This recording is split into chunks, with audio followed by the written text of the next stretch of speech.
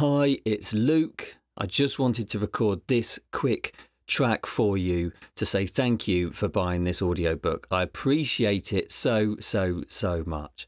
Now, you might know this already, but I think it's important to remind you if you do, or tell you for the first time if you don't, that I left my job as an English teacher in a high school back in 2020, three years ago, with the dream of doing the full time author thing, the dream of making this work. And I'm doing it. It's working, it's happening. And that is because, completely 100% because people like you buy my books. I'm so, so, so grateful for that. Thank you for doing it. You literally pay for the house that we live in, the trips that we go on, and the food that we have on our table. So you're doing a really, really great thing.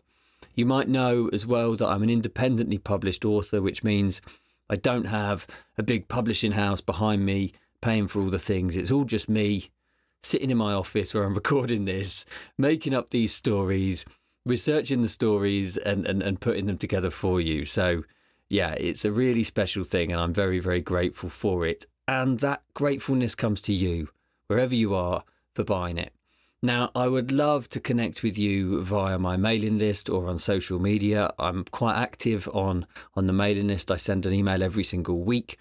You can get on there on my website, lukerichardsonauthor.com, and I tell you about my travels, what I'm working on next, what I'm inspired by, and occasionally the offers that I might have on and the new releases and all of that sort of stuff. So head over to lukerichardsonauthor.com and you'll find me there.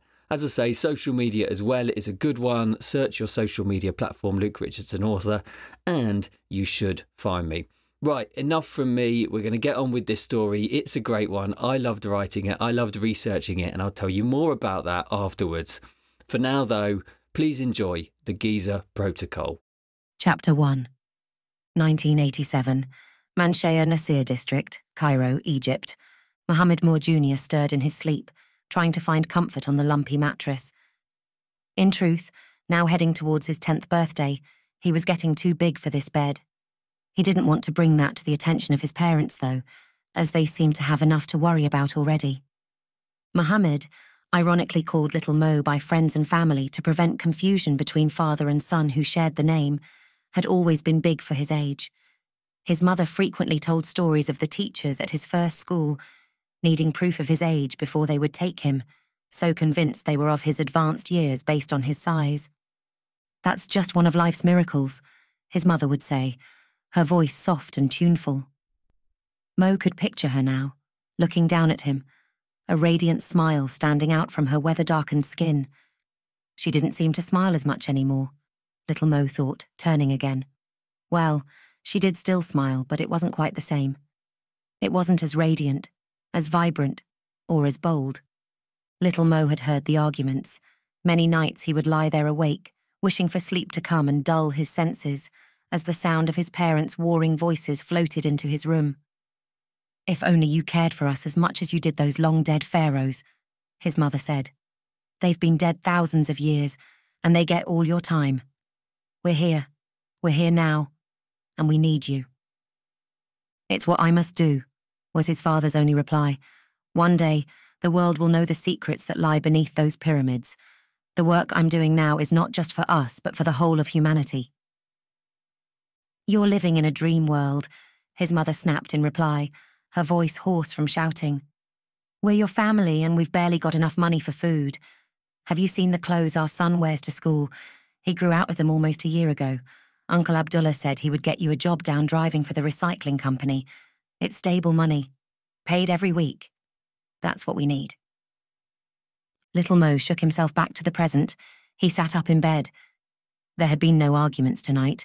In fact, there had been no arguments for a couple of weeks, but it felt to Mo as though one was brewing. A big one. Mo rubbed at his eyes and positioned the pillows behind him. Light from the street below streamed through his window's ill fitting curtains, casting angular shadows across the ceiling. He listened to the silence of the apartment. Several stories below, a car rattled past, serving as a constant reminder that rest, like everything else, was a commodity in this city. A dog yapped several times, and then, rubbing his eyes again, he heard something. Although little more than a gentle thud, the sound carried like a tolling bell through the still night air. Mo straightened up, listening hard. There it was again. Mo held his breath, concentrating on the noise. Another thud came a moment later, this time followed by the scraping of something across the floor. Mo recognized that as the sound of his parents' bedroom door grinding against the tiles. Someone was coming out of his parents' room. That was very unusual at this time of night. The sound, which he now recognized as footsteps, moved through the apartment and into the kitchen. Mo climbed to his feet. The book he had been reading before bed, Chariots of the Gods by Erich von Däniken, slipped off the cover. Mo caught the paperback a moment before it dropped to the floor. Placing the book carefully on the table, Mo picked his way across the room. He reached the door and closed his hand around the handle. Willing the mechanism not to make a noise, Mo twisted the handle. Allah was on his side, it seemed, as the door swung open, emitting nothing more than a whisper. Mo stole out into the hallway. He paused and listened. The movement came from the kitchen now, which was at the far end of the apartment. For the first time, curiosity morphed into fear.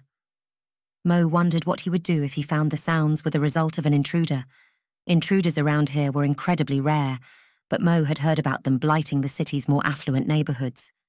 Everyone in Manshea Nasir, nicknamed Garbage City because most of the people here worked sorting and recycling Cairo's waste, looked out for one another. Mo glanced through the apartment. What an intruder would hope to find in one of Cairo's poorest districts, he couldn't even guess. Mo glanced back at his bed, just a few steps behind him. He could return there now, and no one would know he had heard a thing. The noise of a cupboard opening drifted through the apartment. The interloper closed the cupboard again, gently. Whoever they were, they were doing their best to be quiet. Mo took a deep breath, suppressing his swelling fear. He covered the distance to the kitchen door in five steps. Leaning in, Mo placed his ear against the thin wood. Mo heard a zipper being pulled.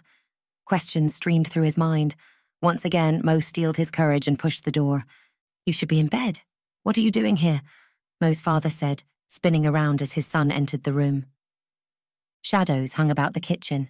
A dim beam of light streamed from a flashlight placed on the counter, the batteries clearly in their dying minutes. In the gloom, though, Mo could see that his father was fully dressed and clutched a small bag. What's going on? Mo said, ignoring his father's instruction, why are you dressed at this time of night? Mo's father placed the bag on the counter and stepped towards his son. He sunk to one knee, took Mo's hands in his, and locked eyes with the boy. You're growing so fast, he said, more to himself than his son. It's been wonderful to see you turning into a young man. Mo's father lifted one hand to his face and rubbed it across his eyes. It's the dust, he said, sniffing. It always gets in my eyes. Mo nodded, not believing a word his father said. Mo noticed now how patches bracketed his father's eyes, accentuated by the lines age and stress had brought on. What's going on? Mo said again, more softly now. Father and son held hands again. There's something I need to do. In the middle of the night? It may take me some time, and it may be dangerous. Mo said nothing, Silence sat unfilled between father and son. Remember what I told you about the ancient civilization that came before us, the one that was much more advanced than we have been led to believe, and how one day, when we are ready for it, their technology will become available to us. Mo completed his father's oft spoken sentence word for word. That's right, Mo's father said, a single tear finding its way down his weather beaten skin. Well, I believe that time is upon us but there is work to be done. Is it important? Is what you do important? Mo looked at his hands, so pale and small inside his father's. It's the second most important task of my life. What's the first? Mo looked up again, surprised. Being your father. Several seconds of silence slid by like freighter ships on the Nile. But now that you are nearly ten, I can wait no longer. I will do all I can to make it back to you, and soon.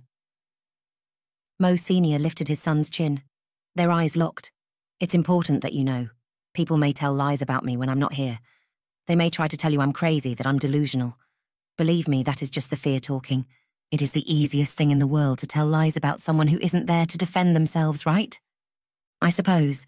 Mo nodded. Mo's father glanced at his watch. He had frequently told Mo about the timepiece. There was an inscription on the back which Mo had committed to memory. As above, so below, little Mo said, repeating the inscription. His voice sounded loud in the silent kitchen. As above, so below. His father repeated back, several more tears now joining the first. The man released Mo's hands and stood. Then, without another word, he slung his bag across his shoulder and strode towards the front door. Barely breathing, Mo listened to his father's footsteps clicking across the floor. The door swung open, then the footsteps disappeared for the last time. Chapter 2 The Himalayas, Nepal, present day. I'm going to get you, Eden Black shouted at the top of her lungs, and when I do, you'll be sorry. Eden charged between two of the huts which made up the village of Sreva, searching for her quarry. Somewhere up ahead, footsteps pounded the wet earth. Eden swung around a corner and jumped over two chickens pecking at a pile of spilled grain. She took a deep breath. Even after two weeks in the village, the thin air at this altitude made intense exercise hard work. You can run, but you can't hide. Eden snarled. She listened carefully to the sound of the mountain slopes. Was that a whispered voice drifting from somewhere nearby? It was easy to lose a sense of direction between the tightly packed huts. Eden spun around, momentarily disorientated. Sweat prickled her forehead. Her muscles ached already after a day's work. Around the corner, the footsteps broke their cover. Eden sprinted after them, her feet slipping across the ground. Eden ran out into the village's central clearing. Raised voices cried in cheers. Hands clapped. Eden saw the group of children up ahead. They whooped and laughed in excitement. Eden upped her pace. Now on the open ground, she could catch them easily. Gotcha, she shouted, tapping Binzer, the youngest, on the arm. You too, she shouted again, reaching out and clipping Donu on the wrist. The two children huffed their disappointment and reluctantly crossed to the circle of adults sitting beside the fire. Eden focused all her attention on the one remaining child. Ida was 11 years old and quickly becoming a young woman. Eden had wondered how long she would want to play games with the other children. Maybe it was a blessing that life in the village prolonged childhood. Ida stood at the other side of the clearing and stared back at Eden. Do you want to surrender now? Eden said. I'll make it easy for you. Ida's gaze narrowed. Eden had no doubt the young woman understood. In the last two weeks, her English had improved exponentially. No way, Ida said. You try to catch me. Eden grinned, looking at the village's outer limit, which lay 20 feet behind Ida. The young woman had nowhere to run. As you wish, Eden said, taking a dramatic step forward. Ida retreated slowly, glancing around. Eden took another two steps forwards. Ida mirrored her movements. The young woman was just a few feet from the boundary now. Eden feigned a leap forward from her crouched position. Ida fell for the ploy and hopped to the right. Eden doubled back and launched herself to the left. Flying, she extended both arms and reached out towards the younger woman. The younger woman's lithe body shot past. Eden reached further, her muscles stinging. Finally, her fingers closed around Ida's upper arm. Both women collapsed to the earth. The impact forced air from Eden's lungs. A cloud of dust rose around them. Eden rolled onto her back and inhaled deeply. A whoop of applause rose from the assembled villagers. Game over, Eden said, sitting up and brushing dust from her hands. Ida sat up too. She looked around in something of a daze. How did you. People always jump right, Eden said, struggling to her feet. Don't worry about it.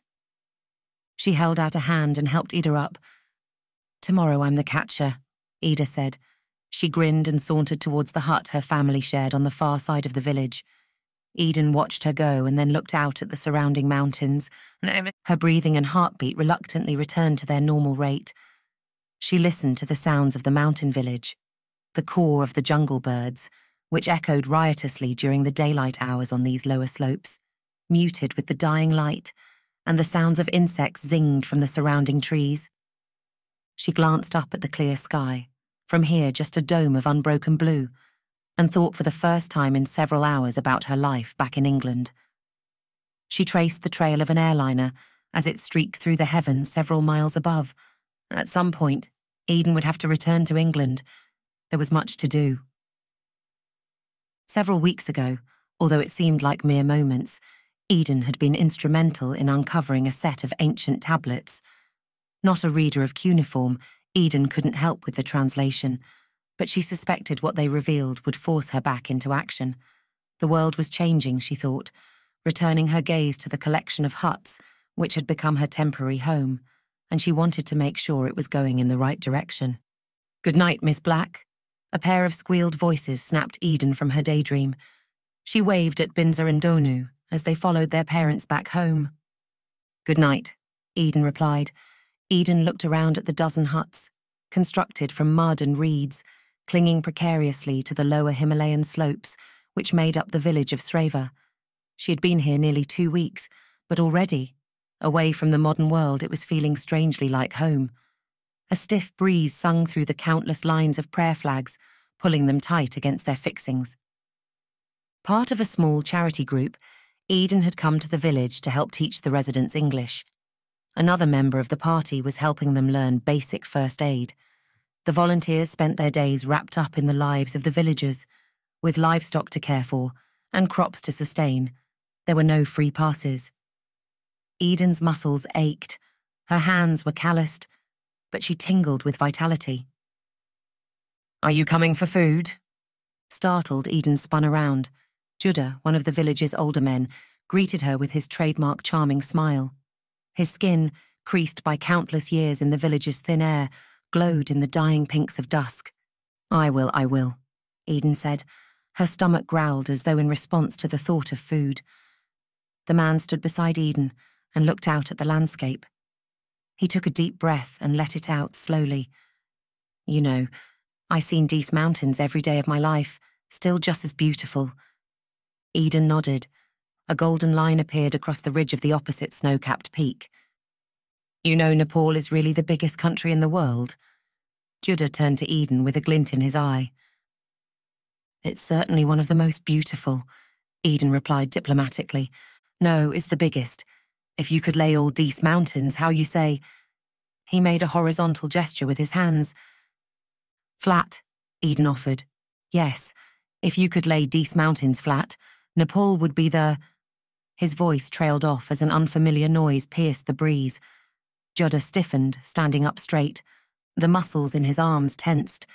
He turned in the direction of the track, which was the village's only connection to the outside world. Judah muttered some words Eden didn't understand. His voice rumbled like an ominous prayer. A stronger wind whipped through the village now, cracking the lines of prayer flags anew. The intrusive noise rose from a whisper to a growl. Eden leaned forward, listening in. The noise came again.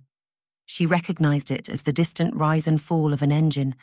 It took Eden several moments to realize why that was unusual.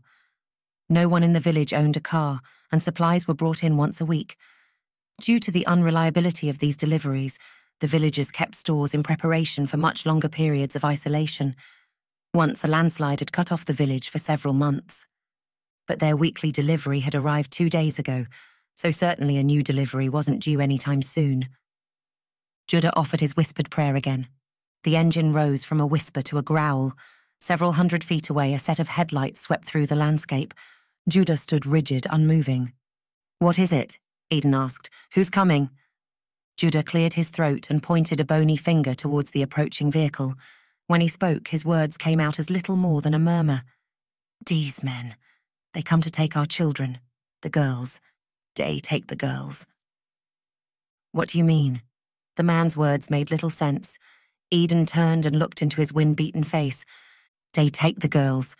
Eden caught Judah's hard gaze. Realization slammed Eden in the stomach. She'd read about this some months ago. Gangs of men who came up to the mountains to take the village's young women. Often by force, the men trafficked the young women to cities in Nepal or India, where they were forced to work in an effort to pay off their debt. It was an awful operation. Eden couldn't believe monsters like this still existed in the modern world. The vehicle growled closer, tyres slipping across the gravel track. The beat of Eden's heart rose with the force and regularity of a jackhammer. A sharp pain surged through her veins. She turned to the man, who had now turned a ghostly white in the dying sunlight. Eden's voice took on the deep tone of a confession. That's not happening, she said, her eyes hard. No one leaves this village tonight. The vehicle was just 500 feet away on the curving road now. Their progress was slow, but within a couple of minutes, they would arrive in the village. We're going to need weapons. Eden's voice was as sharp as a knife. Judah caught Eden's gaze. Tension rippled across his facial muscles. Follow me. Judah set off an all out sprint. For a few strides, Eden had trouble keeping up. Ahead, several villagers gathered in the central clearing, including the other three volunteers. Judah reached the clearing first and barked at the villagers in their native tongue. The half dozen men and women paled when the meaning of the words sunk in. Judah ducked into a hut and emerged clutching a machete and a long tool which looked a little like a scythe. The other volunteers looked from Eden to the man, confusion and fear etched on their faces. Eden quickly explained what was happening. I don't want to put you in danger, Eden said, accepting the machete from Judah and rubbing her thumb carefully across the blade. It was sharp. It's time these people fought back. I'm going to make sure that happens. If you don't want to be involved, take a walk up the hill. The roaring engine was audible from the centre of the village now. Eden spun and looked towards the noise. Judah stood beside her, the scythe held in both hands across his chest. Eden glanced up at the man, standing tall and proud in defence of his village, a force to be reckoned with. We should be out of sight when they arrive, came a voice from behind them. Eden spun around. One of the volunteers remained standing, while the other two rushed towards the safety of the nearby trees. Eden locked eyes with the young woman. Working long days in the village, Eden had got to know Alyssa Stockwell quite well, but this bravery surprised her. Alyssa's dark eyes glinted in the dying sunlight. What have we got here? Alyssa strode forward and took the machete from Eden. She hefted it to test the weight. That could do some damage. You stay here, Eden barked to Judah. We'll stay out of sight until they're in the open. Judah nodded, his eyes narrowed in focus. The growling engine filled the air now. Beyond the first structures of the village, strong headlights swept through the forest. Eden and Alyssa rushed behind one of the huts moments before the vehicle crested the hill. The grumbling engine moved through the gears as the lane levelled off. Gravel snapped and skittered beneath the thick tyres. The gearbox clunked as the vehicle slowed. Brakes squealed. The powerful engine dropped into its lowest register. Eden and Alyssa peered out from behind the hut. Judah stood motionless in the twin beams of the headlights. He held the scythe across his chest like an ancient warrior ready to protect, ready to kill if necessary. Brakes squealed again, and the vehicle crunched to a stop.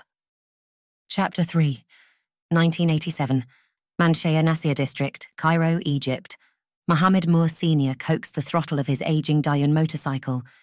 He reached the edge of Manshea Nasir bumped over the disused railway line, and turned out onto the freeway. Even at this late hour, traffic thronged to and from the city, but at least it was moving. In the passing glow of a streetlight, Mo glanced at his watch. He was late. Very late indeed. Mo pulled back harder on the gas. The bike's faithful engine whined, protesting at the increasing speed.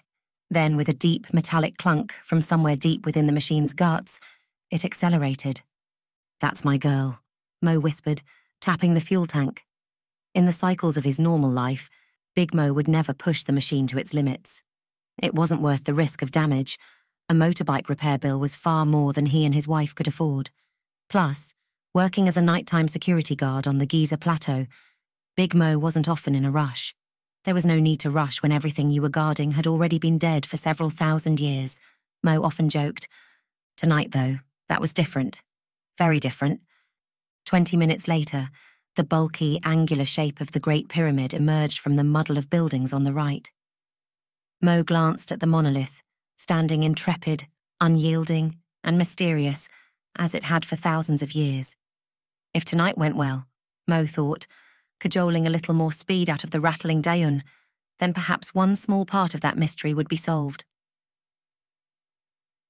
Mo pulled up outside a laundromat in Nazlet El Saman. Once a settlement in its own right, Nazlet El Saman had become engrossed in Cairo's urban sprawl in the worst way. Soulless concrete structures loomed, gaunt and pale, along every street. Zephyrs that once twisted the sand into ethereal spirals now scattered trash across the streets. Mo kicked down the Dayun's stand. Three other bikes already waited outside the shop, reinforcing to Mo that he was late. A high pitched screech echoed down the street. Mo spun around on his heels just in time to see the twisted tail of a street cat disappear behind a trash can. The image was a fitting testament to the degradation of his country. Mo thought, once revered and respected, cats now lived amongst the junk, when there were already too many mouths to feed, and not enough to feed them with. Who really cared? I'm sorry, I'm sorry, Mo said, clattering through the door and into the laundromat. He glanced around, but his eyes, still not used to the gloom inside the shop, saw nothing but murky shadows. Three men lounged against the old washing machines, the fiery ends of cigarettes bobbing. Mo recognized them all. He was the last to arrive. You're late, a man named Bakir said, stepping forward. Yes, I know, sorry.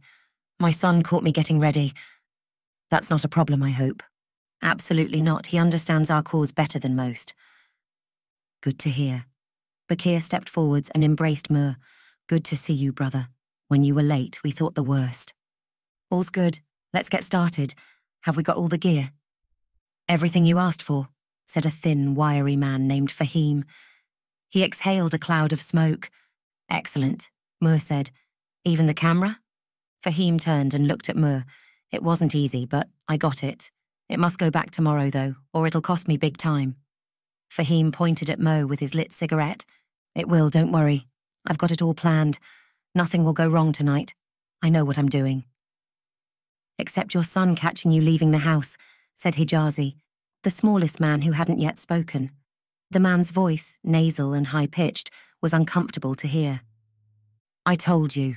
That's not a problem. Mo waved a dismissive hand. Hijazi shrugged in a way which indicated he didn't care either way. It's through there. Hijazi pointed with his cigarette towards the laundromat's back room. Mur strode through to the back room. A flickering bare bulb hung from the ceiling, casting a sepia-toned glow across the space. The old trappings of the laundromat had been pushed against the far wall to create space for their mission. The equipment they needed was stacked on the floor. Mur inspected it.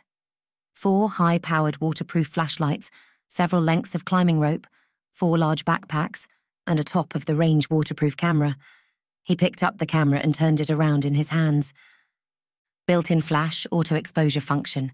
It's the best on the market in low-light conditions. Hijazi sidled up beside Moore to examine the camera. Moore smelled the smaller man's pungent odour. This is fantastic, Moore said. I don't want to ask how much it cost. Hijazi and Fahim glanced at each other. Don't you worry about that, Fahim said. If we're successful today, money means nothing, no. Mur nodded in agreement. But boss, are you sure we want to do this? Fahim said. Mur turned and looked at the smaller man. I just mean, we don't know exactly what's down there, and we don't know what impact it might have. Tell me, Fahim, how many people are there in your family? Nine of us, boss. And how big is your home? We do okay. We have three rooms. Do you know there are people just like you and me who live in houses with hundreds of rooms? Houses so big they don't even need to see another member of their family let alone sleep beside one. Some people even have more than one house too, in different countries. What we discover today, I hope, will not just improve the lives of us and our families, but equal the balance for people across the world. Mur looked at Fahim. The smaller man blinked, then shrugged. If you say so, boss. Just checking you know what we're getting into. Of course, we've been preparing this for years. Moore glanced at his watch. Get ready. It's time to go. As the men extinguished their cigarettes and pulled on their backpacks, Moore drew back the dusty carpet covering the floor. He stepped towards a wooden panel set into the middle of the floor. Together, Moore and Bakir lifted the panel from its mounting, exposing a roughly hewn staircase. They leaned the panel against the wall, then stepped back towards the exposed staircase. How did you know this was here? Hijazi asked, staring down into the hole. Several years ago, I uncovered a secret document which detailed access to the area beneath the Giza Plateau. Mur checked his watch. Enough questions. all will become clear. We don't have time to waste. Mohammed Moore flicked on his flashlight and stepped down onto the staircase. Originally built as a well, the spiral staircase wound its way around a shaft with fresh water at the bottom. Villagers wanting to use the well would have descended the stairs with a bucket and collected the water by hand.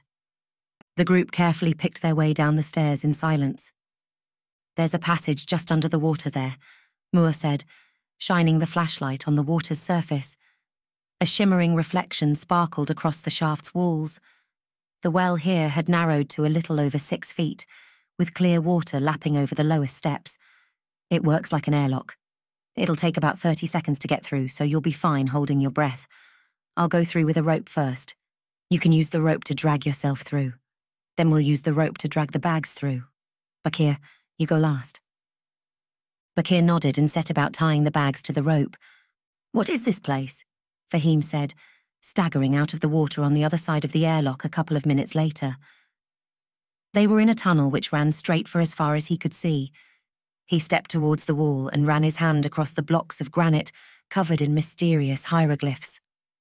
Welcome to the underworld of the soul, Moore said, steadying the rope for Hijazi and Bakir.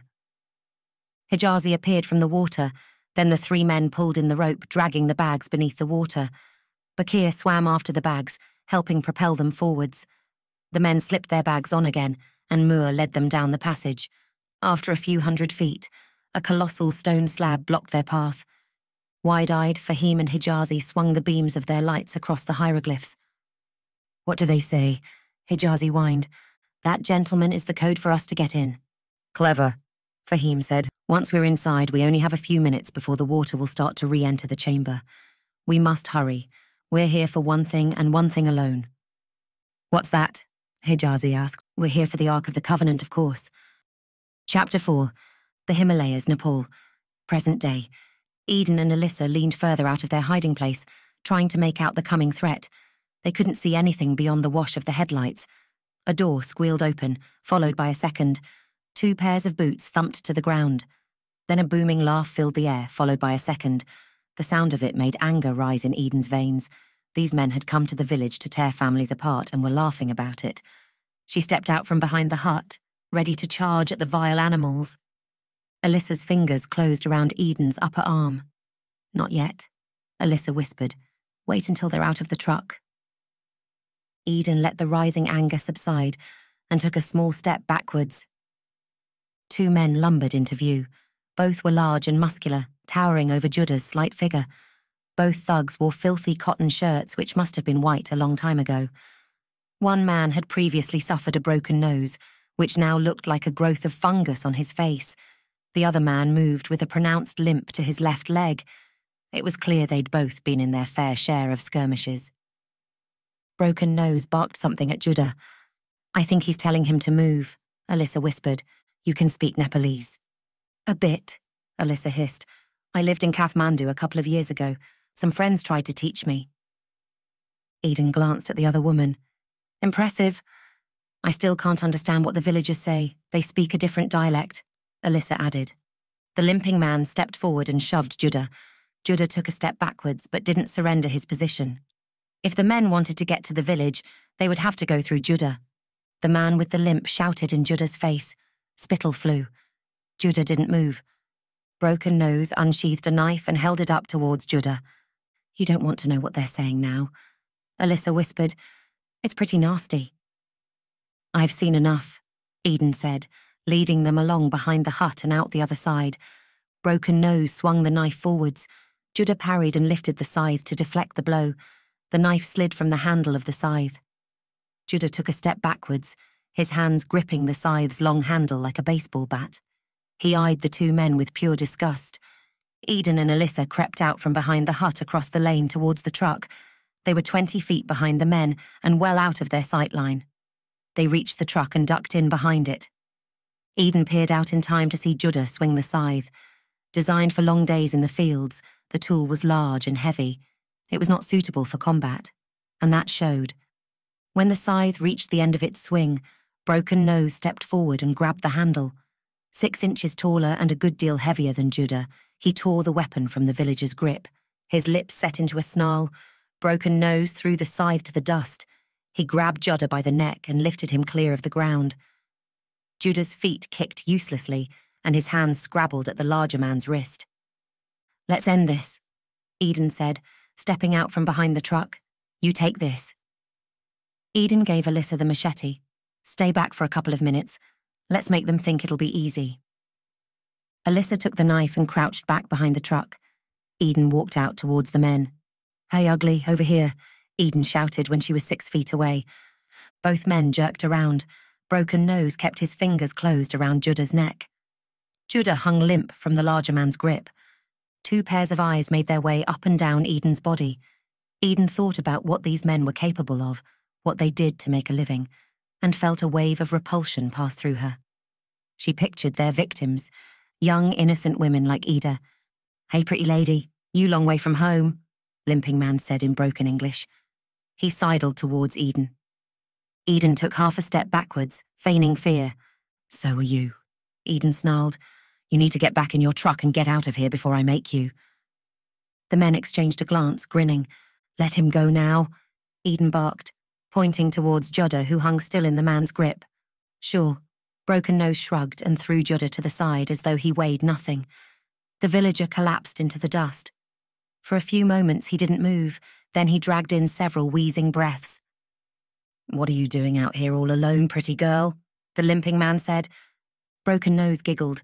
The noise was far higher pitched than Eden had expected for a man of his size. I'm a volunteer in this village. You need to go now.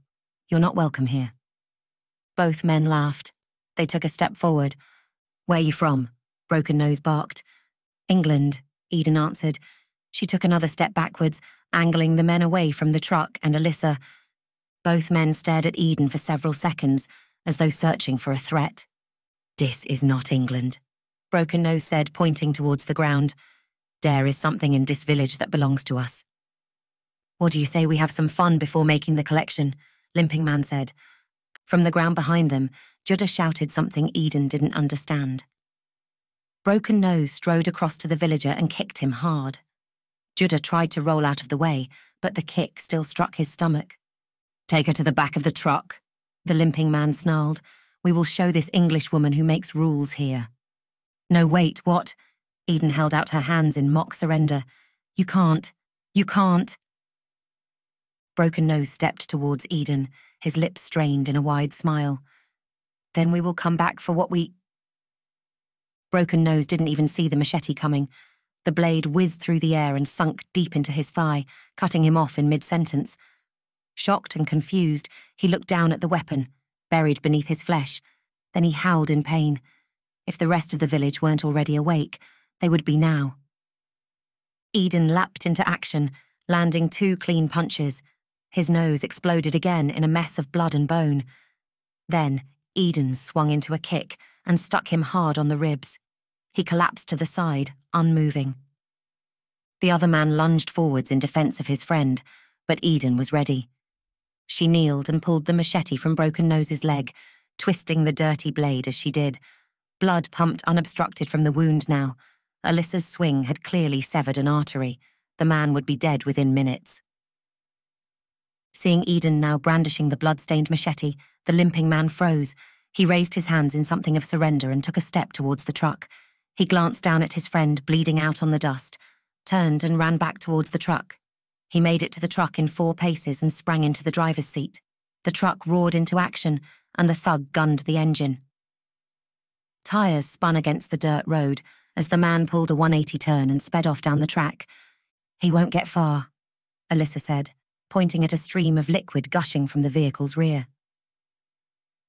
You cut the fuel line? Eden asked, looking at the women in a different light. I'd say he'll get 10 miles away maximum, Alyssa said. That's a week's walk to the nearest town. How did you know? Alyssa turned to face Eden. I saw you take those men on. Strange skill for an English teacher. I think it's fair to say there are things we both don't know about each other. Agreed, Eden said, as the rumbling of the truck faded into the tinkling jungle, another unusual sound shrieked through the night. My phone, Eden said, dropping the machete and rushing across to her hut. Moments later, she appeared at the door with the satellite phone pinned to her ear. Alyssa raised an eyebrow, then walked over and helped Judah to his feet. We have something. Eden instantly recognized Professor Beaumont's voice. She'd left the professor, an old friend of her father's and one of the few people Eden trusted, to oversee the care and translation of the tablets. It was a task she knew the professor took seriously. Professor of Egyptology at Cambridge University, it was the sort of task he'd been working towards his whole career. What? Eden replied, happy to dispense with niceties. Eden kept the phone pinned tightly to her ear, her grip whitening, as Beaumont explained. I'll come back as soon as I can, Eden said, glancing down at Alyssa and Judah. I'll sort a flight tomorrow. No need, the professor said. The thump thump of helicopter rotors boomed through the night air, the strong lights of a Eurocopter. AS 350 lanced through the jungle as the machine hovered above the village, the lines of prayer flags flapped wildly. Cyclones of dust and debris spun around the huts. There's a jet waiting at Kathmandu, Beaumont said. Try to get some rest on the flight. We've got a lot to do. I'll see you in the morning. The line went dead. Eden snagged up her bag and stashed the phone away. She swung the bag onto her shoulder and stepped out of the hut. The helicopter touched down in the village clearing, and the sound of the rotors dropped. Eden crossed to Judah and Alyssa. There are definitely things you're keeping to yourself, Alyssa said, hands on her hips. Eden smiled. She respected the young woman for not pushing her for answers. We will meet again, Eden said, embracing Alyssa. Definitely. Alyssa smiled. I'd put money on it. Eden turned to Judah. She put her palms together in a gesture of respect and bowed. Thank you for everything. I must go now. When I can, I will return. You have done much, Judah replied, bowing. What about? Eden pointed at the body lying in the dust. We will sort it. By the morning it will be like it never happened, Judah said. Eden turned and ran towards the chopper. The door slid open as she approached. As soon as she was inside, the rotors powered up again.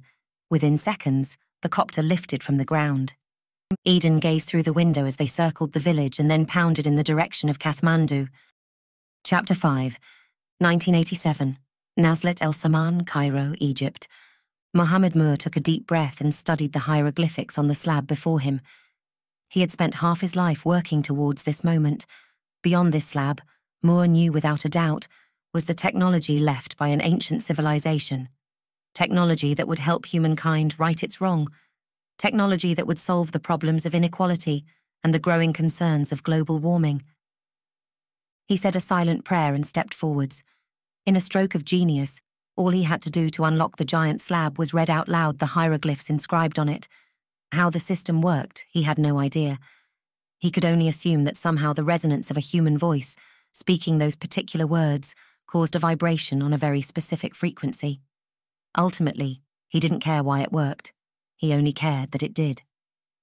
Big Mo cleared his throat and began, The Ennead and Almodad will show you. The tunnel rumbled and shook. Dust and debris rained from the ceiling. The men looked around in wide eyed panic. Mohammed Moore continued, unfazed. He had been expecting this. You now have all you need to see through the mist of confusion. Dust filled the air, and the sound of rock scraping against rock pulsated through the tunnel. The ground beneath them shook. Moore flexed his knees and sunk into a crouch in an effort to stay upright. Then, he listed the nine names which he knew would start the final part of the sequence. He had to shout over the noise of the ancient mechanisms. A crunching, popping noise reverberated through the tunnel. Then the giant granite slab vibrated upwards, sending more dust up into the air. Water streamed across the floor, threatening to knock Moore and his men off their feet. Lean into the current, Moore instructed. It won't last long. Sure enough, within a few seconds the current slowed. Moore crouched and peered beneath the slab. The giant rock slid up another inch. Moore ducked beneath it and threw into the chamber inside. Wide eyed, and in something of a trance like state, Moore staggered out into the chamber. He stared at the roof over 100 feet above them. It was like daylight inside, too, with several bright orbs, brighter than any light bulb Moore had seen, hanging from the ceiling. Moore climbed a set of stone steps and walked out onto a raised area. He looked around the room. There were several such raised stone blocks around the space, all linked with intricate walkways. Shining liquid ran in small gullies carved into the stone surface. Moore's eyes locked on the plinth at the far end of the chamber. He felt as though he was walking in a dream. The Ark of the Covenant looked just as he'd imagined. Gold glimmered from its surface. The intricately carved cherubim graced the cover, their wings curved aloft. We've done it, Moore said, turning to the other men. It's there. His voice sounded ghostly, almost as though it came from someone else. Moore took a step towards the next plinth. You've done it, Bakir roared, rushing towards and embracing his friend. I knew you would, brother. I always had faith in you. Allah Akbar.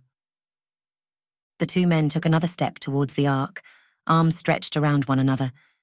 Sorry to have to interrupt, but I'll need you to stop right there. Mohammed Moore heard the nasal tones of Hijazi's voice several moments before he understood the meaning. He swung around and glared at the man. What do you mean?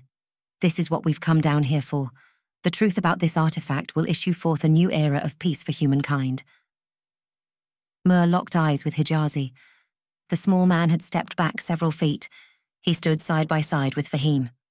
What are you talking about? Bakir said. You want out, you go back. No one will stop you. I'm sorry, boss, Hijazi repeated, drawing a revolver from a hidden holster. Standing beside him, Fahim did the same. Both guns glinted in the bright lights of the chamber. Fahim Hijazi, what are you doing? Moore said, shouting now, We've been working on this for years. You've been part of it from the very beginning. You know how unjust the world is, and you know that what we will discover here will help billions of people live better lives. Hijazi simply shrugged. There are some important people who want this secret to remain that way. His high pitched voice sounded sinister now. Some very wealthy people, too, Fahim added. How do you think we got hold of this top of the range gear? Why, you little, Bakir bellowed, his jaw jutting out in anger. Bakir charged forwards like a bear, his great size poised to crush the two small men. No, Bakir, no, Moore shouted, trying to grab hold of the big man. Moore was too slow. Bakir roared on, his feet thumping over the stone. Hijazi and Fahim swung their weapons towards the threat and fired several times. The guns howled, impossibly loud in the enclosed space. Bakir's wail of anger became one of pain. His large hands clutched uselessly at his chest. Blood bloomed across his shirt. He stopped moving forward and slumped to the ground. Hijazi stepped forwards, levelled his gun at the big man's face and fired one more time. Bakir's moan fell into silence. No. Why did you do that? Moore shouted, watching his friend's lifeblood seep from his body. We tried to warn you, Fahim said. We tried to warn you, Hijazi agreed but you wouldn't be persuaded. You were set on this and wouldn't listen to logic or reason. These secrets need to be revealed. Moore cried. They need to be revealed. The world deserves to. The gun howled one more time, cutting Mohammed Moore off in mid sentence. The gun's report echoed several times, fading to silence. Chapter 6 National Archives Building, London. Present day. Frankie Nulf pulled her glasses down over her eyes, leaned towards the screen, and scowled. Her fingers picked at the keyboard as she navigated through various menus and programs. It was already approaching 9 pm. She'd been in the archive for nearly 12 hours but hadn't yet checked her emails. In truth, it was the task which Frankie liked the least. I swear these things get more complicated every year, she said in her Southwest American accent. This is the National Archives of the United Kingdom. What do you expect it to be, just a big filing cabinet? Norman, an Englishman in his early 30s, muttered from his workstation on the other side of the room.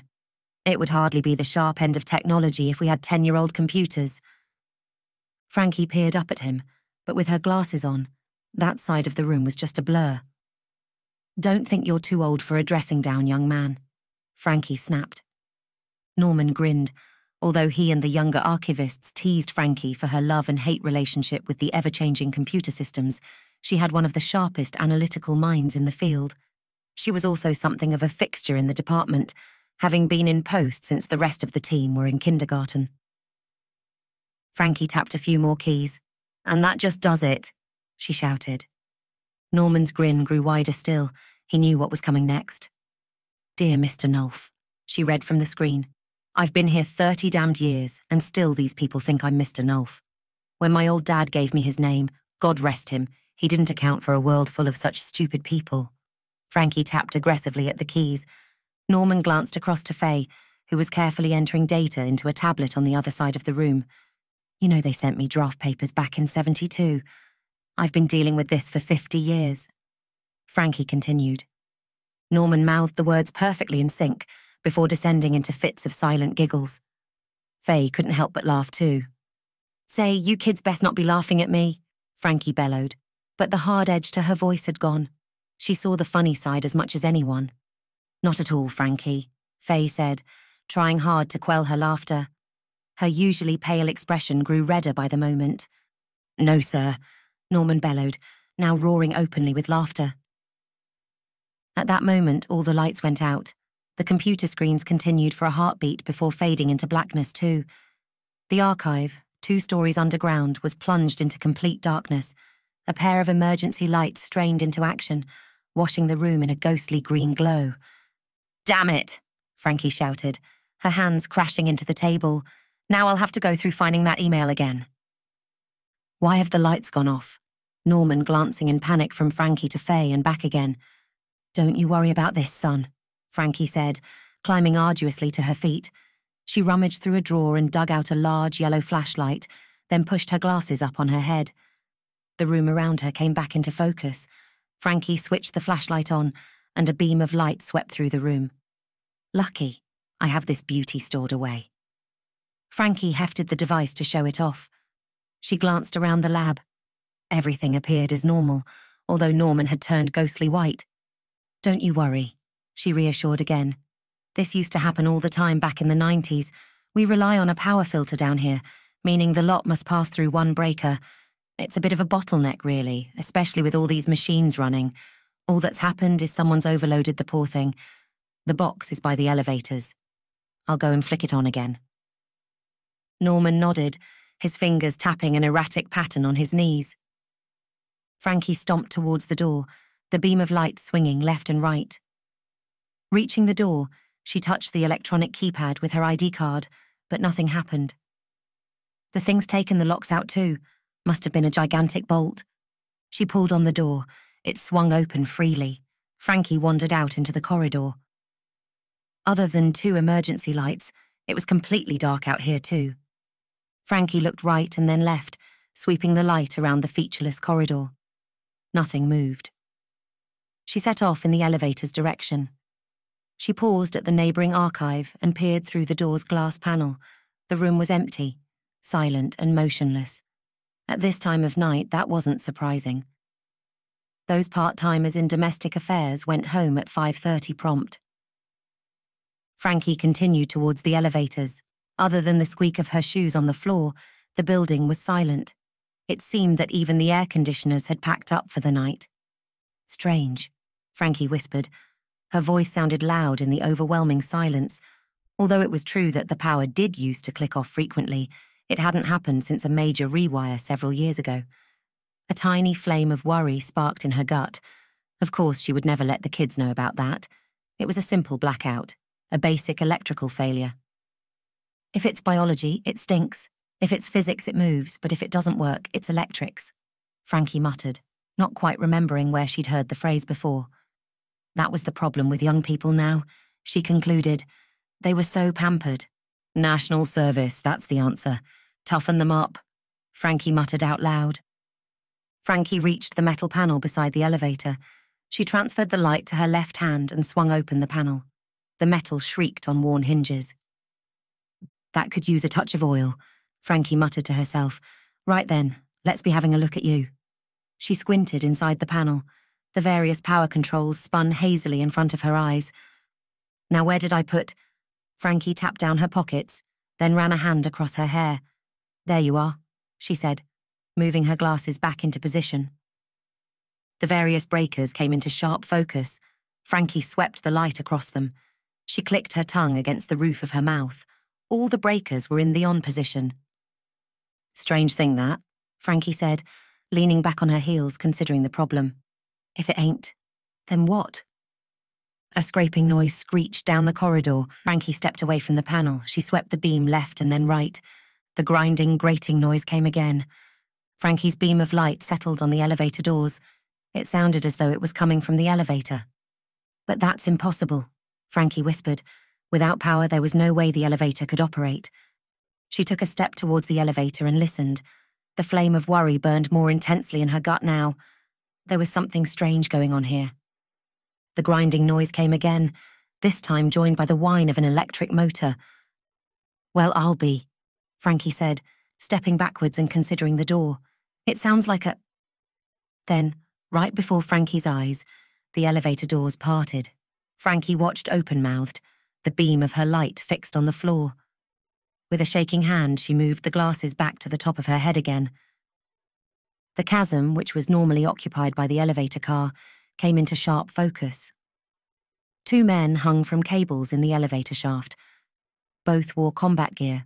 Both were armed.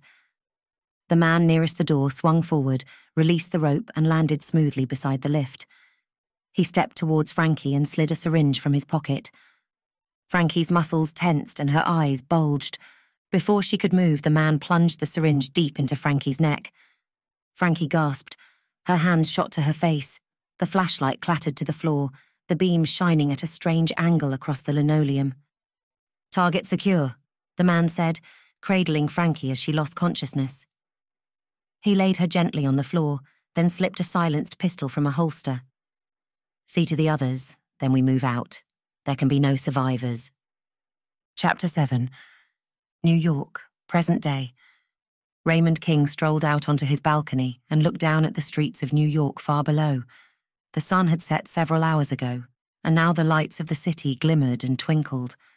Standing here, as he had so many times before, he understood why the rich and powerful men of the past had constructed their legacies in glass and steel. A building was not just a shrewd investment in an ever changing world, but standing here, on the 97th floor of the King Industries building, the tycoon experienced a feeling of power unlike any other. It was as though his influence now stretched beyond the flesh, bone, and blood from which his aging body was constructed. Like Rockefeller and Trump, King had now cemented, quite literally, his place among the powerful elite of the modern era. Not bad at all for a young man from Texas, he said, turning his attention to a taxi sliding down Central Park West, several hundred feet below. The lights of the city danced and blurred in front of his vision. King blinked several times, but the lights continued to flash and sway. You're getting old, he thought, sliding a fat cigar and a bejeweled lighter from his pocket. Despite being told to give up smoking several times by his doctor, King continued to puff his way through several a day. Didn't do my old man any trouble, was his stock reply.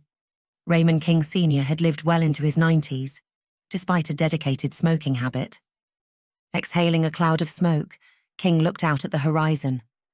Somewhere beyond the glimmering towers, the great expanse of the United States stretched out one way and the other way, the North Atlantic. It was a world with boundless opportunity, King thought, for those who were prepared to step up and take it.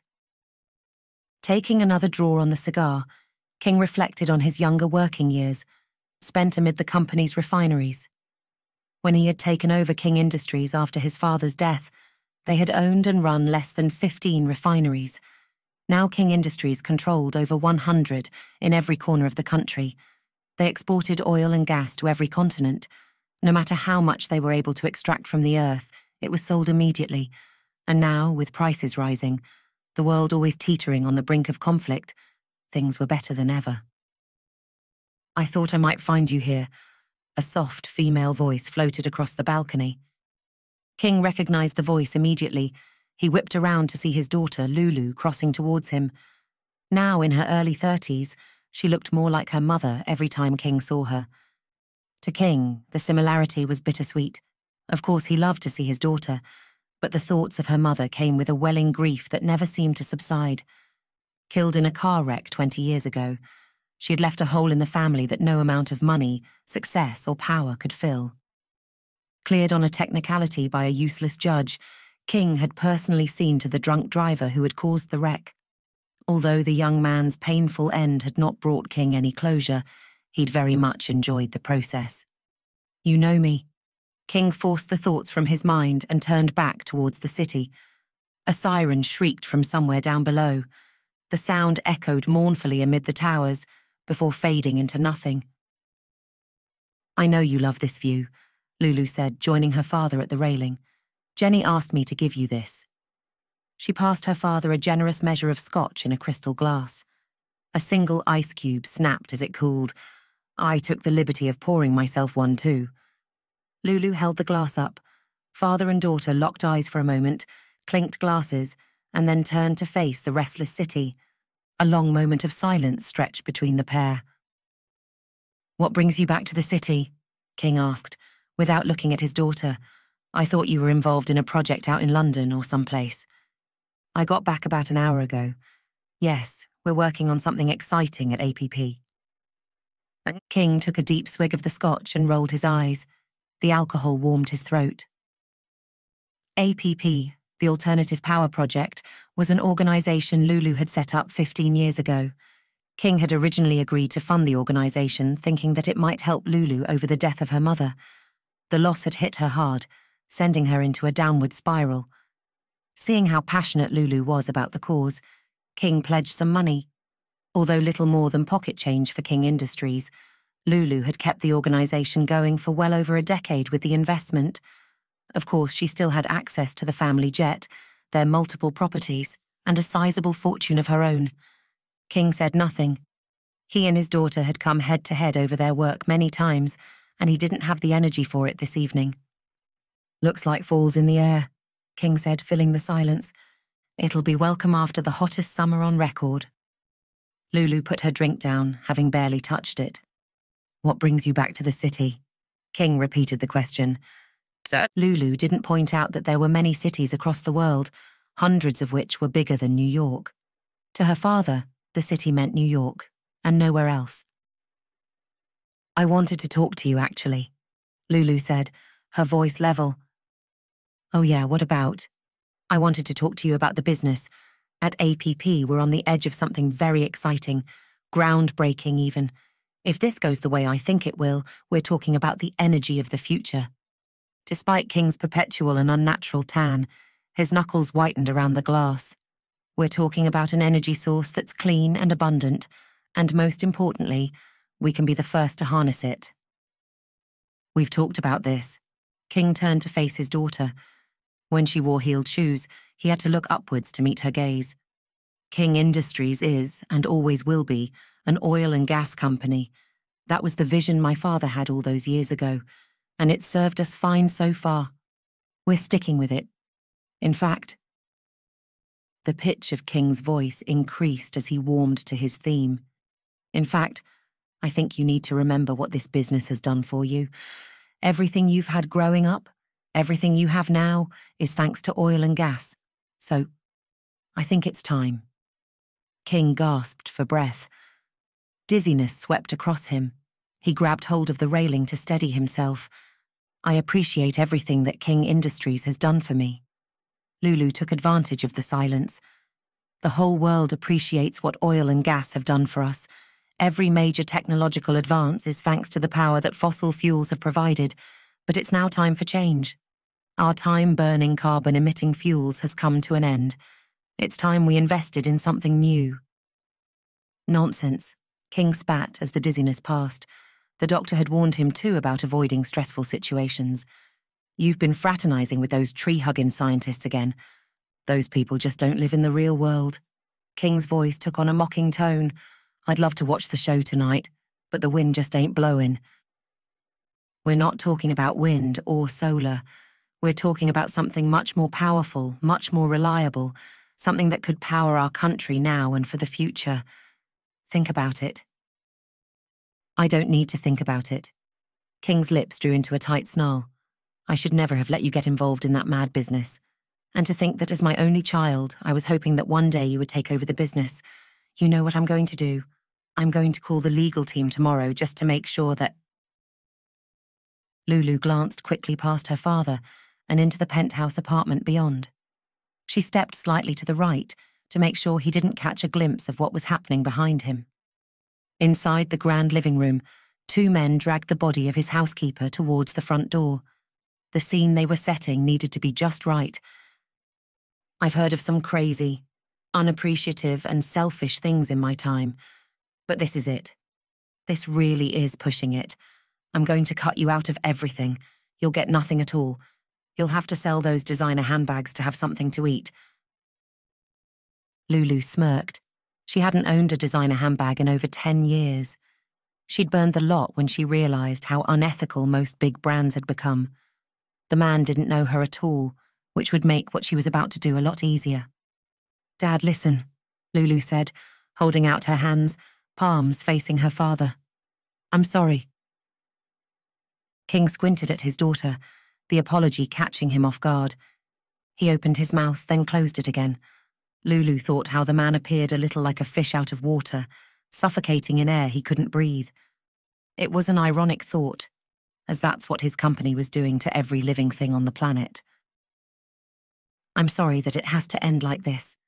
In one swift movement, Lulu pulled a pistol from a concealed holster against her back. Registering the weapon, King's eyes widened until they appeared to be popping from his skull.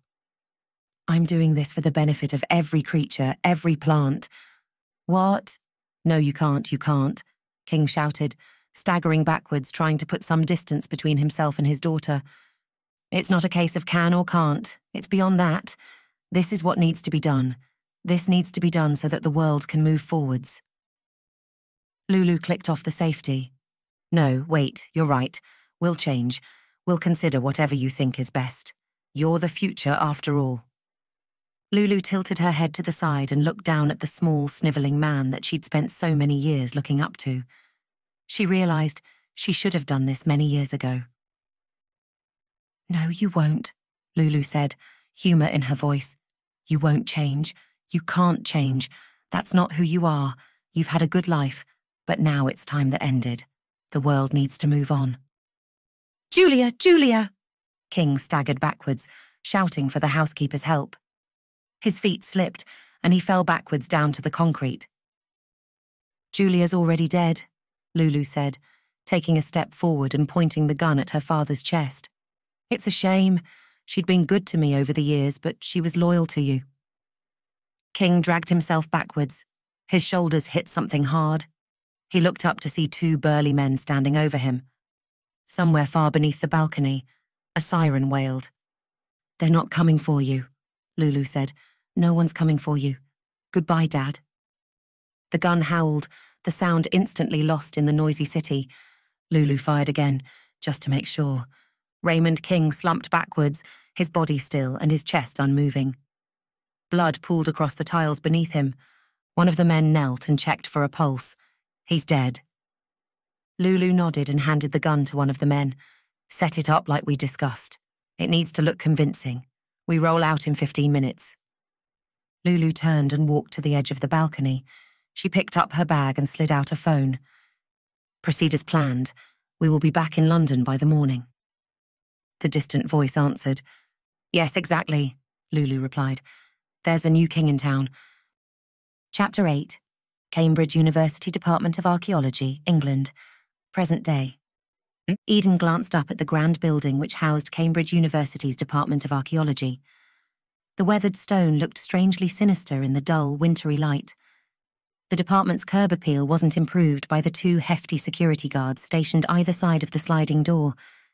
Eden noticed their in ear radios and their gaze sweeping the street for threats. These guys were professionals. Eden's phone buzzed. She stepped out of sight and slid the phone from her pocket. It was a photograph from a contact in India. She tapped on the link and the picture filled the screen. The picture showed the remains of St. Francis Xavier back in the Basilica of Bom Jesus in Goa, India. Eden had found out that one of the saint's long dead hands had been stolen during the body's annual embalming process. She tracked the artifact to an off the books flight arriving at London's Gatwick Airport a few weeks ago. Without a second thought, Eden had raided the airport and had the relic returned to its rightful place. How she missed those simple missions, Eden thought, slipping her phone away. At least then she could tell who was on her side and who wasn't. Eden crossed the road and walked towards the Department of Archaeology's sliding door. Need your ID, one of the men barked, blocking Eden's path with a meaty forearm. Eden looked up at the man.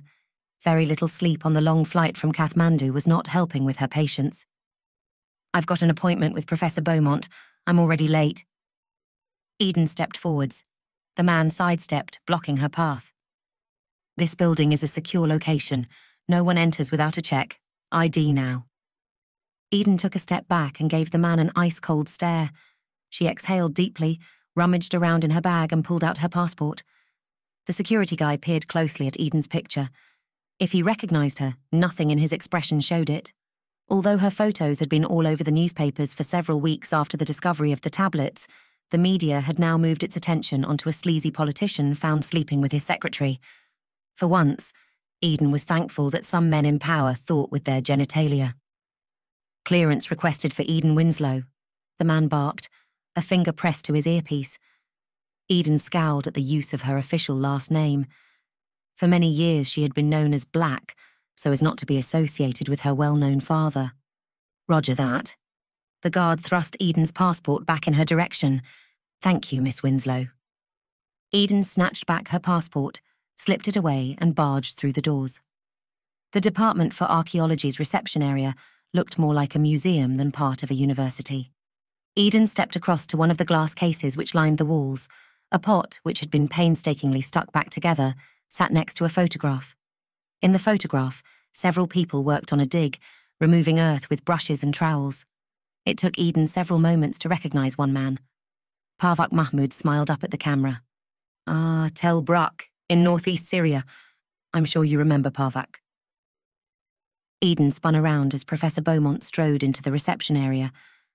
The man, Eden had often thought, was something of a stereotype. Tall, with the beginnings of a paunch, Beaumont's love for tweed, his unruly greying hair and tiny gold rimmed spectacles, were everything Eden had imagined a professor of archaeology to look like. Your father was there for some time too, Beaumont said, pausing and peering into the cabinet. We really should put a picture up of him, actually, after what happened. Beaumont turned to look at Eden. Eden remained silent. I mean, well, after you know. To remember him, as it were. Sorry. That's fine, Eden said. Alexander Winslow, Eden's father, had died in a plane crash a few months ago, a crash which, as it turned out, was far from accidental. How was your journey? Beaumont said, more as a statement than a question. Sorry to call you back at such short notice. You know we've been working on this translation day and night, but something's come up. Beaumont spoke with the pace of a machine gun, spitting out words at light speed. You've translated something. This way, please, Beaumont said, ignoring Eden's question. The professor led them into the building's surprisingly modern interior. This part of the department looked like any other office. People sat at computers and talked on phones. There were no artifacts in trays, no work with tiny brushes or anything like that. It's all state of the art now, Beaumont said, as though reading Eden's thoughts. We've had the tablets digitally scanned. That means several people can work on them at the same time, and hopefully we can train this AI to do the work for us. That will certainly save us some time. It's something we've been working on for a long time, but we needed many tablets from the same source. This is perfect. Beaumont led them up a large spiral staircase, twittering constantly. He ushered Eden inside his office, slipped behind the desk, and collapsed into a large leather chair. Although the office was large, the amount of stuff it contained made it seem cramped. Books, photographs, and plastic boxes, each containing a strange artifact or two, crowded the floor to ceiling shelves. Eden sunk into the chair opposite Beaumont. She took a deep breath. The smell reminded her of her father's office, which had been destroyed in a house fire shortly after his death. She felt strangely at home in the cluttered space. Beaumont pushed a laptop and some piled papers to one side, and then placed his elbows on the table's leather inlay. How was your time in the Himalayas? The professor scrutinized Eden over his glasses. Having met Beaumont several times in the past, Eden knew him to be one of a dying breed who wouldn't get to the matter at hand until a few minutes into the conversation. There was no point getting frustrated at this, Eden decided. She would just have to go at his pace. How rude of me, Beaumont said, before Eden had a chance to answer. I haven't offered you a drink, cup of tea, coffee, I think we might even have some biscuits somewhere. That's if the budget can still stretch to such niceties. Coffee, please, Eden said. Strong, no milk. Right you are, back in a jiffy. Beaumont shot to his feet and strode out of the office, the door creaking closed behind him. Eden sat up straight and stretched out her arms. Her muscles ached from the long journey. That was nothing a few hours' sleep in a proper bed wouldn't sort, however. Inside, she ached to move on to the next challenge. Patience had never been one of her virtues. Eden glanced around the office. Countless artifacts looked back at her, each with their own story to tell. Again, she thought of her father. He was a master storyteller and often had people hanging on his every word during lectures. He had the skill of turning a string of facts into a compelling narrative, which the listener couldn't help but be enticed by. Eden stood up and stretched out again. She crossed the room and peered through the window. Rain had just started to pepper the glass, as was customary during at least half the days in England. Traffic chugged down the street below. Eden clocked a black Range Rover parked at the opposite curb. Someone moved in the driver's seat, although they made no attempt to drive off. Eden watched the vehicle for long seconds, intrigue growing. Sorry that took so long, Beaumont said, clattering through the door with a tray of drinks and, as promised, biscuits. I'm always getting caught by someone and asked an opinion on something. In this case, it was the meaning of a symbol that seems to have found its way. Beaumont looked up and saw Eden at the window. Oh, typical. It's raining again. Eden glanced back out at the street to see the Range Rover indicate and pull out into the light afternoon traffic. Nothing to worry about, she thought to herself. Right then, Beaumont said, shuffling into his seat. Let's get down to business. Eden slid into the seat opposite the professor. She snagged up one of the biscuits, broke it in half, then dunked it in the coffee. We've been working day and night to translate these tablets. We've even had to borrow people from other universities to get the work done. It really is a big. A high pitched beeping noise interrupted Beaumont mid sentence. He glanced down at the modern watch on his wrist. He tapped the device and the beeping stopped. Eden raised an eyebrow. I know, Beaumont said, reading her expression perfectly. Pretty cutting edge for an old fox like me. They're clever, aren't they? Eden glanced down at her own watch, a top of the range design. It had countless features, including global positioning, temperature and humidity sensors, depth sensors for diving, and, funnily enough, it could tell the time. Absolutely, Beaumont said excitedly, clearly happy to talk. One of my PhD students bought it for me. It's turned out to be my little Ubasta. It tells me when to exercise, how well I've slept, everything. It's an incredible thing. Eden chomped into another biscuit and waited for Beaumont to continue. She respected the man and knew it was best to leave people like Beaumont to get to the point in their own way. Well, the tablets, yes, as we expected. Parts of it tally with the diary recovered from Mr. Godspeed's secret vault. Eden had been shown a 200 year old translation of the tablets by the aristocrat some weeks ago. It's what he would have wanted, Eden said, slightly cruelly. Archibald Godspeed had met a sticky end some days later, after it turned out he had set Eden up for his personal gain. Well, those bits we can put to one side for now, as we know what they say already, Beaumont continued. Now, warm to his theme, he wasn't drifting off topic. It's the tablets that are not in the diary that interest us now, and I fear we've uncovered something of an enigma. Beaumont shuffled through the papers on his desk. Eden wondered how the man could ever find what he needed in such a mess. She took another sip of the coffee. The caffeine worked its magic. Here we are. Beaumont selected a piece of scrunched up paper. He flattened it to the tabletop with his hand. Read that. He pushed the sheet across to Eden. The page contained just three paragraphs of typed text. Now, this Seth, when he was brought up and came to those years in which he could discern what was good he became a virtuous man. He was himself of an excellent character and left children behind him who imitated his virtues. That their inventions might not be lost before they were sufficiently known, upon Adam's prediction that the world was to be destroyed at one time by the force of fire, and at another time by the violence and quantity of water, they made two pillars. One pillar was made of brick and the other of stone. They inscribed their discoveries on them both, that in case the pillar of brick should be destroyed by the flood, the pillar of stone might remain. These inscriptions would exhibit their discoveries to mankind, and also inform them that there was another pillar of brick erected nearby. Now this remains in the land of Siriad to this day. Reaching the end of the excerpt, Eden looked up at Beaumont, her eyebrows inched together in confusion. The professor steepled his fingers and nodded excitedly. Eden read the excerpt again, hoping that the meaning would leap out at her. I'm going to level with you, Professor, she said, reaching the end for the second time. I'm not sure what this is saying. Have you ever heard mention of the Hall of Records? Beaumont said, locking Eden in his gaze. Remind me, Eden said, placing the paper down on the desk. The Hall of Records is supposed to be an ancient library, hidden beneath the earth for thousands of years. We in the archaeological community have put it down to those with an overactive imagination, but maybe we were too hasty. Beaumont poked the paper with his index finger. That's what I think this part of the translation is about. You see where our speaker mentions the inscriptions that would exhibit their discoveries to mankind? As far as I'm aware, this is the first time it's ever been mentioned in something of this age. What's supposed to be in there? Eden asked, leaning forward. Rumours abound, dear Eden. Rumours abound. Some people suggest it's the information from an ancient civilization. Others think it's a technology left to us by aliens. In all honesty, we don't know. But we should definitely find out, Eden said, cutting off the professor in mid sentence. A frown sobered Beaumont's expression. I'm afraid it's not that simple. We have no idea where it is. People have searched from Egypt, our own Stonehenge, to Mexico for signs of such a place, should it even exist. Furthermore, the authorities of the sort of places it might be are rightfully very selective about who they let poke around.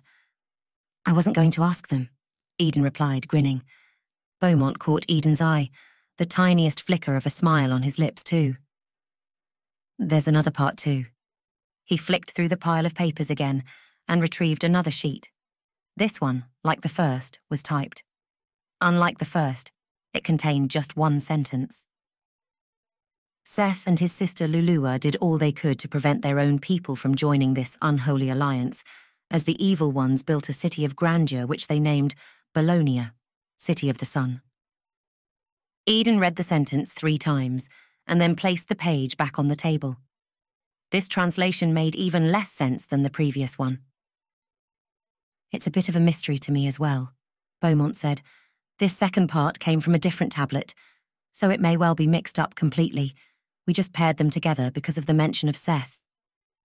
Eden exhaled a deep breath. However, the City of the Sun is mentioned here. We know from other records that there were six sun temples built across the Middle East, all dedicated to the Atum, the sun god, but only two of them have ever been found. That means there must be another four somewhere out there. Maybe they hold the clue. A mystery within a mystery. Beaumont grinned. Welcome to the world of archaeology, dear Eden. Eden picked up the sheets of paper. Mind if I take these? I have some pretty good analysis software back at the truck. I'll run them through and see if anything comes up. Be my guest. Beaumont shrugged. I too am following a couple of leads. Nothing to report yet, but we will see. Eden slid the papers into her bag grabbed another biscuit, and then climbed to her feet. She crossed to the door. I'll walk you out, Beaumont said, standing and striding after her.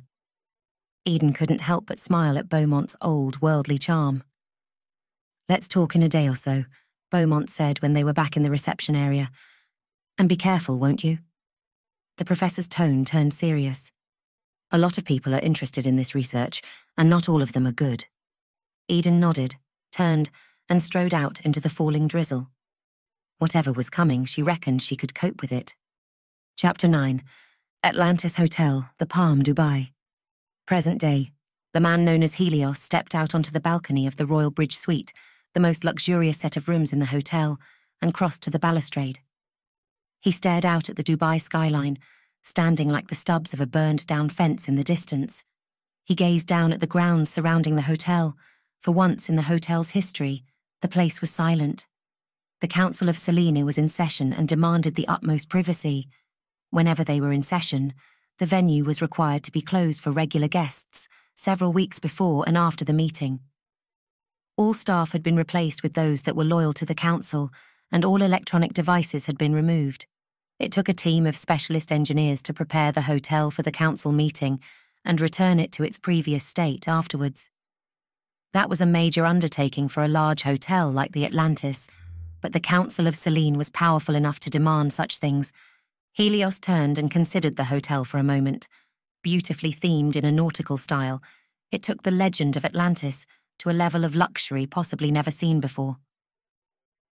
If only they knew the truth, Helios thought, digging out a packet of cigarettes. He lit one up and inhaled. The chamomile flavoured smoke calmed him instantly. Tilting his head, he exhaled a cloud towards the sky. As ever, the meeting of the council had become tiresome.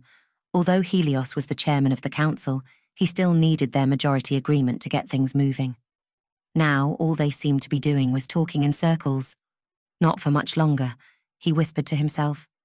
If he had his way, then soon enough the Council of Selene, which had closely monitored humankind's progress for thousands of years, would no longer be a secret.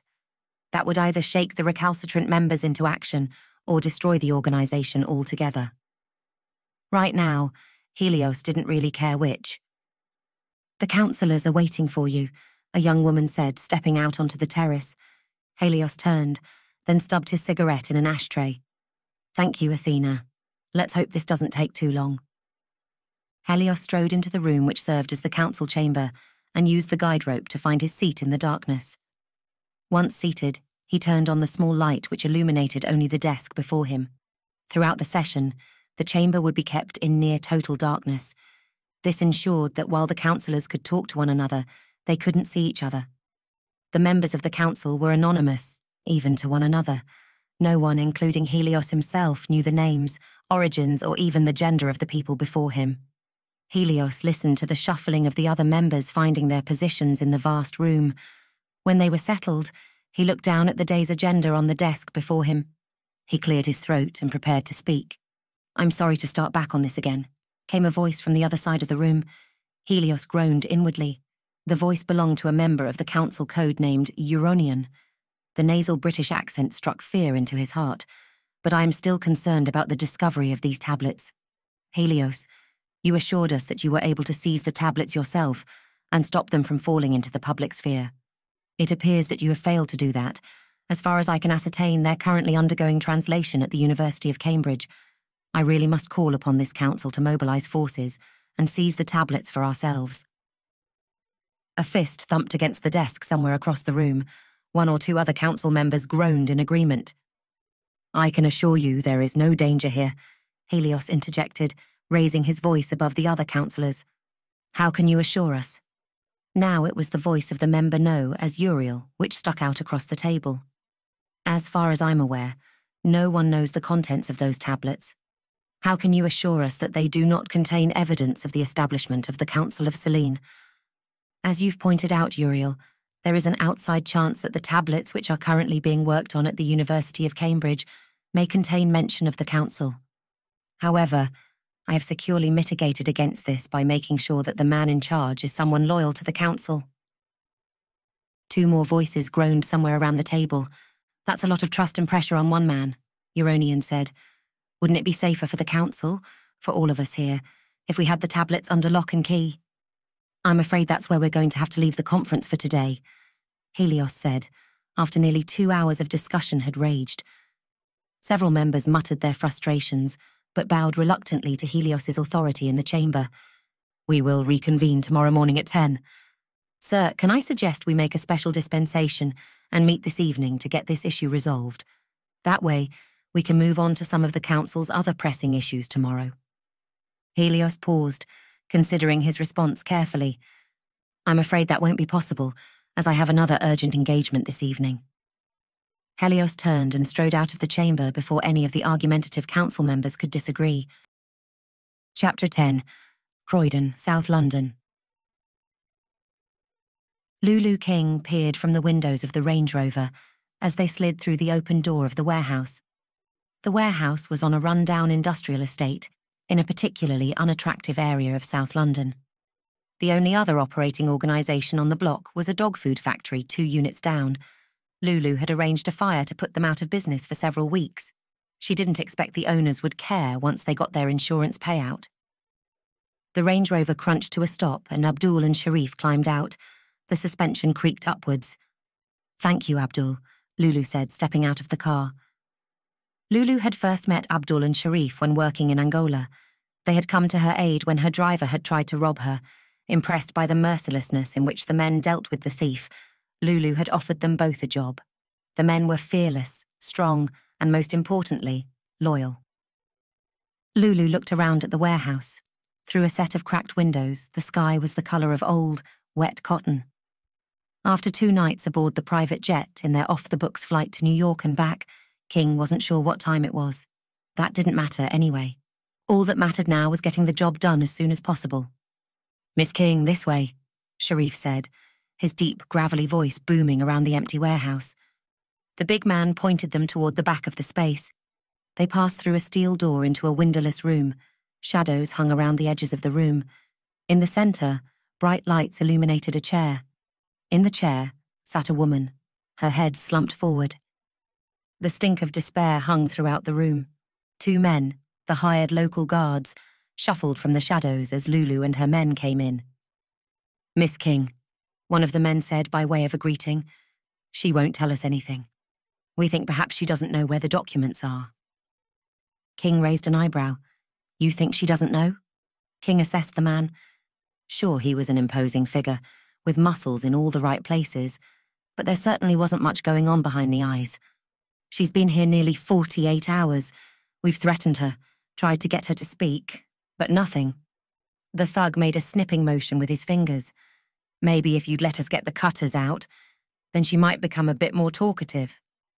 Typical man. King looked from the thug to the crumped figure in the chair. Always thinking brute force is the best way to get anything done. I'll deal with it now. You make sure the perimeter remains secure. The men grumbled as though their fun had just been curtailed, then shuffled towards the door. King stepped towards the woman. For any average person, 48 hours tied to a chair was enough to make them sing like an opera star. This woman was obviously tougher than most. King looked closely at the woman. Sure, these old timers could be difficult to crack, but not impossible. King wondered whether it was an age thing. Did you really care how it ended when you got to that age? It would all come crashing down around you soon enough anyway. King snapped her fingers. Abdul slid the sidearm from its holster and planted it in her hand. She made sure the weapon was loaded and clicked off the safety. King strode over to the chair. The woman sat, straining at the ropes that tied her to the chair. A curtain of grey hair hung across her face. King crouched down in front of the woman, pushed her up against the chair's backrest and swept the hair from her face. The woman's eyes fluttered open. Other than a bruise on the side of her head, she looked relatively unharmed. Tell me your name. Frankie Josephine Nulf. The woman's voice was croaky and hoarse. A fellow American, King said, noticing the woman's accent. Where do you work? I work for Crossbow Insurance here in London. King smiled at the cover story. That's funny because I know that's not true. I know that's what the building on the Strand is supposed to be. You and I both know that's not what happens inside. It's a boring office job, really. We provide insurance for companies around the world. In fact, when your goons picked me up, I was on the phone to the Asia office saying that they need to pay us more. A slight trace of a smile flickered across King's face. This woman was definitely tougher than she appeared. I hear my men have already tried to get you to talk. I also hear that they've got nothing. I don't know anything, Frankie said levelly. King reflected that for someone facing danger and death, Frankie really wasn't very emotional at all. This clearly wasn't Frankie's first rodeo. That's not true, King said, climbing to her feet. I know that you have the information we need. We just haven't used the right method to get it from you yet. King strode across to Abdul and whispered a few words in his ear. Abdul nodded, then signalled to Sharif. The pair turned and left the room, the steel door closed with a resonant clunk. King walked slowly back across to Frankie, tapping the gun against the palm of her hand. Have you heard of the South Indian monkey trap? Frankie looked up at the woman but said nothing. I'll assume that's a no. I'm not sure it's a real thing, but it serves its purpose here. The South Indian monkey trap is nothing more than a hollowed out coconut with rice inside. The poor monkey slides his hand inside the coconut and grabs hold of the rice, but once it has the rice, the hand is too large to slide back out of the hole. King gestured this slowly with her free hand. Of course, the monkey is free to go at any time, but it won't because of the idea that it wants that rice. In this situation, both you and me are the monkeys. You want to live, I assume? Frankie didn't reply, so King continued, and I want no need to know where you sent those documents. You could change your thinking, just tell me and live. I don't know, Frankie hissed, sounding out each word. King held out her palm to silence the other woman. So you say, the problem is I know you're lying. King tapped her chin in thought. You've been here for two days already. I think it's fair to say that if you were going to tell us willingly, you would have. So I need to change my thinking. Of course, I could let those brute have their way with the bolt cutters. A flicker of fear passed across Frankie's face. But I have a better idea, King said. I need to think differently about this problem, the problem in which we find ourselves. Fortunately, I already have. Right on cue, a blood-curdling scream filled the warehouse. No, no, please don't. The voice came from behind the steel door. It was joined by the screaming of a young child. King looked towards the door and smiled. Frankie tried to turn, but her bindings prohibited it. The screaming got louder. King took a step backwards and put her hands on her hips. The door clunked open. Abdul and Sharif walked in. Abdul dragged a young woman into the room. The woman's hair was a mess.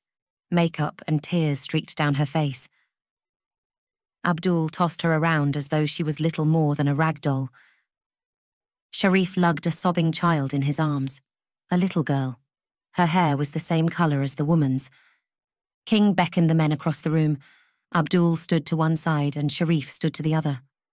The woman wailed again. Abdul held her still with ease. Frankie sat up straight in the chair, her gaze flitting from the woman to the girl and back again. And just like that, King said, looking at Frankie. We have a different path. King pointed the gun at the ceiling and squeezed the trigger. The shot echoed through the warehouse. The bullet hit nothing but a discoloured ceiling tile, sending a cloud of dust drifting through the room. The noise had the desired result. The woman's screams muted and the child sniffed. Good afternoon, ladies, King said, striding across to the woman. I'm sorry to have to disturb you like this, but your time to shine is upon us. Please rest assured your help today is of importance to the entire human race. Tell me, what's your name? The woman inhaled a big gulp of air. She choked back further tears. Rose. My name's Rose. Thank you, Rose. I realise that this is difficult for you. One way or another, it will be over soon. Rose sobbed again.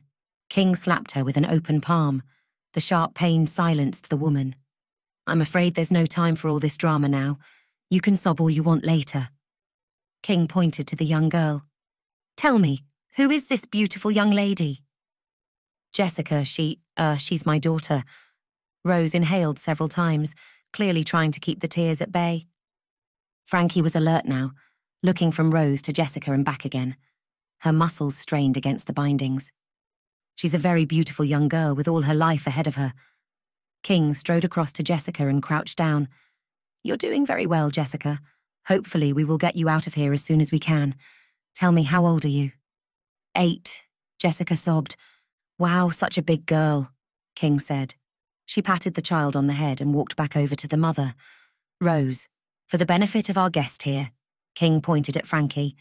Please tell us the circumstances which led to you being here today. Rose took several big gulps of air. I think it was two days ago now. I'm a bit disorientated. I don't remember much. All I know is that we were walking back from the park to our house. Two men grabbed us from behind, then a van appeared. The men bundled us inside and brought us here. We've been in that other room ever since. King nodded.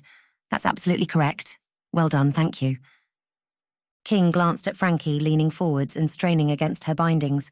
The muscles in her jaw bulged with tension. As expected, King had found her weak spot. Now all she had to do was apply the right pressure. She turned back towards the mother. I've got another question for you, Rose. Now think about this one carefully before you answer. I will only accept your first answer. Do you understand? Rose nodded. Would you rather me kill you with your daughter watching, or kill her with you watching? Rose's screams filled the room. Hearing her mother cry, Jessica screamed too. King grabbed the woman by the chin and forced her to look into her eyes. Stop screaming, or I will kill you both. I'm giving you a choice here. If you fail to answer, I will kill her first, and then you. King strode across to Jessica and pointed the gun at the young girl's head. No, no, no, no, Rose shouted at the top of her voice. A new surge of energy found its way to her muscles, and she fought against Abdul's vice like grasp. Kill me, kill me, let her live, let her live. King stood up straight and lowered the gun. Okay, if you're sure, is that your final answer? Yes, yes, Jessica, listen to me. Close your eyes now and don't open them for as long as you can. Remember, I love you, okay? King paced back across the room and pointed the gun at Rose. The woman seemed strangely calm now. No, Mummy, Jessica screamed. King placed the gun on the side of Rose's skull. Rose didn't fight. No, please, let us go, please. Jessica sobbed uncontrollably now. She fought against Sharif's strong arms. Stop this! Frankie's voice filled the room. Stop this now. King turned to face Frankie. The woman sat upright in the chair. Fire blazed in her eyes. If I tell you, you'll let these two go right now. And just like that, King said without moving the gun, we have found ourselves another way. Start speaking. I sent them to a man called Richard Beaumont. He's a professor of archaeology at Cambridge. I know Beaumont, King interrupted. What was in the documents? Frankie paused, swallowing aggressively. King raised the gun towards Rose again. The documents are a set of infrared images. They show the Giza Plateau in Cairo, Egypt. Go on. King watched Frankie closely. They show an area of unexplained heat. She sucked in a deep breath. Beneath the second and third pyramid, Frankie said softly. That was not too difficult, was it? King said. That's all it took. How silly we had to go through all of this.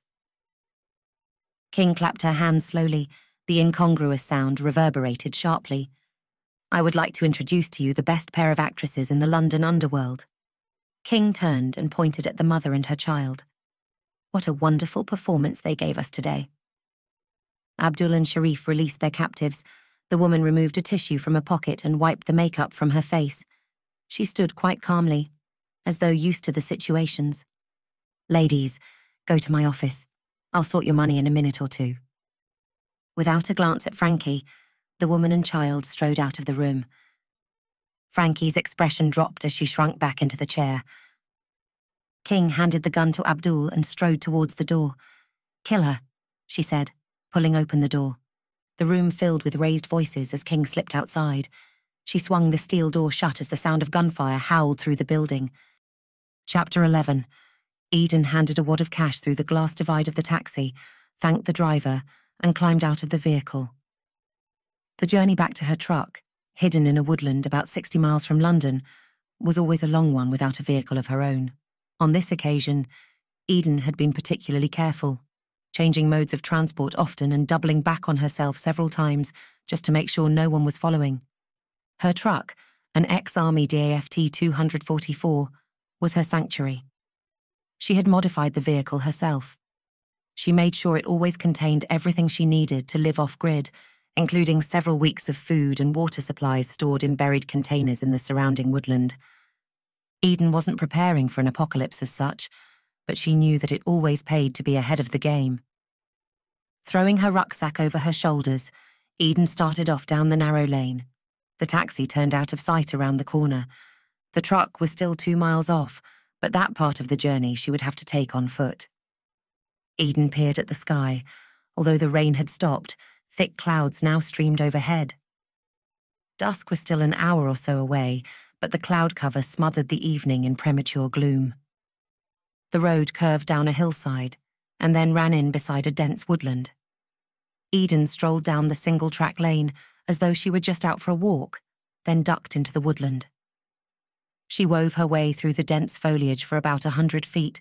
She had planted much of the undergrowth herself, to ensure the woodland was as impenetrable as possible. As the tree cover thinned out, Eden propped herself up against a trunk. She took her bag off and placed it by her feet. If anyone was following her, they too would have to move through the undergrowth behind her and make a noise doing so. Twenty minutes later, and satisfied that no one was on her tail, Eden set off towards her truck. The clouds, just visible through the tree's thinning canopy, turned slowly from grey to orange as the sun went down. Thanks, Atum, Eden whispered, remembering her conversation about Atum the sun god with Beaumont a few hours ago. Night had almost begun as Eden reached the truck. She clicked a small remote control, and several lights snapped on. Eden was pleased to see the truck still had power. She pulled aside the camouflage netting, scrambled up the small ladder, and let herself inside. Light snapped on as she stepped into the vehicle's compact living area. A small kitchen, bathroom, and bed occupied one end of the space, and Eden's desk occupied the other. Several large screens were mounted on the wall, and there was enough space for her to run several computers or work on something without getting in a mess. It was a world away from Beaumont's cluttered office, but she loved it. Eden took her laptop from her bag and connected it to the additional screens, the power, and the truck's secure internet connection. Routed through several servers dotted across the globe, the searches Eden performed were almost impossible to trace back to her. Almost impossible, she thought, glancing at the surrounding woodland in infrared displayed on a screen above her. All was quiet, just the way she liked it. Her hands darting over the keys, Eden set her search programs running. First, she input the translated text which Beaumont had given her. Then, she selected some relevant keywords and added them too. She struck the enter key and search progress begun. Finally, conceding to her rumbling stomach, Eden padded across the truck and pulled a couple of dehydrated meals from the cupboard. While the supplies she had in the truck were far from exciting, they did the job. Eden started up the stove, poured the strange goo from the packets into a saucepan, and added some water. Behind her, the computer dinged several times, indicating it had results for her to analyse. Eden waited another two minutes for her food to heat through. She grabbed a fork, turned off the stove, and carried her saucepan over to the desk. Sitting back at the computer, she ate while scrolling through the results. There were several results from all corners of the internet. She discounted several older articles which looked to be the work of conspiracy theorists. She could circle back across them later if needed. The tenth result was an article from a news service based in the city of Aswan, Egypt. Eden checked the date. The article had only gone live yesterday. Eden tapped on the link, and the article filled the screen. Ruins beneath the waters of Lake Nasser thought to be lost Sun Temple. The fork slipped from Eden's hand and clattered into the pan. Eden, frantically reading the text, didn't even notice. The article detailed how the waters of Lake Nasser in southern Egypt and northern Sudan had dropped to record lows over the last few months, revealing several buildings. Most of these buildings were known about, having been there when the lake was flooded in the 1960s. One, however, perhaps due to currents beneath the lake moving sand and earth around, had been uncovered anew. Still mostly submerged, expert divers had taken photographs and experts had thought it to be one of the lost temples built in dedication to Atum, god of the sun. Eden sat back in her chair, staring at the screen for almost a minute. Thoughts spun through her mind. If this was one of the lost sun temples, then what was written there, inscribed on the walls, could help them make sense of the tablets. Eden snagged up her phone and dialed Beaumont's number. She clicked on the speakerphone as the ringing tone began. Eden scrolled through the photos included in the article, one was taken from a distance, showing just the tops of walls jutting above the waters of the lake. Another showed a team of divers heading across the water in a small boat. None of the pictures taken by the divers were included in the article. Eden tapped her chin. The fact they hadn't shared the pictures spoke volumes. But then again, the Egyptian authorities were known to be tight lipped about their discoveries. The ringing tone cut to silence. That was strange. Beaumont normally answered Eden's calls immediately. Eden saved the link of the article and then turned her attention back to the search engine. She changed her search terms to just bring up details about the appearance of the Sun Temple. Several similar articles appeared from other news outlets. Eden scanned a few of them but found no further information. She then asked the search program just to show her images taken in that geographical area during the time of the discovery. The program thought about it running through social media uploads, YouTube, and internet blogs. For several seconds, the loading bar flickered across the screen before returning with nothing. Now that's really strange, Eden whispered, leaning forwards. With users on social media uploading millions of images a day, the fact that no one had photographed the discovery of a never before seen building was just plain suspicious. Alarm bells were ringing loud and clear in Eden's mind. Eden sat back and steepled her fingers. Someone had brought in this organization to investigate the temple and consciously blocked all other information. This was a cover up. That Eden knew for sure. A harsh beeping noise strained from Eden's computer and a dialog box appeared in the middle of the screen. Trace detected. Someone had noticed Eden's search requests. Fortunately, her sophisticated masking software would lead them down several rabbit holes. Eden cut the connection and ran a program to cover her tracks. Eden sat back and folded her arms. This was a cover up, and someone with a lot of resources was paying big bucks to keep it that way. Eden glanced at her phone. Her conversation with Beaumont just became urgent. Asterisk, asterisk, asterisk. Cairo International Airport, Cairo, Egypt. Alexander Winslow, Eden's father, strode through the umbilical corridor connecting his Bombardier Global 6000 private jet with Cairo International Airport. He quickened his pace along the empty corridor, his shoes clicking on the linoleum floor. He tugged back the sleeve of his jacket and checked his watch. While the plane had made good time, he still felt as though it was running late. In truth, he'd been feeling as though he had been playing catch up since this thing had started several months ago. Although he'd planned so much, the world moved in unpredictable ways. It seemed that for long periods of time nothing happened, then everything happened all at once. Winslow pushed through the door and darted into the terminal. Other travellers, either wearily returning home or excitably arriving in Egypt for the first time, bustled past him towards passport control. Winslow followed the crowd through the terminal, his mind focused on his mission. Reaching the queue for passport control, Winslow paused. He peered around the person in front of him and scrutinized the desk 20 feet ahead. The border officer passed a passport back beneath the glass and signaled for the traveller at the front of the line to pass. The line shuffled forwards. Reaching the front of the queue, Winslow prepared himself. He drew his passport from a pocket, then slid a finger inside his shirt collar. The border officer waved him forward. Winslow stepped up to the glass and handed his passport beneath the glass. The officer accepted the passport, flipped it open, then tapped at his computer. Winslow looked at the security camera on the wall behind the officer, right where he knew it would be. Then, slowly, carefully, Winslow slid his finger from his collar, bringing with it the thin chain on which hung the key to the Nile.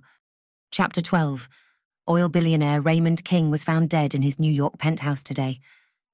The news presenter strained through the radio in Beaumont's 1964 Jaguar E Type. King, the owner of the largest oil and gas company in the world, was a long term climate change denier and never far from controversy. Rumours abound as to whether the killing was at the hands of activists or a robbery gone wrong. Beaumont clicked the radio off and slipped the car into gear. He glanced in the rearview mirror and pulled out into the traffic. He had enough on his mind without worrying about the death of a billionaire thousands of miles away. For several seconds, the road behind was empty, and then a Range Rover pulled out of a parking bay. Beaumont thought nothing of it. The fuel guzzling urban tractors were relatively common on the roads of Middle England. Not that Beaumont's machine was any more practical, he thought ruefully, tapping the elm veneered dashboard. Beaumont felt an affinity with the machine. He and this beautiful car were made in the same decade and just 100 miles apart. In this era of mass produced soulless commodities, connections like he had with the Jag was a thing to be cherished. The sound of a trilling phone dragged Beaumont back from his thoughts. The traffic lights ahead clicked from green to red. Beaumont used the opportunity to rummage through his jacket pockets, removing a board marker, a shard of rock which he really should have left in the office, and three discoloured Fox's Glacier mints. He finally found the phone. Beaumont glanced at the screen a moment before the lights turned to green. He scowled, not recognising the number. His finger hovered over the cancel button, but then something made him change his mind. He poked the answer button. Richard. The voice down the line was surprisingly crisp, almost as though the speaker was in the same room. Within one word, Beaumont recognized the voice. He took a sharp intake of breath. It was the voice of Helios, the mysterious leader of the Council of Selene. For once, Beaumont was lost for words. I'm sorry to have to contact you like this, Helios said. It really is most unusual, but things are moving forward rather more quickly than we'd like. Beaumont clicked on the indicator, intending to stop the Jaguar in a nearby vacant parking space. Don't stop the car, Helios said urgently. It's important you continue exactly as you were. Beaumont shot up in the seat, a feeling akin to deja vu moving through him. He knew Helios and the Council were powerful, but he didn't realize they would be watching him right now. Beaumont cancelled the indicator and continued towards the next junction, gripping the wheel with his free hand. I expect you still don't have hands free in that antique Jaguar of yours. Helios sounded more jovial now. Put your phone on speaker and place it on the dashboard. It's important you listen very closely to what I'm about to say. Beaumont did as he was instructed and slid to a stop at the next set of lights. As we expected, your research has gained a lot of interest in the international community. The tablets, they're. they're. Beaumont stuttered. They're getting a lot of attention, yes. We always knew that would be the case and were ready for it, but a new faction has just entered the arena. I'm sorry. What do you mean? Someone unexpected has just become interested in what you're looking at. Have you heard of an organisation called the Alternative Power Project? APP, yes, I have. Run by the daughter of that billionaire. Lulu King, that's right. Suddenly, two facts lined up in Beaumont's mind. King was murdered last night, wasn't he? That's right, Helios said, his tone flat, as though they were discussing the mundane. On the outside, APP appears to be an organisation for positive change. They've spent billions on researching non carbon power sources and have made some progress. In the background, however, they have been putting a lot of time into researching the pre diluvian period. The time before the Great Flood, the lights turned green and Beaumont set off. Approaching the centre of the city, the traffic became heavier. Yes, King seems to believe that the societies of old had access to a power source of which we're not yet aware. King believes that these societies were able to power their cities, vehicles, and the like without oil, gas, or even batteries. The thoughts ran through Beaumont's mind. Of course, he had heard rumours of such things spouted by people in the pseudo-scientific community. Never, though, from someone as important as Helios. I have no doubt that you will come to the same discovery in time, Helios said. But the intentions of the APP are not good. Any discoveries they make will be controlled exclusively for their benefit. Certain countries will get the benefits, others won't. We will enter another colonial period, except this time, it'll be companies in charge. What do we need to do? Beaumont said, struggling now to keep up. You see the black Range Rover in your rearview mirror. It's six cars behind you right now. Beaumont peered in the mirror. Sure enough, the vehicle was still there. That's just one of the team they have following you. There's another in a blue sedan.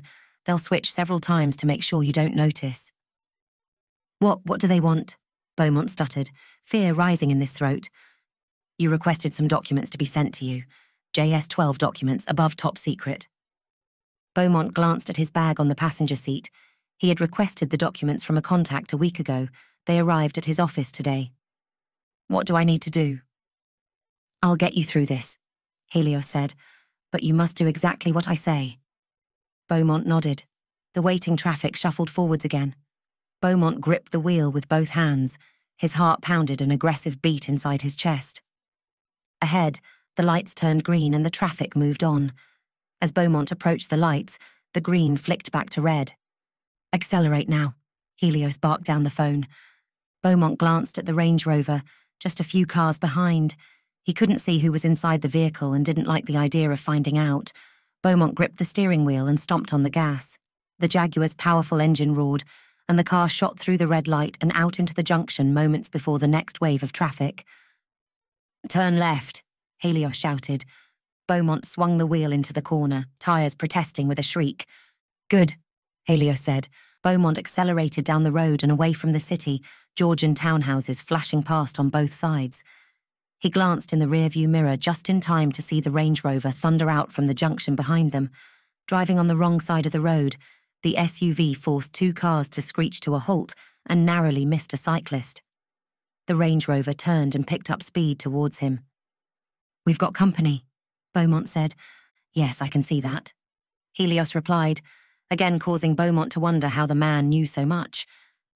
Beaumont overtook a cyclist and then an Amazon delivery van parked half on the curb. Turn right in 200 feet, Helios instructed. Beaumont slowed the Jag, then swung the wheel into the narrow street, barely big enough for one car. Terraced houses lined both sides. Beaumont accelerated, hoping he wouldn't meet anyone coming the other way. Left now, Helios barked.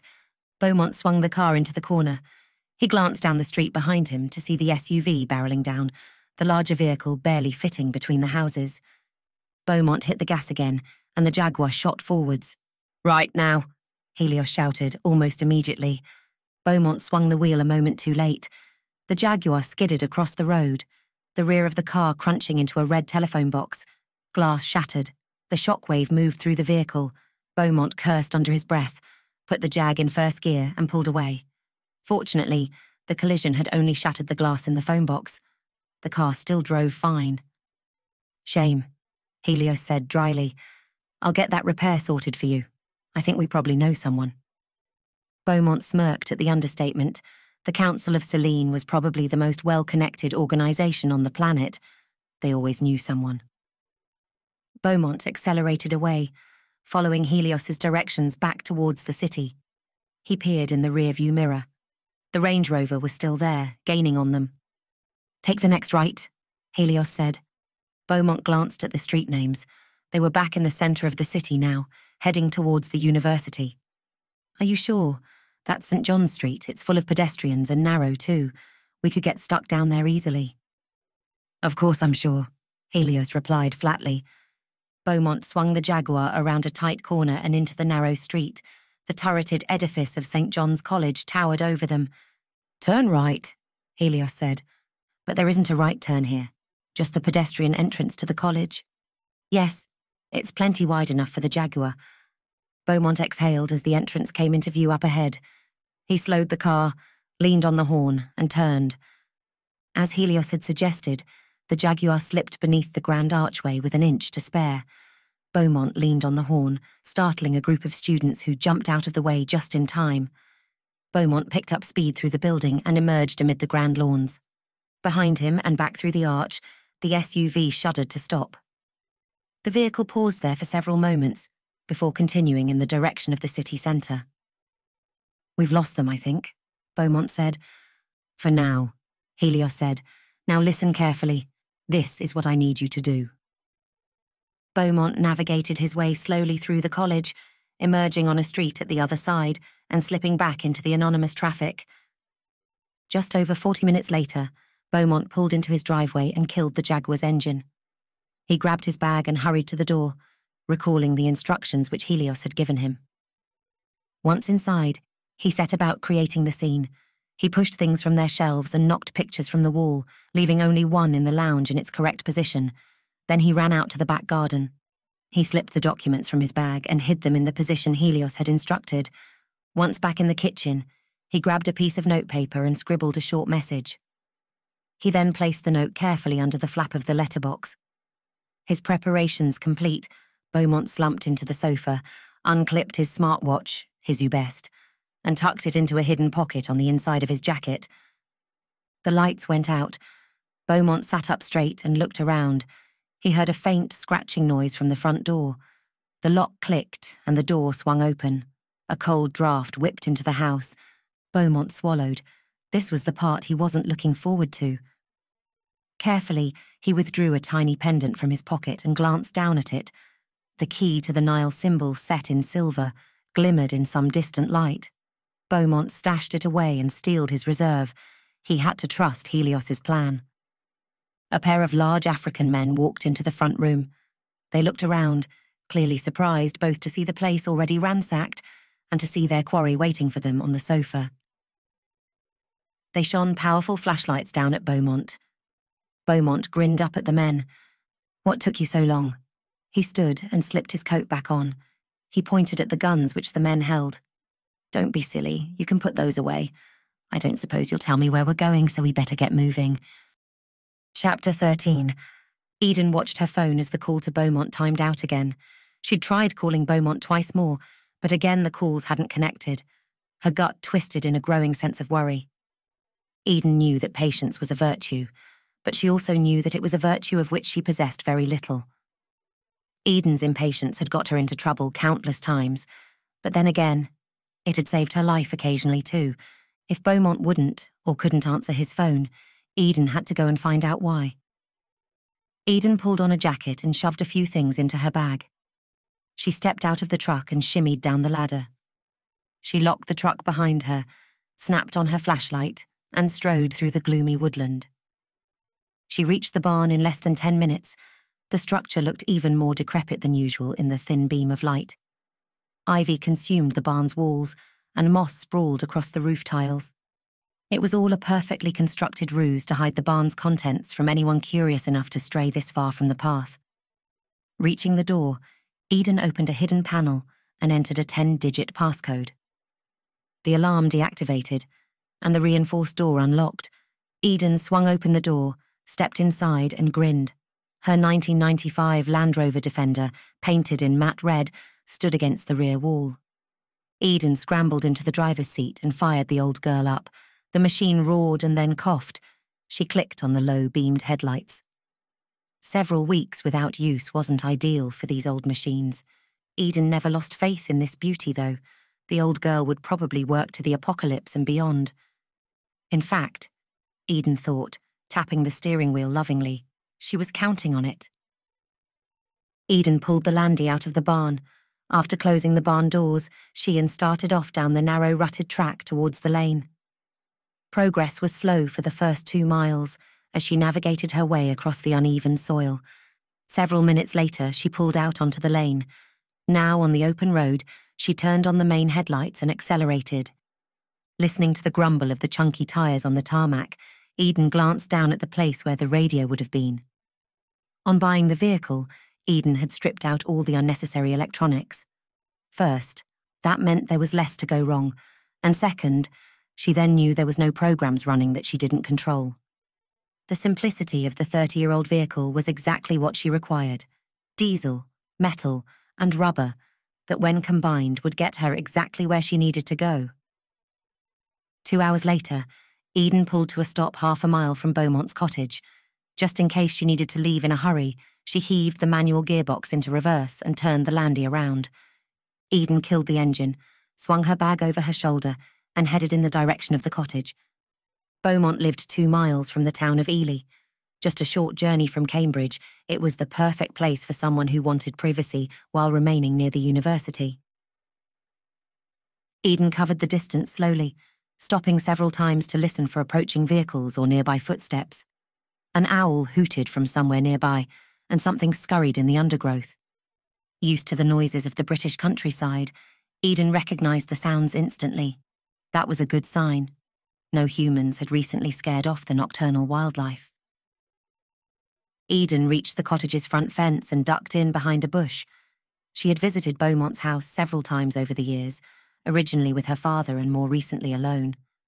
The cottage was simple and understated, especially considering the international fame and respect Professor Beaumont commanded. Eden pushed the branches of the overgrown bush to one side and peered at the cottage. The building was exactly what you'd expect from a British cottage. Ivy and wisteria crept across chunky whitewashed walls, several chimneys jutted above the slate roof, and the doors and windows looked as though they were made for a smaller breed of human. Eden, in fact, remembered her father banging his head several times after sharing a bottle of Beaumont's good red wine. Tonight, though, Beaumont was certainly not at home. No light came from the windows and no smoke came from the chimney. Eden watched the place for several seconds, searching for any signs of life. There were none. She glanced at her watch. It was just before midnight. She would have expected there still to be some signs of life around the place at this time. Something here felt off. A hard knot of worry reformed in Eden's gut. Eden glanced around one more time. Satisfied she was alone, she pushed open the gate and walked up the front path. An owl shrieked from a nearby bush. No security lights snapped on at her movement. A pair of bats squealed past, pounding the air with short, fleshy wings. Eden reached the front door and tapped three times on the thick oak. The sound echoed mournfully through the house. Then, as though answering her call, the door creaked open. Eden took a step back, instinctively preparing herself for an unseen assailant. No one came. The tangle of worry in Eden's stomach built to something the size of a fist. She watched the door for several seconds. Nothing moved. Eden resisted the urge to shout for the professor. There was no need to advertise her arrival. Eden stepped forwards and pushed open the door. The ancient hinges creaked. A gust of wind streamed through the house, disturbing something in one of the back rooms. Eden reached across and flicked the light switch. Nothing happened. The power was out. Eden glanced behind her. In the distance, she saw the glow from one of the neighbouring houses. The power to Beaumont's cottage had been cut. Eden dug a flashlight from her bag. The thing was constructed out of thick aluminum. As well as providing a strong beam of light, it made an effective weapon. She snapped it on, half covering the beam so as to remain discreet, and started looking around. Seeing the state of the house, Eden's worry turned to all out fear. Pictures lay shattered on the floor of the hallway, rugs and wall hangings lay crumpled and torn. The destruction continued in the kitchen. A vase had been shattered against one wall, and the remains of several china plates sat against the other. The front room was the same, with a basket of logs upturned across the floor and several pictures hanging at strange angles. Eden moved from room to room, taking in the damage. When she'd checked the whole house over, she returned to the front room. Beaumont wasn't here, and it was also clear that he hadn't gone through choice. Eden strode back into the hallway and closed the door. As the heavy wood slammed into place, something slipped out from beneath the letterbox flap. The item had been jammed inside the letterbox in such a way that it wasn't visible from either side. Eden picked it up. It was a piece of paper torn carelessly from a notepad. Unfolding the paper, Eden's muscles froze in fear. Professor Beaumont's scrawled handwriting covered one side. Furthermore, the note was addressed to her. Eden, please forgive this crude note, but I don't have much time. I fear I have been followed home from the university today. The intentions of my pursuers are not good we have clearly uncovered something of incredible importance. A few days ago, I requested some top secret documents from a contact. I shouldn't have done it, as I fear that is how they found me. You'll find these documents in the place where Cleopatra now rests. I know you'll find their contents illuminating. I hope to see you soon. May Ubast protect us both.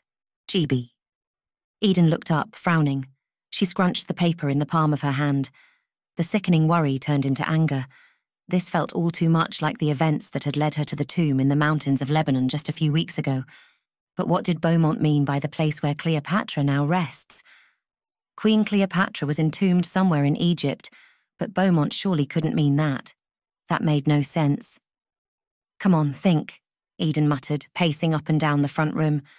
The floorboards creaked beneath her boots, and the wind rattled one of the windows above. The place where Cleopatra now rests. Think. Eden spun around and came face to face with a large photograph on the wall. It was the only picture remaining in its rightful place. In the photograph, a younger Beaumont sat beside a tan coloured Springer Spaniel. Eden snapped her fingers as the memory struck her. When she'd visited this cottage as a child, the spaniel had still been alive. Eden remembered the mutt sleeping by the fire most of the day, and occasionally staggering through to the kitchen for meals. Eden grinned as she remembered her frustration that the dog wouldn't play fetch or do anything interesting. And what would one of the world's leading Egyptologists call his dog?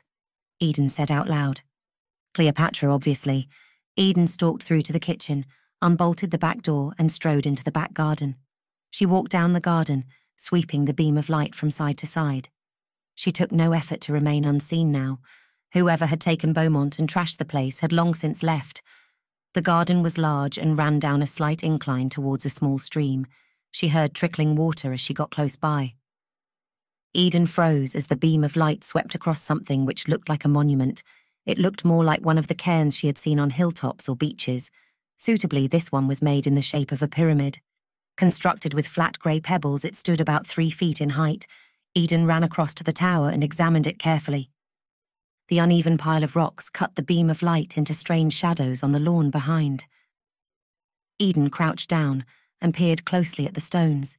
She moved around the pile, inspecting each side of the carefully constructed pyramid. On the farthest side of the pyramid, several stones lay out of place on the ground. As Eden examined the cairn, something glinted from deep within the rocks. Eden leaned in close, afraid to touch or disturb the pile. An object sat between the rocks on the far side of the pyramid. It was a small parcel, about the size of a paperback book. Eden pulled it out carefully and then replaced the cairn's missing rocks. She examined the parcel, twisting it carefully in her hands. Several strange markings covered the wrapping. JS 12, top secret, Eden read out loud. She felt the contents through the wrapper. The parcel was thin, just containing a few pieces of paper or photographs. Whatever this was, someone wanted it badly. Eden ran back inside, flipped open the envelope's lid, and tipped the contents onto the kitchen table. Three documents slipped out, face down. Eden picked them up and laid them out on the surface of the table. She swept the light across the assembled documents. At first, they made no sense to her. Then, slowly, realization dawned. Eden exhaled and drew her hand across her face. This case was getting more difficult by the moment. Chapter 14 Well, if it isn't the world famous professor, Richard Beaumont, Lulu King said, striding into the room. It's so nice of you to make some time in your busy schedule to join us. Beaumont, tied securely to a chair with a black pillowcase over his head, wiggled around in a futile attempt to see the voice's owner. I trust the journey wasn't too rough for you. I know you're used to getting around in that snazzy Jaguar of yours. I did tell Abdul and Sharif to look after you. They have numerous talents, but I'm afraid hospitality is not one of them. King glanced at the Angolans, standing at the door behind her. Sharif moved his weight from one foot to the other, clearly unsure whether King's comments were a compliment or a criticism. King stepped up to Beaumont and whisked the pillowcase from his head. The professor looked around wildly, blinking several times in the bright light. As though on cue, one of the fluorescent tubes in the far corner began to strobe and hum. Welcome to the presidential suite, King said, her arms outstretched. She looked around the bare concrete room in mock amazement. Stains covered floor and walls, some due to the natural decay of the unoccupied warehouse, others appeared to be more sinister in origin. King pointed to one such stain on the floor beneath Beaumont's chair. I'm sorry about the mess here, she said, smiling sweetly. Our last guest checked out in a hurry, left their brains all over the place. Beaumont's Adam's apple bobbed beneath his pale skin. He sat slumped with his shirt and jacket askew. We offer all sorts of services here finger removal, third degree burns. We've even been known to do an eye surgery or two. You name it, and our team can oblige. King pointed at Abdul and Sharif. What do you want? Beaumont said, his voice hoarse. He coughed, attempting to clear his throat. King snapped her fingers. Sharif, get our guest some water. He's had a long day, which I fear will soon start to get longer. Beaumont stared up at King. He was clearly trying not to show his fear. He was doing a relatively good job, King thought. An amateur, or certainly someone with less experience, might even buy it. Not King. She could smell fear and in this room it hung in the air like yesterday's fish. Beaumont reeked of it. Sharif strode back into the room and handed King a glass of water. King accepted the glass and nodded. She placed the glass on the floor a few feet from Beaumont. The professor's eyes followed King's every move. You've clearly got me here for a reason, Beaumont said. Are you going to tell me what that is? Cutting straight to the chase, interesting. King extended a well manicured finger and pointed at Beaumont. That's very un British of you. I know you people love a good, what is it you say, a good chit chat. Beaumont's eyes narrowed to slits, clearly growing tired of King's games. King grinned, placed her hands on her hips, and looked down at the professor. Tell me, you're supposed to be a clever man. Do you know who I am? Theodora, Queen of the Roman Empire. King tilted her head backwards and laughed. The humorless bark reverberated fitfully around the room. I like you, Professor. King pointed at Beaumont again. I like you. I think you can stay as long as you like. I'm afraid I am not Theodora, the Queen of the Roman Empire, although soon I will be as powerful. My name is Lulu King. I am now in charge of King Industries, which is the largest power company in Raymond King was your father, Beaumont blurted. For a heartbeat, King's muscles froze at the mention of her father. That's right, she said, unable to hide the icy edge from her voice. Raymond King was my father, the CEO and chairman of King Industries for several decades before his recent and unfortunate death. I'm sorry for your loss, Beaumont said insincerely. Did you drag me here to talk about your father? I'm not sure I'd make a very good therapist. No, I don't need a therapist, King said, almost giggling. For several decades, my father built King Industries' success on the back of oil and gas. In fact, he made us one of the biggest producers of fossil fuels in the world, an accolade of which he was very proud. But I know as well as you do that the world is a different place now. Fossil fuels are not as welcome as they once were. For 20 years, I tried to tell him that we should be looking for alternatives, but he didn't listen. He wouldn't listen. That forced me into action. Fifteen years ago, I started a company called the Alternative Power Provision. I think I've heard of you, Beaumont interjected. We have funded a lot of research into alternatives to oil and gas, but with our limited budgets, our success has been limited too. Now that I have merged APP with King Industries, we have almost unlimited budgets at our disposal. Interesting, but I don't see. Professor, have you heard of moscovium? It's also known as element 115. Beaumont nodded, his expression paling as things started to make sense. Moscovium, or element 115, is one of the synthetic super heavy elements. King was on a roll now, and treating Beaumont to his own private lecture. With the APP, we did a lot of research into whether element 115 could hold the secret to sustainable and abundant power. But no matter what we tried, we couldn't figure it out. The damn thing was just far too unstable. King caught Beaumont's gaze. The professor stared intently at her now as though he knew exactly what was coming. We were pretty much at a dead end, and then I heard something incredibly interesting indeed. I learned about you, the man in charge of translating the Diary of Aloma, which is a newly discovered haul of stone tablets thought to date from before the Great Flood, right? Beaumont nodded mechanically. I don't see the relevance. Beaumont lied. Of course, he knew where this was going. The conversation he'd shared with Eden Black a few hours ago scrolled back through his mind. I'm not a scientist. King grinned at Beaumont, her mouth widening with artificial mirth. Some years ago, Professor, I had a realization. King examined her fingernails. I wonder if it's a point on which we may agree. I realized how arrogant we've all become in the modern world. We look at the past like some curious oddity as though our ancestors were mere animals walking around, doing nothing of merit until we entered the modern era. I believe, in fact, I know that was not the case. The people of the past were much more advanced than we give them credit for. Beaumont nodded slowly. I can agree with you on that. Good, good. I'm so glad you can. I believe that such ancient civilizations have already solved the riddle of stable element 115.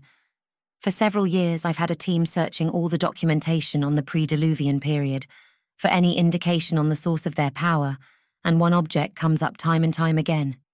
A relic so powerful that anyone who touches it dies immediately. An artifact that is reported to be able to float above the surface of the earth, allowing men to carry it for days on end without strain. Beaumont arched an eyebrow. The Ark of the Covenant. King sounded the words out individually, carefully, Beaumont's other eyebrow joined his first.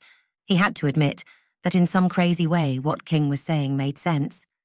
The Ark of the Covenant is one of the most sought after fabled relics in history. I don't. I have no idea where you're going to find it. King unfurled her fingers like a cat playing with its claws. That's where you come in, Professor. I learned that you requested a set of JS 12 documents, documents that are so top secret most people don't even know they exist. I went on to learn that these documents contain infrared images of the Giza Plateau, showing areas of unexplained heat somewhere beneath the second and third pyramids. Beaumont's mouth hung open now, unable to respond. You see, Professor Beaumont, I want to find the Ark of the Covenant, and you are going to help me. Circling him like an animal about to pounce on its prey, she tapped a finger on his shoulder. You are going to help me, whether you like it or not. Helios leaned back in his chair and closed his eyes. He let his mind rest for a few moments, searching for clarity. When he opened his eyes again, the screen of his computer and the maps and charts spread across the table swayed before coming into focus. Yet again, he was looking at the problem of the world's energy production and usage. Yet again, the problem seemed insurmountable. It was clear from changing temperatures across the globe that emissions needed to be cut. The evidence had been there for nearly 50 years, but the path forwards was not an easy one. Helios knew more than anyone that fossil fuels had powered every technological development of the last 200 years. To just reject them without a clean and abundant alternative would be like going back to the Dark Ages. However, there just wasn't an alternative available yet, or at least Helios knew humankind had yet to find one on their own.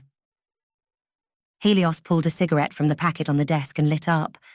He took a deep breath, watching the smoke snake up towards the ceiling. Helios also knew there were some big players, even within the council, whose livelihoods depended on the price of oil and gas. If new, cleaner, and more sustainable power sources were found, these people would see their business fade into irrelevance. That was one reason the Council of Selene needed to change, Helios thought, taking another puff on the cigarette. Although the councillors came from all walks of life and all corners of the globe, they had their own biases and their own agendas. These people were not incorruptible. Fortunately, as always, Helios had a plan. A plan for both the problem of sustainable power and the Council of Selene. Change was coming fast. The phone on Helios's desk buzzed. Helios leaned forwards and thumbed the button. Your next appointment is here to see you, came the voice of his secretary. Send him in. Helios stubbed out his cigarette and climbed to his feet. The door's mechanism clicked as it disengaged. The door swung open. Helios stepped out from behind his desk as a young man strode into the office. The visitor wore a light brown shirt and black trousers. Although of an average height and size, the man was trim and muscular. His movements hinted a strength, power, and most importantly, dedication. Captain Baxter, Helios said, taking the young man's hand in a greeting. I trust you are recovering from your last mission well. Tell me, did everything in Lebanon go as planned? Choosing the more informal setting of two leather tub chairs by the window, Helios sat opposite Baxter. His assistant had furnished them with a tray of drinks, which sat on the glass table between them. Through the window, the last colours of the day were draining quickly from the sky. The waters of the Mediterranean lapped mysterious and unbroken in all directions. Far away on the horizon, a heavily laden tanker slipped towards the unseen coast of Egypt. At this distance, the thousand tons of oil and steel looked no bigger than a floating bottle. Everything went just as you said it would, Baxter replied, leaning back in the chair and taking a sip of the coffee. We took that fool Godspeed for a good old ride anyway. Helios grinned and steepled his fingers. You didn't like working for old Archie Godspeed. Going undercover and working for him was one of the most frustrating tasks of my career so far. I would take gangsters, terrorists, or drug dealers over that any day. Baxter replied, his voice humourless. I always knew it was going to be a challenge, but I knew you were the man for the job, and the mission was successful. The tablets are now in the process of being translated. Baxter nodded slowly and took another sip of the coffee. How was the extraction? I'm sorry it had to be so complicated. You understand we work in the shadows. It had to appear as though you'd gone down with the ship. Baxter stared out at the waters which surrounded the Bologna, the scene spooling again through his mind. He remembered the speedboat, powering at full throttle towards the concrete harbour arm. He remembered the look of fear on Archibald Godspeed's face, and turning to see Eden bobbing in the water behind them. It went as smoothly as could be expected. I bailed out of the boat as late as I could. Your team of divers were in position and got me hooked up to a tank and regulator, we then made our way slowly around the harbour to a waiting ship about half a mile away. As you'd expected, everyone was too occupied with the wreckage to pay us any attention. Helios nodded slowly. And the injury. How is that doing now? Baxter cycled his shoulder forward a few times. It still twinged somewhere deep within his muscles. It's getting better. A bit stiff now and then, but a remarkable recovery, really. I'm sorry about that, Helios said, leaning back in the chair. I didn't know Godspeed had that sort of aggression in him. Where did he get the knife, anyway? I think it was in the boat already. Lucky it was blunt. Baxter ran a hand down over his shoulder and felt the ridge in his skin where the scar had formed. You can't predict everything. You're right, I can't predict everything, but the safety of my team requires me to predict as much as I possibly can. And when one of you gets hurt, I can't help but take that personally. Baxter and Helios shared a look of mutual respect. For a few seconds, no one spoke. And how was working with Eden Black? Helios asked. Baxter broke Helios's gaze and stared out through the glass. Athena thought the pair of you were getting on well. Helios continued. A ghost of a smile flashed across the younger man's face. Yes, it was fine, Baxter said finally. She's got quite a spirit. I'm glad. Helios leaned forwards and knitted his fingers together, because you're going to be working together again very soon. Chapter 15 The photographs looked, as far as Eden could tell, like aerial photographs of the Giza Plateau. One of the photos showed the whole area, including the city to one side. The other two were more focused on certain areas of the plateau. What was interesting about the photos, though, was the coloured shading that covered certain parts of the images. It looked almost as though there were two images laid one on top of the other. They're infrared, Eden said out loud, tapping the tabletop. She looked at the most zoomed out photo and could see that parts of the nearby city were covered in a rainbow of red and orange. That would make sense, with air conditioners, cooking equipment, and other electronics kicking out heat into the atmosphere. She looked at the Giza plateau on the other side of the photo, most of which was hued in blue. Then, looking closely at the plateau, Eden noticed something. Some areas of the plateau were overshadowed with hues of green and yellow, meaning they were emitting heat. Eden turned her attention to one of the other photos, which focused in on the yellow and green section. In the middle of the plateau, a long rectangular section was emitting a heat signature. Eden grabbed her phone and searched for a map of the Giza Plateau. She aligned the map with the photograph and looked carefully from one to the other, Sure enough, the area marked in the infrared photo was supposed to be empty. So where is that heat coming from? Eden let her eyes lose focus on the photos in front of her. Her father, Alexander Winslow, would be able to shed some light on this in seconds, Eden thought. It was moments like this when Eden missed him the most. A welling sense of grief moved through her. Eden pushed it aside and turned to Beaumont's note. Sure, she couldn't talk to her father, but she wasn't powerless. One of her father's oldest friends and contemporaries, Richard Beaumont knew more about the hidden secrets beneath the Egyptian sands than almost any man alive. Taking a sip of the now cooled coffee, Eden read Beaumont's note again. The first half of it was clearly about the photographs which Eden had already discovered, but that couldn't be everything. Eden remembered the long evenings Beaumont and her father would spend debating some of history's greatest riddles. She read the note three times the only thing which didn't relate to the photographs was the final line. May Ubaste protect us both, Eden read the line out loud. Having learned a thing or two about the Egyptian deities, Eden knew that Ubaste was a gentle warrior associated with defense and protection, which usually came in the form of a cat. Ubaste. Eden repeated the name. It sounded strangely familiar, as though she'd heard it somewhere recently. The memory struck like a thunderbolt. Eden froze. Beaumont had referred to his smartwatch as his own little Ubaste. At the time, Eden hadn't thought anything of it. Beaumont, much like her father, seemed to speak a language of his own, seamlessly mixing modern English with references to ancient gods, dead languages, and other archaeological terms. It was often an effort just to understand what they were talking about. Eden darted out of the kitchen and returned a few minutes later with the box and instruction leaflet to the smartwatch. As she'd expected, Beaumont had kept the thing in his office. She laid the box on the table and pulled the laptop from her bag.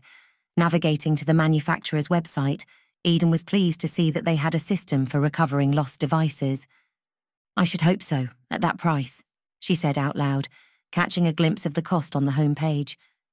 The student who'd bought it must have really appreciated Beaumont's help. Eden pulled open the box and took out the instructions, Seeing Beaumont's spidery handwriting on the front of the instruction leaflet, Eden grinned. True to form, he had written down his login information. Eden logged into the manufacturer's website and followed the link to the Find My Device section.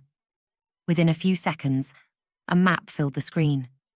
A blue dot showed the location of the watch, and with any luck, Beaumont himself.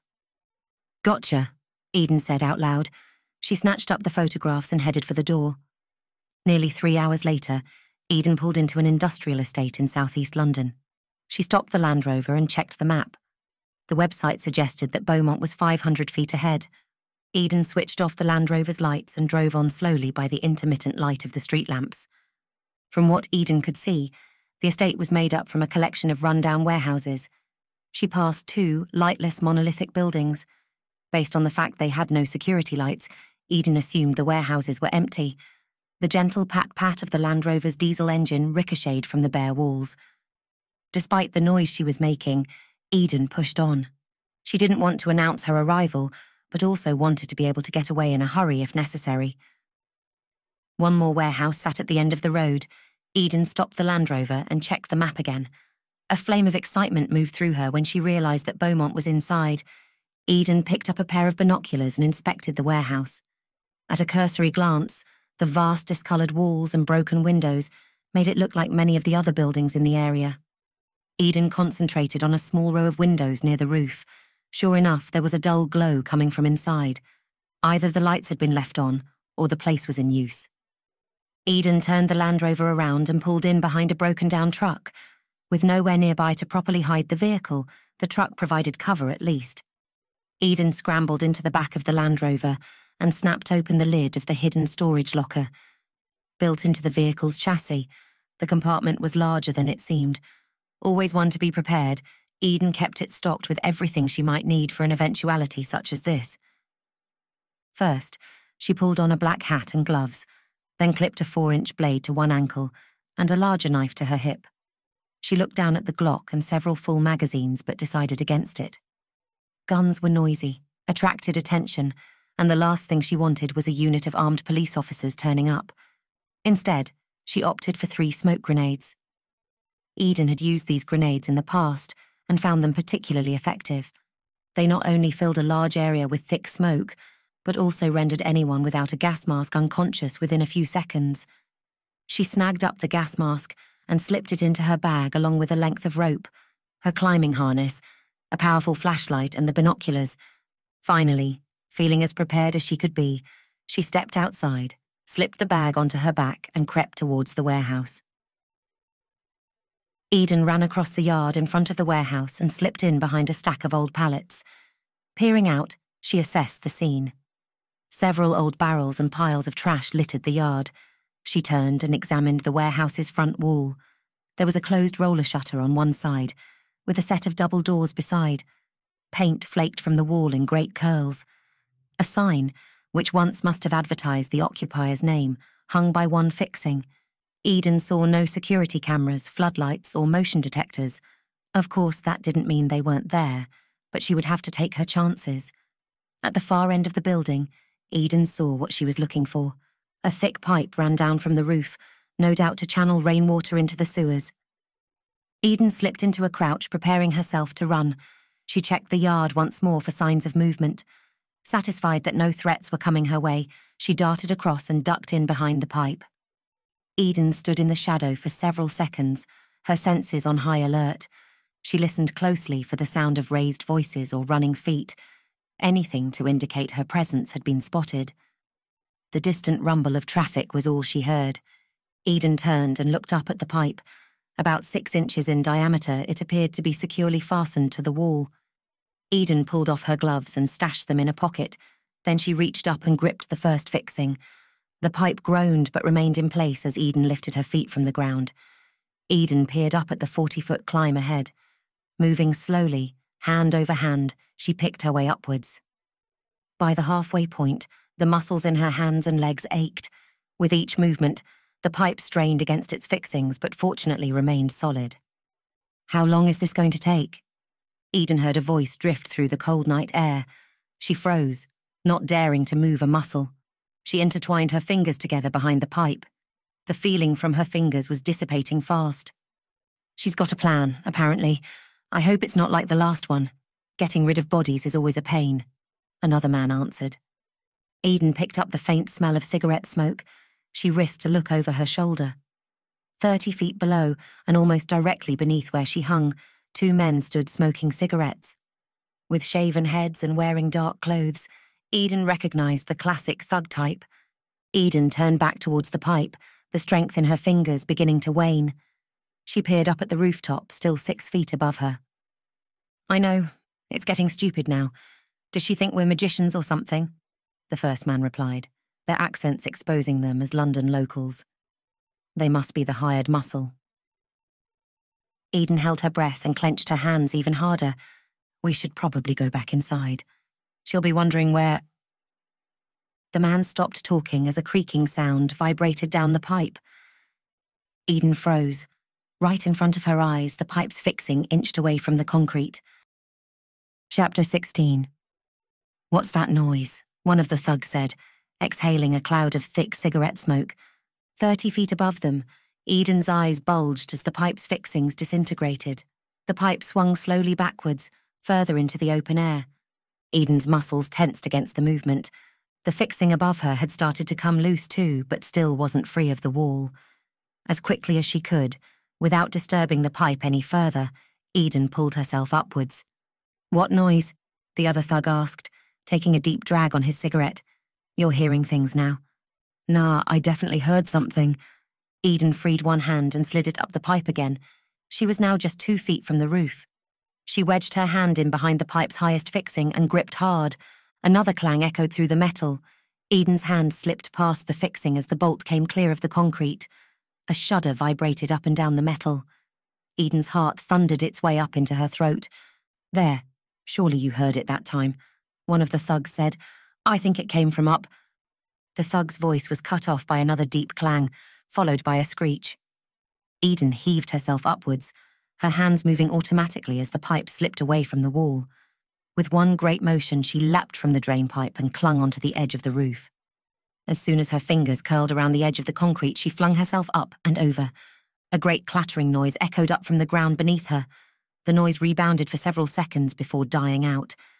Eden lay on her back, frozen in position. She listened to the night air for several seconds, expecting to hear raised voices or gunshots. None came. She rolled over, enjoying the feeling of the solid roof beneath her. What the hell? The voice of one of the men came from the ground beneath her. Eden rolled to the edge of the roof and peered down into the yard. One of the thugs lay spread out on the ground, a large section of the heavy pipe twisted across his body. The other stood, looking up at the roof, his face contorted into an expression of confusion. The thug looked back down at his fallen colleague as though trying to understand what had just happened.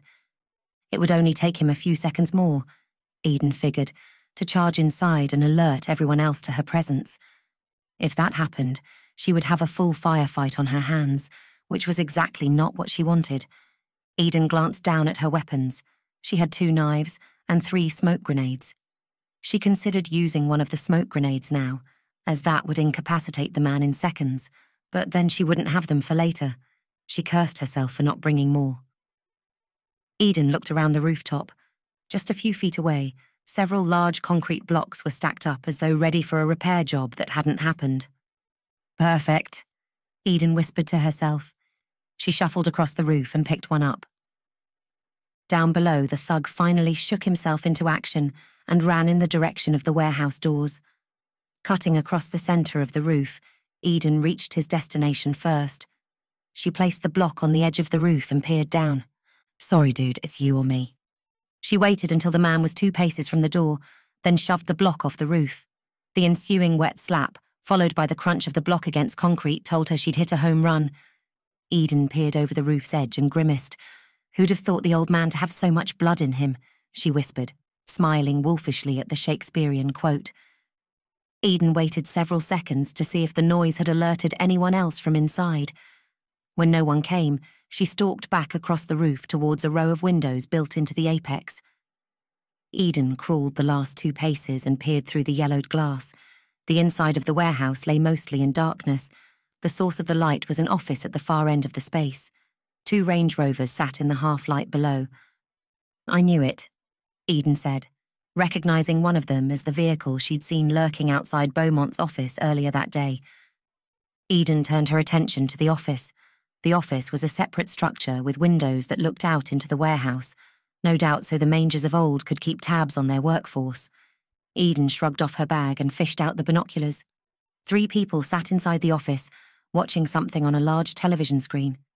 From this angle, Eden couldn't see the faces of the watchers, but she clearly saw what they were viewing. She was in the right place. The large screen showed Beaumont tied to a chair, his hair tousled and his clothes askew. She put her ear close to the glass but couldn't hear any noise. Either the three were sitting in silence, or the office was well insulated for sound. With the clattering and banging disposing of the first two thugs had caused, Eden assumed it was the latter. Her eyes never leaving the occupants of the office, should they move or turn her way, Eden shuffled along the roof. Reaching the final pane of glass, she paused. The office was now directly below her. The office's inner structure had its own roof, which from here Eden could see was crisscrossed with wires and vents. She doubted the structure would take her weight, which was perfect for what she had planned. Eden dug a multi tool from her bag. The device contained 16 tools in one, much like a large Swiss army knife. Flipping out the largest screwdriver, Eden scraped away the mouldy seal that kept the window in place. Once the seal was clear, she slid the screwdriver under the pane and pried it up. The feeling now having returned to her hands, Eden slipped her gloves back on and then lifted the glass clear of its mounting. She placed it on the roof beside her. Leaning in towards the hole, Eden heard the faint murmur of voices, although from this distance, she couldn't work out what they were saying. She fished around in her bag and pulled out the climbing rope. She lowered the rope down inside the warehouse until it neared the roof of the office. Then she leaned through the gap and secured it to one of the roof supports. Eden took out the gas mask and pulled it down around her neck, then slipped into her climbing harness. She tucked everything else back inside the bag. She attached the rope to the climbing harness and swung down into the warehouse. Eden lowered herself slowly down the rope until she dangled a few feet above the office. She could hear the voices more clearly now.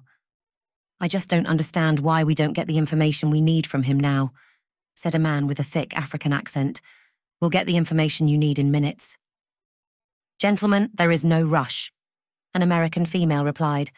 We'll loosen him up for a day or so, then he will tell us everything. That didn't work with. Our last guest was a trained special agent that sort of training never leaves you. This man has spent his life in libraries and lecture halls. I bet he's never even run for a bus. The two men tittered in a humourless laugh. Eden grinned. Sure, Beaumont was no special agent, but it just so happened she was. Eden lowered herself another two feet. She now hung just inches above the roof of the office. As she'd expected, the roof was constructed with little more than ceiling tiles layered over with fiberglass insulation, she reached down and pushed a section of the insulation aside, then carefully lifted one of the ceiling tiles. Eden pushed the gas mask up over her nose and mouth, then unclipped one of the capsules and dropped it into the office. What was that? One of the men barked as the capsule jangled to the floor. Eden thumbed a button on her watch, and the capsule dissolved into a thick cloud of smoke. Eden shoved the ceiling tile back into place to keep the smoke inside. The occupants of the office didn't even have time to head for the door as the smoke rendered them unconscious. Three thuds vibrated through the structure as the men and woman fell. Eden swung to the side and released the rope. She landed in a crouch on the floor beside the office. She turned and peered through the office window. Thick smoke continued to swirl around the small space. The occupants would be out of it for at least ten minutes, which Eden hoped would be enough time. Eden searched the warehouse quickly. Another door at the back led through to some rooms, which the team was clearly using as living quarters. Two camp beds and military style packs were set up neatly in one room, as though the occupants were ready to move out at any moment. The room beyond probably belonged to the American woman, who from the overheard conversation Eden figured was in charge. A camp bed sat against the far wall with a small desk and laptop set up beside. Eden pressed on not wasting time searching the occupant's belongings. Swinging open the thick steel door of the final room, Eden was hit by the most disgusting smell. Even through the gas mask, the smell felt as though it was going to choke her. It smelled as though something had been in the room for days without the use of a toilet or bathroom. No, don't. No, please. Eden recognized Beaumont's voice. She searched the wall for a light switch. She found one and flicked it on. Overhead, fluorescents buzzed, strobed, and then popped into life. No, please, I'll tell you anything. Beaumont's wild eyes stared at Eden. Eden realized in her combat gear, and with the gas mask over her face, he probably didn't recognize her. She slid the mask from her face and almost retched at the foul smelling air. Beaumont's expression melted from one of fear to relief. Ubaste did a good job, Eden said, answering Beaumont's unasked question. She rushed across the room and cut the ties binding him to the chair. Vast bloodstains covered the floor and walls. Eden didn't stop to look, but figured that whatever happened to this room's previous guests was very unpleasant indeed. You did a good job, Beaumont said, climbing to his feet and rubbing his wrists. Eden held out her hand. Beaumont drew the watch from the hidden inside pocket of his torn jacket. Eden examined the thing, then dropped it to the floor and crushed it beneath her boot. Beaumont inhaled sharply. He was about to speak, but Eden silenced him with a look. We don't want anyone else following us. Eden led Beaumont across the warehouse. She pulled open the door, and they stepped out into the night. Beaumont recoiled at the sight of the thug's body crumpled on the ground. Don't worry about him, Eden said, leading them around the pool of blood. The trick is to keep your head when all those around you are losing theirs. Then yours is the earth and everything that's in it, Beaumont replied. What? Eden asked. Rudyard Kipling, Beaumont replied. Yours is the earth and everything that's in it. That's got a ring to it, Eden said. Let's get out of here. Chapter 17 Lulu King opened her eyes slowly. It felt as though a metro train was rumbling directly through her cranium, the underground, as they call those things here. She blinked, willing her eyes into focus. There was a chemical taste in her mouth that she didn't like or recognize. Shapes swam in front of her vision, spinning and swirling from one side of the room to the other. There were noises too. Distant, muffled noises. She closed her eyes again and listened closely to the nearby sounds. Are you all right, boss? One voice said. It was a man with an African accent. She's out of it, another voice replied. She must have got a bigger dose. That was potent stuff. The fog in King's mind began to clear. Her memories flooded back. She remembered a noise and the room filling with smoke. She remembered the thick, noxious gas filling her lungs and clawing at her throat. Then she remembered half stumbling, half crawling over towards the door. King opened her eyes now. She lay on the stained carpet, one arm trapped beneath her, the other outstretched towards the door. She turned slowly. The discoloured crisscross of ceiling tiles swam and twisted in front of her vision. King's stomach lurched. Bile forced its way up into her gullet. She grunted as she scrambled onto all fours and retched. Can I get you anything, boss? Abdul said, after King had finished emptying her stomach onto the carpet. She wiped her mouth on the back of her hand and turned to face two men. I need to know what just happened. Someone came in here and. King stopped speaking as a thought hit her head on. Beaumont, she growled, forcing herself to her feet. The room shook around her as she staggered towards the door. Pushing open the door and stepping out into the warehouse, King already knew what she would find. People didn't just break into a secure warehouse for no reason. She strode as best she could across the warehouse. The steel door to the room they'd been using as a makeshift prison lay open. The lights inside blazed. King reached the door and steadied herself on the frame. The room was empty. The chair lay on its side with the cords which had bound the professor beside it. King's confusion dissipated, and in its place a hot fury rose. I need to know what happened here, she growled. Abdul and Sharif stepped past her into the room. Sharif bent down and picked something up from the floor. It looked like a sports watch. Give me that. King held out her hand. She examined the device closely. Small and sleek, it was the type designed to give the wearer data about their vital signs. This one had been destroyed, though. The screen cracked in several places. How did this get in here? Was Beaumont wearing it when he arrived?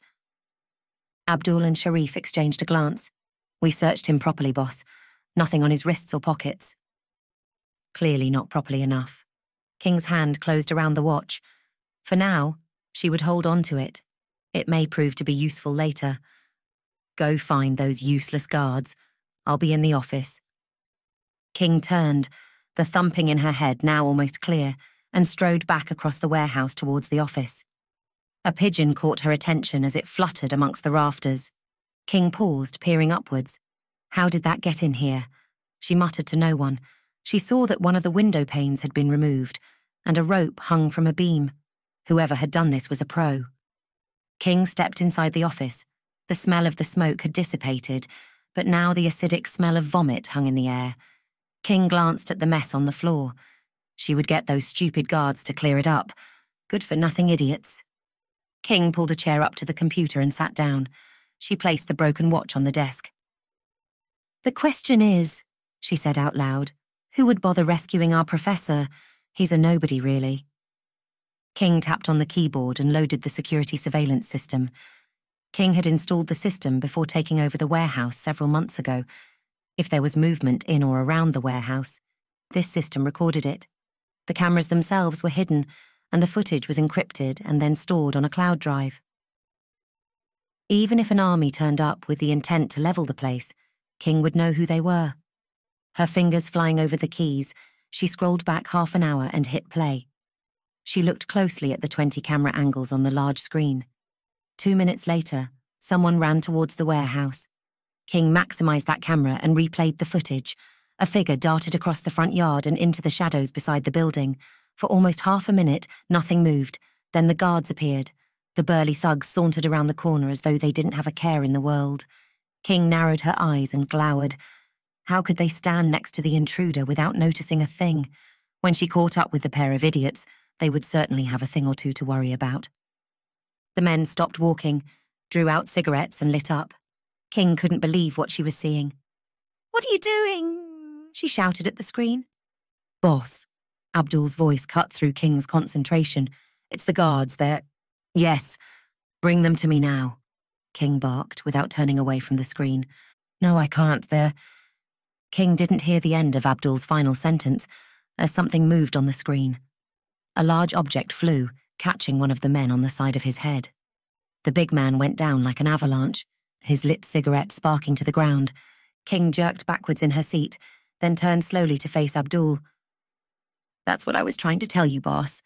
They're dead, both of them, one hit by a pipe, and the other but King wasn't listening again. She fast forwarded through the footage until she saw what she was looking for. The other guard crumpled to the ground under the weight of a concrete block. King slowed the footage and watched their intruder repel through the roof. King paused the video as the intruder swung around, facing the camera. King enhanced the image, then sat back in the chair and steepled her fingers. Boss, I've put the guards in the van. What do you want me to do with them? Ignoring the question, King unfurled a slender index finger and pointed at the screen. Gentlemen, meet our uninvited guest. All traces of anger had left King's voice. If anything, she sounded exhilarated by this new turn of events. It's a woman, Sharif said, surprised. King flashed him a look out the corner of her eye. Do you want us to find out who she is? Abdul said. We could bring her in. As always, I'm one step ahead of you, King said, fingers tapping at her chin. This gentleman is Eden Black. King turned back to the computer and ran an internet search for Eden Black. King already knew about Eden's latest misadventures in Lebanon and her subsequent discovery of the tablets hidden in a mausoleum in Brighton. Hence her link to Beaumont, she thought out loud.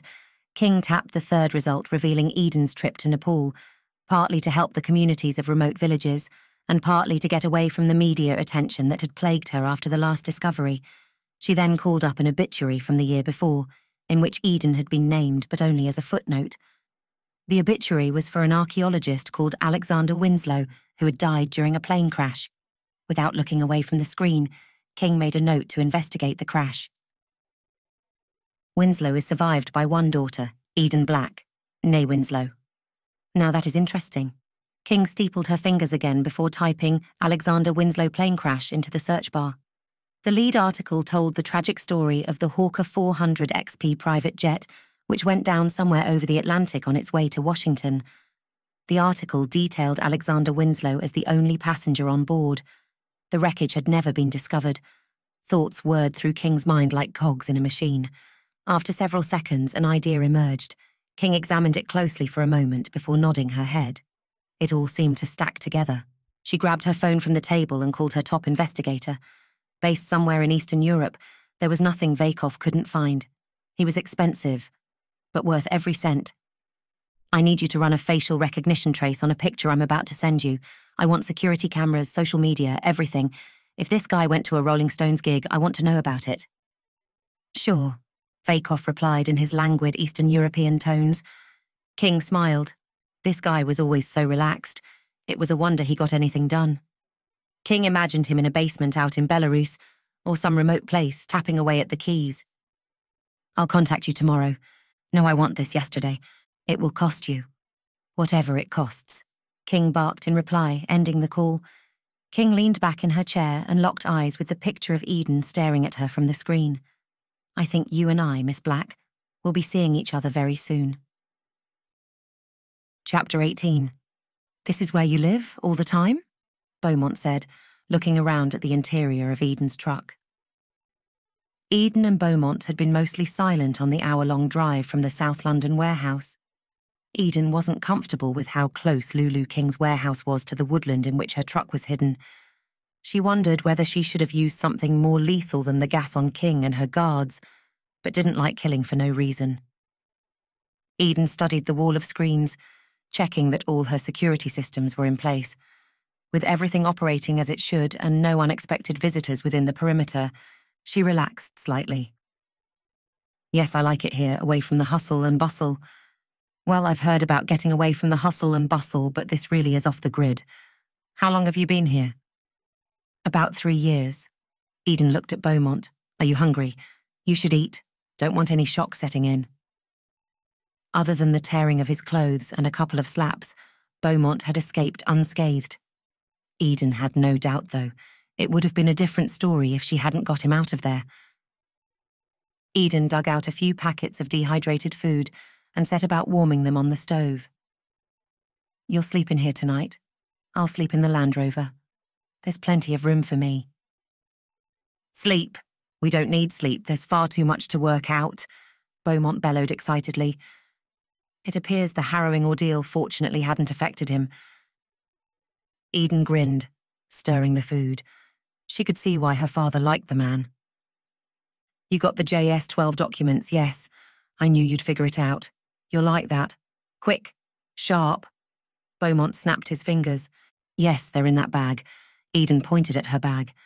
Beaumont slid out the folder and took out the photographs. He lay them side by side on Eden's desk and then bent down to examine them. Just fantastic. Incredible. Look at this. Do you have a. Beaumont mimed the use of a magnifying glass as though he were a 1940s detective looking for clues. Eden suppressed a giggle. Satisfied that the food was warm enough, she spooned half of it into a tin bowl. I can do better than that, Eden said, passing the bowl, then the spoon across to Beaumont. You eat. Beaumont set about chomping away. He peered at the mushy contents of the bowl.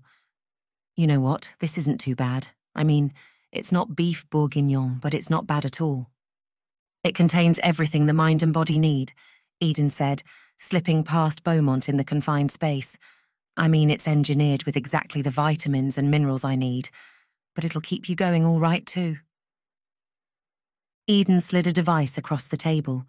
To the untrained eye, the thing looked like a high tech lamp. She placed the head of the machine about a foot above the photographs and then pressed a button on the base.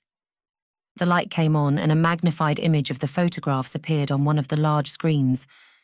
Eden pointed at the controls on the base. Use one to zoom and this to pan. We can do image correction with these other buttons, but I don't think you'll need them. Fantastic, Beaumont slurped the last bit of the sauce and dropped the spoon into the bowl. He wiped his hands on his trousers and stepped forward to examine the screen. You see the area.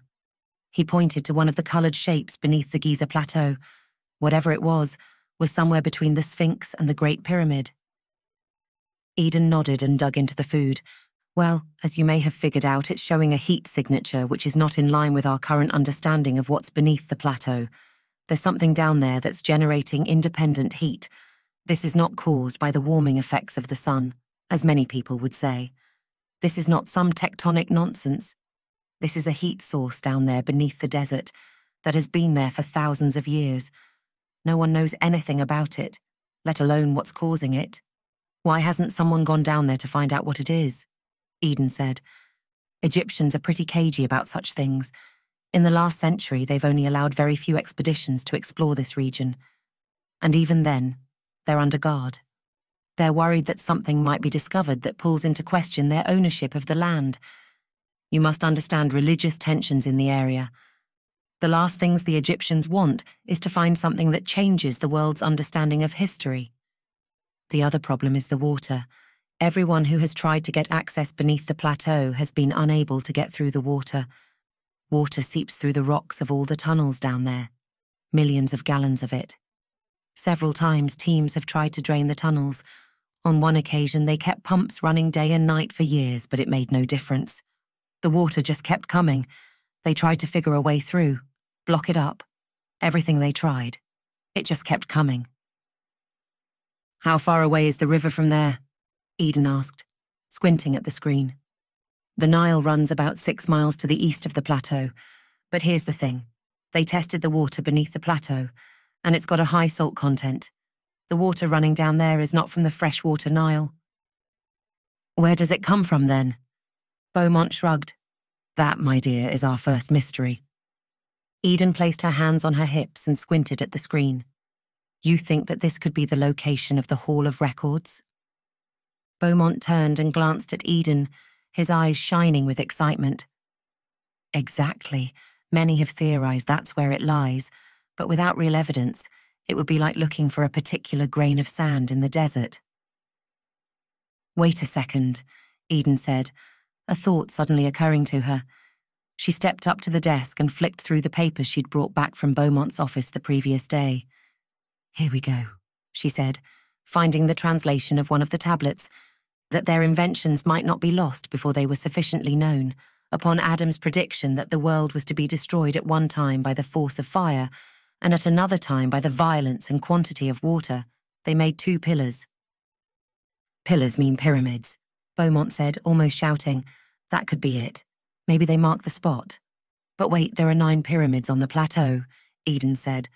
There are nine pyramids now, but there's evidence to suggest that two are older than the others. When Aloma wrote her diary, there could have just been two pyramids already on the plateau. These inscriptions would exhibit their discoveries to mankind and also inform them that there was another pillar of brick erected nearby. Now this remains in the land of Siriad to this day. Eden's finger followed the next part of the translation, sense starting to form in her mind. That means Siriad must be Egypt. Exactly, Beaumont stood up and ran a hand through his thin grey hair. This is incredible. Just incredible. For the first time, we actually have evidence, not just the existence of, but the location of the Hall of Records. Eden, I just can't begin to explain, to tell you quite how. I get this is a big thing, Eden said, interrupting Beaumont. She had come to realise that talking over the professor was the only way to keep him on topic, but why would someone like Lulu King be interested in this? Unless the newspapers have got her very wrong, she doesn't care about archaeology. Beaumont extended a wagging finger, eyebrows sliding towards his hairline. That depends on what she thinks is down there. Eden raised her hands in a gesture that told the professor to get to the point. Miss King thinks that the Hall of Records contains not only information about the previous caretakers of our planets, but technology we modern people the professor's fingers became quote marks. Have yet to master. What might that be? Eden said quizzically. The Ark of the Covenant, Beaumont whispered. Eden grinned. Come on, Professor. Isn't the Ark of the Covenant supposed to have been built by Moses on God's instructions?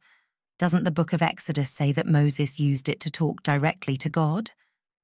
You're exactly right, Beaumont said concisely, clearly surprised by Eden's knowledge of Scripture. How would that be any use to King? Well, she treated me to my own private lecture on the subject. I can't say I like her style at all. It was also. What did she tell you? Eden interjected. Beaumont told Eden about King's predictions that the Ark could help create element 115 in stable form. I mean, it sounds far fetched, but from what we know about the construction of the Ark, it seemed to have some power of its own. First, anyone who touched it was struck down in a manner which now looks very much like an electric shock. Second, the ark could be carried for days without the men growing tired. In fact, the bearers reported it feeling weightless after a short while. King Industries. Eden muttered, realization dawning. King Industries is one of the largest oil and gas companies on the globe. They provide energy to billions of people. Lulu King thinks that whatever secrets are held within the Ark, she can use it to generate power. Endless power, emission free, on demand power. I suspect once she gets the Ark of the Covenant, it will disappear into one of the King Industries laboratories, never to be seen again. The implications of such a discovery slowly spun through Eden's mind. If she's correct, if she manages to create this, not only will humanity be robbed of one of the most important artifacts that ever existed, but King Industries will become the most important company in the world. Governments will be quickly queuing up to do business with her. That is, if it doesn't get bought straight up, or worse, overtaken by some military organization. Eden turned and stared out at the countryside through the window. We need to stop her, Eden whispered, a hard edge to her voice. Yes, I agree, but how? I mean, it's not like. Eden turned around and pointed at the professor. I think I've found the instructions. With Abdul stationed outside, should anyone else want to pay them a visit this evening, and Sharif sent to dispose of the bodies, King continued her research. She didn't have anything certain, but something about this situation nagged at her. It seemed suspicious that Winslow's plane should come down right before he was due to make this discovery. It was almost as though he knew the tablets were to be discovered, but needed himself out of the way to do it. It was selfless, complicated, but King had to admit, genius. It was exactly the sort of thing she would do make it look like an accident, divert everyone's attention elsewhere, then have someone else make the discovery on your behalf. King sat back in her chair and thought it through. The accident itself would have been easy enough to facilitate. With a big bribe, you could easily land the plane on a remote airstrip somewhere, and then have it stripped down and destroyed. But what about the pilot and crew? For the right sum, you could find a pilot who wouldn't mind pretending to be dead for a few years. After all, this didn't need to be forever, just long enough to change the world. Five years, maybe ten. What would it cost to have someone live on a desert island for a decade? The problem, though, for Winslow, would be remaining dead. If he were able to sit on the beach for ten years, that would be one thing. But King very much doubted that would be the case. He would want to see his plan through. He would want to watch progress and course correct if necessary. No, he wouldn't want to. He would need to. That would mean contacting people back in the real world. It would mean using the internet. And it may even mean international travel. All these things would be difficult, expensive, and fraught with the constant danger of discovery. King's phone trilled from the table. She snatched it up. An international number scrolled across the screen.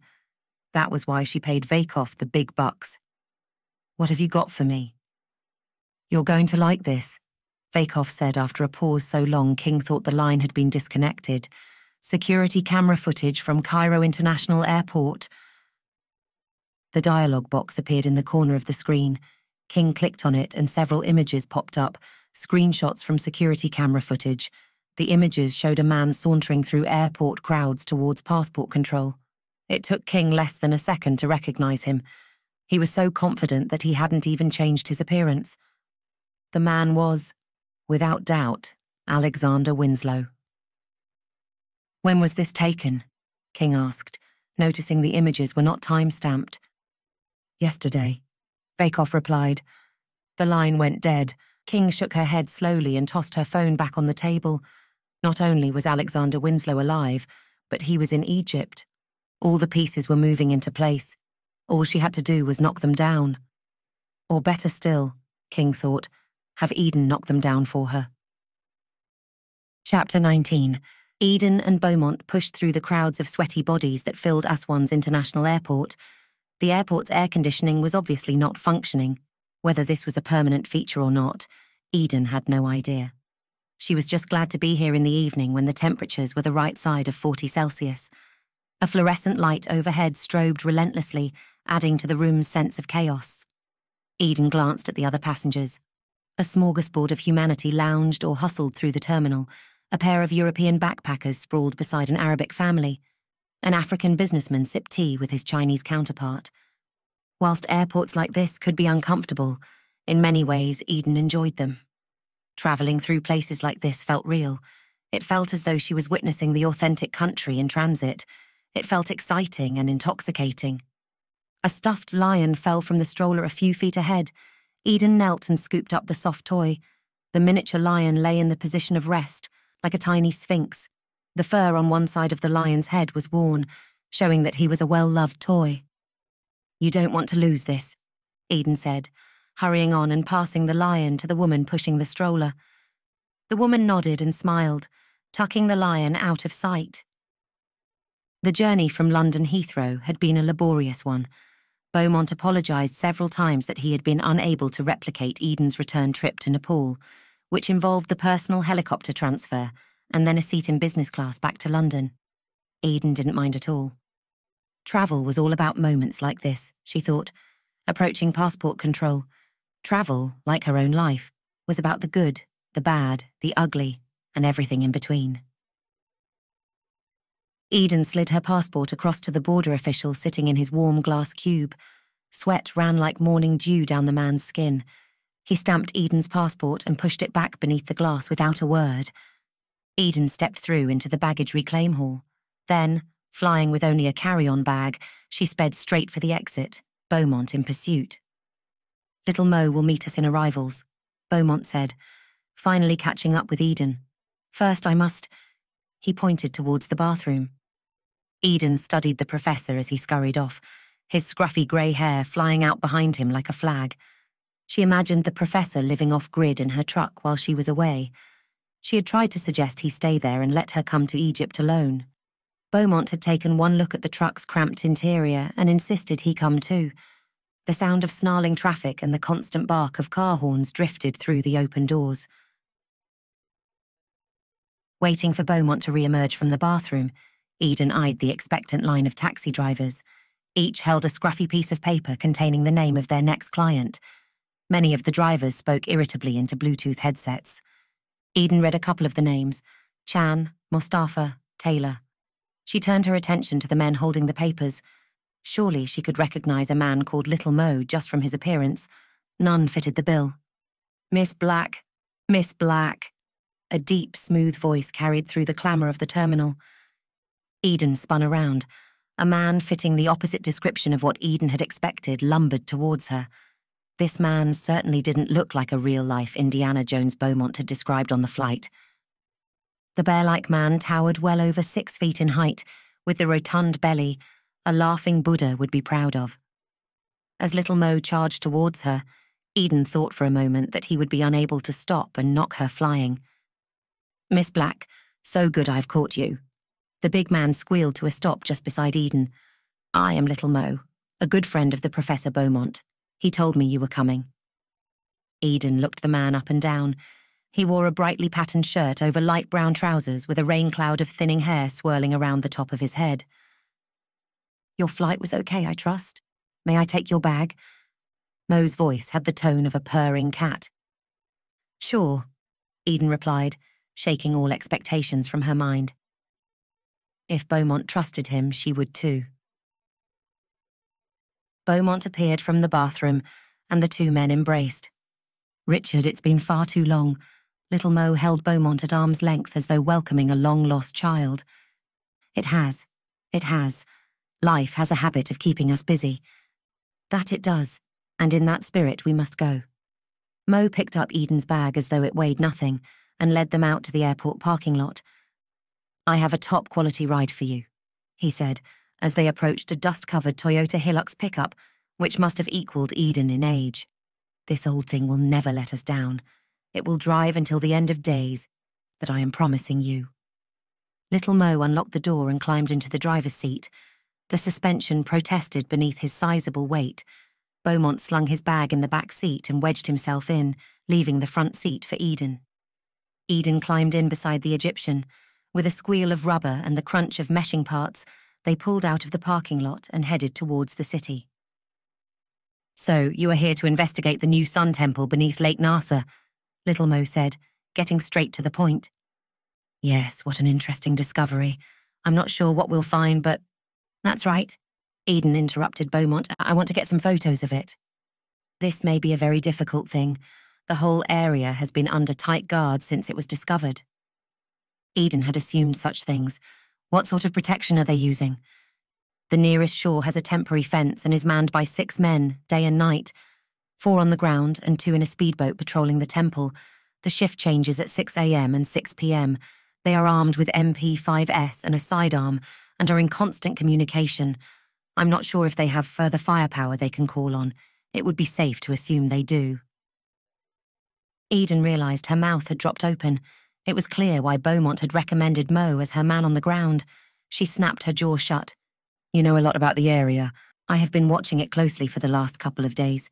As soon as I heard of the discovery, I said to myself, Mo, this will be big. I thought of our Beaumont. He jerked a thumb at the professor in the back seat. This has got him written all over it. You will be going in alone. Mo dropped the Toyota down a gear and overtook a tanker crawling up a hill. He leaned on the horn the entire way. The engine of the aged 4X4 rattled and roared in protest. Yes, Eden said. I work best alone. Mo nodded. He said nothing to try to dissuade Eden. Often, when Eden told people that she planned to do something potentially dangerous, they would spend the next few minutes telling her why she shouldn't. Mo just grinned and nodded, making Eden's respect for him grow further still. A few minutes later, they pulled down a narrow street between four story concrete buildings. Mo stopped the Hilux and jumped out. The engine whirred and ticked as it idled. Mo swung open a pair of rusted metal gates to reveal an underground parking lot. He climbed back into the Toyota and drove down the ramp. Reaching the bottom, Mo stopped the 4X4 and killed the engine. The lights died, plunging them into darkness. One minute, Mo said, hurrying out of the truck and disappearing into the shadows. A moment later, overhead lights snapped on. It took Eden a few moments to register what she saw. She swung open the door and stepped out, wide eyed. Not much short of a warehouse. The space occupied the entire basement level of the building. Steel shelves ran down the sides containing everything necessary for a full scale archaeological dig. From shovels, tunnelling roof supports, power generation, lighting, tents, and ropes, little Mo had thought of it all. Eden even noticed two small excavators sitting underneath tarpaulins at the far side of the space. This place is well stocked, as always, Beaumont said, climbing out of the Toyota and stretching. I think you'll find what you need here, Eden. Mo sidled back across the room. For many generations, archaeology has been big business here in Egypt. Before me, my father worked on the digs, and before that, my grandfather. Mo beckoned Eden to follow him. My grandfather was part of the team that opened King Tut's tomb. Obviously, we, the mere diggers, don't go down in history for such things, but I know it couldn't have been done without his help. Beaumont shuffled off in the other direction to inspect a shelf full of strange artifacts. Mo led Eden to a section of shelving in the far corner, which seemed to hold everything necessary for excavating underwater. You wouldn't think you'd need things like this in the desert, no. Mo pointed at the scuba gear, but the Nile does have a habit of giving up her secrets once in a while. Eden and Mo selected the kit she needed, including spare oxygen tanks, an underwater propulsion device which Mo said could travel at almost three miles an hour, and at Mo's insistence, a pair of carbon coated knives and a strange looking spear. I don't want to kill anyone, Eden said, looking at the weapons. I'm going to get in there, take photos, and get out. They won't even know I'm there. In Lake Nasser, the men are the least of your problem. These are for the crocodiles. Very big and very aggressive. 10, 12 feet, maybe more. Move slowly and they may not notice you. If one approaches, aim for the eye with this.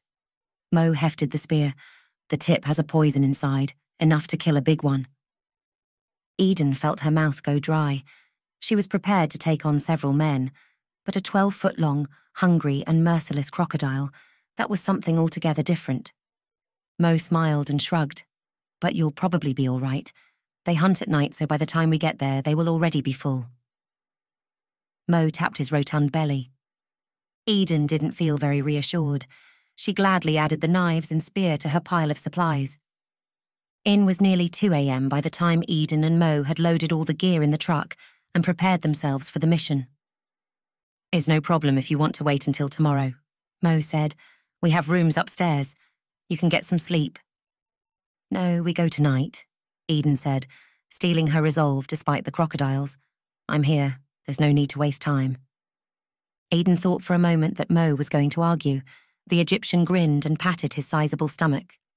No problem, but first we will eat. Eden's stomach rumbled involuntarily. I won't argue with that, she said.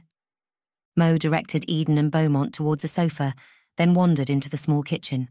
For several minutes he clattered about, and then emerged with numerous trays containing a veritable banquet of falafel, shawarma kebabs, fava beans, tahini, bread, and a bowl of green molokhia soup. Seeing the food, Eden's stomach grumbled again. This is fantastic. She tore one of the fresh breads and scooped up a large helping of the tahini. Do you eat like this all the time? I have two passions in life this. He pointed out to the warehouse with all its archaeological equipment, then to the food displayed before them. And this. Plus, as a good Muslim, it is my duty to be ready for, and welcome guests at a moment's notice, you see. I must keep all this nice food prepared just in case. Mo shrugged, rolled up his sleeves, and metaphorically dived headfirst into the food. It's one of the best things about working with little Mo, Beaumont said, digging in too. I've tried to get him over to work in England many times. Far too cold, Mo said, mock shivering. I went once. Was the longest ten days of my life. Eden grinned and dug, full steam ahead into the food. For nearly 20 minutes, Eden, Beaumont, and Mo chatted about the world of archaeology as they ate. When she was full, almost to bursting, Eden lay backwards into the sofa. That was incredible, she said, exhaling. Just, just a bit better than that goo you served last night, Beaumont said, finishing the last bit of falafel. You said you liked it, Eden quipped in reply. Mo chuckled. Beaumont is so English, he would probably say thank you for a slap in the face. Well, I don't see how that's a. Eden and Mo didn't hear Beaumont's reply as they laughed out loud. I think I'm just going to live with you full time, Eden said when the laughter had died away. You would be welcome, Mo said, shrugging. How did you learn to cook like that? My father was an excellent cook, Mo said, between mouthfuls of another piece of bread. He pointed at a photograph in a silver frame. Eden forced herself to her feet, wandered across the room, and peered at the photograph. A middle aged man stood beside a young boy. Eden recognized the setting as the Giza Plateau, the pyramids rising majestically in the background. The affection between father and son was obvious. He was a passionate archaeologist too, Mo said, but never got the chance to do it professionally. He worked as a security guard on the Giza Plateau, but always opted to work on the dig sites whenever the option became available. Mo leaned back in the chair and rubbed a hand across his face. He used to always complain how much corruption there was in the world of archaeology. He spoke many times of finds going missing, or the funding being cut if they didn't like what they found. That's no way to investigate. You seek to find, not fine to confirm what you already know. The big man exhaled. Eden could see that although he loved talking about his father, the memories were still painful. Anyway, he'd got involved in a self funded off the books dig with some other enthusiasts. He knew he was getting into something dangerous, but was just too passionate. One day he didn't come home. No one knows what happened. My mother always said he'd run away with another woman and abandoned us. I don't think that. I think something happened on that dig that we never found out. For many years I tried to find out what happened to him, but with it being all off the books, there's no record. Mo shrugged and shook his head as though attempting to cast away the unpleasant memories. I'm sure he didn't run away, Eden said, after a long moment of silence. Me too. Mo placed his hands on his knees. Now let me tell you about Egyptian coffee. Have you ever tried it? Chapter 20 It was approaching 4 a.m. by the time Eden, Beaumont, and Little Mo reached the shore of Lake Nasser. Having consumed two small but deliciously strong Egyptian coffees before leaving Mo's house, Eden felt ready for anything. Eden glanced left and right. On the way down the access road, she'd seen the outline of several giant crocs sleeping on the lake's sandy banks. The fact that they were already resting off their dinner was a good sign, she supposed. Little Mo and Beaumont unloaded the van and then respectfully turned away as Eden slipped out of her clothes and pulled on the wetsuit. Eden pulled the cord to zip up the wetsuit and felt the rubber pull tight against her skin. The suit had the bonus of being completely black. Once in the water, she would be almost invisible, Eden hoped. You know where you are going, yes? Mo said, taking Eden's dry clothes and putting them on the passenger seat. I've got it, thanks. Eden slid her phone into a waterproof case and attached it to her left forearm. On the screen, she had a map showing her current location, the location of the temple, and the rendezvous point. She reduced the screen brightness to its lowest setting. Good. Remember what I say about the crocs. Go slow, no sudden movements, any problem. Mo made a stabbing motion as though taking on the creatures himself. Somewhere across the water, an outboard motor grumbled into life. Eden, Beaumont, and Mo turned towards the lake, the noise reminding them that the temple's armed guards were on duty. I'd advise you to be careful out there, Beaumont said. The boat's searchlight swept their way, glimmering over the water's surface. They're just bored, Mo said, shaking his head. Imagine spending every night out there, in the dark, is enough to drive you mad, no? Eden forced a smile. Right now, the guards may be chasing shadows, but in a few minutes, Eden would be in their crosshairs. She finished a bottle of water and chucked it back in the truck. Despite the drink, her throat still felt dry with anxiety. You get in, get what you need, and get back to shore, Mo said brightly. He picked up the scuba tank and helped Eden slide it over her shoulders. You have a little over an hour of air here. Mo slapped the tank with an open palm. Eden pulled the mask down over her face and put the regulator in her mouth. She held up her watch with the 60 minute timer ready to start. Inshallah, we will be having breakfast by sunrise, little Mo said, stepping back towards the truck. Good luck, Beaumont added nervously. Eden faced the water and stomped into the shallows, with the sea scooter beneath her arm, the fins attached to her feet, and the large tank on her back. She felt incredibly cumbersome. Out in the middle of the lake, the searchlight flashed on again. Too far away to see her clearly, Eden carried on. She was more worried about the crocodiles which moved without light or sound to announce their presence. Eden tried to push the thought from her mind. The water level climbing above her stomach, Eden slipped forwards and began to swim. After several feet, when the lake's bottom was out of reach, she adjusted her buoyancy control, started the timer, and powered up the sea scooter. The electric motors whirred, dragging Eden smoothly through the water.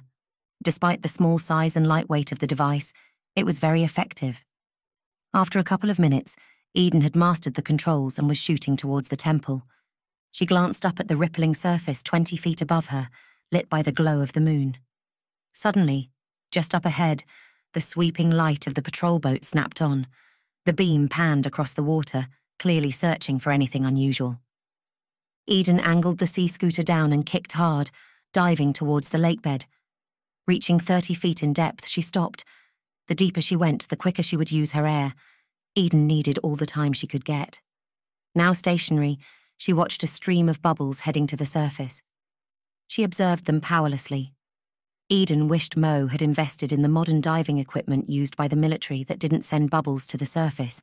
Clearly, this gear wasn't designed for clandestine dives. She watched, powerless, as the stream of bubbles popped across the surface just a few feet from the searchlight. Eden froze not daring to breathe or move. The searchlight stayed frozen for a moment, and then swung erratically to the location of her telltale bubbles. Eden watched, still not moving. The boat's four stroke outboard kicked into action. The hull sliced through the water above her. A second light snapped on and began searching the surrounding area. Her lungs now stinging to exhale, Eden kicked backwards, maneuvering herself beneath the craft.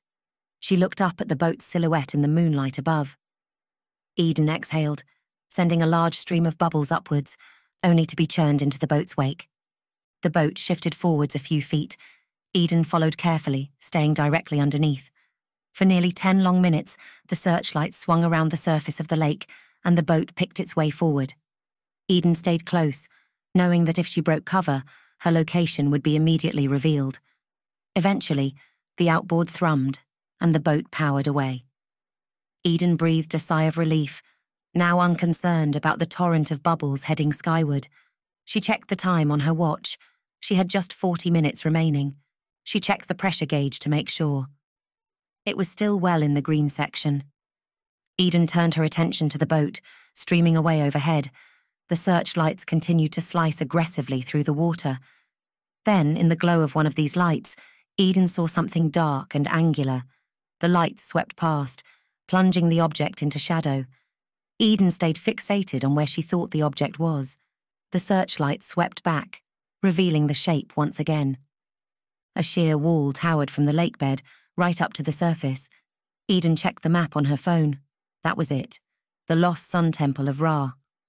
Eden powered on the sea scooter again and swam in the direction of the building. The imposing wall of the temple reared upwards as Eden neared. She pulled in close to the structure, switched off the sea scooter, and dropped it to the lake bed. She would retrieve it on her way back.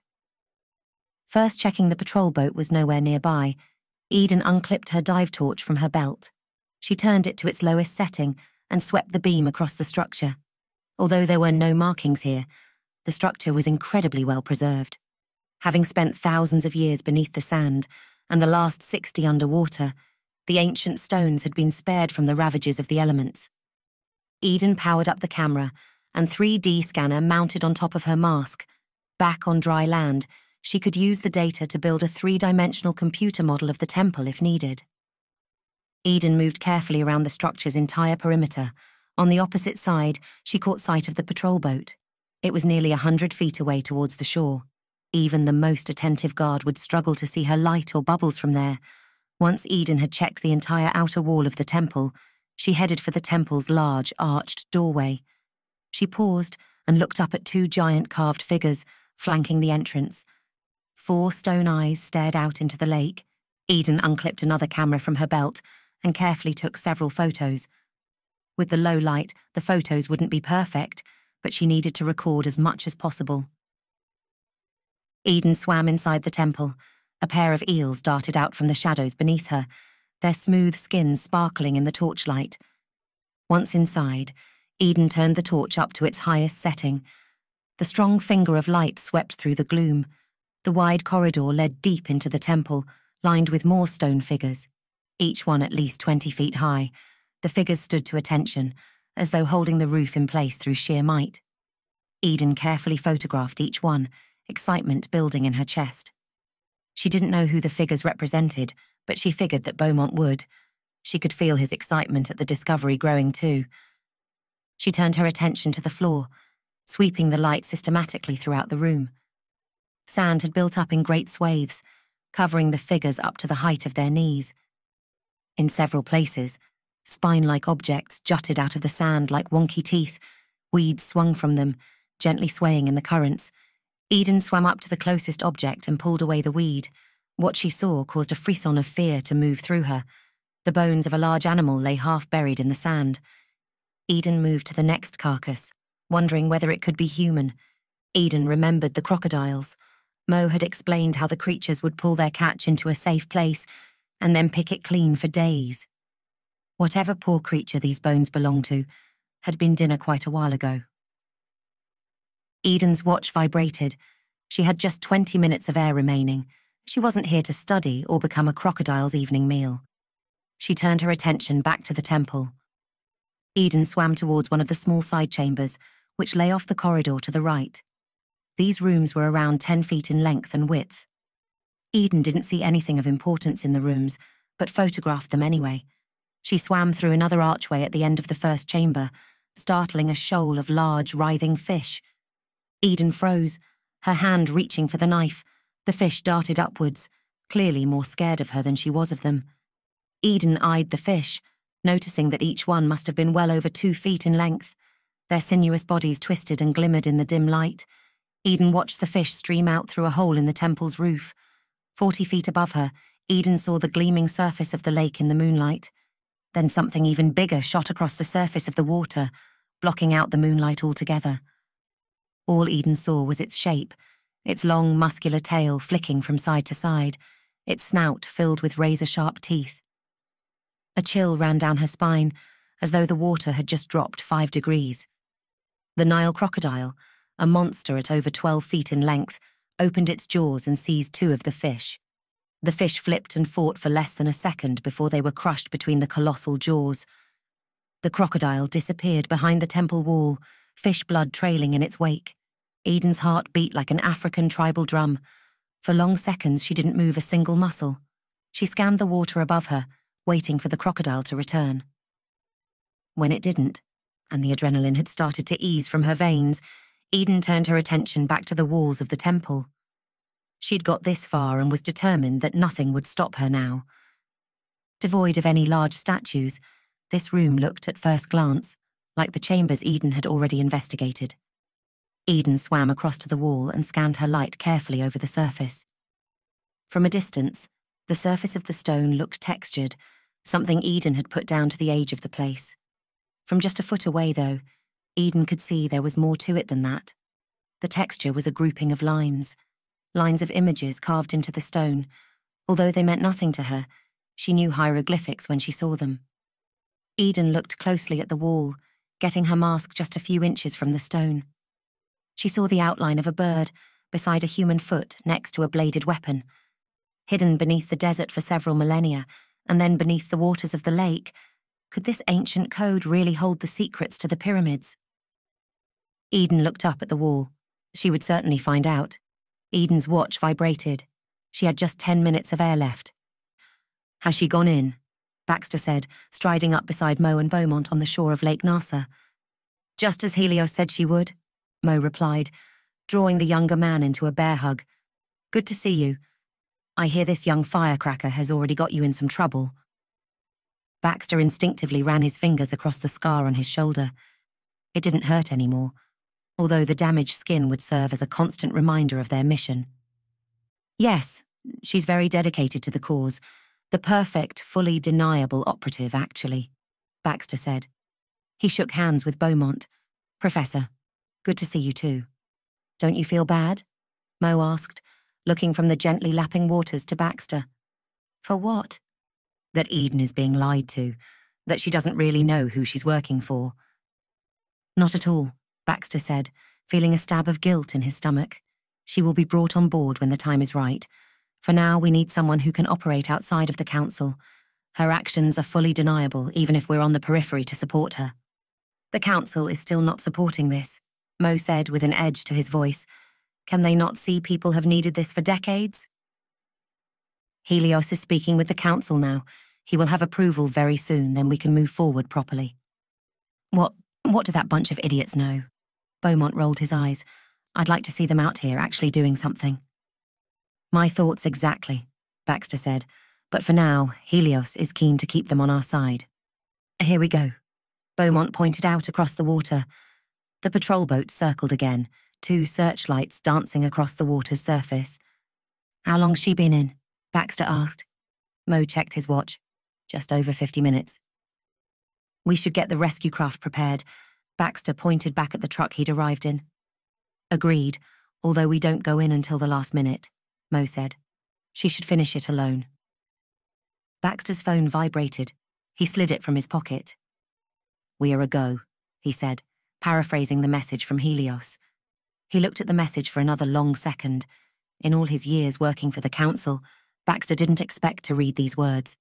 The world really was changing.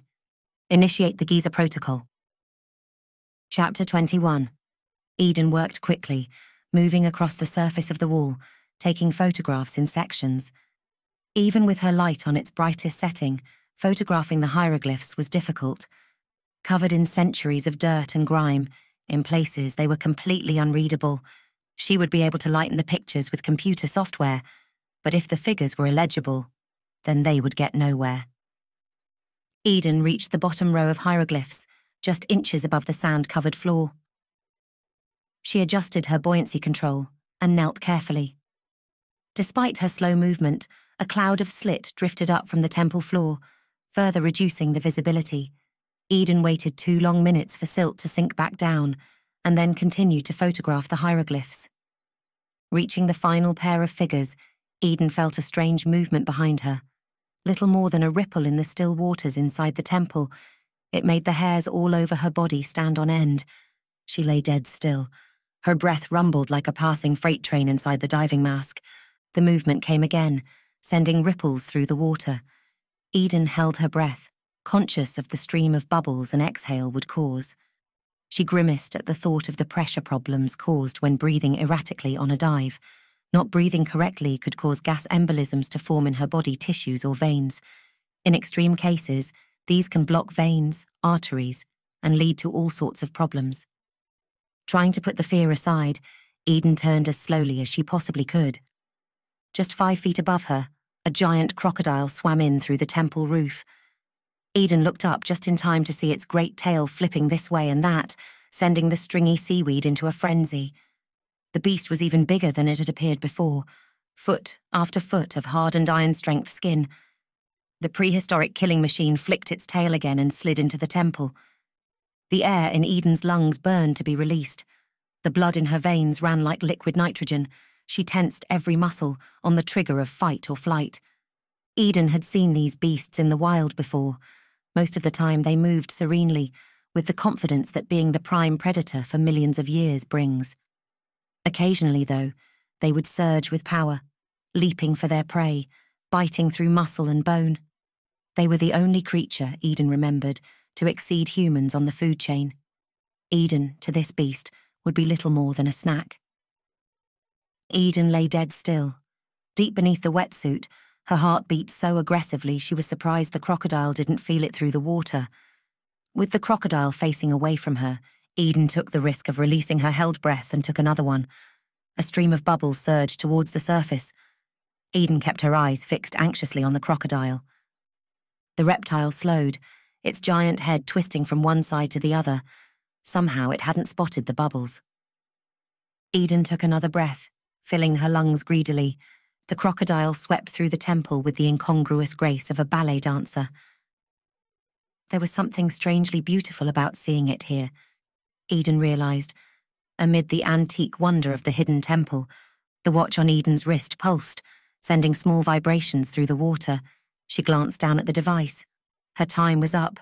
At any second now, her oxygen tank would run dry. Moving slowly, Eden poked the watch to cancel the alarm. Movement in the water caused her to look up. Her heart leaped into her throat. Just 15 feet away, the crocodile had spun around and was now peering malevolently at Eden with small green eyes. Eden involuntarily slid back towards the wall. Her hand gripped the hilt of the poisoned spear strapped to her thigh. The two foot spike was now her only chance of salvation against the beast. Several long seconds passed. Each one felt like the gentle melting of an ice sheet. The croc drifted to the ground and settled amid the weeds. More seconds passed. Neither Eden nor the crocodile moved. Eden didn't stop looking at the beast for a moment. She knew that crocodiles slept on the riverbanks and could only spend limited time underwater. Maybe this guy was waiting for his next meal to come along. Eden risked releasing her breath. The stream of bubbles fanned upwards. The crocodile didn't move. She tried taking another breath through the regulator.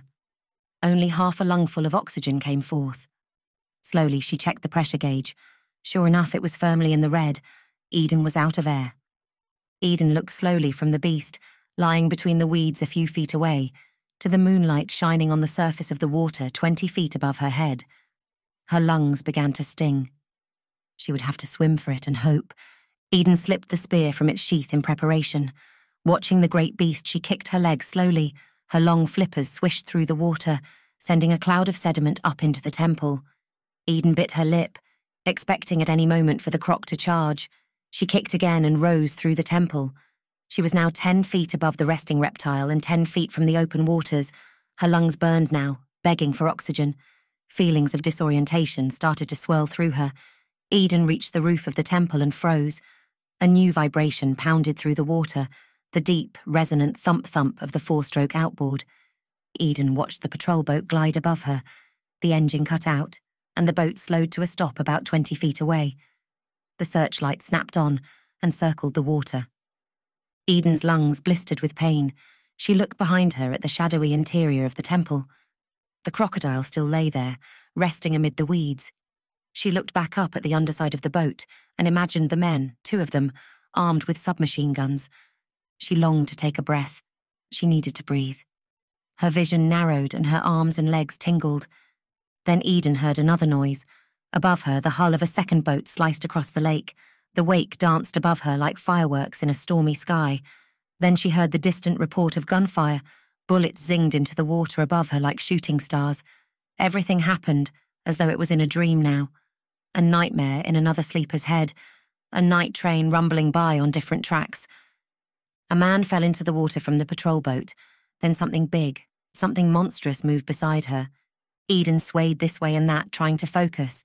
She saw the flicking tail of the crocodile, but it wasn't coming for her. It was streaming past her. The great reptile shot towards the surface, its jaws open wide.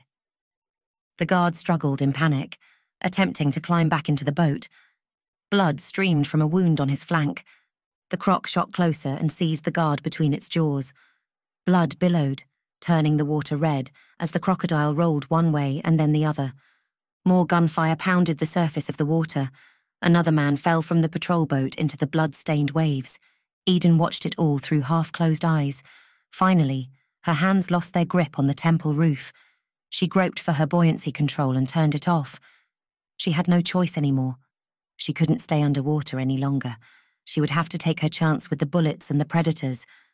Water streamed past Eden's face as she shot up through the water.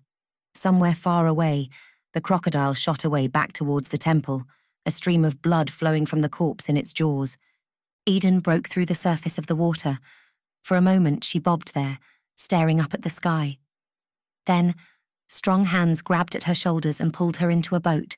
Someone pulled off her diving mask. A bright light shone in her eyes. She gasped for air several times. Then Eden took a deep, beautiful, nourishing breath. Air streamed into her lungs. She took another breath, then opened her eyes. Recognizing the face which looked down at her, Eden gasped. Am I dead? she said. Chapter 22 You're not dead, far from it, Baxter said, looking down at Eden slumped in the boat. I don't understand, I thought. How did you? Eden muttered between gasps. Above them, the sky was beginning to lighten. A large patch of blood shimmered like an oil slick, surrounding the now empty patrol boat. We better get out of here, another man said. This place will be crawling with people and crocs in a few minutes. Eden recognized his voice too. Mo, she gasped, looking beyond Baxter to the Egyptian at the boat's controls. At your service, ma'am. Mo fired up the boat and leaned hard on the throttle. The cool morning air stung Eden's face as they powered back towards the lake's far shore. Looking from one man and back to the other, Eden tried to work out whether she was in a dream or seeing reality. Baxter swept his hand across her face. Eden took the hand and held it tight. Rest now, Baxter said softly. All the answers are coming and soon.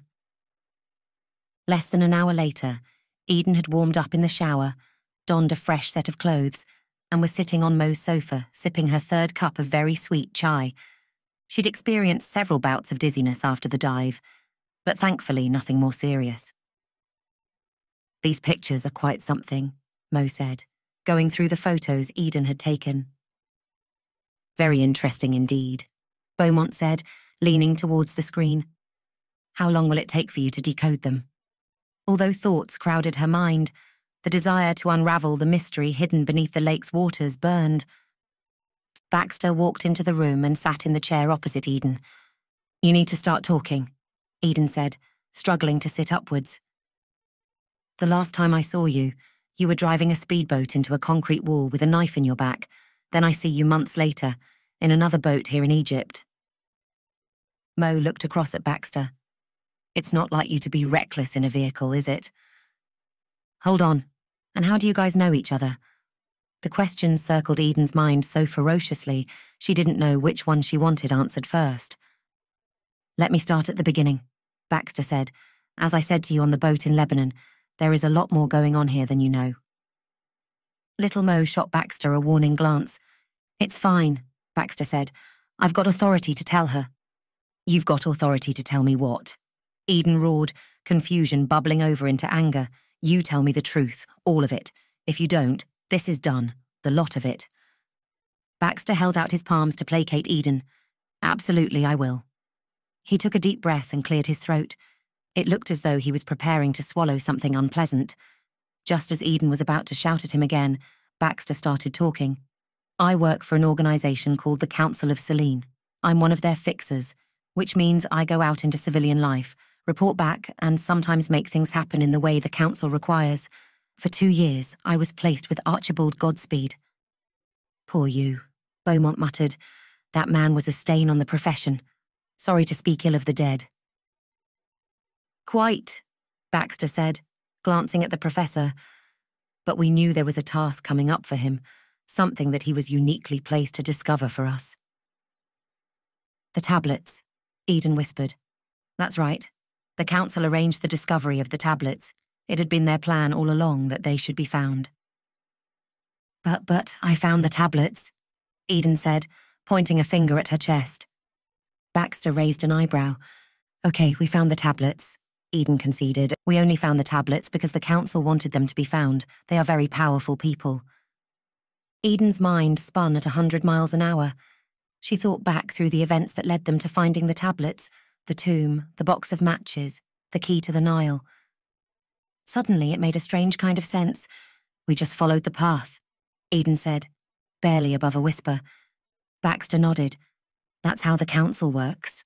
All the technological advances, major discoveries, and scientific breakthroughs of at least the last 4,000 years have been set up by the Council of Selene. Eden heard the words but couldn't quite understand them. 4,000 years. Yes, we don't know exactly how long the Council has been active, but it has been at least that long.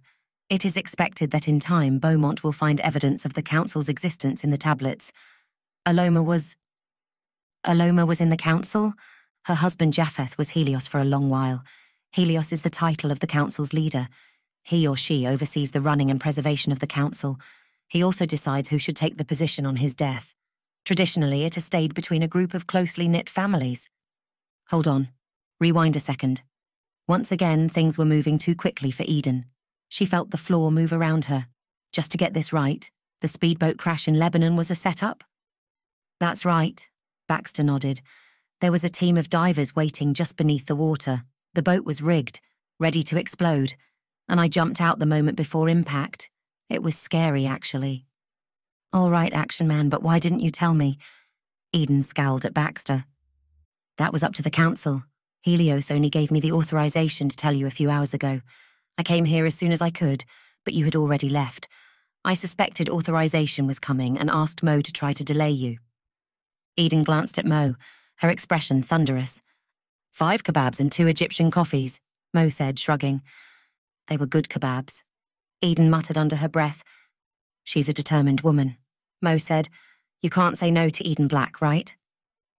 As soon as I got here, I contacted Mo and came to find you. When your hour of oxygen had run out, we figured something was up and came out to get you. Eden looked from Mo to Baxter to Beaumont, and then down at her hands. It felt as though the turbulent waters of Lake Nasser were sloshing between her ears. A shard of light cut through her thoughts. So, the Council wants us to find the Hall of Records and the Ark of the Covenant? Eden asked. Baxter nodded. They've been planning this for centuries, it's been known as the Giza Protocol. To be honest, I didn't think it was something I'd see in my lifetime. Mo and Beaumont nodded in agreement. You see, the council loves to talk a lot, but when it comes to making decisions, they're pretty slow. Mo interjected. They must make decisions very carefully. They must consider and discuss all the angles and possible implications. Once something is out in the world, there's no taking it back, Beaumont said. The Council knows that finding the Ark of the Covenant will further the progress of science and technology more than we've seen in the last hundred years, but it will also intensify religious friction. This is both a scientific specimen and a religious relic, you see. Eden's eyebrows rose, but we've seen unprecedented technological progress already in the last 100 years. Exactly.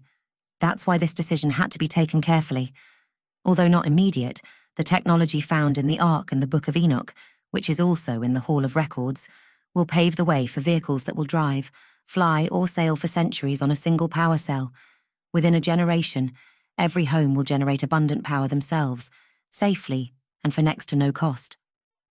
Baxter's expression intensified. There are good implications here for all the world's communities, but also concerns over warring nations. A warplane that would never have to return to base, Eden said, considering the thoughts. The countries that get this technology first will have an incredible advantage. That's right, Baxter said, nodding. That's why it's so important that this is done carefully, at the right time. In fact, it's written in the Council's scriptures that when the time is right, the chosen person will lead us there. Baxter, Beaumont, and Mo looked at Eden intently. You can't seriously think I'm some kind of chosen one. Come on, get real. You found the tablets, that was your first test, Baxter said, and you figured out that the code was in the Sunken Sun Temple, Mo said, pointing at the images on the screen. And you have one of these.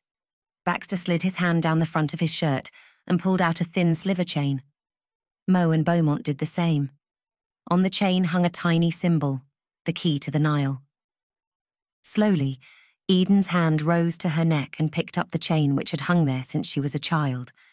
She looked from one key to the Nile to the other. My father gave me this, Eden said, holding the chain. Baxter's eyes flicked one way and then the other. Your father was a very respected member of the council. We all loved him, Mo added. His death, was it something to do with the council? Baxter pulled his chair towards Eden and took her hand. Like all organisations, there are people who rail against the council's work. Some of them are powerful. We're not sure who, at least I'm not sure who, but your father's death was not the work of the council. That's one of the dangers of this life we choose, Mo said. My father died on an expedition funded by the council. The big man pinched the bridge of his nose. Their bodies were never recovered. Baxter nodded slowly. Now the council thinks it's time to try again, and we are the team to try it. Eden looked from one man to the other. Why us? Eden said. We're hardly Navy SEALs. She caught little Mo's gaze before adding, No offence. None taken, the rotund Egyptian said, cuffing his cheeks. It's not to do with physical power, Baxter said, placing a hand on his chest. It's to do with what's in here. Oh, please, come on, Eden snarked. This isn't King Arthur and the sword in the stone. He was in the council too, Mo said sagely. Next, you're going to tell me Boris Johnson is part of this secret society, Eden quipped. Absolutely not, Baxter, Mo, and Beaumont said in unison. Eden grinned. Say I believe you. Eden narrowed her gaze. Say I accept that you're not just pulling all this mumbo jumbo out of thin air. What now? First, we prepare and plan. We need to know as much as we can about what we'll face in there. Eden sighed, tiredness finally overtaking her. If I had eight hours to cut down a tree, Beaumont said, I would spend the first six sharpening the axe. Baxter completed.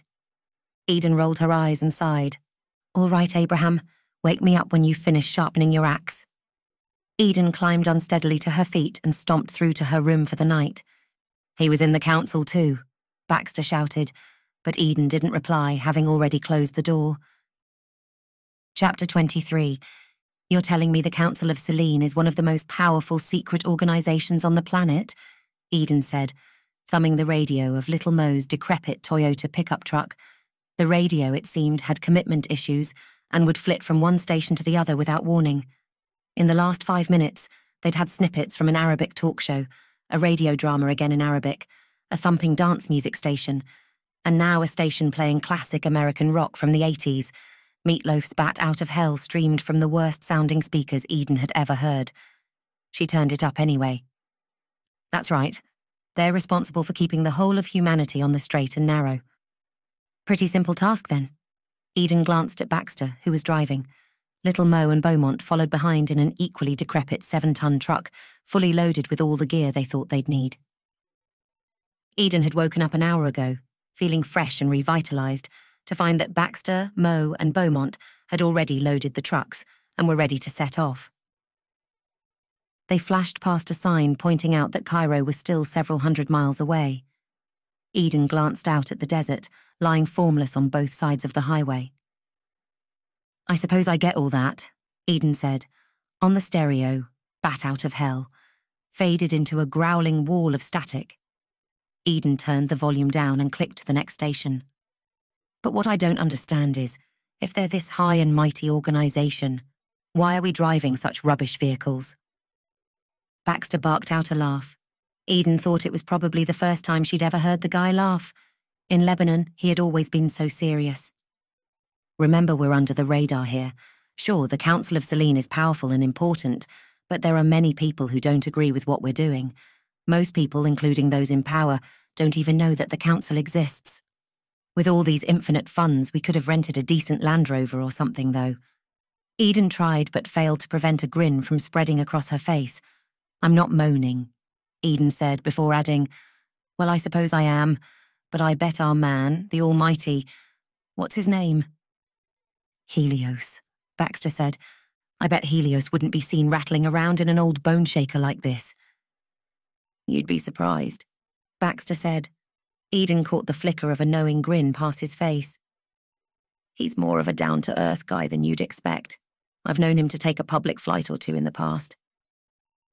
Steady on, Eden said, grinning. Baxter pulled out to overtake a truck rattling down the slow lane. They swung around a curve, and the blinding Egyptian sun streamed through the glass. Ah, oh, this sun, Eden said, momentarily dazzled.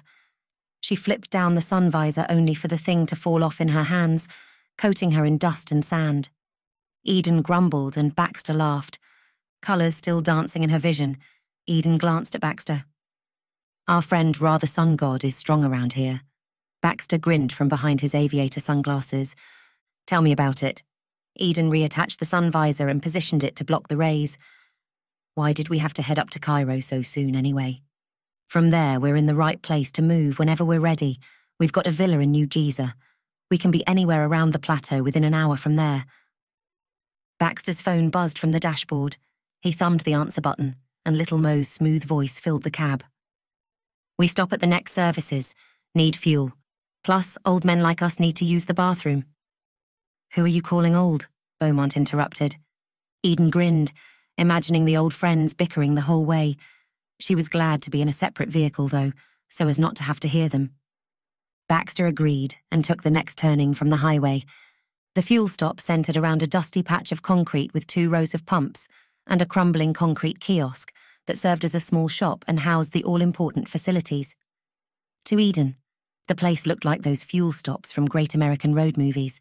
The only thing to indicate they weren't actually on Route 66 was the small town spreading out behind them, with the spires and domes of its two or three mosques. Baxter pulled up alongside one of the pumps and cut the engine.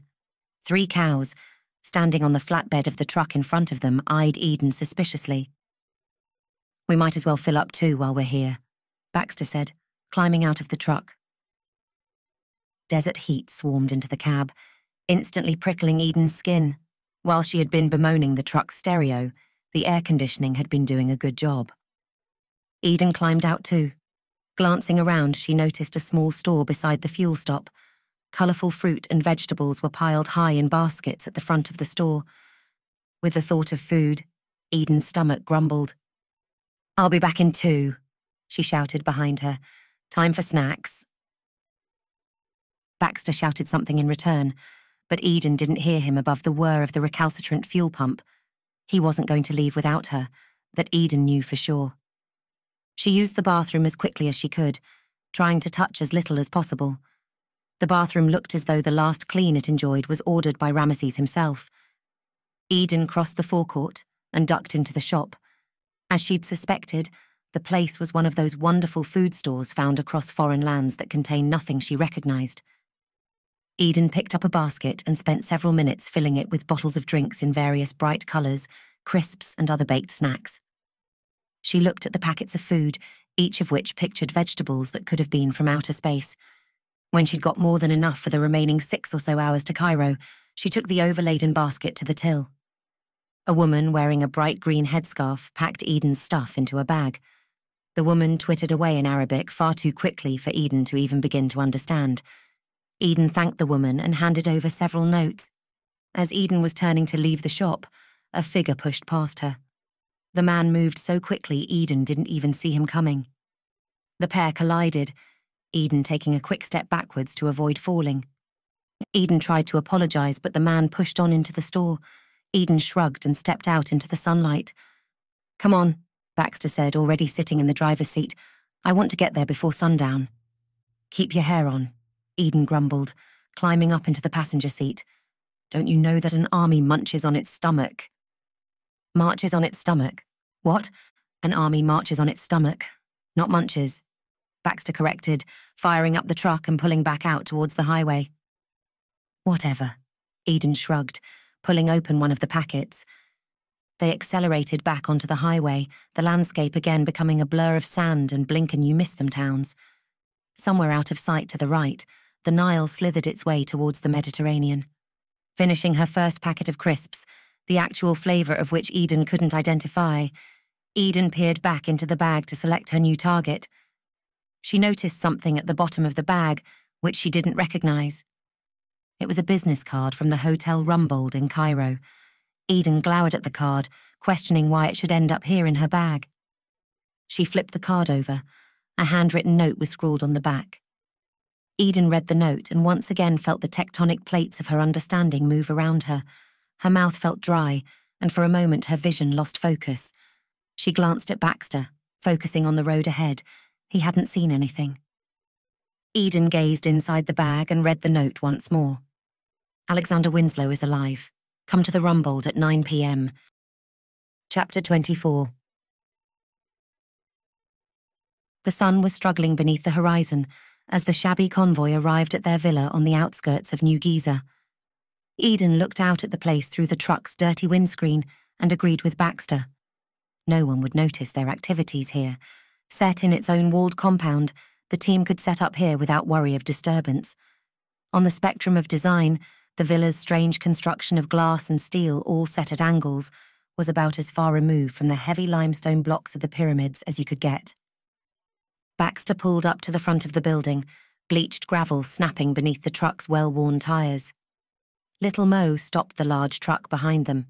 Both vehicles muted into silence. Much of the journey had passed in silence, Eden staring out of the window at the passing desert. Countless questions circled her mind, all vying for attention. One thing she knew for certain she needed to go to the Rumbold Hotel and find out. Eden grabbed her bag from the rear of the truck and followed Baxter up the front stairs and into the villa. An open plan living and dining area occupied most of the ground floor. Baxter began laying things out on the large dining table, Eden jogged upstairs and placed her bag on one of the beds. She did a quick 360. The room had an ensuite, several wardrobes she would have no use for, and more importantly, a fully opening window. She peered down at the ground 20 feet below. She could get out of there without being seen with no problems. Eden then took a few minutes to arrange several items in key places around the room. It was a habit her dad had taught her many years ago, which she now completed by instinct. She also chose items a curious person would be likely to touch. A notebook was positioned next to a pile of receipts, two pens laid on top of a small stack of scribbled notes. The items were arranged in such a way that if anyone moved them, she would know. Back downstairs, Baxter, Beaumont, and Little Mo were busily removing boxes from the trucks and carefully laying things out on the dining table. It looked as though they were preparing for war, Eden thought, Looks like you've got things covered here. I'm going to take a quick look around the neighbourhood. Eden grabbed the truck's keys from the table. Baxter looked up, his eyes momentarily narrowing on meeting Eden's. You want anything picked up while I'm out? Eden grinned. No thanks, we've got everything we need here. Beaumont said, struggling through the door with a crate of books. Eden wondered when the professor would realise that digital copies were so much easier. Eden turned on her heels and scurried down to the truck. Two minutes later, the truck shuddered and wheezed towards Cairo. The Rumbold Hotel was a decaying concrete structure in Cairo's Al Helmiya district. Although the streets were dark now, the traffic still inched forward at a frustratingly slow speed. The constant bark of car horns filled the air. Fed up that the journey had taken almost an hour to cover a few short miles, Eden bumped the truck up a curb, in violation of several parking laws, and cut the engine. She climbed out and looked around. Half a mile to the south, the brightly lit minarets of the Muhammad Ali Mosque grazed the auburn sky. Eden turned and peered up at the Hotel Rumbold. The place towered above her, giant and gloomy. At a first glance, the hotel appeared as though it hadn't been open in decades. Broken glass filled several windows, and closed curtains showed the stains and tears of many decades' use. A thick covering of dust lay across the hotel's sign. Looking closely, though, Eden could make out a faint light seeping from somewhere inside. Eden glanced behind her as a truck grumbled past, belching black smoke into the air. She took a moment to steady herself, then slid the hotel's business card from her pocket. She checked the time. It was quickly approaching 9 p.m. Eden swallowed, but her mouth felt dry. Steeling her resolve, Eden stepped up to the heavy wooden door and pushed. To her surprise, it swung open with very little resistance. Eden looked inside. A solitary lamp illuminated the lobby, casting long shadows across a filth strewn floor. Faded posters advertising Cairo's many tourist attractions covered the walls. Eden's heart thumped a steady beat in her chest. She felt a glimmer of reassurance that she's brought one of Mo's knives. The blade was cold against her ankle. Miss Black, thank you for coming. A deep, melodic voice filled the room. Eden's breath caught in her throat. She whipped around but didn't see anything. She looked back through the open door. The truck was still within darting distance. This way, please, Miss Black. My employer would like to speak with you. A light snapped on at the far side of the lobby, revealing a man standing at the top of a stairwell. The man's skin was the colour and texture of mahogany. His rippling muscles looked as hard as the wood, too. He spoke slowly, his voice tinged with an African accent. The man turned and began walking down the large, curved staircase. Eden swung the foyer door shut, paced across the lobby, and followed the man downstairs. The bare staircase hinted at what once would have been a grand building. The balustrade was constructed in ornate ironwork, and patterned tiles lay beneath a thick layer of grime on each step. Two flights below, Eden's guide led them through a set of double doors. They stepped into what would once have been a grand ballroom. A vaulted ceiling stretched high above. Crystal chandeliers hung dark and lifeless. Strings of spiders' webs streamed from one chandelier to the next, like ghostly bunting, fluttering in some distant breeze. A single bulb lit the room, hanging on a wire somewhere near the centre. The ineffective light left the edges of the great space in near darkness. Take a seat. Eden's guide pointed to a table and two chairs in the centre of the large room. The man stationed himself by the door, his straight back showing off some military bearing. There was a second man standing a few feet to the right. Eden looked from one to the other. The two guards could well have been brothers with the same complexion and mountainous body shape. Eden's mouth grew drier still. Trying not to show her growing nervousness, Eden padded across the room, her footsteps squeaking on the wooden floor. Eden took a seat and then clicked her fingers, the sound echoing throughout the silent hall. Garçon, she said, mimicking a French accent. I want your wine list immediately, and I think I'll have the lobster. A sharp laugh reverberated from the hall's farthest end. The sound certainly wasn't one of the men standing like sentries by the door. It was both coming from the wrong direction and sounded female. Eden turned and peered into the shadows. In the gloom, a figure moved. People told me you were spirited. The figure stepped towards Eden, moving slowly toward the light. Eden recognized an American accent. The woman took another step closer, high heeled shoes clicking against the floor. The woman was tall, glamorous, and walked with a hypnotic feline gait. A bolt of recognition chimed in Eden's memory. She glanced back at the two men, searching her memory for the location in which she'd come across the trio before. I fear, though, that your bravado is merely a coping strategy for your nervousness. The woman sauntered towards the table, pulled out the chair, and sat down. She put an iPad on the table, its screen glowing softly and casting a ghostly light on her face. That seems to be something you do quite often, Miss Black. You don't like to take things seriously, do you? Suddenly, the memory struck Eden. It was you, the three of you, Eden said, her gaze hard. She glanced from the woman to the men by the door. You kidnapped Beaumont. You were watching him from the office when I. when you broke in, rescued your friend, and killed two of my guards. Yes, that was us. You got in the way of my plans quite effectively that night. Eden's eyebrows inched together. The woman's comment sounded strangely like a compliment. Eden forced herself to smile. Well, it must be a wonderful coincidence, but then again, it is a lovely time to visit Egypt. Where is that waiter with our wine list? What museums have you been to? I have to say, though, I don't think much of your accommodation. The woman yapped a dry and humourless laugh.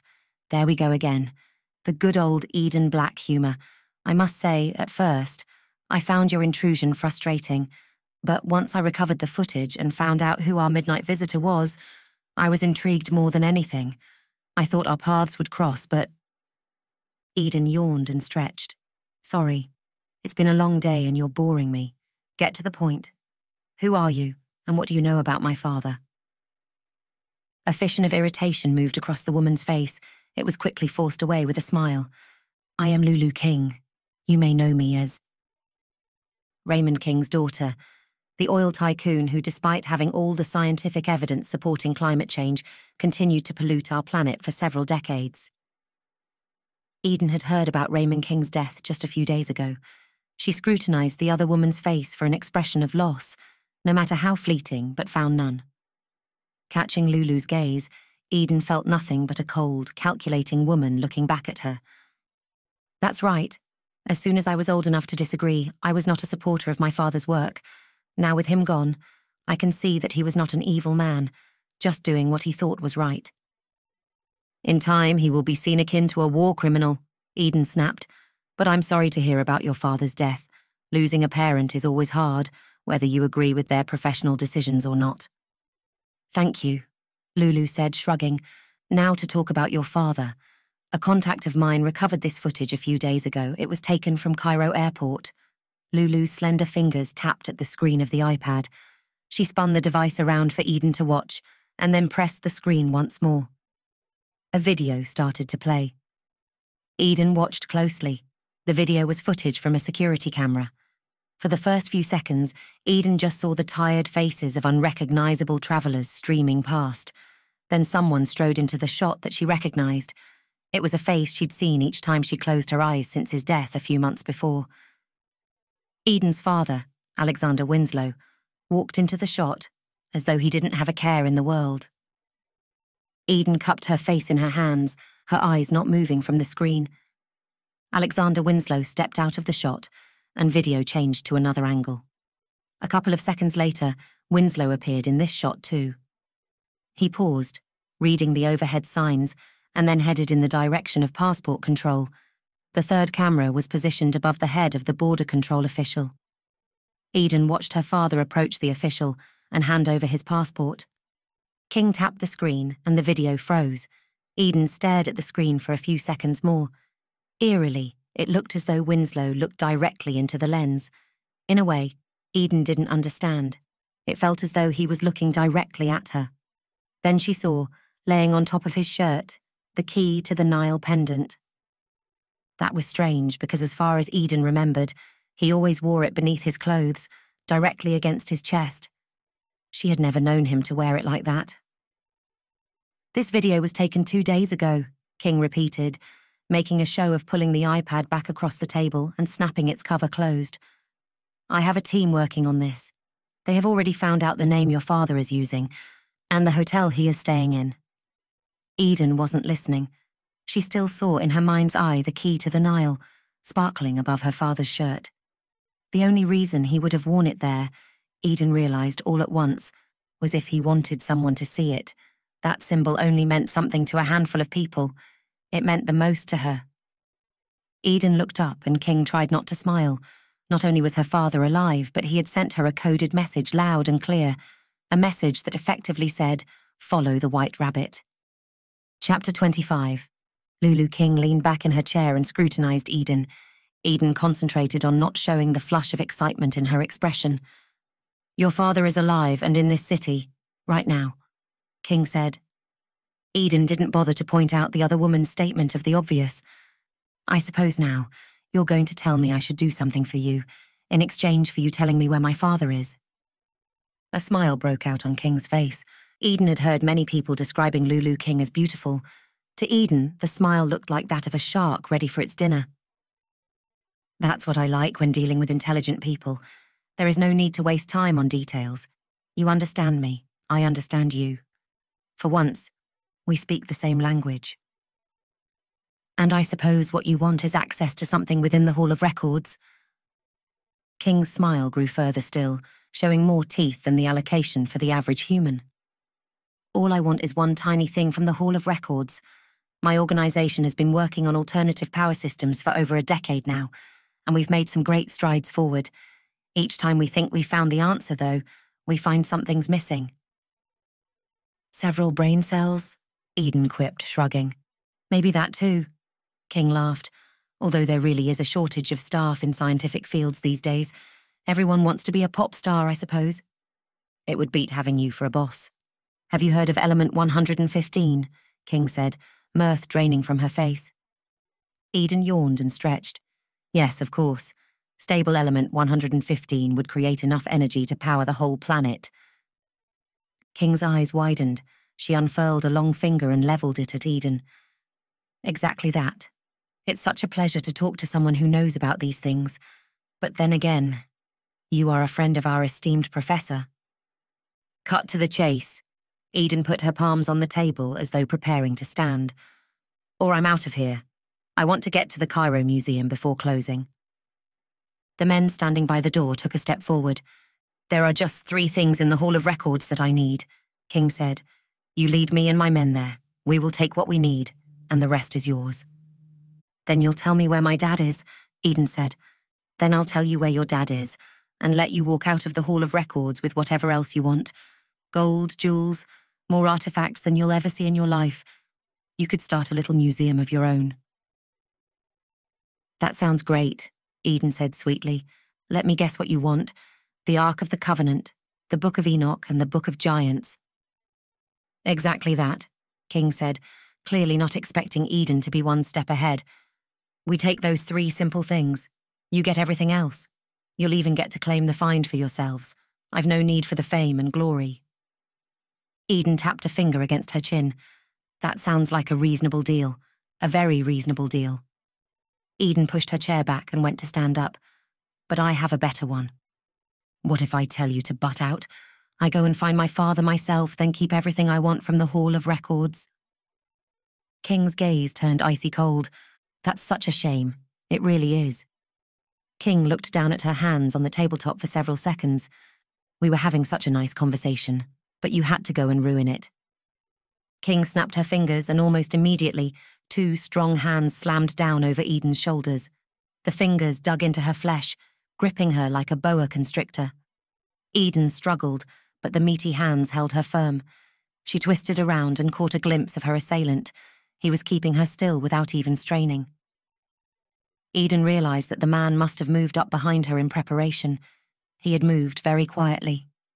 King stood up, walked around the table, and crouched down into Eden's light of sight. You know one of the problems with people in the modern world? Eden didn't reply. Her jaw set firm as she struggled again. She thought about the knife strapped to her ankle. They hadn't bothered to search her on the way in, and the knife was merely inches away. Eden dropped her shoulders, feigning dejection while reaching for the blade. I'll tell you, King continued. People are just far too argumentative, far too disagreeable. You give someone an easy option, a good option, a generous option. Didn't you think that was a generous offer, Abdul? King addressed the man. Yes, Miss King. Very generous. Eden strained down further, closing in on the blade. King nodded. You make these offers, but people in the modern world just want to do things the difficult way. As with everything in life, Eden, there is an easy way, and there is a difficult way. The difficult way, in this instance, will be painful too. Eden's hand reached the knife's handle. In one swift movement, she pulled it out. Her captor moved quickly too. Sensing her movement, he took a step back. Eden swung the knife backwards, but the blade hit nothing. The other guard lunged forward and seized Eden's wrist. He thumped her hand hard against the table, pinning it in place. Eden tried to move, but again was powerless. The man crushed Eden's hand against the tabletop until her grip on the knife was so weak it slipped from her fingers. King stepped forwards and picked up the knife. She peered at the blade, turning it this way and that. The blade sparkled. Thank you, Sharif. King toyed with the blade. You see how much can be achieved when people work together. Eden struggled again, but the men held her tightly. Let's try that again, King said, still looking at the knife's jagged blade. I'm going to give you an instruction.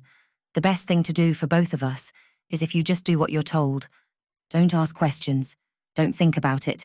Just do it straight away. King turned to face Eden. You can understand that, can't you? I'm really starting to dislike you, Eden spat. In one swift movement, Lulu lunged forwards. The glittering blade swept through the air and came to rest against Eden's throat. Again, you're making things difficult for yourself. Take the easy path for once in your life. Give yourself a break. Eden tried to swallow. The blade dug further into her skin. She tried to tilt her head backwards. The abdominal muscles of the man behind her felt like a plate of steel. Eden froze, unable to move either way. As quickly as King had swung the blade at Eden, she pulled it away again. Eden's heart slammed in her chest. Adrenaline coursed through her veins. She wanted nothing more than to grab the knife back and cut these vile criminals a third eye. She attempted to suppress her anger and think rationally.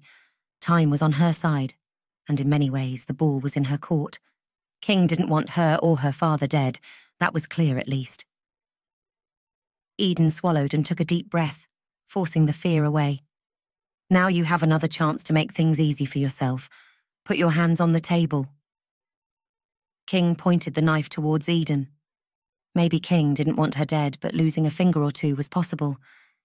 Eden remembered the state of the room in which she'd found Beaumont. It was clear that this woman would use any means to get what she wanted. Eden struggled.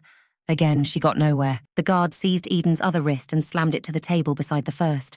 Eden lashed this way and that, but got nowhere. With the bulky man now leaning in front of her, pinning her hands to the table, Eden couldn't see what was going on. She strained to look around the man's hulking figure, but was held too tightly. King's shoes clicked across the floor, the chair scraped backwards, and King sat at the table. Eden felt cold, carbonized steel against her fingers. Everyone has their limit, Eden. It's just the case of finding out where it is. King's voice was calm and quiet, barely above a whisper. The blade moved its way from one finger to the next. Here's an interesting fact for you. King's voice became strangely hypnotic. Eden tried to ignore it, but with no other sound in the silent room found it incredibly difficult. She felt herself grow woozy. Pain receptors can take several tenths of a second to communicate with the brain, meaning that often people see the injury before they feel it. Isn't that interesting? The cold steel moved on to the next finger, you may already be one finger down and just not know it yet.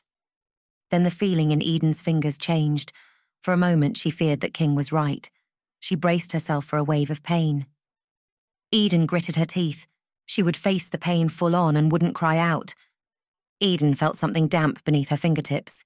She pictured blood pooling across the tabletop. A whimper escaped Eden's lips. She gritted her teeth more tightly. She wasn't going to give King the satisfaction. The damp feeling moved from the little finger on her left hand to the next finger. The sensation came again and again on each finger until it reached her thumb. Then the sensation repeated on her right hand.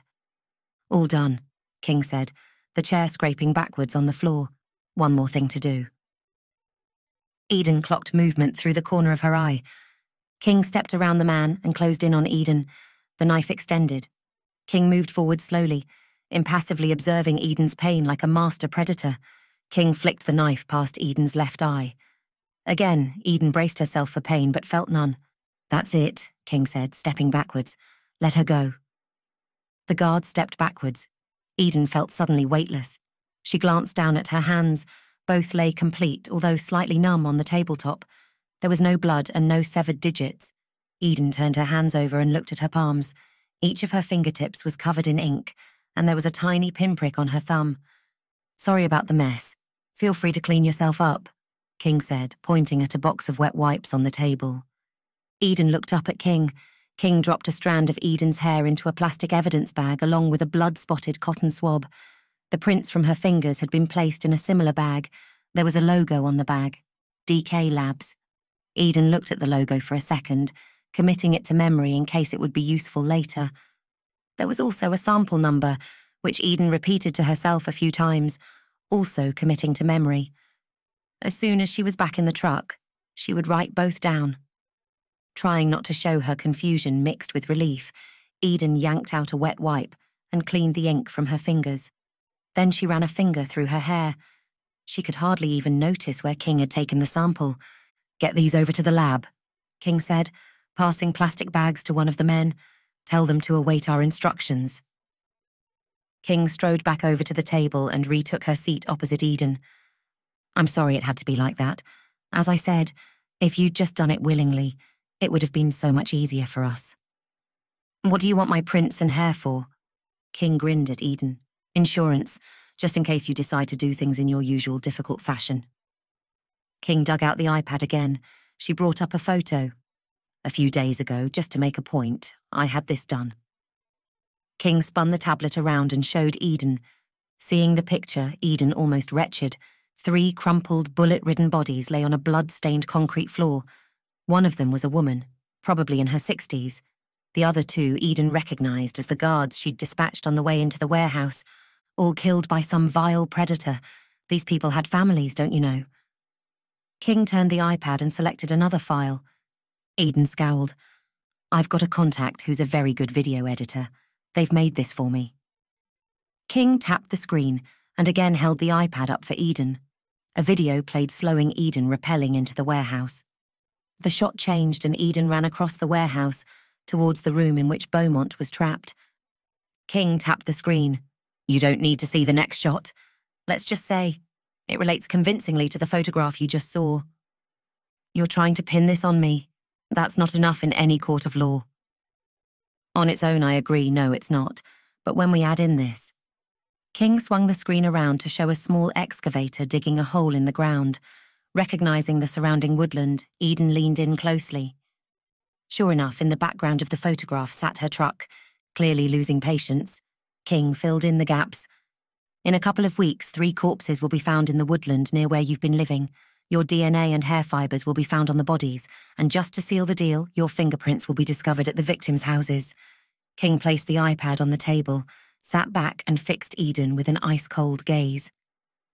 Are you ready to do it my way yet, Eden? Eden sat up straight and folded her arms. Maybe for once it was time to play ball. Alexander Winslow stepped back into the doorway of a closed up motorbike repair shop and watched Eden push out through the doors of the Hotel Rumbold. Whatever had happened inside, the scowl on Eden's face suggested it hadn't gone her way. Winslow knew that scowl well, having been the recipient of it countless times during Eden's childhood. He smiled at the memory. It was strange to consider that the powerful and independent young woman he now watched was once small enough to sit on his knee. Eden never had been good at taking instructions. It was a trait which those in education seemed to want to condition out of her, but Winslow always encouraged. Life was too short to do things that didn't serve you, he believed. Across the street, Eden turned back and glared at a figure at the door. Winslow stepped forwards and crouched behind a stack of old tyres to get a better look. He saw a large black man handing something across to Eden. Beneath the distant glow of a streetlight, Winslow recognized the shimmer of a knife. He grinned to himself. Of course, Eden wasn't the type to turn up unprepared. What's more, he knew that she would use that blade with devastating precision at a moment's notice. There was no threat today, though. Right now, Lulu King needed Eden alive, and whether Lulu King knew it or not, she was doing exactly what Winslow wanted. Eden stashed the knife away, made an obscene gesture at the man, and then stepped out into the street. She had confidence, Winslow thought, that was good. She would need all the confidence she could get. Eden crossed towards a rust spattered pickup truck and climbed into the driver's seat. As the truck grumbled to life, some of the lights working and others dull and lifeless, Winslow's heart swelled with a whole maelstrom of emotion. Eden was his daughter, his flesh and blood. He knew that he would feel that way until the day he died, the day he really died, not just appeared to be dead. Winslow longed more than anything to rush over and hold his daughter in his arms. He longed to tell her of everything that had and would happen, and yearned to tell of her important role in it all. As the truck banged into gear and pulled away, Winslow shook himself out of his melancholy. Having planned this for years, no, decades, Winslow knew that this was not the time for emotion. He would get his time to explain it all once Eden was ready. Eden would learn of her rightful place, just as he had to all those years ago. Observing the correct time order was of utmost importance. She might be one of the most important people on the planet right now, Winslow reflected as Eden's truck sped out of sight. But she's still my little girl. The grumbling of the truck's engine faded into the noise of the city. Winslow stared down the street for long seconds, looking into the space where Eden had been.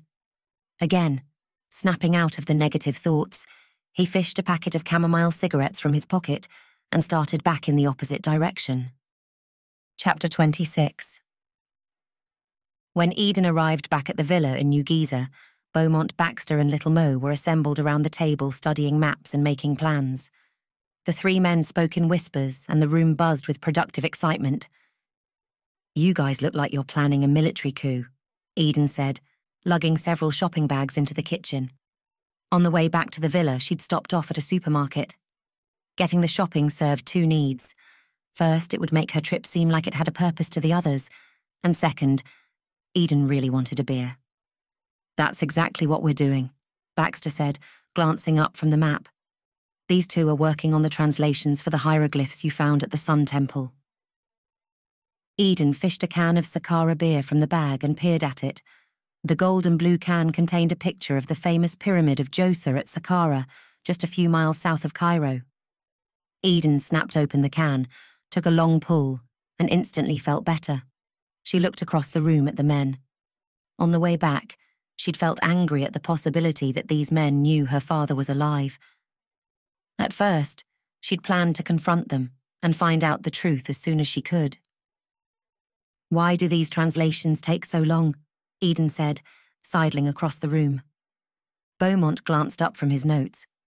I can assure you, we are working on this as quickly as humanly possible. Translating ancient texts is not as easy as you might think. You can't just. I'm joking, Eden said, placing a hand on Beaumont's shoulder. I know what it's like. My dad used to spend weeks labouring over the same old document, trying to understand what it meant. Eden glanced from one man to the next, looking for a flicker of something that might indicate they knew he was alive. She saw nothing. If they knew, these guys were good at keeping secrets. Beaumont nodded and turned his attention back to the computer, Eden then remembered the way her father had looked directly into the camera at Cairo Airport. In that moment, she realised that Alexander Winslow knew what he was doing. Whatever was going on here, Eden realised, he had planned it down to the finest detail. When the time was right, she would find out why. Eden gazed out through the villa's floor to ceiling windows. Beyond the tastefully lit garden, the lights of the city smouldered. Her dad was out there, somewhere. Eden thought. He was out there somewhere close. With the thought, an unusual warmth grew inside her. I mean, I hope you made it a priority. I had to wrestle a giant crocodile for that. Eden added, taking another sip of beer. And I had to rescue you, Baxter added. You got another one of those. He pointed at the beer. Knock yourself out, Eden said, waving in the direction of the bags. She peered down at Beaumont's scrawled handwriting. What have you got for us then, Professor? This has been a difficult one for us, I have to say, Eden. It's not as straightforward as some. It seems that the temple you investigated was from an earlier epoch than a lot of the hieroglyphs we've seen before. That means there's a fair amount of theorization that goes into creating a clear conclusion. Theorization? Eden laughed out loud. You mean you just make it up? Baxter dug out the pack of the beers and placed them on the table. Beaumont picked one up, too. My dear Eden, you have such a potty mouth. One does not simply make it up. We look at the evidence. We compare with translations already existing. We consider the context of the find and the dynasty in which the hieroglyphs were created, and then we. Make it up. Eden took a sip of the beer, purposefully slurping. Synthesize a theory, Beaumont said defiantly. Fortunately, we didn't need to do that on this occasion, as we have one of the word leaders in pre dynastic hieroglyphs on hand. Oh, fantastic. What did they make of it? It's a bit of a riddle, Little Mo said, stepping forward. He dug out several printed sheets and laid them on the table. You see here, they're taking this from later stages of hieroglyphic development and using them in ways we've not seen. What a minute, Eden said. You're one of the world experts in pre dynastic hieroglyphs. You can read this. Of course, Little Mo said, shrugging as though Eden had just asked a stupid question. Eden studied the photographs as Mo laid them out one by one. Despite the low light and the reduced visibility underwater, the pictures had come out surprisingly well. Quit with the science stuff, just tell me what you've come up with. Eden snapped, remembering how the dive had almost ended with her in the jaws of a Nile crocodile. Beaumont picked up his notepad and handed it to Eden. Of several pages of writing, only two sentences remained without being crossed out. Don't worry about all that, Beaumont said, pointing at the mess. This is what we've got so far. None of water's primeval the amid located, egg the of island the on found be will this. Well, the of place the access first must seekers, soul the of underworld the enter to. Eden raised an eyebrow. Gentlemen, far be it for me to criticize your work, but this makes absolutely no sense whatsoever. It sounds like the ramblings of a madman. Beaumont shrugged and took a sip of the beer. What can I say? Translating these ancient scripts is an art form. You don't learn this in school, Mo said. If you did learn it in school, you'd still be in second grade, Eden smirked. Well, I don't see that that's fair, Beaumont said. We've been working on this for hours and it's not at all. Stop talking a second. Eden stepped forward, holding her palm out to Beaumont. I think I've got something. She looked at the text again. The words seemed to move around in front of her vision before settling in a different order. That might just work, she said, aghast. The underworld of the soul. The underworld of the soul, she said again, looking up at the three men who stared at her unblinking. What does that phrase mean to you? I think the pressure has finally got to her, Baxter said, glancing at Mo. Maybe it's from the dive, Mo said. Air embolisms can cause confusion sometimes for days afterwards. Mo stepped towards Eden. Let's get you to sit down. No, Eden shouted. I'm fine, just answer the question. What does the underworld of the soul mean to you?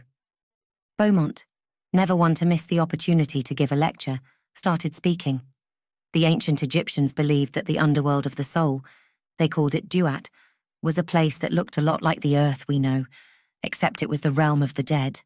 Osiris was believed to be the lord there, contrary to common. Okay, but it's a thing, right? Eden snapped. The ancient Egyptians believed it was, as you say, a thing, yes. Beaumont looked puzzled now. Why do you think that? Well, listen to this. Eden started to read the text Beaumont and Mo had translated, but this time backwards. To enter the underworld of the soul, seekers must first access the place of the well. This will be found on the island of the egg, located amid the primeval waters of Nun. Mo and Beaumont shared a wide eyed glance. I can't believe it, Mo said. She's done it. The hieroglyphics are written backwards. Of course they are. Beaumont shrieked, slapping his thigh. That makes perfect sense. It's representative of the underworld, where things are reversed. As above, so below. Eden shrugged. But that's it. It still doesn't really make any sense. She read the sentences through again, hoping for the meaning to appear. All that for two sentences. We're still working on it. Baxter interrupted defensively. Tell me, Eden, Mo said, no louder than a whisper, his Arabic inflection made the words sound even more mysterious than they already were. Why do you need any more, if this one sentence contains all the answers you need? Everyone looked at Mo for several seconds. Eden turned back and focused on the two sentences. When no further meaning appeared, she looked up at the Egyptian. Tell me then, Mo, what does all this mean? Mo and Beaumont grinned at each other. Eden glanced at Baxter. He shrugged as clueless as she was. All right, let me explain. Beaumont cleared his throat. Eden and Baxter stood in raptured silence, waiting. Eden had to admit, Richard Beaumont had a great sense of drama. He knew when he had his audience hanging on to his every word. Over the last 200 years, there have been numerous official attempts to access the cave network, which we know lies beneath the Giza Plateau.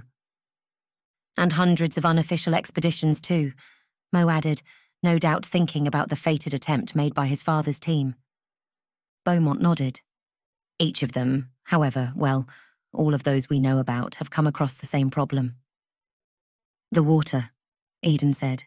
The water, Beaumont repeated, clearly not liking all the interruptions to his monologue. Many have tried to stop the water to pump it out or even swim through it, but the current is too strong. No one has figured out quite how to stop it. We think this is because Everyone has been trying to get in at the wrong place. Mo interrupted excitedly. Beaumont shot a glance at the Egyptian. Yes, we now think that is because although the subterranean caves may be below the plateau itself, that is not the correct way to enter. Then where do we enter? Baxter said, speaking for the first time in several minutes. That's where this gives us all the clues we need. Beaumont jabbed a finger at the notebook. Nun is the Egyptian god of primeval waters out of which the creation process began. Beaumont spoke more quickly now, trying to get the information out before anyone else cut him off. He is the oldest of the gods and actually created Ra, the sun god. The guy with the bird's face? Eden asked. Beaumont nodded and then continued. Nun is also associated with Gizeh's sacred lake, which was once located towards the east of the plateau. It is highly likely, given the topography of the area, there was a mound, or an island created within that lake. We believe that what these hieroglyphs are saying is mm-hmm. Through that island, you can get down into the underworld of the soul, Mo said, almost spitting the information out. Eden and Baxter glanced at each other, both trying to digest the information. The lake isn't there anymore, though, right? Eden said. So, how do we know where to look? Good question, Beaumont said, extending a finger. We did this for an investigation some years ago.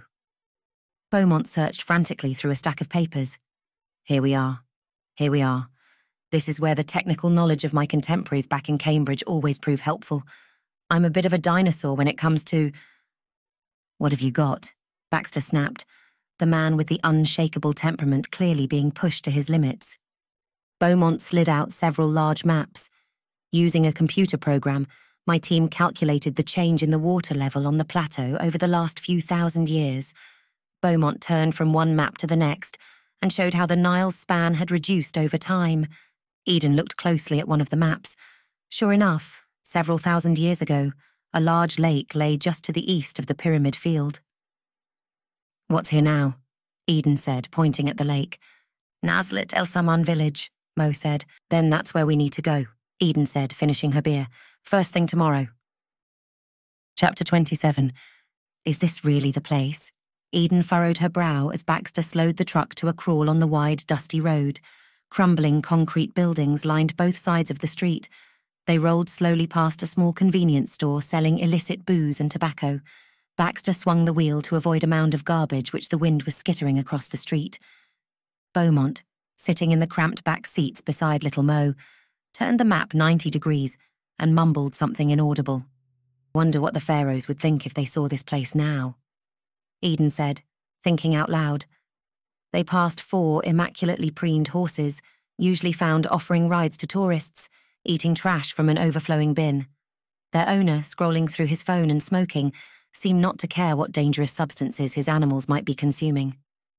Beaumont mumbled again from the back seat. Give me that, Eden snapped, turning around and grabbing the map from Beaumont. You can read 10,000 year old hieroglyphs, but can't hold a map up the right way. She folded the map and smoothed out the section they needed. Baxter stopped the truck to let an old man with a cane cross the road, his back bent, forcing his head towards the road. The man didn't even look up at the oncoming traffic. Scrutinizing the map, Eden saw Beaumont's problem. How is this supposed to help us? This is the topographical map from 2,000 years ago. We're not going to find anything with this. Pull over. Baxter did as he was told. They stopped between the grime covered windows of a small cafe and a closed up shop selling electrical appliances. Eden dug out her laptop. I'll get us some coffee and maybe a cake or two, Mo said, his voice taking on the tone of a satisfied cat. Good idea, Eden said. Make mine a large one. Mo nodded and struggled out of the truck, much to the relief of the aging vehicle's suspension. Using the lines of longitude and latitude from Beaumont's map, Eden overlaid the shape of the island, which once lay in the centre of the lake, onto the modern streets of Nazlet El Saman.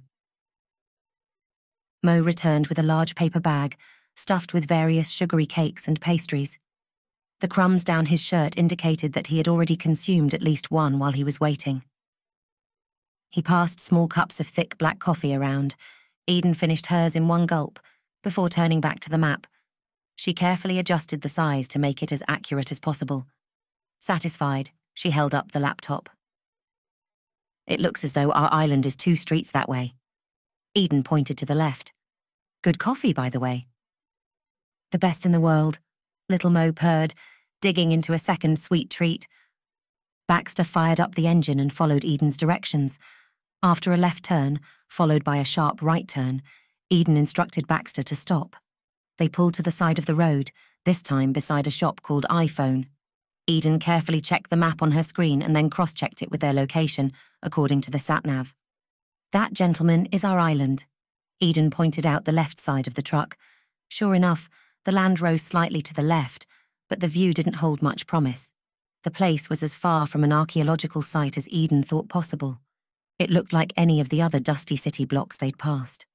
A haphazard collection of concrete buildings appeared to fill every inch of the space. In front of the buildings, an aging collection of cars were not so much parked as totally abandoned.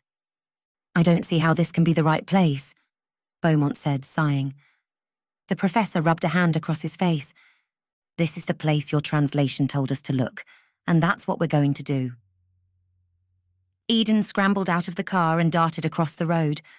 The men followed, Mo looking forlorn to have left his cakes. Anything here will have been destroyed decades ago. The builders of these won't have cared what they poured concrete over.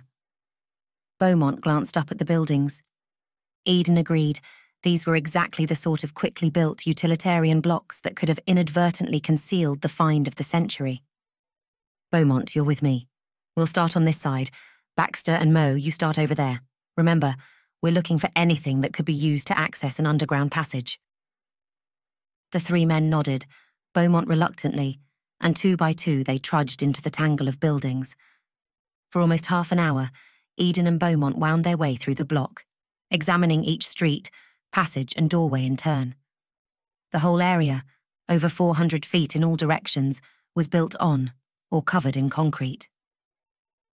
Seeing Baxter and Mo again, Eden could tell from their expressions that they'd not found anything either. Find anything? Eden asked anyway. Nothing, Baxter replied, shaking his head. Beaumont flicked a dismissing wrist up at the buildings. All the buildings we saw were no older than the late 20th century, there's no knowing what they've covered up in desperation to throw these places up. It's not good at all, Mo added mournfully. Dejected, they climbed back into the truck. Baxter turned the key. The truck coughed twice before the engine caught, as though it too was reluctant to give up the search. Baxter pulled away and started back in the direction of the villa. The four sat in silence as Baxter turned back onto the main road. Possible solutions streamed through Eden's mind. The entrance to this secret passageway could just be there, a few feet below the surface. It was tantalizingly close, but without knowing where to look, also impossibly far away. Brake lights strobed from the vehicles ahead as they slowed to pass a group of men working on the road. A truck, overladen with crates, lumbered into the oncoming lane. Baxter took a more cautious approach, staying as close to the temporary barrier as possible. Eden peered out at the road workers, Three or four men worked in a hole, striking the ground with pickaxes, and a similar number stood idly nearby. Suddenly, a phrase which little Mo had used the previous day bounced into her mind. She sat up straight as the idea took shape. As above, so below, Eden said out loud, turning and grinning at the men. Baxter, Beaumont, and Mo looked at her, puzzled. What? Baxter said, turning his attention back to the road and accelerating beyond the roadworks. As above, so below, Eden said, almost shouting now. Just because we can't see the entrance doesn't mean it's not there. Yes, obviously, Beaumont said. We know it's there somewhere, it's just. There's no access to it from the street, Eden interrupted. But what if we could get below the street? I don't under. The sewers, little Mo exclaimed from the back seat. Exactly, Eden said. Cairo is a massive city, right? That means there'll be tunnels crisscrossing everywhere. Many of the sewers here are based around tunnels which are thousands of years old, Mo said. Several generations have just enlarged the older system, rather than building new ones. Baxter slammed on the brakes. A bus, forced to shudder to a stop, protested on its horn. Eden dug out her phone and searched for local roadworking supply stores. She found the closest and put the sat nav to work. Take us here, Eden said, showing Baxter the location of the store on the street. You got it, he said, snapping the truck into gear and pulling a 180, Chapter 28 The sun was passing its zenith as Baxter stopped the truck in the location where the island would once have been. The abandoned cars, which this morning had sat in the shadows of the building, now baked in direct sunlight. Visible heat currents danced, rising from their rusting bodies. Eden climbed down from the truck and paced along the road. It didn't take her long to find what she was looking for. Pull up here, she shouted, pointing at an access cover at the side of the road. Baxter nudged the gas, and the truck rolled forwards. Eden beckoned him closer until the truck's nose sat just over the hole. Baxter got out of the truck, and Mo scrambled into the driver's seat. Get out of here at any sign of trouble, Baxter said. We will fend for ourselves if we need to. Eden flipped down the tailgate and rummaged through the items they had just bought. First, she selected a large iron tool, which looked a bit like an oversized pry bar. She fitted it into the center of the metal cover and twisted it to the right. Reluctantly, and with a lot of effort from Eden, the heavy metal cover clunked, then screeched from its locked position. And Baxter stepped across and helped Eden heave the heavy cover out of its mounting. Eden dug out a flashlight and peered into the gaping hole. The first thing to greet her was the cloying, nauseating odour of raw sewage. This is definitely a sewer, Eden said, feeling bile rise in her throat. No doubt about that, Baxter said, taking a step back from the stench. Eden held her breath and sunk into a crouch. A shaft dropped about ten feet, beneath which the sewer opened into a wider tunnel. Rungs bolted to the side of the shaft oozed with sticky brown liquid. Lucky we've got the gear, Baxter said, pulling more items from the back of the truck. Baxter and Eden pulled on thick rubber trousers, which went all the way over their shoes and were held up by straps across their shoulders. They then slipped on thick rubber gloves and head torches. Eden shoved the other things they might need into a waterproof sack and slipped it onto her back. I'll go first, Eden said, stepping towards the manhole. She glanced around the street. Although cars and pedestrians continued to stream past, no one paid them any attention. Lower the cable, Eden shouted to Mo. Mo flicked a switch, and the winch on the truck's front bumper buzzed. Designed to pull the two ton truck out of sticky situations, the motor would easily handle this challenge. The steel cable slipped slowly down into the void. Eden peered down into the hole. When the end of the cable reached the base of the sewer, she gave Mo a thumbs up. The motor stopped. Eden dropped into a crouch and sat on the edge of the hole, her feet dangling over the putrid river below. Then, without giving herself a chance to think it through, Eden gripped the cable and slipped down into the world beneath. If Eden thought the smell from the street was bad, down below was a different league entirely. She lowered herself hand over hand down the cable, her stomach threatening to purge her lunch at any moment. Beyond the shaft, the sewer opened into a tunnel about 10 feet in diameter. Along the base of the tunnel, a torrid stream of brown liquid ran in the direction of the river. Eden heard the scurrying and squeak of rats somewhere nearby. Eden touched down on the tunnel's slimy floor. Fortunately, the river of sewage was only a couple of inches deep, meaning she could easily walk on the drier parts of the tunnel at either side. Eden tugged the cable twice and then moved a few feet up further into the sewer. The air in the tunnel felt at least a few degrees cooler than the outside, although the stinking humidity had increased. Eden's clothes already felt as though they were sticking to her skin. She checked the reading on her watch. It was five degrees cooler than on the street, and the humidity was a touch under 80%. Baxter shimmied effortlessly down the cable. This way, Eden said, pointing up the slight incline in the direction of the island. Above them, the truck's engine growled. Mo rolled the vehicle forwards, covering the hole completely. The light now blocked out. The sewer darkened further.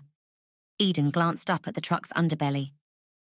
The things I do for humankind, Eden muttered, picking her way forward. Their light sweeping through the otherwise total darkness, Eden and Baxter crept through the sewer. Hearing another squeaking, scurrying noise, Eden spun around. At the very edge of the light beam, several rats, their fur slick with excrement, scurried away. She suppressed a shudder and trudged on. Talk about primordial soup, Eden said, watching the liquid ooze along the centre of the tunnel. That's a truckload of bacteria, Baxter agreed, maybe even a new species or two. That's way out of our job description, Eden muttered. She swept the beam along the tunnel wall. It's made from concrete sections. Look. Yeah, Baxter mumbled in agreement. So much for the tunnels of ancient eras that Mo thought we'd find. This can't be more than 50 years old. They pushed on in silence for a few minutes, the only sound being the squelching of their boots against the slimy sewage. I think we're on the land that used to be the island now, Baxter said. The tunnel's incline had come to a stop. In front of them, the sewer levelled out, and behind them, it ran downwards. How big did Beaumont estimate the area was?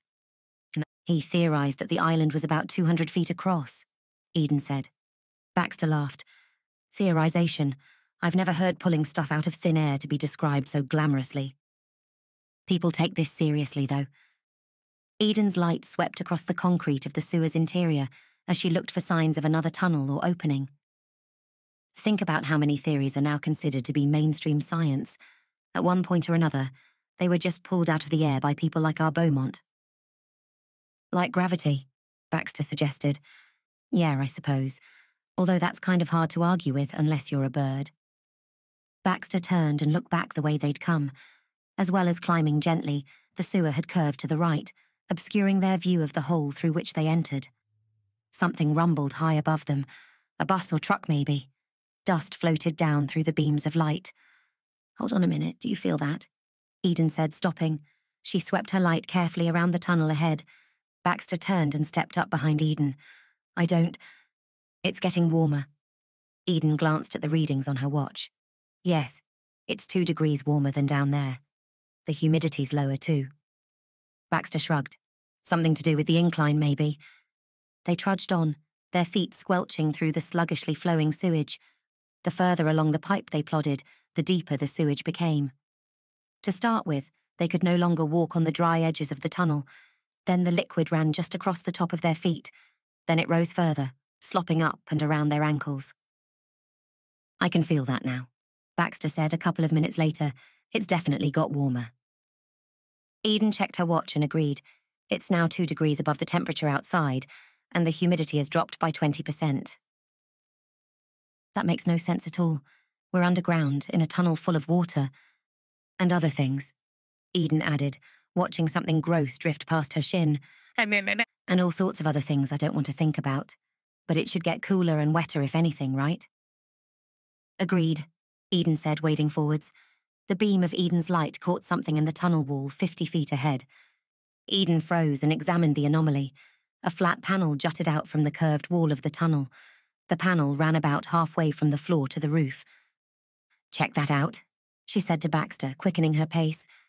Eden sloshed forwards, the level of the slurry increasing from her shin to above her knees as the tunnel ran slightly downhill.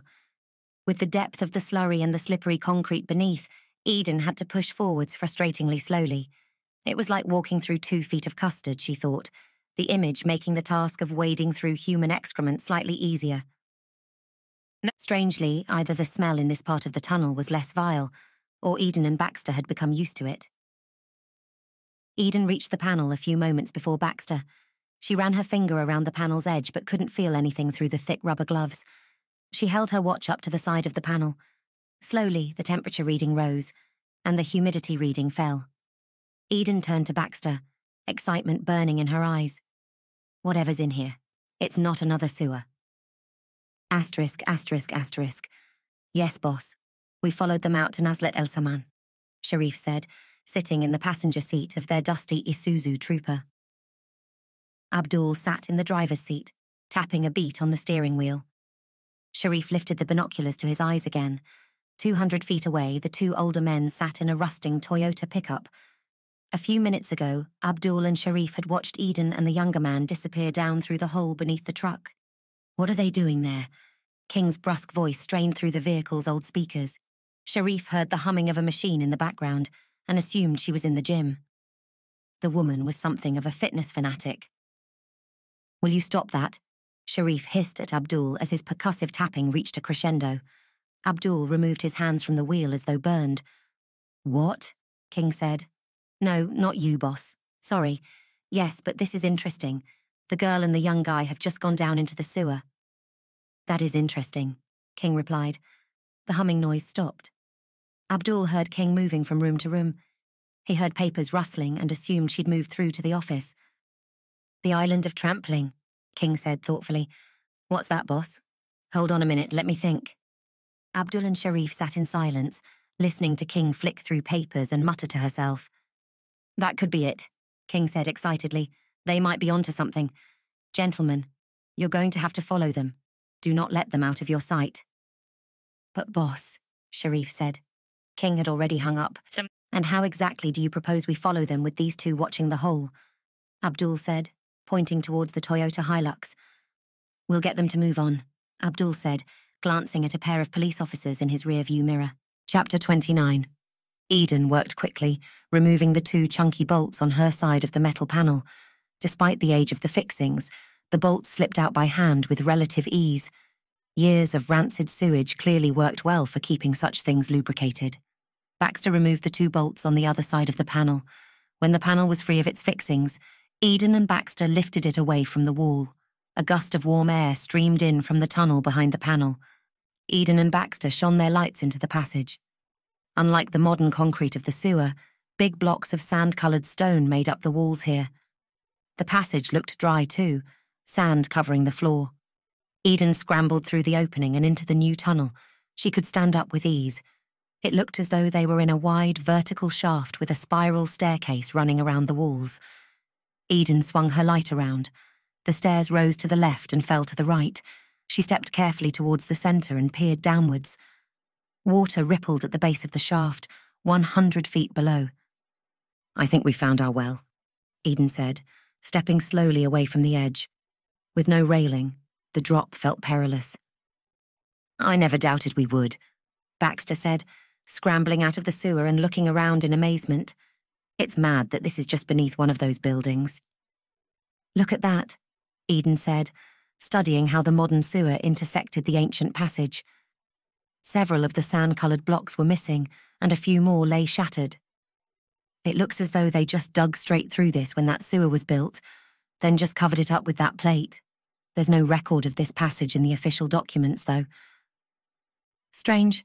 Maybe someone didn't want it to be investigated. A cover up, you mean? Possibly. Baxter shrugged. We should probably cover that hole again. Eden agreed, and together they heaved the metal plate back into position. They couldn't resecure the bolts from this side, but having been cut to size, it sat securely in place.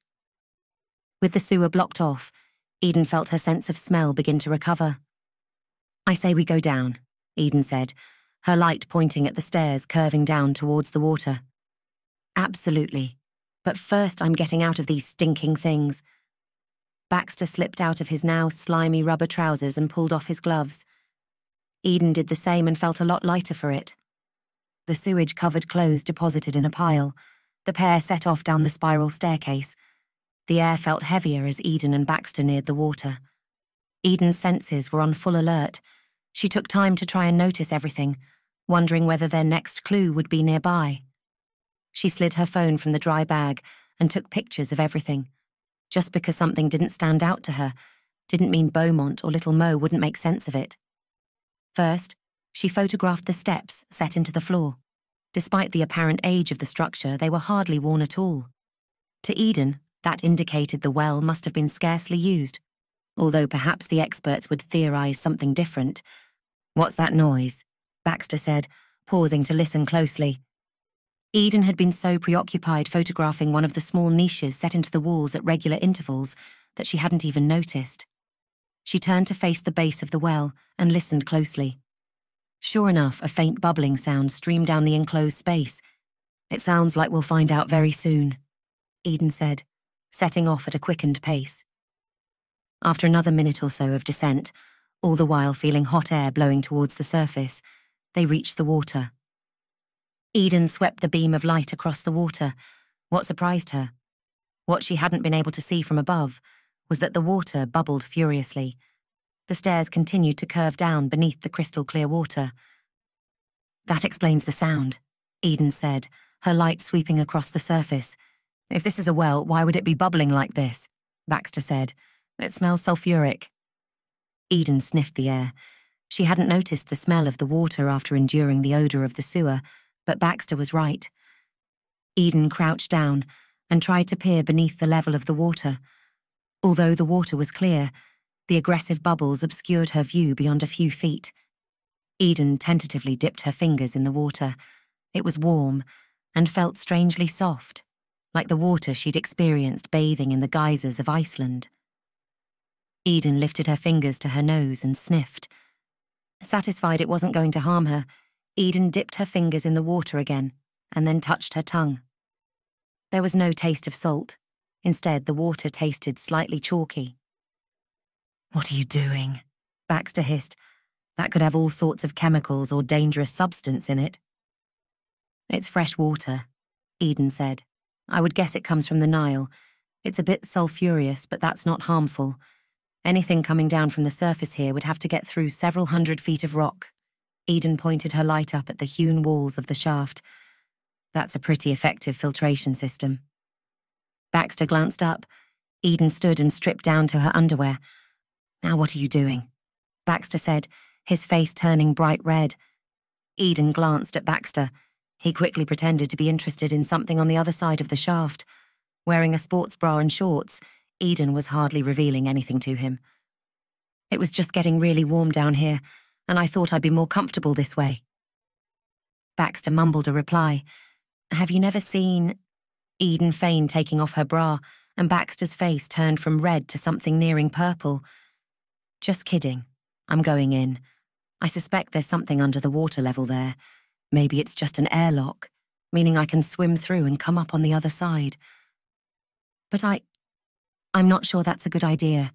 Even if you can get through, we don't know what the air is like on the other side. There could be pathogens or. Eden didn't hear the end of Baxter's sentence as she walked down into the water, took a deep breath, and submerged herself. Holding the light in one hand, Eden kicked downwards. The beam flicked from one wall to the other, illuminating thousands of bubbles coming the other way. Eden kicked again, diving six, twelve, and then fifteen feet beneath the water. She felt the pressure push against her ears as she descended. Eden kicked again, flighting her body's natural buoyancy. She swung the light around the shaft, aware that the air in her lungs was starting to wane. Then, ten feet below her, she spotted an opening to the right. She kicked down again. About twelve feet across, the opening appeared to be the source of the bubbles. Eden kicked and swam into the opening. Moving out of the stream of the bubbles, she was able to look down the tunnel. Twenty feet further on, the tunnel rose at a sharp angle. It looked like an airlock, just as she'd suspected. Her lungs now screaming from the exertion, Eden kicked on. Ignoring Baxter's warnings of pathogens inside the airlock, she reached the turn in the tunnel and swam upwards as hard as she could. The water's surface shimmered above her, a few seconds later, Eden broke through the surface and gasped a lungful of air. It tasted fine and sated her burning lungs. So far, so good, she thought. She'd emerged into another tunnel here. Again, the structure looked as though it was carefully hewn from solid rock. Suddenly, Eden felt something move beneath her. A dark shape rushed through the water, finally breaking through the surface. Baxter appeared, also gasping for breath. What about the dangerous pathogens? Eden said, climbing out of the water and brushing the droplets from her skin. The air was warm and humid. A slope had been cut into the floor of the tunnel, making it easy to walk out of the water. I thought it was worth the risk. Plus, I thought you'd need your bag. Baxter held up the dry bag which Eden had left on the floor as she'd undressed. Baxter paced out of the water. Now it was Eden's turn to look away with something like embarrassment. Baxter had stripped down to his underwear, revealing a well muscled body. A patchwork of scars covered his skin, hinting at previous scrapes and escapes. Eden remembered that the last time she'd seen him in Lebanon, he'd had a knife sticking out of his back. You see that? Baxter said, turning his flashlight from one side of the tunnel to the other. Eden looked at the walls. Both were bare rock. No, what? The ancient Egyptians liked to write hieroglyphs on everything, didn't they? but there's none here. Eden studied the walls again. Baxter was right. Eden and Baxter set off at a slow jog down the tunnel. With all those twists, I've no idea in which direction we're going, but I'd put money on us now heading towards the pyramids. Eden said, shining her light down the passage. Let's hope so. Otherwise, I've no idea what we'll find. What's that? Eden said, pointing her light down the tunnel. Fifty feet further on, It looked as though the tunnel reached a dead end. Maybe it just curves out of sight, Baxter said, quickening his pace. A few seconds later, they reached a giant slab of rock which blocked the passage. Eden stepped close to the slab and panned her light from one side to the next. The slab looked as though it was constructed from a single piece of granite, slightly different in colour and texture to the walls. The slab had clearly been consciously placed there.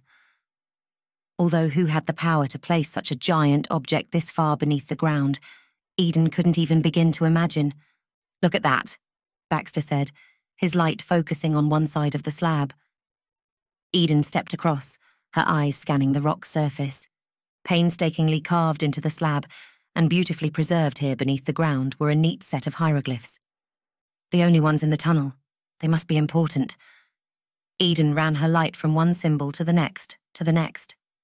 Although they make no sense to me, I think we're on the right path, Baxter said. He swung the dry bag from his shoulder and dug out their camera.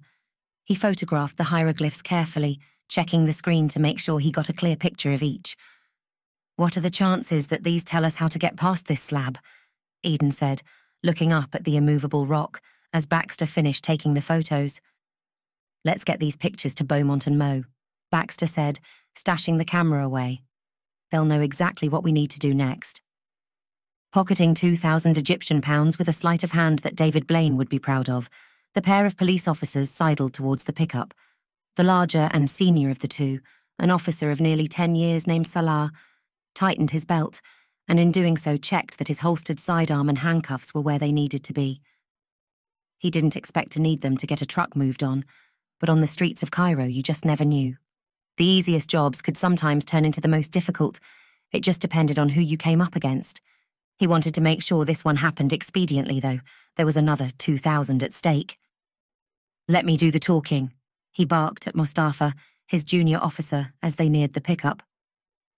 Salah directed Mustafa to the passenger side as he sidled around towards the driver. Leaning over slightly, Salah tapped on the glass and gave the universal sign to lower the window. At just over six feet four, Salah had to lean over, even for big vehicles like this. The man in the driving seat wound down the window with one hand and popped the last bit of what looked like a pastry into his mouth. Salah peered into the vehicle, narrowing his eyes. The big man in the driving seat looked like an Egyptian with olive skin and jet black hair that was greying around the temples. Salah's beady eyes moved on to the passenger. This man was not Egyptian, English probably. His skin was the colour of wet pastry, and his thin grey hair looked like winter clouds. What are you doing here? We're waiting for some friends. They've just gone to a shop nearby, the Egyptian replied. Salah's gaze narrowed even further. The guy seemed nervous, almost as though he was hiding something. Salah thought about the money already burning a hole in his pocket. Whatever these guys were up to, he didn't care. He just needed to get them moved on. You can't wait here. I need you to move on now. The driver looked briefly at the passenger, whose blank expression indicated that he probably didn't know what was going on. But then they won't know where we've gone. Five minutes, officer. Then we will be gone. Salah felt the first spark of rage in his gut. His fingers tensed on his belt. No, you will start the truck right now, or I will drag you down to the station and give you a ticket. Just for parking in the wrong place? The driver said. A trip to the station for a parking violation is a bit extreme, no? Salah sensed that the man was talking now purely to waste his time. He snarled and dropped into a crouch, as though preparing to wrestle the driver from the vehicle. Are you being cheeky with me? That is it, I'm not being spoken to like some idiot. Salah spat out the words. I'm not being cheeky, officer, just questioning the efficiency of your tactics here. Salah rose a finger and pointed at the man. It is not your place to question me, sir. You will move on now, or not only will I take you to the station, Come on, let's go, the passenger said in flawless Arabic. Whilst not the locally spoken Egyptian dialect, Salah was still surprised. He blinked several times. Fine, we will move on now, the driver said angrily. He started the vehicle, revved it hard, and roared off down the street. The pickup turned a corner and disappeared out of sight ahead. Just a few seconds later, the Isuzu pulled up beside the officers. The two large African men scrambled out, they rushed around the front of the vehicle and peered down an open access hole. Salah hadn't seen the access hole before, as it had been beneath the pickup. He shrugged. Whatever was going on here was none of his business. He clicked his fingers, and one of the men sidled across and handed him another wad of notes. Not a word of this, Salah said, glancing at Mustafa. The younger officer nodded, accepting his share of the money. If they got paid, who cared? Salah and Mustafa wandered off back towards their patrol car. Chapter 30. I just can't believe the cheek of it, little Mo said, spitting out the words as though they caused him great pain. Men like that should not be allowed in the police. But Mo, it doesn't. Beaumont tried to interrupt the raging Egyptian but couldn't get a word in. It just makes me so angry that someone should speak to us like that, and to do it in front of a foreigner, too. Mo glanced at Beaumont in the passenger seat. What sort of impression are they making of our country if a man can't even park in the street without being hassled? And one more thing. Mo, it doesn't matter at all because. Mo glanced at Beaumont, taking his eyes off the road. It does matter. How are we going to get Eden and. Stop the truck, Beaumont shouted uncharacteristically. Mo turned just in time to see two people step out in front of the vehicle, waving their arms above their heads. He stomped on the pedal. The brakes of the aging pickup squealed, tyres skidded against the asphalt. Mo and Beaumont shot forward in their seats, restrained by their belts. Loose objects in the back crashed and banged around. Are you trying to kill us? Eden said, walking around and climbing into the truck's back seats.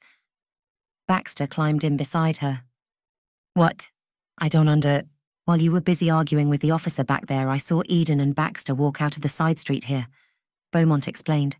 We saw you had company and thought it better to wait out of sight, Eden said, finishing off the story. Mo looked from Eden back to Beaumont. You didn't come back out through the sewer? Beaumont said, noticing the pair no longer wore the rubber protective gear.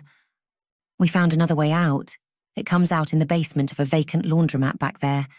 It must have just been there for years, undisturbed, Baxter said. You wait until you see what we've got for you, Eden said excitedly. Mo noticed her hair was slicked back in a ponytail. The question is, Baxter said, why did those officers take such an interest in where you were parking? Mo considered this, snapped the truck into gear and pulled a 180. He drove back out to the junction and paused. The truck's occupants craned their necks to peer around the corner. 200 feet down the road, a dusty Isuzu Trooper 4X4 sat in the exact position the pickup had been a few minutes before. The police officers were nowhere to be seen. I knew it, Mo hissed. Those officers were as corrupt as they come. I can only apologize for the behavior of my fellow Egyptians. Two large African men appeared from the rear of the Isuzu and gazed down into the open access hole. Eden instantly recognized the men as the pair she had met with Lulu King. She drew a sharp intake of breath. Again, she considered telling the others who they were. No, she decided. For now, she would continue to keep that to herself. Two hundred feet away, the men exchanged some words. One of the men pulled a rope from a duffel bag, tied one end of the rope to the trooper's tow bar, and dropped it down into the sewer. They really shouldn't go down there dressed like that, Eden said, noticing the men wore black combat trousers and shirts. Without proper waterproof gear, they're going to get seriously messy. The first man gripped hold of the rope and lowered himself down. A few seconds later, the second man followed. Perfect, Eden said, climbing out of the car. Wait here a second. Eden covered the 200 feet quickly. She peered down the access hole. The men were already out of sight, picking their way along the tunnel. Silently, Eden untied the rope and dropped it down into the sewer. She slid the metal cover back into place. Then, with a grin on her face, she strolled back to the pickup. That should keep them busy for a while, Eden said, climbing in. Back to the villa. We've got another code to solve. Chapter 31 Mo screeched to a stop outside the villa, sending a torrent of bleached gravel skittering across the driveway. During the journey, most of which had been spent in Cairo's nose to tail traffic, Eden and Baxter had regaled their discovery of the well, the bubbling water, and the hidden passage. You really shouldn't have gone in the water without thorough testing, Beaumont said, climbing out of the truck and rushing towards the villa. There could have been all sorts of things in that water, from viral parabens, an unstable pH content. There's just no knowing. You must go and have a shower immediately. That's what I told her, Baxter said, before adding in little more than a whisper, but you can't tell Eden Black to do anything. Eden turned to face the two men. Hey, if I hadn't gone in there, then we still wouldn't know what to do, right? Plus, you followed me. Sure, but it's not worth risking your life for, Beaumont continued. After all, you're important. We could always have gone back when. No way, not with those guys on our tail. Eden folded her arms. This is not some relaxing jolly up in the countryside. We're not messing about, digging up long dead skeletons with a paintbrush here. Oh, great. Another Iron Age arrowhead. This is real. Dangerous. We haven't got time to mess around. Eden spun on her heels and crossed to the table where Mo was switching on one of the computers. You know what? Beaumont said in a whisper, catching Baxter's eye. I wouldn't want Eden Black to be any other way. Baxter looked away almost guiltily. What have we got then? Mo said, as the computer loaded up. Eden swung the bag from her shoulder and dug out the camera. She passed it to Mo. The Egyptian selected the correct cable and connected it to the computer. Several images filled the screen. Beaumont stepped in close to study them as well. It certainly looks as though they're from the same period as those you recovered from Aswan. Mo pointed at one symbol which looked like a bird. This symbol isn't used in later. But what do they mean? Eden said impatiently. Mo turned and glanced at Eden. It's not that simple. There isn't an app I can use to translate them in two seconds. This is an ancient art that only a few people in the world are capable of deciphering. There are also several potential translations which I must cycle through to find. All right, I get it, Eden said, slumping onto one of the high stools which surrounded the kitchen island. How long do you think it will take? Right now, I can't even tell you that. Why don't you go and get yourself freshened up? It is smelling a bit like. Mo drew a circle in the air while he searched for the correct word. Baxter roared with laughter, drawing the attention of the Egyptian. Even with your wash in the primordial waters of Giza, you both stink, Beaumont said. Eden grinned at Baxter like a child getting their own way. Fine, she said, standing and lumbering towards the stairs. Baxter followed her upstairs and turned towards his bedroom like a scorned child. Eden padded through to her ensuite bathroom and flipped the shower onto its hottest setting. She let the water run until steam curled towards the ceiling. Examining herself in the large mirror above the sink, the water in the tunnel had left her skin covered in a white residue. Her hair had dried into a stiff, wadded mess. Eden stripped off and stepped beneath the streaming water. She rubbed soap onto her body and then let the powerful hot jets pummel her skin for a few minutes. Then she flipped the tap the other way. The cold water invigorated and enlivened her. She counted out 60 seconds, cut off the water, stepped from the shower, toweled down, and headed out into her bedroom. Looking at the items on her dressing table for the first time, Eden froze. In an old trick her father had taught her, Eden always left several items around the room in seemingly random places. Anyone entering the room would not realize that she had painstakingly recorded the location of each. Eden stepped towards the dressing table. The notebook, which she'd placed at the back left, was now in the centre. The pile of loose notes, instead of sitting fanned out, were neatly stacked. Eden thought about it carefully, remembering if she'd set out the items as she usually did. She remembered going through her usual process the night before. Things in this room had moved, that Eden knew for sure. Eden also knew who was behind such an intrusion Lulu King. While her men were keeping tabs on them out in Nazlet el Saman, Lulu had come into their villa. Eden glanced around the room. There was only one reason King would want access to the place to leave something behind. They'd been bugged. Without a word, Eden moved around the room, checking for hidden devices. First, she checked the ceiling, the television set, the smoke alarm. But everything there looked normal. Nowhere else in the room would give the viewer a decent picture, so King must just have bugged for audio. That was a smart move, Eden thought. Audio bugs were smaller, had longer battery life, and could be tucked away out of sight. She dressed quickly and bounded down the stairs, Baxter having already showered and changed, rummaged through the fridge. Beaumont and little Mo stood bent over the laptop, engrossed in the translation. I think we just might have something, Beaumont said, straightening up. It's early. And we've had to send a couple of the images off to colleagues back in Cambridge, but I think we have a start. Great, Eden said, holding a finger to her lips and crossing to the desk. Before we do that, let's eat. Now I've got the primordial soup out of my hair. I'm famished. Beaumont looked at Eden quizzically. It was unlike her to consider the needs of her stomach above their discoveries.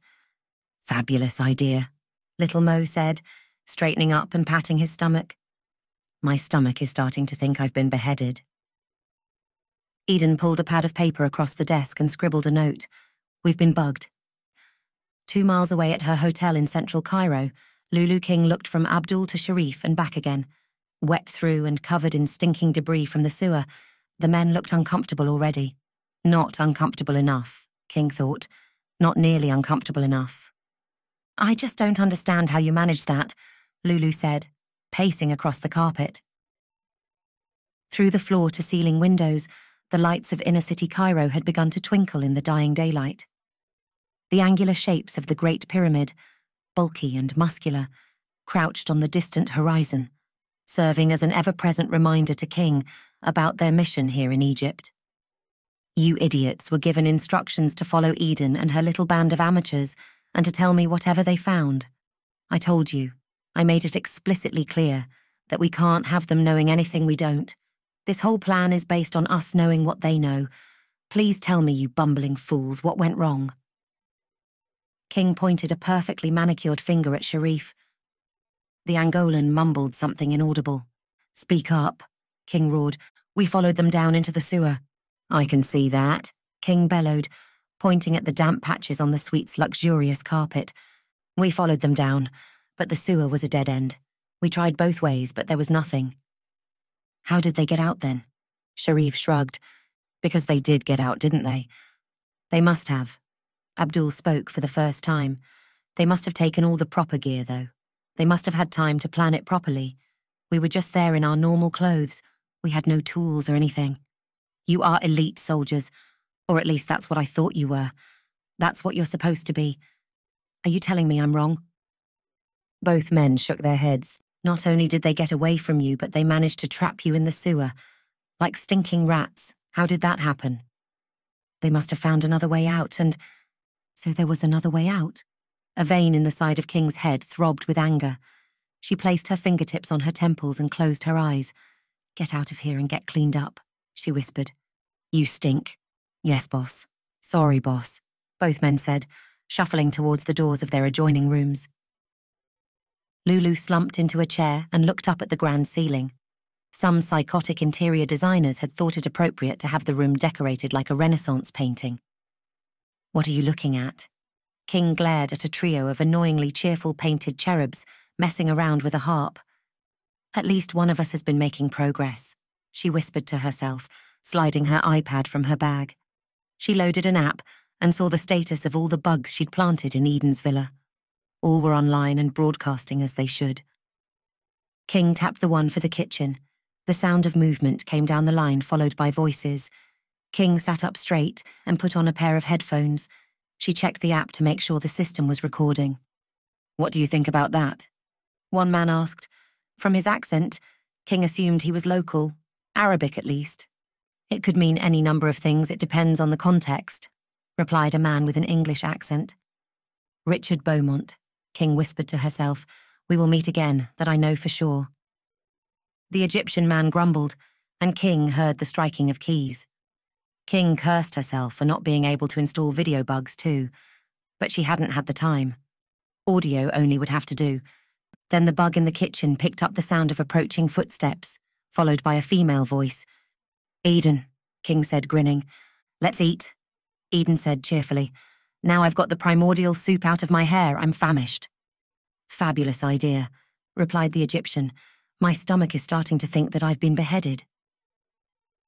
Several footsteps clicked towards the door, and a set of keys jangled. The door slammed, then, faintly, King heard the truck start up and grumbled away. King listened to the silence for several seconds. When it was clear that the villa was empty, she set the app to notify her if any noise was detected, and then slid the iPad away. King sat back and thought through the situation. In a way, the bugs were not necessary. She had Eden over a barrel. But King knew from experience trapped people could still be very dangerous indeed. Often people with fewer options were even more dangerous, as they were likely to take silly risks and act in unpredictable ways. That was a chance King couldn't take. This way, she was covered, whatever Eden decided to do. Chapter 32 The Bashtak restaurant in Khan el Khalili was exactly the sort of place Eden loved to visit while travelling. Fabrics in red and gold covered the walls and tables, and the smell of spices and incense hung thick in the air. The sound of babbled conversation in several languages drifted through the room. To Eden, it was the sort of anonymous place that made her feel instantly at home. Eden and Baxter sat on one side of the small table with Beaumont and Mo on the other. Do we have any idea who would want to listen in to our conversation? Baxter said. Eden kept quiet. All the while, Baxter, Mo, and Beaumont played their cards close. She would do the same. There are many people whose fortunes are based on what we are set to discover, Mo said. You saw those men today in Nazlet el Saman. They were not there by accident. The Council of Selene is not the only powerful organization who want this for themselves. We always knew this might be an issue. Who, though, and how do we stop them? Baxter pressed. I don't think we can. We are but four people. Mo slurped his second cup of chai. We can move quietly, though, Beaumont said. What should we do about the bugs? I say we go back there, find them, and destroy them. That will make a point that we're onto them. Baxter struck the table with his closed fist. Not so hasty, Mo said, dabbing his mouth with a napkin. We know they are listening, but they don't yet know that we know, correct? Eden nodded. Maybe we could use this to our advantage. Whatever we do, we don't have to decide right now. What have you both found out about the hieroglyphs? Now, this is very interesting, Little Mo said, his whispered voice sounding like a cat's purr. The first part reads like instructions. It talks about the careful balance of water pressure in the cave system. The whole place is like some kind of pressure chamber. The only way to get into the vault is to stop the flow of water. That will allow that slab you discovered to be moved, I think. No wonder those using dynamite couldn't get anywhere, Beaumont said, referencing several so called archaeologists of the past who had tried to blast their way into the plateau. Does it tell us how to do that? Eden pressed. Yes, actually, it's very specific, although you won't like it. There's a sluice gate which must be dropped down a shaft. When the slab rests at the bottom of the shaft, it works something like a dam, slowing the flow of the water. This must be done exactly as instructed. The sluice gate is designed to slow the water, not to stop it. Sounds simple enough, Eden quipped, receiving a glance from Mo and Beaumont. But you haven't told me where the shaft is. Yes, that bit makes it rather more difficult, I'm afraid. Eden raised an eyebrow. The entrance to the shaft is on the back of the Sphinx. You're joking, right? Eden said, laughing out loud. We need to break into the Giza plateau, sneak up to the Sphinx, and climb into a shaft on its back. Little Mo nodded sagely. That's pretty much it, yes. Only then will the tunnel from Nazlet El Saman be accessible. With that sluice gate open, the slab at Nazlet El Saman remains in place. You know that the plateau is well protected. They have a security fence surrounding the whole area, armed guards, security cameras, and who knows what else. Eden, I'm just telling you what's written here. I've no idea how we're going to do that, but I'm sure you're capable. Why do we have to bother with all this? Baxter asked impatiently. There must be a way we can force that slab open. A pneumatic prop or something. We've got all sorts of gear in the truck. The whole system is finely balanced based on the water pressure. The doors will be impossible to open without that, Mo said. I tell you, this is the only way it can be done. It was finely balanced, Eden said. For hundreds of years, people have been digging on the plateau, What's to say they haven't screwed up the balance completely? Mo shrugged. Of course, that's possible. But we must hope not, I suppose. There is one more line, though, right here at the bottom. Mo spun the laptop around and pointed at the final series of hieroglyphs. Eden studied the symbols, but they made no sense to her. She nodded for Mo to continue.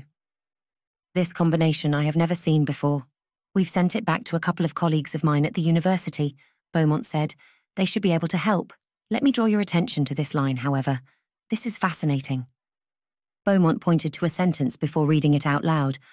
The Ennead and Almodad will show you the rest of the way. The Ennead clearly refers to the nine deities worshipped at Heliopolis, Mo said. We suspect this is a representation of the plateau with its nine pyramids. That makes sense, Eden said, sipping the tea. But I'm sure you'll agree that it's curious because they've mentioned Almodad, Beaumont said. I was just about to mention that, Eden quipped, shrugging. Almodad is a descendant of Noah, not a deity. It's unusual that they mixed up gods and mortals in this sentence. I suspect that's because Almodad is often credited as being the inventor of geometry. So, to find the entrance, we must consider the pyramids, and then use some geometry. Why would we need to use geometry if the entrance is on the top of the Sphinx? Eden interrupted. It's a 60 foot high stone lion, which is not exactly hard to find. That's another mystery, Beaumont said. I suspect all will become clear when we. The laptop trilled, cutting Beaumont off mid sentence. Mo spun the laptop around and leaned in towards the screen. His thick fingers flew dexterously across the keys. Yes, it's from your colleague via the secure email system. As we thought, the first line says. Mo's voice dried up in his throat. He froze in his seat. Beaumont leaned in and looked at the screen. Reading the words, he visibly paled. I don't understand. I. What does it say? Baxter said, craning his neck towards the laptop. Mo looked up at Eden, unblinking. He looked as though he were in something of a trance. I think you should read this for yourself. Mo spun the laptop around. For a moment, in contrast to the dim restaurant, the bright screen danced in front of Eden's vision. She focused in on the words and read them out loud. You now have all you need to see through the mist of confusion. But beware, time waits for no man or woman, Eden. The four looked at each other for several seconds. Time waits for no man or woman, Eden, Beaumont repeated, tapping his chin. Mo shook his head slowly. Eden must be used in the biblical sense, right? Baxter said, shaking them all out of the trance. You know, like the garden and snake, all that. This form of hieroglyphs predate the Bible by several thousand years, Beaumont said. Yes, the writing of the Bible. But the stories told come from before that, right? It doesn't make sense in that context, Mo interjected. For Eden, the conversation sounded like it was happening underwater. Her mind spun at double speed, considering all possible angles. Once again, she longed to speak with her father. He would be able to answer this in a few seconds. He would find order where there was chaos and bring clarity where there was presently only confusion. Suddenly, amid the incense floating through the restaurant's air, Eden smelled the scent of chamomile. She remembered the cigarettes her father used to smoke. More than remembered, the smell made her picture him sitting at his desk in the attic office of their house in Brighton. The memory floated in vivid, colourful detail for several seconds. Then the recollection that the house had now been burned to the ground hit her in the stomach, and the vision faded, twisting into the picture of her father at the airport. Now she knew that he was alive. That thought burned in her veins like a powerful drug. Eden shook herself back into the present. To find out what had really happened to her father, they needed to get access to that vault. That, right now, was all that mattered. That is strange, certainly, but there will be some logical explanation, Eden said, taking control of the situation. There must be. What's important now is that we get back in there and get what we came for. We're not alone in looking for this, remember. Those men have already found the sewer, and they may have found these hieroglyphs too. But how do we get into the shaft on the top of the Sphinx without half of the plateau's security guards on our case? Baxter said. Don't you worry about that, Mo said, picking up his phone from the table. I have an idea. Now we go. Time or tide waits for no man or woman, Eden. Chapter 33 Beaumont drove the pickup slowly through the streets of Giza in the direction of the looming pyramids. Mo sat in the passenger seat. Eden and Baxter sat in the back. Inside the truck, all were silent. It was as though the challenges of the evening pressed an unseen weight down over the occupants, forcing them all into reflective silence. Sliding between a pair of guest houses, the plateau came into view. The outlines of the three largest pyramids towered into the night sky. The lights which illuminated the pyramids during the daily light show had long since been switched off, and the crowds had dispersed, but the monoliths were still visible just by the overflowing light pollution from the nearby city. Eden glanced at her watch. It was just after 1 a.m. After finishing at the restaurant, they had returned to the villa and silently loaded up the truck. Then they had paced around the villa, acting as though they were going to bed. After climbing between the sheets, each had tiptoed back out to the truck. All going well. King would think they were fast asleep by now. Come success or failure tonight, they would be back safe and well before King even realised. Or at least Eden thought. She hoped they would be back safe and well. This was a dangerous mission, from which many people had never returned. Throw Lulu King and her henchmen into the mix, and there was no knowing what might happen. Beaumont slowed the truck and rolled to a stop in front of the closed security gate. Several security cameras eyed them from high poles. A pair of guards climbed dozily from chairs on the other side of the gate and sauntered up to the bars. Eden peered through the bars. In the gloom, she could just about make out the shape of the Sphinx standing enticingly close. The guards approached the driver's window. Beaumont wound down the glass. From the passenger seat, Mo entered into a quick-fire Arabic exchange with one of the men. The men peered closely at Eden and Baxter in the back of the truck. The Arabic exchange continued. Mo slipped the men a wad of notes. The men glanced at each other, then at the money, then nodded. They slid the gate open quickly and beckoned the truck inside. Beaumont revved the engine and drove through the gate. Was it really that easy? What did you tell them? Eden asked. She glanced at the guards to see they were both looking at her with something akin to awe. I told them that you both are American film stars, come all the way from Hollywood to see the pyramids at the invitation of our president. You were supposed to be here a few hours ago, but your flight was delayed. Tomorrow you must start filming out in the desert, so have just one night in the city. They really bought that, Eden scoffed. Absolutely. One of them said he'd even seen one of your films, The Raider of Tombs, or something like that. Mo shrugged. Eden laughed out loud, then waved at the guards through the glass.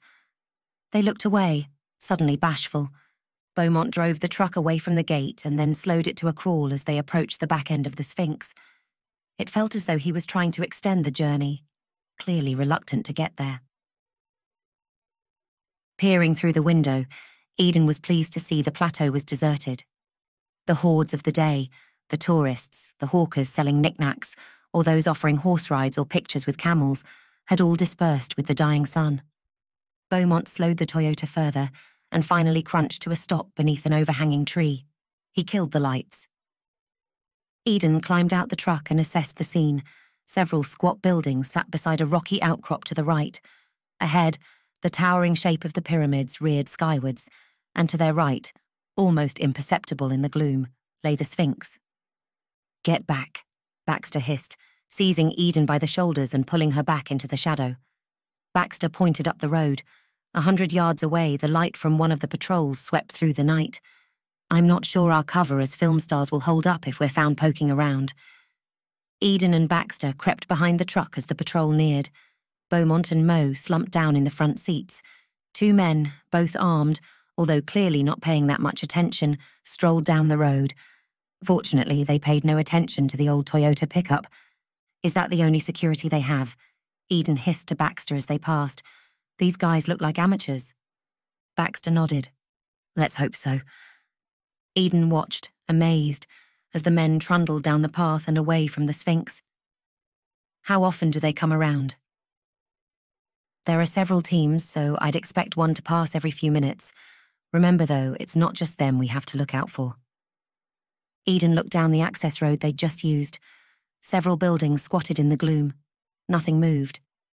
Or at least, she couldn't see anything move. If anyone was following them, they were waiting out of sight so far. We'd better get going, Eden said, before someone does notice we're here. Eden and Baxter shuffled around to the rear of the truck and dropped the tailgate. All the gear they needed for the evening was strapped to the flatbed beneath a tarpaulin.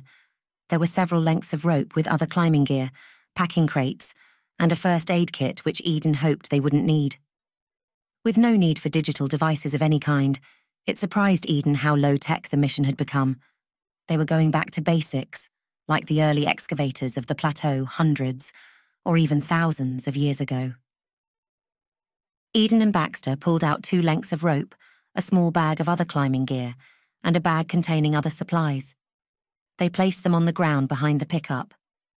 As Baxter arranged the tarpaulin back over the rest of their supplies, Eden paced to the front of the truck.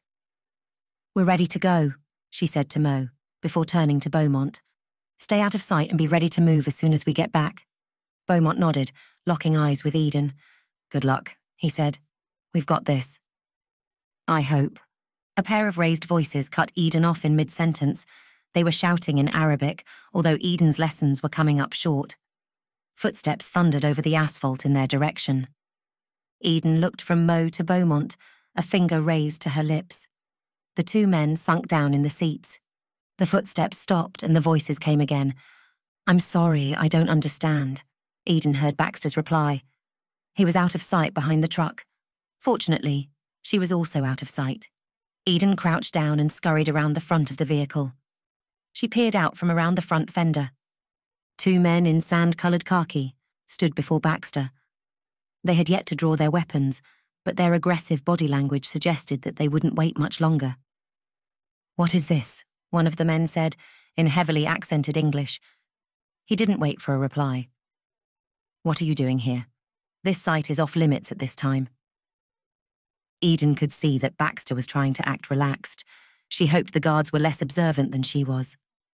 Truck is broken, Baxter said finally, pointing at the vehicle. We're on our way home and. What are these things? The guard pointed a bony finger at the bags and climbing gear clearly visible on the road. I'm looking for the right tool to fix the truck. It's in here somewhere. Baxter made a show of turning back towards the truck and looking for the fictional tool. Do not move! one of the guards screamed, sliding his weapon from its holster. Now you've done it, Eden whispered to herself. She slipped out from behind the truck. If she could take down one of the men, then Baxter could deal with the other. She didn't want to hurt the men. They were just doing their jobs after all. But tonight's task couldn't be derailed this early in the process.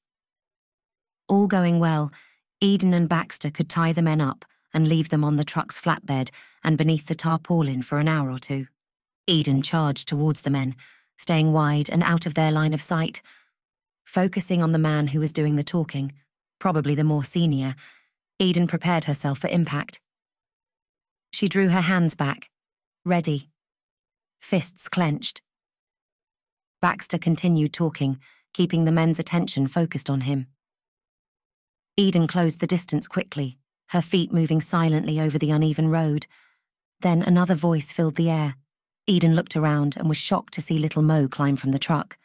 The Egyptian smiled at the men, his arms open wide. His body language was all at odds with the tension of the situation. It looked as though he was greeting a long lost friend as he spoke in Arabic. Eden looked from Mo to the guards and back again. Seeing the approaching Egyptian, the guards visibly relaxed. They slid their guns away and smiled. Mo hassled across, almost pushing Baxter out of the way and embraced the men. Eden, now confused, skidded to a stop. Her hands dropped to her sides. This is amazing, Mo said, switching to English. These men used to know my father. He was one of the guards here several decades ago. The men switched back to Arabic.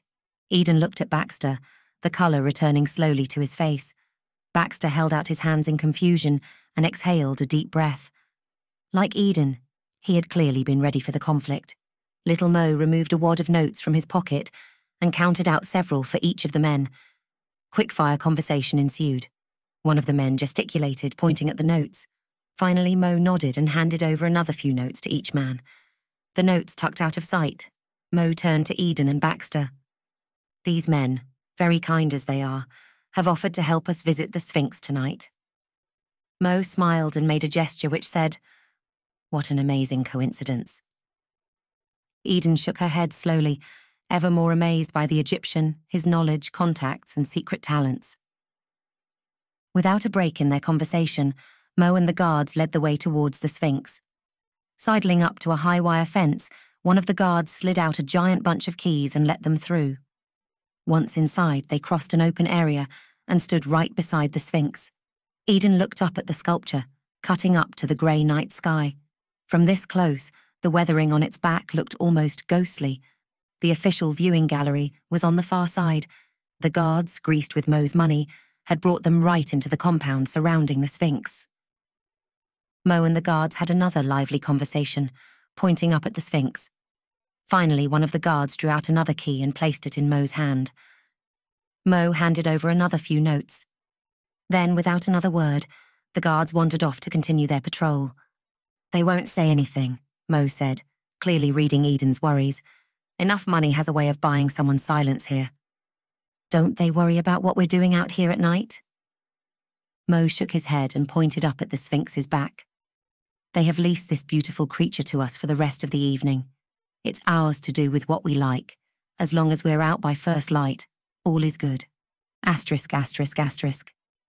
I think we should just check, Abdul said, as they cut back through Giza in the direction of their hotel in central Cairo. We'll stop at the place and look over the wall.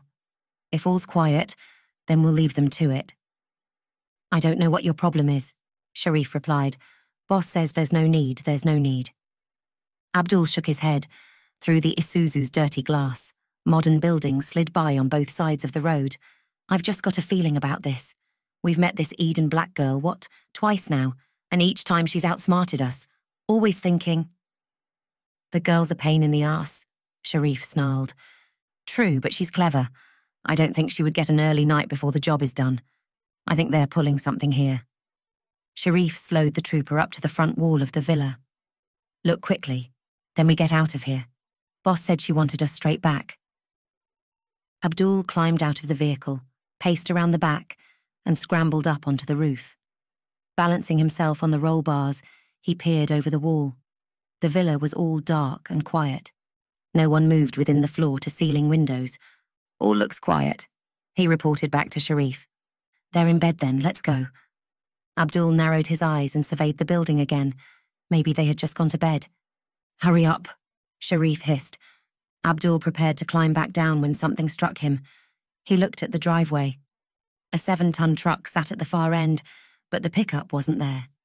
Wait a minute, Abdul said, the realization kicking up into focus. What vehicle were they using earlier? Some rusty old pickup, a Toyota, I think, Sharif replied. Yeah, that's right, the pickup's not here. Abdul scrambled down and got back into the passenger seat. Without a word to Sharif, he grabbed his phone from the central console and called King. Boss, we have a problem. Chapter 34 The shaft we need is on the Sphinx's back, Mo said, pointing up at the stone creature, just behind the head there. Eden grabbed one of the lengths of rope, then took an expandable grappling hook from the bag. Eden pressed a switch on the six inch cylinder, and hooks shot out from the sides. She tied the hook to one end of the rope and then swung it high up onto the Sphinx's back. Mo winced at the thought of the hook clunking against the ancient stone, but knew they had no other option. On the third attempt, Eden got the hook to catch something. She pulled the rope several times to test the strength. Satisfied it would hold, she swung the bag over her back and half scrambled, half climbed, up the side of the creature. She reached the top and stood. Behind her, the Great Pyramid stood, giant, unyielding, and ghostly against the sky. Eden checked the grappling hook. It had fallen into a ridge on the rock on the Sphinx's back. Satisfied it would continue to hold, she signalled for Baxter to climb. When Baxter was up, they took the rope and together hauled Mo up the side. That was easier than I thought it would be, Mo said, brushing his hands together while taking in the view. He glanced at Eden and Baxter panting after the exertion of pulling the large Egyptian 40 feet from the ground. You guys need to work out more, he quipped, sliding the key from his pocket. Mo knelt and started rubbing sand from the back of the Sphinx. Within a few seconds, he had exposed a panel set into a square hole in the centre of the Sphinx's back. He brushed off some more sand to reveal a padlock. He unlocked the padlock and then heaved the panel upwards, metal hinges screeching. Beneath the panel, a passage led down into the rock. Having used the sky's orange glow to see so far, Eden dug the light from her bag. She switched it on and shone the beam down into the passage. A narrow set of stairs ran down inside the Sphinx. Eden went first, awkwardly leaning forwards to fit inside the narrow passage. The staircase descended for about 50 feet before opening into a small chamber. Eden felt a flare of excitement grow. They were now beneath the level of the plateau, she studied the walls of the chamber. It looked as though the chamber was cut directly into the rock. The work was incredibly neat, as though done with a machine, long before such machines were available. The chamber was, as far as Eden could make out, a perfect square with a vertical shaft descending in the middle. Eden crossed to the shaft and peered down into the depths. Narrow and deep, the shaft dropped over 50 feet into what looked like another chamber below. You're not telling me that's prehistoric, Eden said, tracing the outline of a rickety metal ladder bolted to the wall. It's old enough to be dangerous, Baxter said, peering down the shaft. We'll use the ropes just to make sure. Baxter fished another length of climbing rope from the bag. Eden looped the rope under her arms and tied it at the front. It wasn't as good as a proper climbing harness, but it would save her neck if she fell. She climbed out onto the ladder and gave it a shake. A metallic clang echoed throughout the shaft. One of the brackets crunched, loose in the wall. Eden frowned and pulled on the rope. I've got you, Baxter said, holding the rope in both hands. I'll lower it down as you go. Eden took the rungs one at a time, without looking down. Some wobbled freely, and two or three had snapped away from the vertical metal altogether. After what felt like a long time, Eden's feet hit the hard rock of the chamber below. Down, she shouted up, untying the rope. Baxter pulled the rope upwards, and little Mo began his descent. The metal creaked and whined even more under his bulk. Mo grumbled and grunted several times too, but eventually reached the chamber. Eden untied the rope and sent it back up for Baxter. Baxter tied the rope to a heavy steel beam, which ran across the opening to the shaft.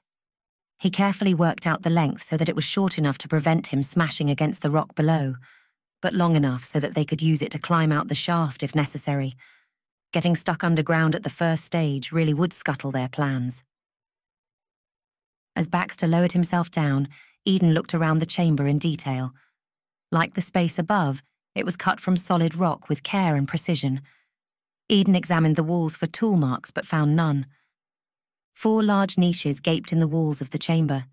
Eden stepped into one of them. The space was about five feet wide and eight feet long. Big enough for a sarcophagus, Mo said, the beam of his light dancing through the chamber. Eden checked each of the niches in turn. They were all about the same size and shape. All of them were empty. At the far end of the chamber, just one niche was cut into the wall. As Eden drew close, she noticed that this one wasn't empty. There was something large and bulky inside. Eden froze a few paces from the niche.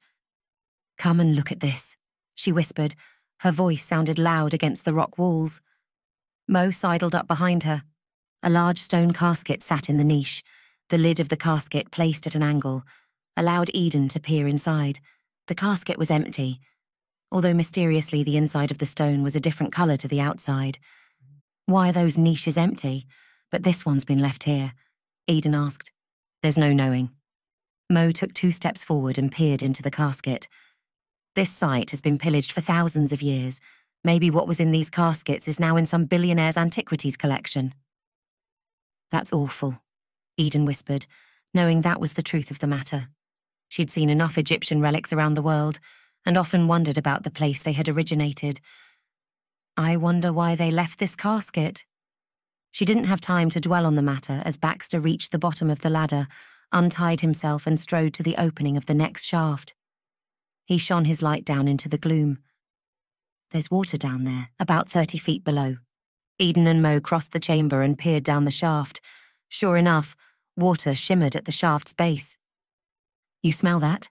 Eden said, taking a deep breath. Sulphur, Baxter said. The same smell as in the tunnel. It must be from the same source.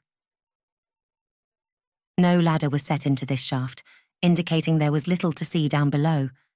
Eden's curiosity rose all the same. Grab another rope. She pointed at the duffel bag. I've got to see what's down there. Baxter fished out another length of rope. Eden looped it around under her arms, and Baxter wound it around his waist and held on tight. Eden leaned back over the edge, letting the rope take her weight. Slowly, she lowered herself down the shaft. A few feet above the water, she tied off the rope and did a 360 within the shaft. Almost perfectly circular, the shaft continued far beneath the waterline. Even though the water was incredibly clear, the beam of Eden's light would only penetrate a few feet below the surface. Eden was certain of one thing this shaft and the chambers above were not naturally occurring. They had been built by someone. or something. Eden scrambled back up the rope and hauled herself into the chamber. Her chest heaving from the exertion, she told the others what she'd seen. This needs a full and proper investigation, Eden said. There are so many unanswered questions about this small cave alone. So many unanswered questions, Mo said, his voice serious. Mo shone his light on a set of hieroglyphs etched into the far wall. We need to move. Baxter checked his watch. We've found the water, but where's this sluice gate? The last set of hieroglyphs said it would be here. Baxter moved the beam of his light systematically around the chamber. There was nothing that could pass as a sluice gate, certainly nothing to block the water beneath. Mo turned to face Eden and Baxter. One look at Mo's expression told Eden that something was wrong. What is it? she said, stepping towards the Egyptian. We're in the wrong place. Mo pointed at a set of hieroglyphs on the far wall. They say that this is a burial chamber. They're from a completely different era than those you discovered in the passage earlier. No, Eden said, anger rising. We're in the right place, we must be. We've followed the instructions you translated perfectly. What was it you said? Let's go through them again. It must be here somewhere. No, Eden. Mo stepped forwards and put his hand on Eden's shoulder. We always knew our translation was a long shot. One word wrong, and the whole meaning changes. That's the way with these ancient texts. What do we do now, then? Eden said. Just go back to the villa and forget all about it. That's what we'll have to do, Mo said. We've still got people working on the translations of the hieroglyphs you found. Maybe they'll find something that makes sense in a day or so. Baxter sighed and started back up the ladder. Mo followed, and Eden went last. In silent frustration, they climbed back to the surface. On the back of the Sphinx, Baxter looped up the ropes, while Mo closed and locked the grill. Eden scrambled down onto the Sphinx's paws and looked up at the giant stone head. Still frustrated, she clambered along the large stone paws, then turned and looked back at the creature. There was something especially majestic about the Sphinx in the half light. Enraptured by the view, Eden took two more steps backwards. Eden didn't realize she was falling until the world whirled around her. She swung her arms this way and that, reaching for something to steady herself. Her fingers swung through the air. For several seconds, she felt like she was inside a washing machine on a spin cycle. Eden tried to call for help, but her voice got caught in her throat. The ground roared up behind her. She hit the stone hard, knocking the air from her lungs. Eden lay on her back for several seconds, wheezing. Although she didn't lose consciousness, everything spun around her for a few moments. Finally, she sat up. Baxter and Mo, having heard Eden's cry, came tearing around the paws. When they arrived, Eden was sitting up, grinning from ear to ear. We've been looking in the wrong place, Eden said.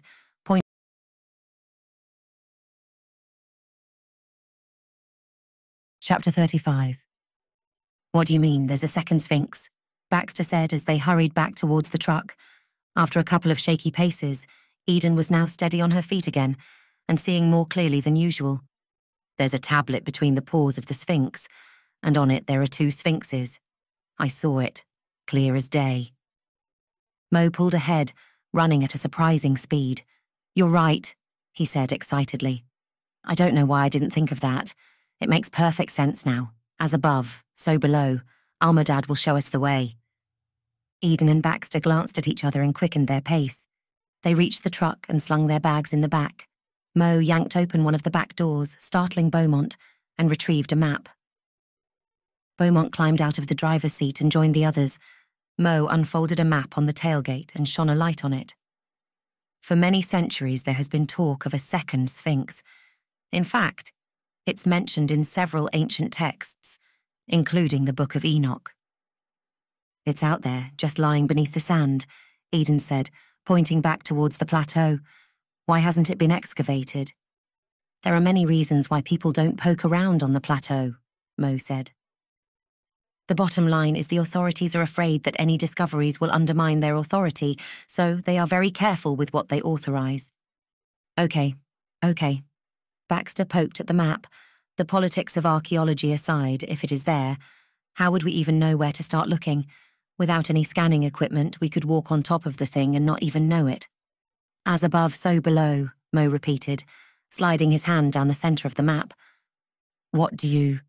Eden tried to ask. We use Almodad's geometry, Beaumont hissed. The clue was there all along, why didn't I see this? He elbowed his way past the others and looked intently at the map. You must remember that everything in ancient Egypt was built to represent something else. Nothing is random. It's all very, very carefully considered. If there is another Sphinx, I know exactly where it will be, Mo said, grinning. There. His finger jabbed at the map. Why? Eden asked, her gaze narrowing. How can you be so sure? Over the last 20 years, I've been working on a theory that the Giza Plateau is a representation of the solar system. All the objects revolve around this point here. Mo pointed at a place at the bottom centre, almost in line with the three largest pyramids. This point would represent Ra, the sun god. Moving out, we then have the fourth pyramid, which represents Mercury, the fifth representing Venus, and the sixth representing Earth, right up until the first and second representing Jupiter and Saturn, hence their increased sizes. All right, all right. Eden placed her fingers on her temples, afraid that they were getting off track. That's all very clever and well thought out, but how does it relate to the second Sphinx? Ah, well, the Sphinx is a little different. Eden rolled her eyes and felt the buoyancy of their discovery draining away. The Sphinx is representative, in my belief, of Sekhmet. The mother goddess of the Old Kingdom, Beaumont interjected, Eden swallowed the urge to bang the two older men's heads together, as that might help free a logical answer. Sekhmet is a fascinating character, known as the Powerful One. She's often depicted as a lion headed woman. Hence, the Sphinx. Mo manhandled a word into Beaumont's dialogue. He pointed at the Sphinx behind them. Eden drew a deep breath and suppressed the urge to scream. Okay, she said as calmly as she was able. But how do we find the second Sphinx? Easy, Mo said, glancing at Beaumont as though the pair were sharing a private joke. You follow the line of orbit. Mo dug a pencil from his pocket, then snagged a bit of cotton from the hem of his shirt. If this point is the sun or Ra, he held the string with his thumb at the point which he thought represented Ra. Then the planets move around in an orbit. He traced a line from the back of the Sphinx all the way around the map. That makes sense, Baxter said, nodding. I suppose. Eden agreed. But if it's somewhere on that line, that's still an impossibly big area to search. Ah, but wait. Mo held up a finger and pointed it at Eden. As above, so below. That's really starting to get annoying, Eden muttered. Mo passed the light to Beaumont and then dexterously folded the map in half. The fold perfectly intersected the point which he had said represented the sun, or Ra, the god of the sun. He then flipped the map over so they were just looking at the half with the pyramids and Sphinx on. With surprising aggression and speed, Mo stabbed the pencil into the Sphinx. The sharp lead pierced straight through the map and shattered on the tailgate. Mo shook out the map and laid it flat again. There were now two identical holes in the map. One was at the position of the first Sphinx, a few thousand feet to the west, and perfectly intersecting the orbital path, was the second. As above, so below. Eden whispered quietly. Eden slid out her phone and cross checked Mo's paper map with her digital one. She carefully selected the point Mo had pierced, checked it again, and then placed a pin on her digital map. Climbing back into the truck, Eden took the front seat and instructed Beaumont to head further up the road which wound through the plateau. Keeping the lights off, they chugged up a slight incline, guided by the ambient light of the city. Reaching a dusty and deserted car park, which served the tourist trade at the famous Panorama Point during the day, Eden instructed Beaumont to stop. We're close, she said, checking the map. It's about 300 feet that way. Beaumont pulled the truck in close to a small concrete building. He killed the engine and snapped on the handbrake. They all scrambled out of the truck. I'm not missing this, Beaumont said, swinging the door closed, Baxter ran around to the back of the truck and heaved out the shovels Mo had insisted they'd packed as a contingency.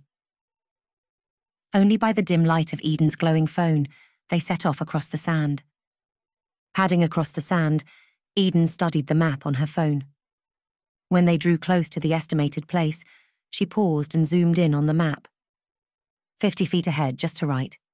For some reason, Eden realized, she was whispering. She glanced around. Other than the four of them, The plateau was empty for as far as she could see. The lights of Giza glowed several hundred feet away, and over the whole scene, the great angular shapes of the pyramids rose. Look at that. Baxter drew Eden's attention back in the direction of their quest. He pointed to the exact spot Eden had told them to head. In the place Mo had predicted the Sphinx to be, the level of the sand rose sharply to a crest some 60 feet above them. In the dim light, Eden hadn't even noticed the mound until they were almost upon it. That's it, that's got to be it, Beaumont hissed, scrambling up the incline. He used his hands to help him up the final 10 feet, which were well over 45 degrees, then turned and helped Mo up behind him. Eden reached the summit last. She turned and peered back in the direction of the first Sphinx, although from this distance it was hidden below the undulating surface of the plateau. This Sphinx will be the exact opposite of the other, Mo said, turning from east to west. They'll be lying tail to tail. I'd say the head will be about here, and if the passage behind the head is in the same place, that'll be here. He took six paces back, and then drew Annex in the sand with his toe. We'd better start digging, Beaumont said quietly, clearly not able to stay completely silent on the matter. Eden and Baxter dug first. They fell quickly into a rhythm, standing at opposite sides of the hole and heaving their shovels into the sand one after another. After what felt like hours, Eden's pace slowed. She swept a hand across her face to remove some of the pouring sweat and dropped out of the rhythm. The shovels clanged together. Time out, Baxter said, flinging a large shovel load of sand over his shoulder. The hole they'd dug was already four feet deep and about five feet across. We'll take over, Mo said, clambering down into the hole. We've got quite a distance still to go. Beaumont took Eden's shovel, and digging continued. For several minutes, the only sound was the crunch of the shovel blades in sand and the grunt of exertion. Then, the sound changed. The blades clunked against something hard. I think. I think we might just have something. Beaumont panted. Eden and Baxter rushed to the side of the hole. She flicked on her light, but kept it cautiously pointed down into the hole.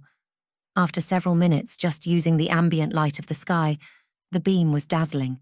Mo scraped his blade carefully from right to left, clearing sand from whatever they'd found. He dropped to his knees and used his hands to brush away the sand. There's no knowing exactly, Beaumont said, looking down at the rock which ran in both directions. But I think we might have ourselves a second Sphinx. Re energized, Eden and Baxter took the shovels again. Now they dug outwards, one of them enlarging the hole in the direction of the Sphinx's head, the other towards the tail. Eden had made progress of about a foot when she forced the shovel down towards the rock, but it didn't stop. The blade slid straight through where she expected the Sphinx's back to be. She pulled the shovel out and stared at it in momentary confusion. Then the surrounding sand started to fall away, running in rivulets, disappearing down into the desert floor, at first, the sand ran slowly, then it picked up speed, sliding and disappearing into the void. Guys, Eden whispered as loud as she would dare. Taking a step backwards, she dropped the shovel and fumbled for the light. The dazzling beam appeared just in time to see a passage emerge in the desert floor. Sand ran down into the passage, as though the secrets of the desert were finally revealing themselves. Baxter, Beaumont, and Mo sidled up behind Eden, each silently watching with the reverence of observing a miracle. The sand hissed, eventually settling in place, and Eden stepped forward. She shone the light down into the void. A tight staircase ran deep down into the bowels of the plateau. You're definitely sure this is the place. King snarled from the back seat of the Isuzu trooper. They were parked on a side street looking out at the place where Abdul and Sharif had seen Eden and Baxter disappear down into the sewer. Yes, boss, Abdul said, pointing out at the street. That's the right place. They went down there and we followed. Sharif slurped a drink from a paper cup. The remains of takeaway food lay strewn throughout the car. Well, they're clearly not here now, are they? King huffed. No, not yet. But they're not at the villa either. They went through that whole ruse making you think they were going to sleep for a reason. That's what I'm worried about, King muttered, slumping back into the seat. Maybe they really didn't find anything here. What do you want to do, boss? Sharif said, followed by a belch. I want to teach you some manners to begin with. King glanced around at the litter filled car, and I want you to tidy this car out. It's disgusting. What now? Sharif replied. No, King sighed. Now we wait. This is all we've got to go on. If they come here, we'll see them. Chapter 36 Eden picked her way silently down the narrow staircase. The passage was similar in appearance to the other Sphinx. Carved directly through the rock, it dropped at a steep angle, with narrow and treacherous stairs. I can't believe this place, Beaumont muttered from somewhere behind. I would love to get a team down here and run some proper analysis. That'll never happen, Mo interrupted. This place doesn't exist, remember. The fact we're even here is a miracle. I know, I know, but wouldn't it be wonderful? Eden reached the bottom of the narrow staircase and stepped out into a chamber, half filled with sand which had clearly fallen down the shaft. She had to walk across the space with her back hunched. She turned back and looked up the passage, trying to calculate the distance of their descent. They must now be over 100 feet beneath the surface of the plateau. The chamber, too, was neatly hewn from the rock. Brightly painted hieroglyphs in gold, blue, and white covered every inch of the walls. Eden spun around in amazement. In this chamber, though, there were no shafts leading further downwards. Not that Eden could see, anyway. There was, however, another narrow passage which looked as though it led to another space further on. Eden strode towards the passage. From Eden's position, it looked as though the passage ran for about 40 feet before opening out. She paused and waited for the men to catch up. This place, Beaumont whispered, keeping his constant monologue going. And to think that we are possibly the only people of the modern era to set foot inside here. It's nothing short of. That way, Eden said, directing them on. After 20 feet, she was able to stand at full height. They were now walking on solid rock rather than the sand which had come down from the plateau. Eden stepped into the next chamber. Unconsciously, she stared upwards. The ceiling was much higher here, at least 20 feet above her head. The far wall was at least 40 feet away. Although much bigger, the construction of this chamber looked to be like that which they'd seen previously. The colourful hieroglyphs covered every inch in here, too. The room was basically a square, although this one had a large column in the centre. Walking towards the column, Eden realised that it wasn't in fact a column, but a freestanding slab. Hieroglyphs covered each side. The men bustled into the chamber behind her. This place, wow, just look at it. Beaumont's commentary echoed from the vast walls and high ceiling. Mo sidled up to the central slab and peered myopically at the symbols. He held the light focused on each one for a few seconds before moving on to the next. I don't think I've ever seen an example as well preserved as this, Mo said, running his finger across one of the symbols. Eden wandered around to the back of the slab her flashlight panning across the engraved surface. Two small pieces of metal stuck out from the rock on each side of the slab, like tiny antennas. Passing her light across them, Eden noticed they glimmered bronze. Copper, probably, Beaumont said, noticing the antennas too. Strange. Copper is usually used for its excellent conductive properties. Could this be evidence that this facility really was used for power generation? He took several photos of the antennas and the surrounding markings, you know you'll never be able to share those pictures, Baxter said. This is totally off the books, remember? Of course, just for my personal collection, Beaumont said, snapping another two photographs. Eden wandered further around the slab. She was so engrossed in the perfectly formed hieroglyphs that she only saw the shaft opening at the last moment. For the second time in an hour, she felt the ground slip from beneath her. She froze in position just in time, her toes curling over the edge of the rock. She lurched backwards, her feet finding solid ground. Her heart now pounding in her throat, Eden looked down the shaft. Come look at this, she called nervously to the others. Careful, though. The shaft was a perfectly cut square, dropping at least 50 feet beneath the chamber. Anyone would be lucky to survive a drop like that, Eden thought nervously. Kneeling next to the shaft opening, Eden heard running water somewhere below. She squinted down into the depths and could just about see water moving through the shaft's bottom. This is it, Mo said excitedly, working through the hieroglyphs. He pulled out a camera and took several photographs. You see, this is the symbol for water. He pointed at three wiggly lines lying on top of one other. We have to push this slab down the shaft, and that will block the flow. Then the water pressure in the chamber reduces, allowing you to move the slab you found earlier. It's all been worked out perfectly. I can see one problem in that, Baxter said, standing back with his arms folded. Mo turned to look at the other man. That slab must be 20 feet high and 8 feet wide. It could easily weigh a 100 tons. We'd need an army. Mo looked up at the giant slab and exhaled. He turned and slumped against the slab, as though he now needed it for support. His shoulders drooped like a car standing on flat tires. Beaumont nodded, pointing towards the slab. They would have had great teams of men working in here, with ropes and all sorts. That is, if we don't believe the place was built by. Beaumont's voice dried up in his throat. For once, no one had interrupted him. He pointed up at the slab, his mouth opening and closing. Eden and Baxter turned towards the professor, both surprised by his inability to speak. What? Mo said, standing up straight. Beaumont caught hold of the thought. He pointed violently at the slab. It just moved. It just moved. When you leaned on it, it moved. Do it again. Mo turned and looked up at the imposing chunk of rock, his eyes brimming with wonder. All eyes followed the Egyptian's every move. Slowly, carefully, he again leaned against the slab. The colossal rock slid silently another few inches towards the shaft. It moved silently, Baxter said. He stepped forward and studied the bottom of the slab. It must have hidden wheels or rollers or something. Incredible. Mo stood up straight again, but this time the slab didn't stop. It slid, incredibly slowly at first, but building up speed all the time towards the shaft. The floor is slightly sloped there, Baxter said, pointing. It's just using gravity now. The slab slipped on, effortlessly skating towards the shaft. Eden stepped back cautiously, in case the thing should topple over. As great as the ancient engineers were, this machine was well out of warranty. Eden braced herself as the slab reached the edge of the shaft. The thing would surely fall fast now, crashing to the shaft bottom with a thunderous boom. No such noise came. With a gentle whining, and then a whirring sound, the immense pillar slid gracefully downwards. Baxter took a step backwards, astonished. Look at that. It must be working on a counterweight and gear system. That's. Well, that's.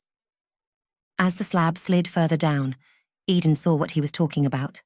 On top of the giant rock, a series of wheels of various sizes whirred furiously. Several cables ran from the slab and up into a shaft in the ceiling. That's incredible, Baxter said, craning his neck to assess the machine's workings. To think this has been sitting here all these years, unused, and now it works perfectly. Touching down on the shaft bottom, the giant rock slid gently to a stop with nothing more than a distant thud. Baxter was the first to step towards the slab, which sat proud of the chamber floor by a couple of feet. The pulley assembly was still now, although the lines connecting it to its unseen counterweight remained taut. Baxter leaned forward and examined the mechanism. Eden took a cursory glance at the system, but didn't really understand Baxter's amazement. It was obviously well built. No need for all this delay.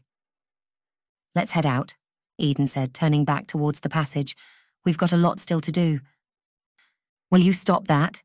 Lulu King barked at Sharif as he tapped on the trooper's steering wheel with his fingers. The pattern was either so complex that King couldn't follow its rhythm, or just had no regularity at all. King assumed the latter. Sorry, boss, Sharif mumbled, dropping his hands into his lap. In the passenger seat, Abdul stuffed another cold chip in his mouth. How long should we give it? Sharif said, clearly struggling to keep his hands still.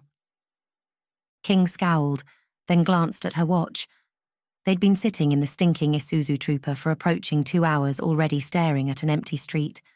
Wherever Eden and her band of reprobates had gone, it wasn't here, King thought back to the conversation she'd had with Eden at the Hotel Rumbold.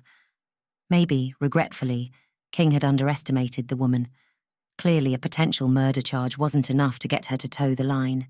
Maybe she would have to come up with something more aggressive. The distant thronging of a diesel engine streamed through the open windows.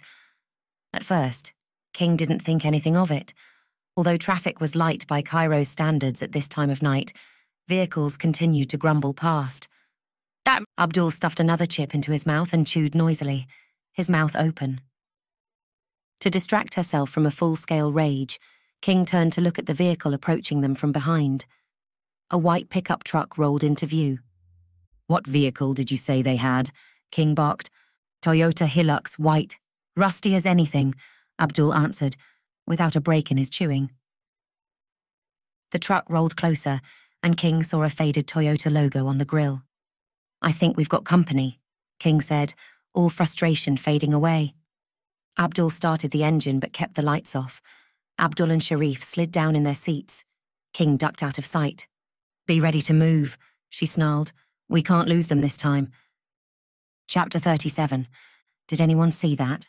Eden asked, peering through the Toyota's filthy windows as they passed a dust covered Isuzu trooper parked at the curb. What's that? Baxter asked, turning out onto the main street and then left almost immediately. I don't think it was anything, Eden said, twisting back around. I thought for a moment that 4X4 back there was the one that followed us earlier. You know, with the two men that went down into the sewer after us. Baxter peered into the rearview mirror. The vehicle was now out of sight. Don't worry about it, Mo said from the seat behind Eden. Anyone listening still thinks we're asleep back at the villa, thanks to you. Mo leaned forwards and put his hand on Eden's shoulder. Eden tapped the back of the Egyptian's large, hairy hand. She had to admit she'd grown fond of Mo in the last two days. Eden remembered what he'd told her about his father, disappearing somewhere in the labyrinthine passages they were about to re enter. Her chest tightened. The danger was present and real. Even if they are following us, they're too late, Baxter said, slowing the Toyota outside the disused laundromat through which they'd exited the shaft earlier that day.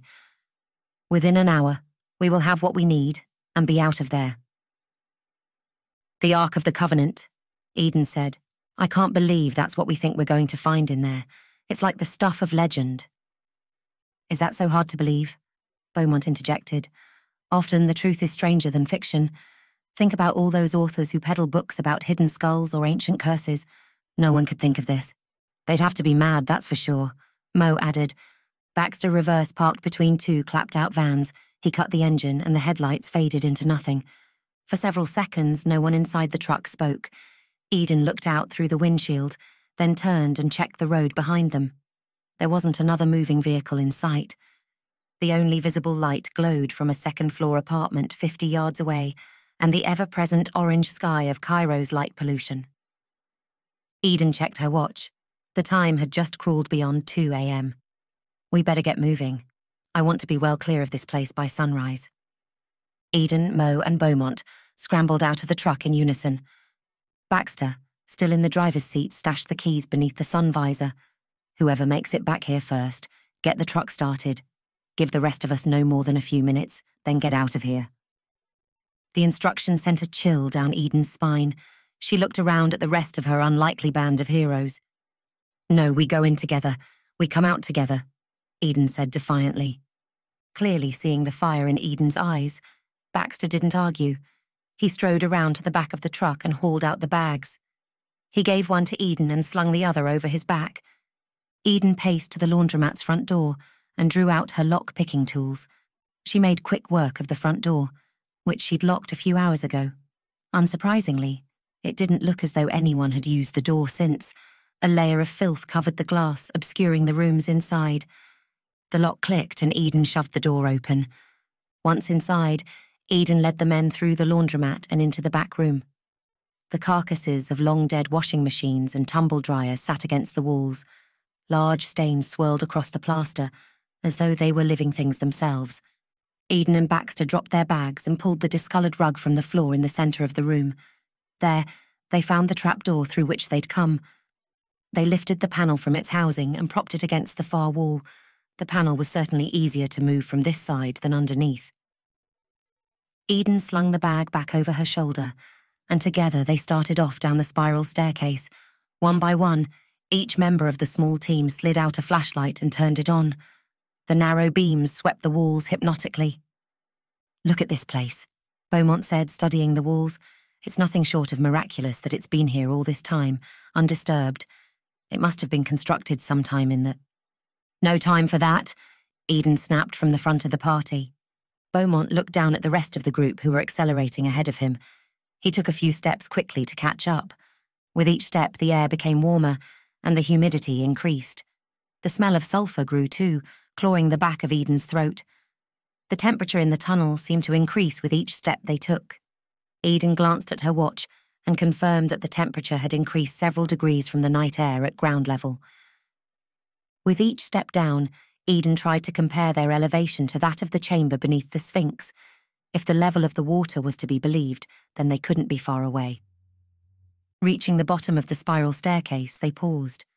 Water bubbled and lapped angrily against the lowest step. Moisture hung heavily in the air.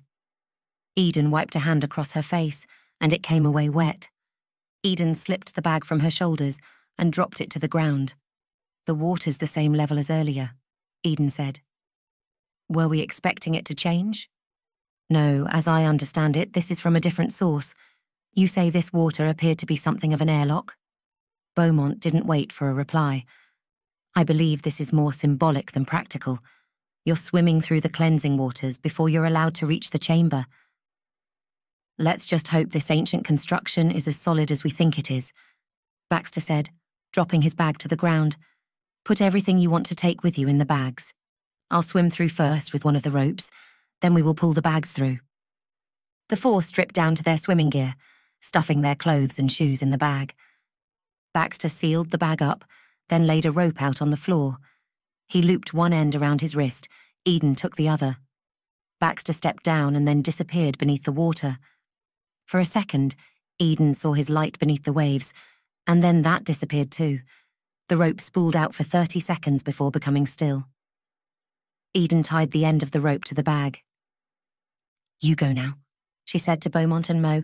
Follow the rope, it'll take you less than a minute. The two older men splashed into the water. Eden watched them duck beneath the surface and then follow the rope through the passage. Eden counted out the seconds, looking up at the well shaft above her.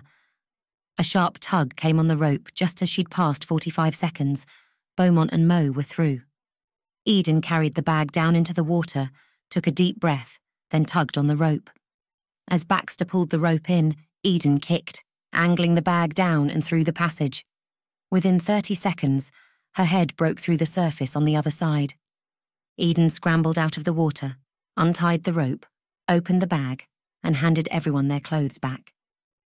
They all got dressed silently. Eden slung the bag across her back, Baxter coiled up the rope, and then they set off down the tunnel. Mo and Beaumont wandered ahead, the beams from their flashlights whipping excitedly from side to side. It's like watching kids in a toy shop, Eden whispered to Baxter, pointing at the men. They reached the end of the tunnel, and all four of them stared up at the giant slab. If I hadn't seen that stone moving beneath the second Sphinx, I'd have said that this was impossible, Baxter said. Eden moved to one side and studied the corner where the slab connected with the tunnel's side wall. The monolith was so well fitted that the gap between the two stones was only a hair's breadth. Eden looked back behind them the whole tunnel was sealed with no way through. Nothing has changed since we were here earlier, Eden said. How are we supposed to get through? She turned and shoved the rock. It didn't move. These ancient builders did a pretty good job, right? Baxter said, pacing back and forth along the tunnel.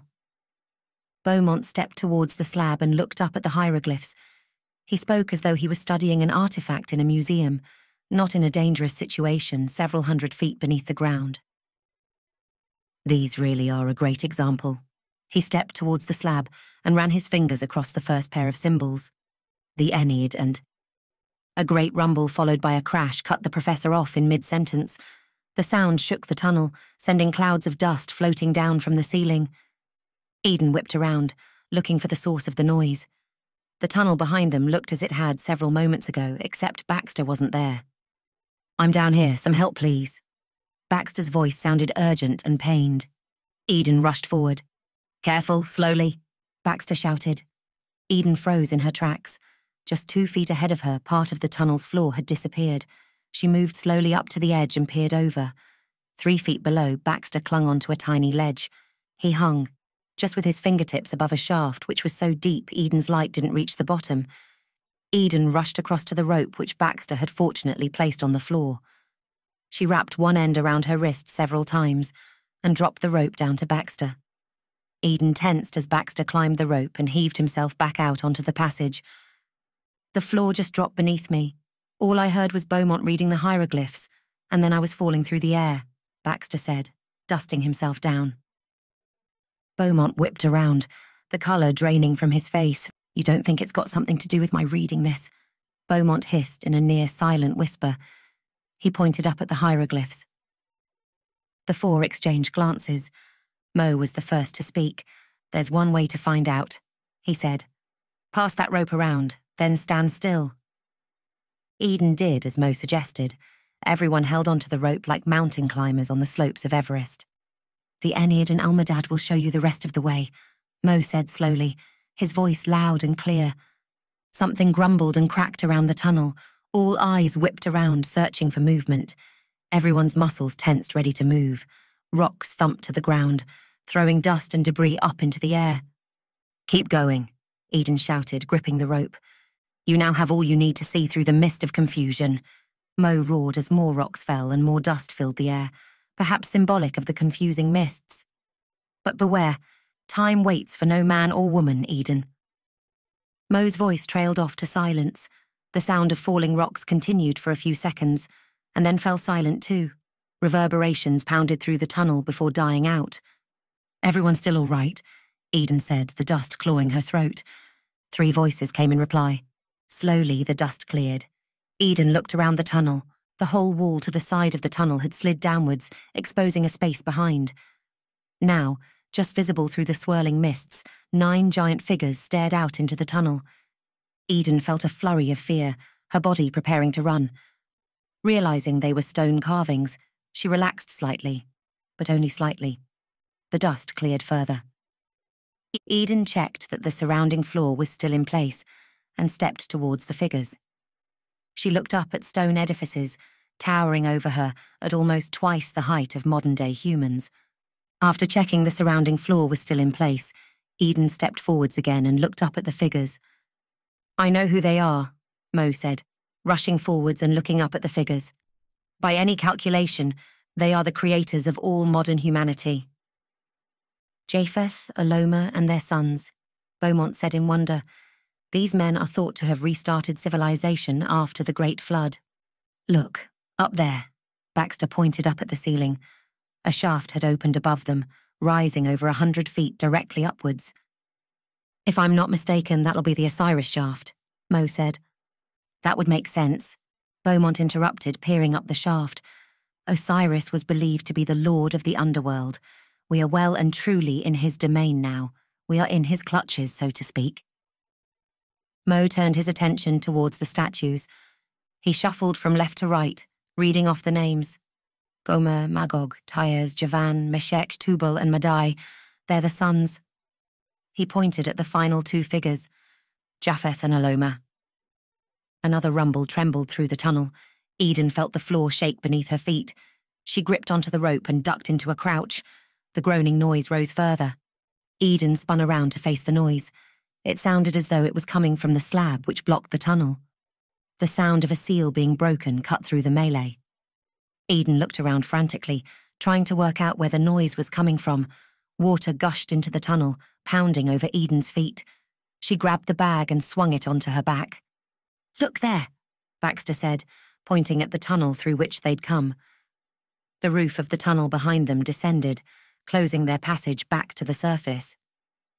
The tunnel's closing, Baxter shouted, his voice hoarse against the noise. If that gets any lower, we'll be trapped. But wait, look.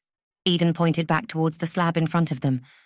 Two inches of space had appeared at the bottom of the monolithic rock. As though weightless, the thing was sliding upwards. Water streamed beneath the rock, but instead of filling the tunnel, Eden noticed it ran down the shaft into which Baxter had almost fallen. It's working like a counterweight, Eden said, shouting over the sound of grinding rock. Beaumont and Mo spun around, looking from one side of the tunnel to the other in amazement. It must be an airlock too, Beaumont said, sealing one side off when the other's empty. That must be how they keep the air and water pressure stable. Eden rushed over to the slab and peered through the gap. With the water pounding through, she couldn't see anything. The noise of the groaning, crunching rock intensified, the slab judded upwards, another inch, then another, then once more. Eden glanced back at Baxter, excitement buzzing through her veins. The slab rose another couple of inches and the pressure of the water reduced to a trickle. Eden shone her light through the gap, all danger forgotten. There's a chamber on the other side, she said, peering through. I can't see in clearly yet, but almost. The slab groaned again and shuddered upwards another inch. Tiny shards of rock and dust floated down through the air. With an almighty tremble, the slab shuddered upwards yet another inch. That'll do it, Eden said, pushing herself through and into the void. Chapter 38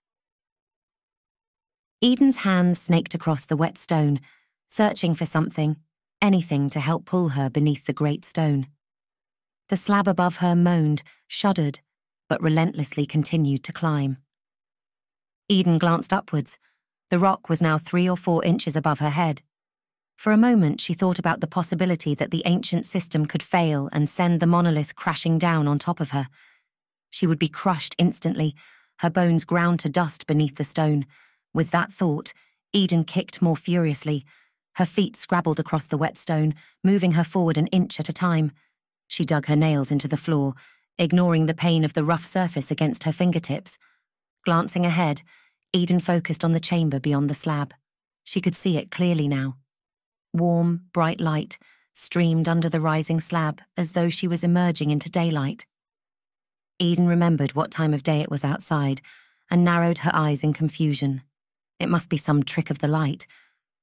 The rock grumbled again and climbed a couple of inches more. Eden felt the vibration of the ancient mechanism through the floor, shaking the discs in her spine. She peered over her shoulder. She was now completely beneath the rising slab and had over 10 feet to go, meaning the rock must be at least 20 feet in length. Of course, Eden had been impressed by the work of the ancient civilizations that built the pyramids above, but this was something else. For a single rock of this size, not only to be positioned this far beneath the surface of the earth, but to be constructed in such a way that it was able to rise was nothing short of a miracle. Eden glanced up at the shuddering megalith. It was now over a foot above her head.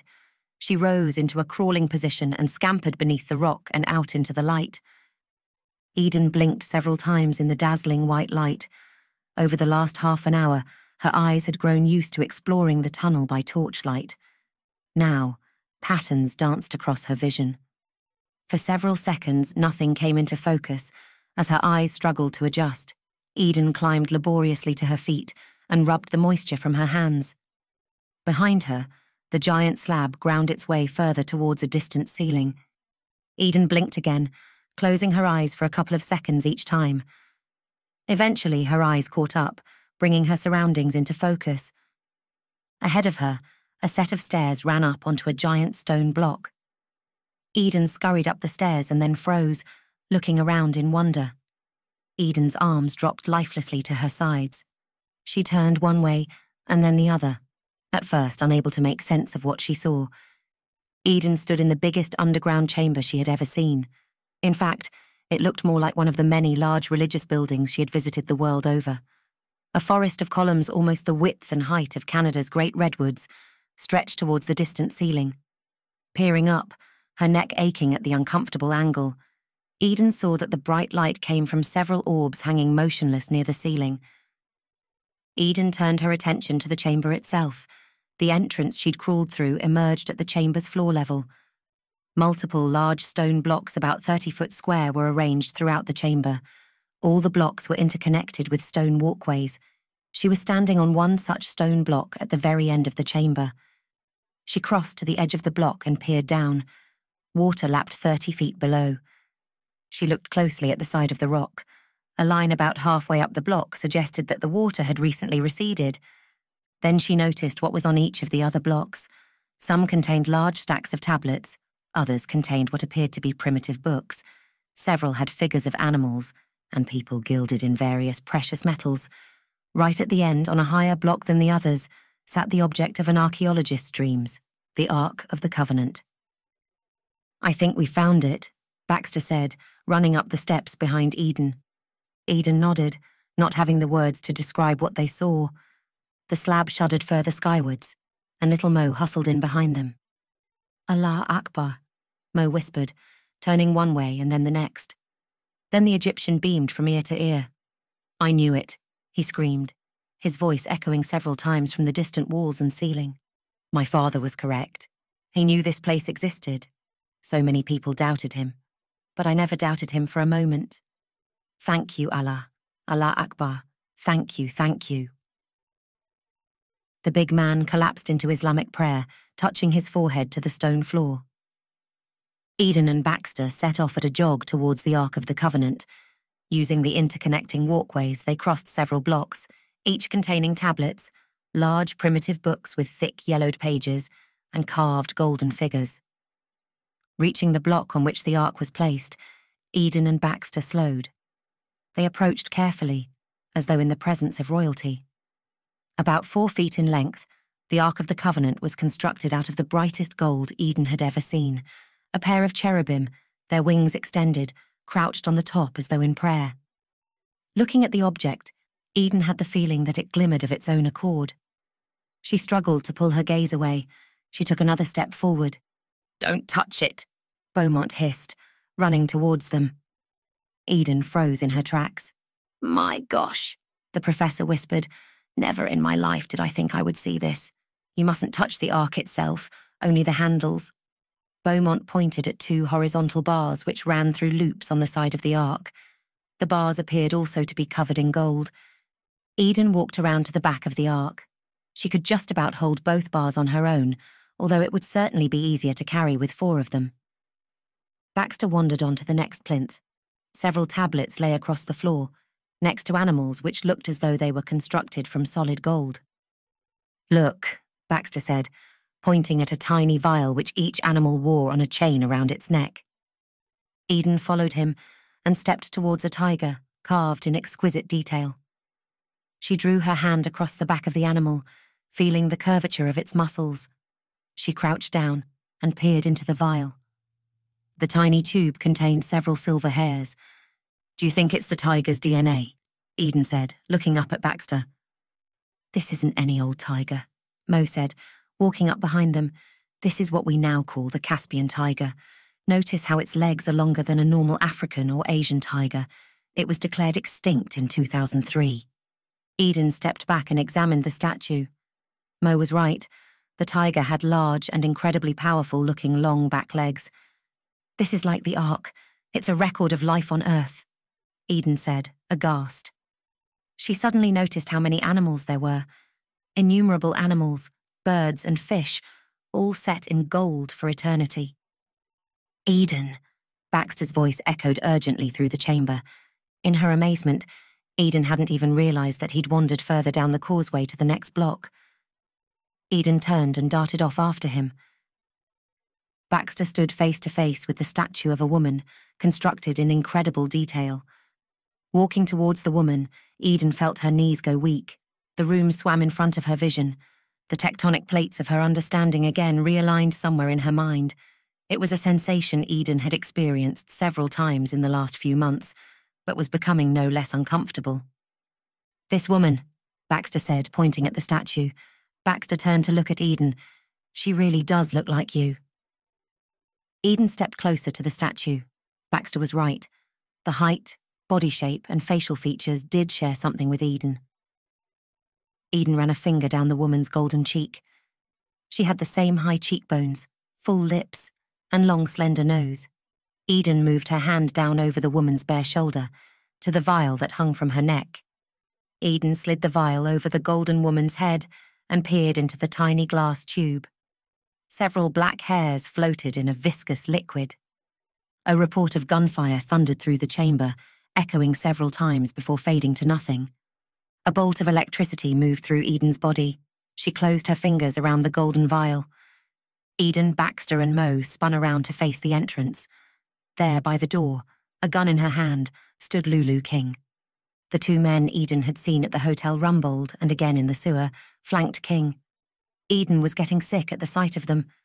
King smiled, her expression that of a cobra studying its next meal. Thank you for leading us down here. For what it's worth, I had every faith in you. Chapter 39 And what an exciting place we have here, King said, crossing the causeway towards Eden, Mo, and Baxter. You know, I've been hearing rumours about this place for years. I always thought, Wouldn't it be great if it did exist? I have to say, I'm very pleased to be here. King turned momentarily to examine a group of the golden animals. What are these here? The guards kept their guns and eyes trained on Eden, Beaumont, Baxter, and Mo the whole time. This is all very cute, King said, turning away from the animals. But I'm not interested in this. Let's be fair. Although my organisation claims to be in it for the environment, profit comes first. I've known for decades, a realisation my poor father never had. Our planet needs a fuel that's more efficient than gas, oil, or even electricity. I also realised the lucky person who first discovers this fuel will be able to set his, or her, own price. This is a new era for King Industries. We will patent the process, we will develop the technology, and we will become the biggest company on the planet. King took another step towards Eden. Eden's hand closed more tightly around the vial she'd taken from the golden woman's neck. It was too late. King had already seen the thin golden chain hanging from between Eden's fingers. What do you have there? King said, stepping towards Eden. Eden scowled at the other woman. King raised her gun and clicked off the safety. Nothing, Eden barked. Now get that gun out of my face before I do something you'll regret. King laughed, a humorless wail of a laugh. Oh, it's easy to be tough now in front of your friends, she said, extending a palm toward Eden. Give me what you've got there. Anger boiled over in Eden's body. She leaped at the woman, grabbing King's gun hand beneath her left arm and forcing it towards the floor. Eden felt the gun discharge several times and hoped it hadn't hit anything. Eden sent two powerful fists into King's stomach. King coughed and wheezed for breath. Eden then swung an elbow, hitting King square on the cheek. Seeing this movement, Baxter charged towards one of the guards. Weaving beneath a large golden horse, he stayed out of sight until he was within striking distance. The guards, both distracted by the attack on their boss, hadn't even noticed him. Baxter leapt from behind the animal and struck out at the nearest guard. He knocked the gun from the man's hand. It went skittering down across the rock, almost falling into the water. Baxter sent three good punches, one after another, into the man's face. The man staggered backwards, his hands raised in defense. Eden twisted, bending King's arm out of shape until she dropped the gun. Then she sent two more heavy jabs into the woman's face. Stop right now, or I will shoot you. A deep voice came from just inches behind Eden's ear. She felt the cold jab of a pistol against her neck. Eden glanced behind her. The other of King's security guards stood poised, his finger on the trigger ready to fire. From this range, he could fire with no risk of hitting his boss. It didn't mean she couldn't cause a little more pain, though. Eden snarled, grabbed a handful of King's hair, and tore it out by the roots. King wailed in pain. Eden stepped away with her hands raised, the clump of King's hair twisted between her fingers. King stared at Eden, fire burning in her eyes. She rubbed her hand across her face and then sniffed. The guard turned his attention to his partner. Baxter stepped away, his hands raised too. The disorientated guard, blood now oozing from his nose, picked up his gun and levelled it at Baxter. Eden slipped the handful of hair into her pocket. If they got out of here alive, she figured it may come in useful. And to think I was seriously considering letting you live. King spat a globule of phlegm and blood to the floor. Not any more, now give me that. Knowing she was beaten, Eden handed over the vial. King held it up to the light, then slipped it into her pocket. Any more of that, and you'll get a bullet for breakfast. No questions asked. King pointed at Baxter. He's a cutie. He must really care about you. If you don't want him to get hurt, I suggest you keep your dog on a leash. Now, Miss Black, we had a deal, didn't we? You just stand aside, I'll get what I need, and you can get on your way. Baxter, Beaumont, and Mo turned to face Eden, shock etched into their faces. Oh, bless, you mean you didn't tell them about our little deal? Sorry, gentlemen, Eden and I had a deal, isn't that right? King took a step towards Eden. The grey eyes felt as though they were drilling into her. Eden nodded once, Lulu knows where my father is, Eden said. Neither Baxter, Mo, nor Beaumont spoke. That's not all, is it? King said. No, she also has planted evidence framing me for murder, which she would release if I didn't lead her here. All of this was just because she was blackmailing you, Baxter said in a violent whisper. No, of course not. We needed to find this place. It just happened that she needed. Stop now, Lulu interjected. You'll have all the time in the world to discuss this when I have what I need. For now, I need your help. She pointed at little Mo. Somewhere in this room is the Book of Enoch and the Book of Giants. I need them. It could take months to find that. Mo held out his palms in surrender. This place is. I don't need you to translate them for me. I have people to do that. I just need you to tell me where they are. Mo glanced at Eden. Eden nodded. Show her. We have no choice. King grinned again. You stay with these two. If they move, they die. Understand? King barked. The henchman nodded, their bulging muscles holding the large guns as though they weighed nothing. That way. King pointed down the causeway. Quickly. We don't have time for games. As though on cue, a shudder moved through the thick rock walls around them. Little Mo looked over his shoulder at the others and then set off down the causeway. There was a sense of calm in the Egyptian's expression, Eden thought. The look gave Eden a strange hope that Mo knew exactly what he was doing. Another rumble echoed through the giant chamber. Several of the gold statues vibrated together with a metallic clang. King's henchmen peered anxiously at the roof as a cloud of dust floated down. For a moment, Eden considered using their distraction to launch an attack. Her muscles tensed just as the big men turned their attention back to her. Mo and King were now on the next block, 30 or 40 feet away. Mo had paused to look at a set of tablets. He scanned the tablets, as though searching for familiar symbols. Bubbling water echoed through the chamber now. Eden turned and looked towards the passage they had passed through several minutes before. A slow trickle of water now flowed in from the passage. We don't have long. The water is coming back, Eden said, pointing. That means the water will flow back into the tunnel. Once it does, that door will close. Silence, King roared, her voice reverberating through the chamber. Your complaints will only delay the inevitable. It's not here, Mo said. I can't tell exactly, but here they're talking about the treatment of certain illnesses. There are lists of recipes and ingredients, that sort of thing. Mo walked onto the next block, on which another set of tablets were displayed. King followed him cautiously, her gun drawn. The trickle from the passage increased to a torrent. The white water streamed into the chamber, down onto the floor, swirling and bubbling. Eden's head whipped from King to the thugs, then to the door and back again. Her gaze narrowed. She realized what must have caused the pressure to drop again so quickly, and how King and her Rottweilers had made it inside. You jammed that slab open, didn't you? Eden said. This whole system is built on finely balanced air and water pressure, and you idiots left the door open. The men glanced at each other anxiously. Right now, we have thousands of tons of water streaming this way, and you've left the door open. Eden's voice reverberated from distant stone walls.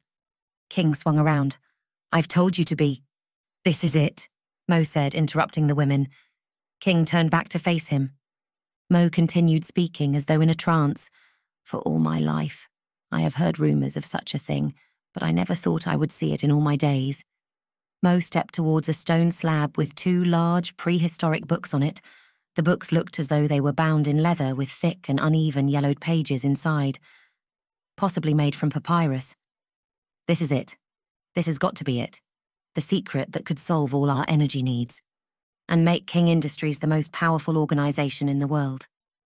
King stepped forwards, barging Mo out of the way. Mo stumbled to the side, almost falling into the water, which now raged 20 feet below. You can't keep this to yourself, Humanity deserves this. It's our right. There are no rights. King turned her icy gaze on the Egyptian. Don't you get it, you fool? You have no rights. None of us do. We work, we live, we die.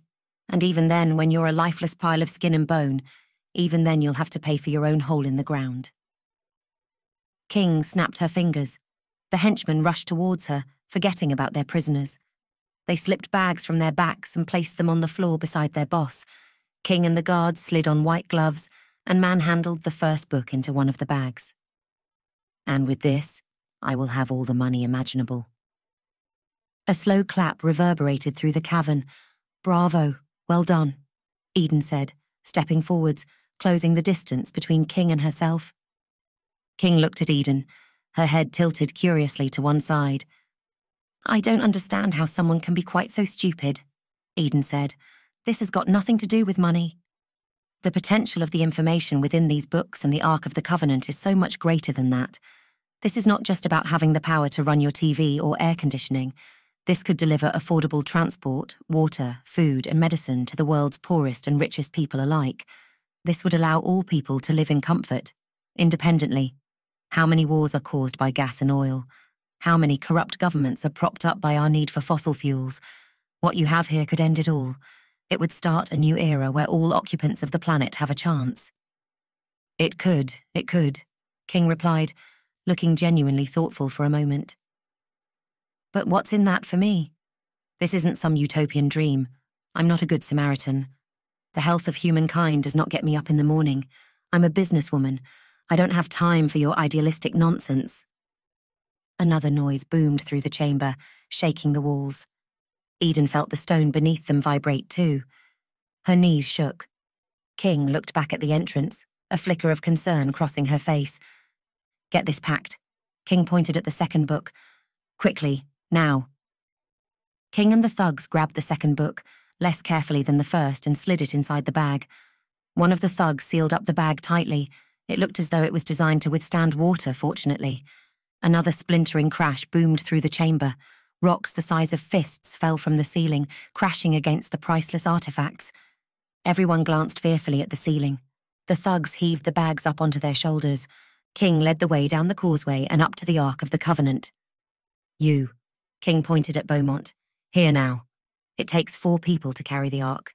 Come with us now, and you will survive. Beaumont swallowed, his Adam's apple bobbing. He looked guiltily from Baxter to Mo and then to Eden. Go, Eden whispered. We're not dying down here. We will see you again soon. Beaumont jogged up to the Ark and seized the front handle beside King. Lift, King roared. With the guards at the back, King and Beaumont from the front, the Ark of the Covenant rose from its resting place of several thousand years. King and the guards continued to hold their weapons ready for any attack. Another shower of rocks fell from the roof. Eden looked at the giant slab of rock under which they'd crawled a few minutes before. The monolith was already over halfway down. The stone shuddered again as the prehistoric mechanism lowered slowly towards its resting position. King, the guards, and Beaumont shuffled towards the exit. Reaching the slab, King stopped and turned. The slab was already at the height of her shoulders. Knee high water streamed down the passage and into the chamber. King turned to face Eden, Baxter, and Mo. If you follow us through here, you will die. King shouted over the roaring water. You wanted to spend some time with these artifacts. I'll make that wish a reality. Chapter 40 The slab shuddered downwards again, now just three feet from sealing up altogether. A thunderous crack rolled through the cavern. Eden ran down the stairs and peered through the gap. King and her men had moved to the back of the space. They would soon disappear through the airlock and into the next tunnel, White water streamed furiously through the gap, almost concealing the space on the other side. We need to seal this up, Mo cried, pointing towards the slab. If this remains open, the pressure will drop and the whole place will be destroyed. Not yet, Eden said. We're not dying in here. She scanned the cavern for something they could use to hold the door open just long enough for King and her men to disappear. To the right, just a few feet away, sat a giant golden chalice. In the excitement of entering the chamber, Eden hadn't noticed it before. She ran across and inspected the chalice. It was about two feet in height with a sturdy stem. Set into the gold, several jewels glimmered. Eden tried to pull the chalice forwards. It was incredibly heavy and hardly moved. Baxter ran across to help her. Together, huffing and puffing, Eden and Baxter heaved the chalice down the stairs and towards the sinking door. With each groan and shudder, the giant rock crept closer to its final, indefinite resting place. Now push it, Eden screamed as they reached the door. Baxter shoved the chalice hard. It slid beneath the slab. The slab stuttered down, crunching against the golden rim. The chalice twisted, but miraculously, precariously held. An almighty groan echoed through the chamber. Numerous rocks, now the size of bricks, thudded into the water. Let's go, Eden said, peering through the gap. King and her men were nowhere to be seen. They would soon pick their way up the spiral staircase with the Ark of the Covenant in tow. Baxter stepped forwards, ready to dive beneath the slab. Eden prepared herself to go, battling against the ferocious water.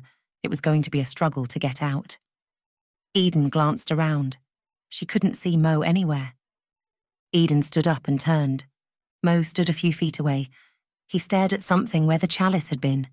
Mo, Eden screamed, barely audible over the pounding water. We need to go now. But Mo wasn't listening. He stepped, absent minded, away from the passage altogether. Eden rushed across to the man and then saw what he was looking at. Behind the position where the chalice had sat, there was a niche. It was a similar size and shape to those they had seen beneath the Sphinx earlier. The niche was almost filled by a large stone casket. As Eden stepped closer, she observed something else in there too. Covered in the ragged fabric of rotting clothes, two skeletons lay side by side. Eden stepped towards the niche. The skeletons wore green cargo pants and shirts, suggesting that these people were not from ancient times. Strands of hair and piles of dust surrounded the bodies. Mo stepped forwards again, entranced. A crash as loud as an exploding bomb reverberated through the chamber, but Mo didn't even turn. He was focused only on the bodies now, lying side by side in the niche. Reaching the skeletons, Mo dropped into a crouch. To Eden, it looked as though he was in a spiritual trance. Mo reached towards the smaller skeleton's left wrist. He lifted the skeleton's sleeve carefully. His eyes widened, and he dropped to his knees in the water. We need to go, Baxter roared above the sound of the hammering water. Furious foam smashed beneath the slab now, threatening to topple the chalice and seal the entrance shut. One minute, Eden shouted back. She rushed up to Mo's side. Mo snapped from his trance and locked eyes with Eden. My father was telling the truth. He discovered the chamber over 30 years ago. Mo lifted the wrist again and fiddled with something. He removed his father's watch and held it up to Eden. As above, so below, he whispered, reading this inscription on the watch's base. I always believed you, Eden said, her hands closing around Mo's upper arm. He would never have gone away and left you through choice. He's been here all along. Another crash thundered through the chamber, shaking the rock beneath them. Water whipped around them in all directions now. We need to seal this chamber before it all comes crashing down, Baxter yelled. We need to close the door, Eden said, pulling Mo slowly away from the skeleton. And once we do, there'll be no way to open it again. You must come with us. Slowly, like an old man being brought to his deathbed, Mo climbed to his feet. He looked around at the chamber, holding his father's watch to his chest. The giant slab groaned and shuddered, twisting the chalice which held it open out of shape. A splinter of gold snapped from the side, and the door grunted an inch towards its base. We go now, Baxter shouted. Let's go, Eden said to Mo. We're going to have to swim under.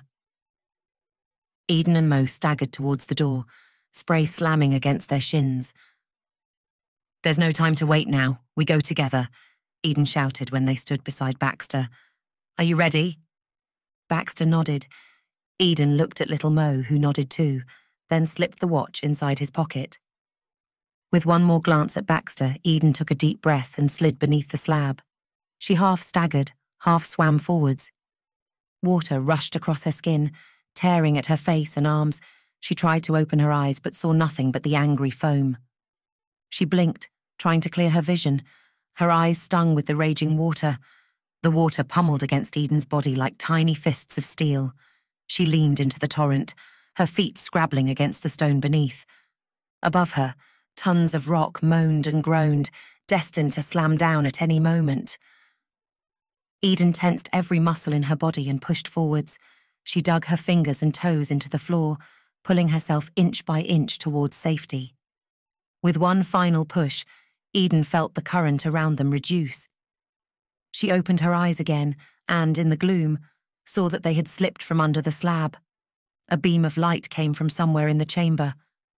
Her lungs burning for air now, Eden forced herself upwards. Her arms outstretched, she kicked hard towards the surface. Water streamed across her face. Sour air burned inside her lungs. Eventually, she felt the smooth rock of the ceiling with her hands. She kicked again, and her face broke through the surface of the water. Eden gasped frantically. There was about a foot of air remaining at the top of the tunnel, but it was closing fast. She looked across the surface of the water, swirling and bubbling angrily. A light moved somewhere deep within the water. An explosive thud echoed through the chamber. The walls shook, and the water sloshed one way and then the other. Debris fell from the ceiling, slamming into the murky depths. The thud echoed several times, and then everything went still. It felt to Eden as though she were standing in the eye of the storm. Her desperate breathing suddenly sounded loud in the enclosed space. The water around her slowed, spinning around the chamber a couple more times before coming to a rest. Eden peered down into the depths. The light was still on and still moving. She watched as the light turned and then powered towards the surface. Baxter broke through the surface of the water, the light in his hand. He shook his head and then rubbed a hand across his face. You made it, Eden shouted, suddenly overcome with relief and fear. She leapt forward and wrapped her arms around Baxter. He put his arms around her too. Feeling Baxter's body beside hers, Eden felt a strange sensation of comfort. Water lapped slowly and rhythmically against the walls now. Where's Mo? Eden said, little more than a whisper. He must be down there. Eden pulled herself free from Baxter's embrace, kicked into a dive, and headed down through the water. She ran her hand across the slab as she swam down. Reaching the floor, her heart sunk. She tried to force her hand between the slab and floor, but the two were so perfectly joined there was just a hairline crack. Although Eden knew her actions were futile, she pushed at the slab. With the slab back in place, the great hall on the other side was sealed to the outside world, like it had been for thousands of years. Her breath running out, Eden turned and kicked back to the surface. He didn't make it, Baxter said when Eden broke through the water. Eden pushed the hair from her face and looked around frantically. We've got to find a way back through there. We can do it. I know we can. We can't leave him in there.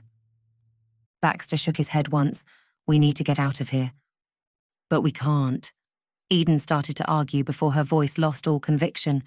With countless tons of rock between them and Mo, there was nothing they could do. Little Mo stood in the chaos, and for possibly the first time in his life saw how simple things were. Water pounded in from beneath the slab, flooding the chamber. He glanced around at all the priceless artifacts which were set to be destroyed if the water continued to flow. As though issuing another non subtle reminder, several clumps of rock fell from the roof. The pressure in the chamber had already dropped far below safe levels. Ahead of him, Mo watched Baxter and Eden dive beneath the slab. He stepped forward and watched them half swim, half scramble through the gap. He looked at the heavy golden chalice with that in the way, the chamber would never be properly sealed again, and all the artifacts inside would be destroyed. Little Mo glanced over at his father's body, lying in the niche twenty feet away. Mo put a hand to his chest and felt the shape of his father's watch in his shirt pocket. He knew exactly what he had to do. Like his father before him, it was now Mo's time to be the great preserver of the vault. Mo stepped up to the chalice, and with one mighty sweep, pulled it from beneath the slab. The metal crunched and groaned against the rock and then came free. With a colossal thud, shaking the chamber from wall to wall, the slab fell, sealing the chamber from the outside world. The last ebbs of water ran from the causeway and bubbled into silence. Mo exhaled, then dropped the chalice to the ground. The clang echoed around the space for several seconds before dying into silence. Mo turned and looked around, the dozens of golden animals looked back at him, their secrets preserved for another generation or two. Little Mo walked across to the niche and slumped down against the wall. He slipped the watch from his pocket again. Another boom echoed through the chamber. Mo looked up just in time to see part of the ceiling come loose and several rocks the size of cars fall towards him. Mo closed his hand around the watch as the rocks fell. As above, so below he whispered to himself. Chapter 41 Lulu King led the way out through the hatchway and into the laundromat's unassuming back room. She and Professor Beaumont carried the front two poles, which took the weight of the Ark of the Covenant. Abdul and Sharif grumbled under the weight of the Ark at the back and the heavy bags containing the ancient books. Getting the Ark through the water below had been easier than King thought. Abdul had gone first, laying a rope through the water. They had tied one end to the Ark. Abdul had then pulled the thing through, while the rest of them pushed it. Although the gold was heavy and tried to sink to the bottom, the four of them managed to heave it through without too much difficulty. Come on, King said, swinging her light from side to side with her free hand. They moved through the laundromat, passing the decaying machines and the crumbling walls. There was something fitting, King thought, that a rundown place like this was quite literally the gateway to a subterranean treasure trove. It was the sort of place that no one would ever think to look. King checked the time Less than an hour had passed since they'd entered the laundromat. It felt like so much longer. So much had happened. She thought about the Ark now in their possession and the contents of the packs, which should tell them exactly how to use it. A new future was now possible because of what was in there. A very lucrative future for King Industries. Abdul and Sharif grunted, taking the last few steps slowly. King led them through into the laundromat's front room. Put it down, King barked. They lowered the Ark of the Covenant to the floor in the middle of the room. King turned and looked at the thing. It seemed to glow, as though producing a light of its own. King slid out her phone and placed a call. We're coming out. Be ready. Roger that, came the reply before the line was cut. King pushed open the grimy door and stepped out onto the street. Stripes of blue began to colour the sky as dawn approached. King felt an uncharacteristic flare of excitement. A new dawn was coming, a dawn that was bringing with it a new era for her and King Industries. She turned back to face Beaumont. The man took a step backwards, as though trying to shrink into the gloom. Thank you for your help, Professor, King said, taking a step towards the man. Beaumont took two steps backwards and collided with Abdul's barrel chest. Beaumont turned, and the Angolan snarled. Not this again, Professor, Lulu crowed, watching the professor's vain attempt to escape. Abdul grabbed Beaumont's arms behind his back. The professor struggled for a few seconds before accepting it was futile and becoming still. You know, you're lucky I'm not a sensitive person, King said, her voice oozing with sarcasm. It seems as though you're always trying to get away from me. Was it something I said? You know, it never had to be like this. You could have been working with us. You could have had a share of the glory. Never mind. Tie him up in the truck. King pointed towards the Toyota Hilux parked a few feet away. You sure, boss? Abdul grunted. He might become a loose end. King thought for a moment about killing the man and dumping his body somewhere outside the city, but there really wasn't any need. She expected that in a few hours someone would find him. But then the Ark would be well away from here. She'd got what she'd come for, and he'd got nothing. Of course, Beaumont might try to tell people about what she'd done, but who would believe him? The people who spouted about secret passages beneath Giza, and the forgotten technologies of ancient civilizations had long been thought of as at the wrong end of the sanity spectrum. No, he'll be fine. Plus, we never know when we might need his knowledge again. You would be willing to help us again in the future, wouldn't you, Professor? Beaumont refused to meet the woman's gaze. Abdul shoved Beaumont into the driver's seat of the Hilux, dug out a pair of lock ties, and quickly bound Beaumont's hands. Then, with a third lock tie, Abdul secured Beaumont's hands to the wheel. The Angolan pulled against the makeshift shackles, testing the strength. The man was secured, tight inside the car. Beaumont winced as the tough plastic cut into his skin. King stepped towards the truck. It's such a shame. A capable man like you, King said, looking down at the professor. Maybe I'm becoming weak, but I have respect for you and all that you've done. That's why I'm going to let you live.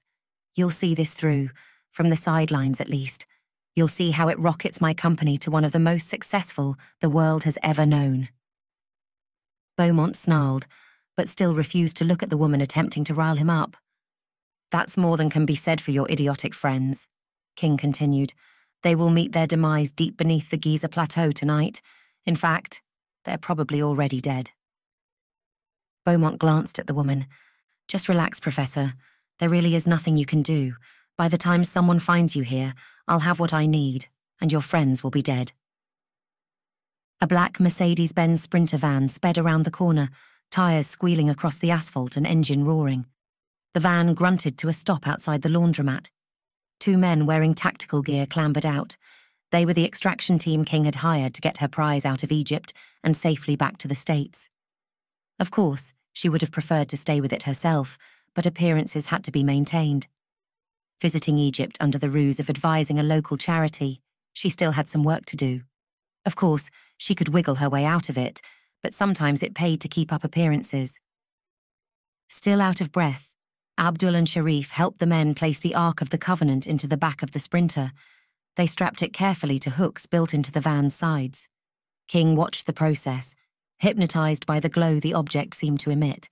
Abdul and Sharif placed the bags containing the complete Book of Enoch and the Book of Giants beside the Ark. Abdul slammed the doors, snapping King out of her trance.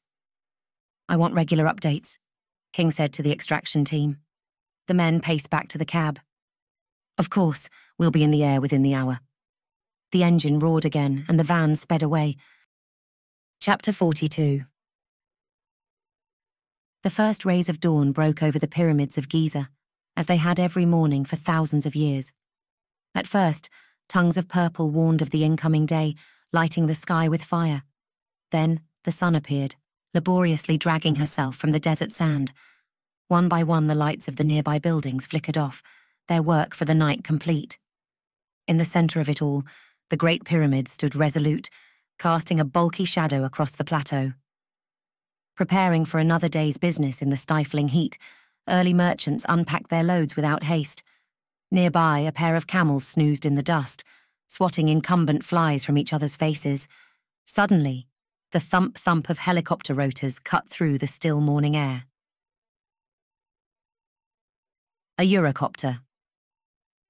AS 350, flying just a hundred feet above the ground, shot over the desert sand, the resting camels peered at the incoming beast with curiosity. Having seen these machines before, they settled back into the dust. It was not yet time to get up. The chopper powered on across the plateau, churning dust, sand, and debris into great clouds. Tracking a line between the Pyramid of Khufu and the Sphinx, the pilot didn't even slow. This clearly wasn't a tourist trip. After passing the plateau, the copter circled twice over the centre of Nazlet el Saman. Sighting its target, the machine slowed, hovered, and then dipped between the buildings. For 30 seconds, the sound of the pumping rotors muted into the murmur of the city. Hold on a minute, Eden said, climbing aboard the chopper and shuffling down to make space for Baxter and Beaumont. We had to do all of that, just the four of us, and now you choose to call in the big guns. Baxter pulled on the headset which hung from the ceiling beside him. Eden did the same. Beaumont shuffled into the end seat, still rubbing his wrists where Lulu King's bindings had held him captive for the last hour. Good to have you aboard, Captain, the pilot said, Baxter leaned over and slid the door closed with an ease that demonstrated this wasn't his first time aboard such a machine. Captain, Eden said, looking at Baxter. Baxter caught Eden's gaze. You'll get your answers. Now it's time to get out of here. He turned to the pilot. Eden turned and looked out through the window. Yet again, she felt like the world was moving around her in a way she didn't understand. The answers better come soon, she whispered. I'm getting sick of this. When you're ready, officer, Baxter said. The pilot turned back to the controls, and the great beast shuddered upwards. Swathes of trash danced one way, and then the other in the chopper's powerful wake. Eden looked out at the nondescript laundromat, below which the secrets to prehistoric societies lay hidden in plain sight. One small part of those secrets would soon come to light. How long the rest would lay hidden, she had no idea. Noticing Mo's beat up Toyota beside the laundromat, Eden felt a welling sense of sadness. For the last few months, disaster seemed to chase after her, and it was always the good guys who ended up losing out. Baxter slipped a small device from his pocket. Fire in the hole, he shouted, pressing the button. A bright light flashed from the engine of the pickup below. Glass shattered as the spark became a fireball. The flames rattled from the truck, licking up into the air, Eden pressed her nose against the window. Flames engulfed the laundromat, barely a few yards below the copter's landing gear. Within seconds, the window shattered, and fire roared up the front of the building. The whole block's been evacuated, Baxter said to no one in particular. Suspected gas leak. Our team will be in to clean it up in a few hours. They'll seal the whole place up again so that no one finds that passage. Unless we want them to, Eden said. The chopper swung hard to the right, giving Eden an uninterrupted view of the destruction below. That's right, Baxter said. Unless we want them to. Almost an hour later, the chopper powered out of Egyptian airspace and over the Mediterranean Sea. Eden turned and watched the land of sand and pharaohs shrink into the horizon behind them. Her mind relentlessly turned over the events of the last three days. For her, whichever way she looked at it, she couldn't help but see it as a massive failure. Lulu King had the Ark of the Covenant and the instructions to use it. The secret to affordable power had slipped through the fingers of the masses again, and into the undeserving clutches of the few. Punishing herself, Eden thought of all the applications for which this could be used pumping water to remote villages, sustainably delivering food, pharmaceuticals, and other supplies, and of course, cutting the carbon emissions of the world's powerhouse nations. But that was done now. The secret was out, and all was lost, and little Mo was dead. Eden glanced at Beaumont. He looked exhausted, peering out of the opposite side of the chopper. Five minutes out, the pilot said. Roger, Baxter said, nodding. Eden scrutinized the sea beneath them. If they were landing in five minutes, then their final destination would soon be revealed. Undisturbed water sparkled in all directions. She sat back and exhaled. She would find out soon enough where they were going. Frankly, if it had food and somewhere to rest, she didn't care anymore. Right now, she didn't even have the energy to ask. A large yacht appeared, shimmering on the horizon. The chopper slowed and their altitude decreased. As they drew close, Eden peered down at the craft. It had decks spread out on several levels, some clearly for relaxing with chairs, tables, and sun loungers, others for more functional reasons with strange apparatus, antennas, and what looked like weather measuring equipment. Eden noticed something that caused her to sit up straight. Projecting from the front deck of the yacht was a symbol she recognized, a symbol which had been following her around through the whole sorry mess the key to the Nile. The copter slowed further, descended, and then banked towards the large deck at the rear of the yacht. The railing around the deck lowered outwards, powered by hidden motors, to give the pilot more room to maneuver. Eden peered down at the water, 20 feet below them. The spray danced in ever increasing circles as the chopper descended. They passed over the rear deck, obscuring Eden's view of the water. The pilot carefully touched down, the chopper bounced twice and then settled down on the gently bobbing craft. It was clear to Eden that the pilot had done this landing many times before. The pilot reached up and snapped off several switches, powering down the engine. The chopper whined, and then the rotors began to slow. Baxter took off his headset, stowed it away, and slid open the door. He hopped down to the yacht's polished wooden deck. Eden pulled off her headset and shuffled towards the door. Baxter held out his hand to help her down, Eden looked at the hand for a second, then, realizing how exhausted she was, accepted the help and slipped down onto the deck. She looked up at the yacht, squinting in the bright sunlight. The location of their extraction and set down could not have been more different. The rotors finally whined into silence. The pilot set about tethering the chopper to the deck with large straps. Eden noticed a door at the back of the yacht slide open, and several figures walked out onto the deck. Eden blinked, forcing her eyes to focus. Three people stepped from the shadows of the yacht's interior. Two of them, Eden didn't think she'd seen before. Setting eyes on the third person, Eden froze. She opened her mouth. The tension in her shoulders dropped. Her feelings of fatigue turned to confusion, then onto astonishment, then to elation. Eden set off at a sprint across the deck, all tiredness forgotten. Alexander Winslow, her father, saw her coming and opened his arms in preparation. Father and daughter merged into a fierce hug. Then Eden pulled away and looked at him again, still not quite believing what she was seeing. Welcome to the Bologna, Winslow said. Chapter 43 One of Winslow's assistants, a woman named Athena, showed Eden to a cabin on the top floor of the yacht. I'll wait out here for you, Athena said, Get showered and changed, and I'll take you straight to your father's office. I know you'll have questions. Eden turned and looked directly at the woman for the first time. A strange chime of recognition sounded somewhere deep within Eden's memory. She felt as though she had seen the woman before, although she couldn't place it. Get changed. Did you see me bring a suitcase? Eden said, pointing down at her damp and tattered clothes. We've taken care of that. Our team collected a few of your possessions from the villa in New Giza. The woman pointed to a case on the side table. Eden opened her mouth as though to say something, but thought better of it. Thank you, she snapped unconvincingly. I won't be long. Take all the time you need. Eden shut the door and stalked through the room. The cabin, like the rest of the yacht, was luxurious.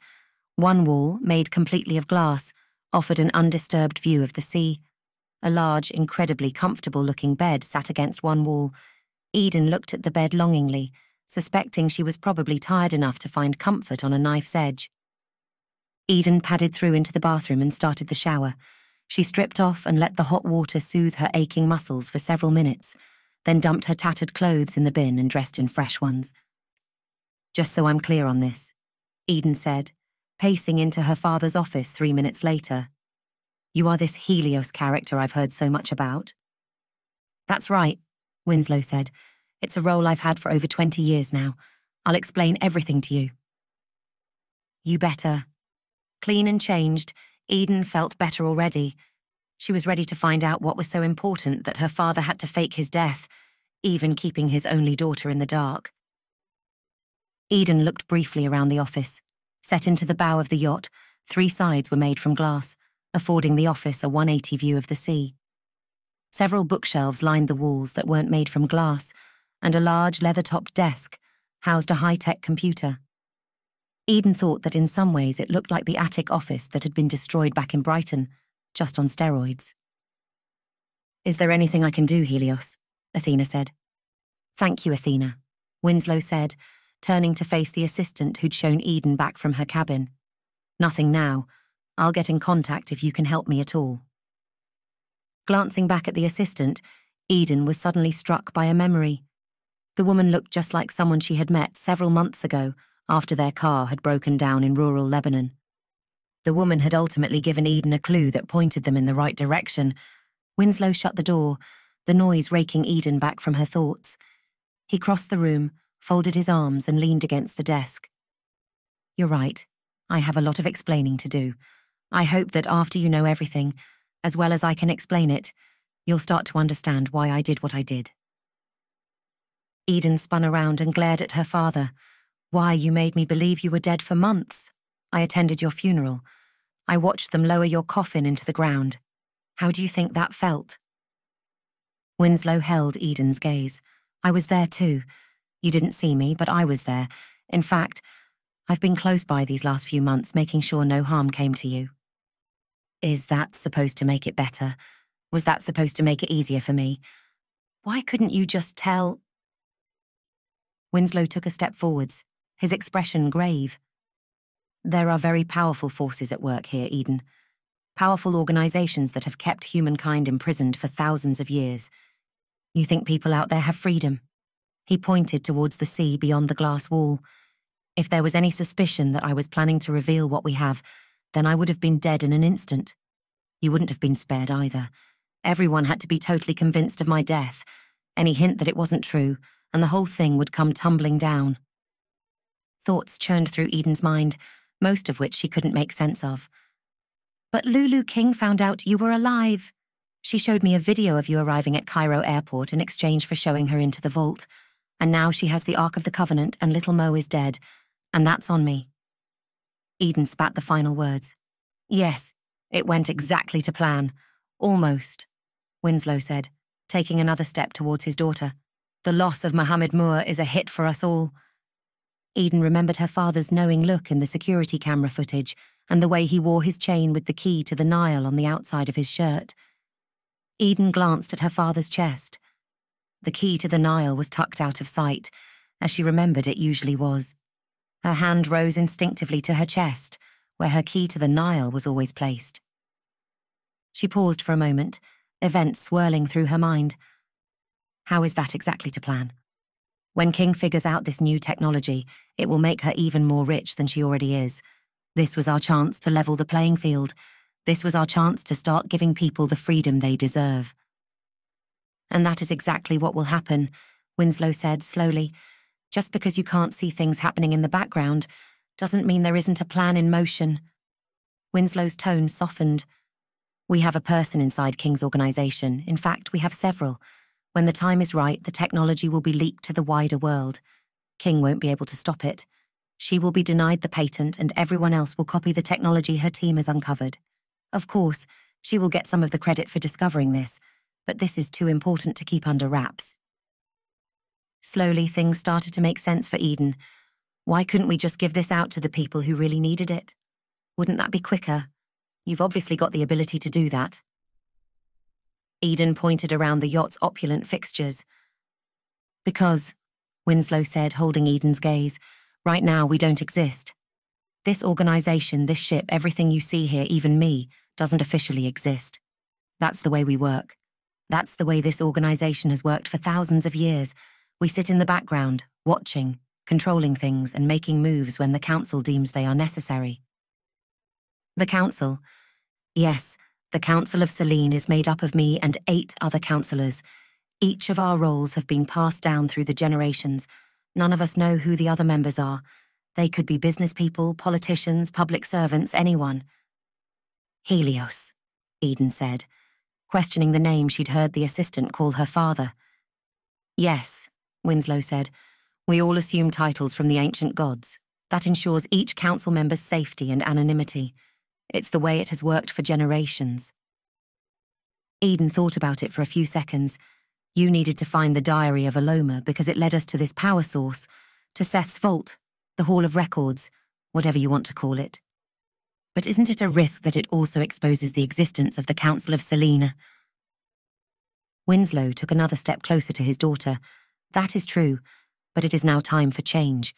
Over the years, the Council has monitored the progression of humankind, started conflicts, ended conflicts, elected leaders and assassinated leaders. Our time is drawing to a close and a new era is beginning. Wait a minute, Eden said, not immediately understanding what her father meant. You want the council to be discovered. You are planning to bring it down from the inside. That's right, Winslow said. We've had our time. It's now time for humanity to govern itself. A beeping noise came from the phone system on the desk. Winslow turned and thumbed the button. Go ahead, Athena. Last night's disturbance around the Giza Plateau has been reported as seismic activity, just as you asked for it to be. Al Jazeera are reporting on it now. Thank you. Winslow scooped up a remote control and clicked a large TV into action. A shot of a presenter standing in front of the pyramids filled the screen. You've covered up the whole thing? Eden asked, already knowing the answer. That's the thing about the truth, Winslow said, turning to face his daughter. Most often, it's far too unrealistic for anyone to believe. Chapter 44 Lulu King paced up to the window and peered out at the streets of Cairo, baking below in the midday sun. Her gaze rose towards the horizon. There, just visible, the bulky shapes of the pyramids danced in rising thermals. She looked at her watch for the fifth time in as many minutes. It had been over six hours since she'd passed the Ark of the Covenant and the books to her extraction team, and she had yet to hear an update. She did some silent calculations and figured they should now be somewhere over the Atlantic. By the end of the day, they would make it to the United States, landing on a private airstrip in Texas, and then the real work would begin. With a team of the brightest scientific minds already on the King Industries payroll, Lulu hoped for them to turn this project around in a matter of months. Of course, that was optimistic, but paying top dollar, she also demanded the best from her team. A ghost of a smile flashed across King's face.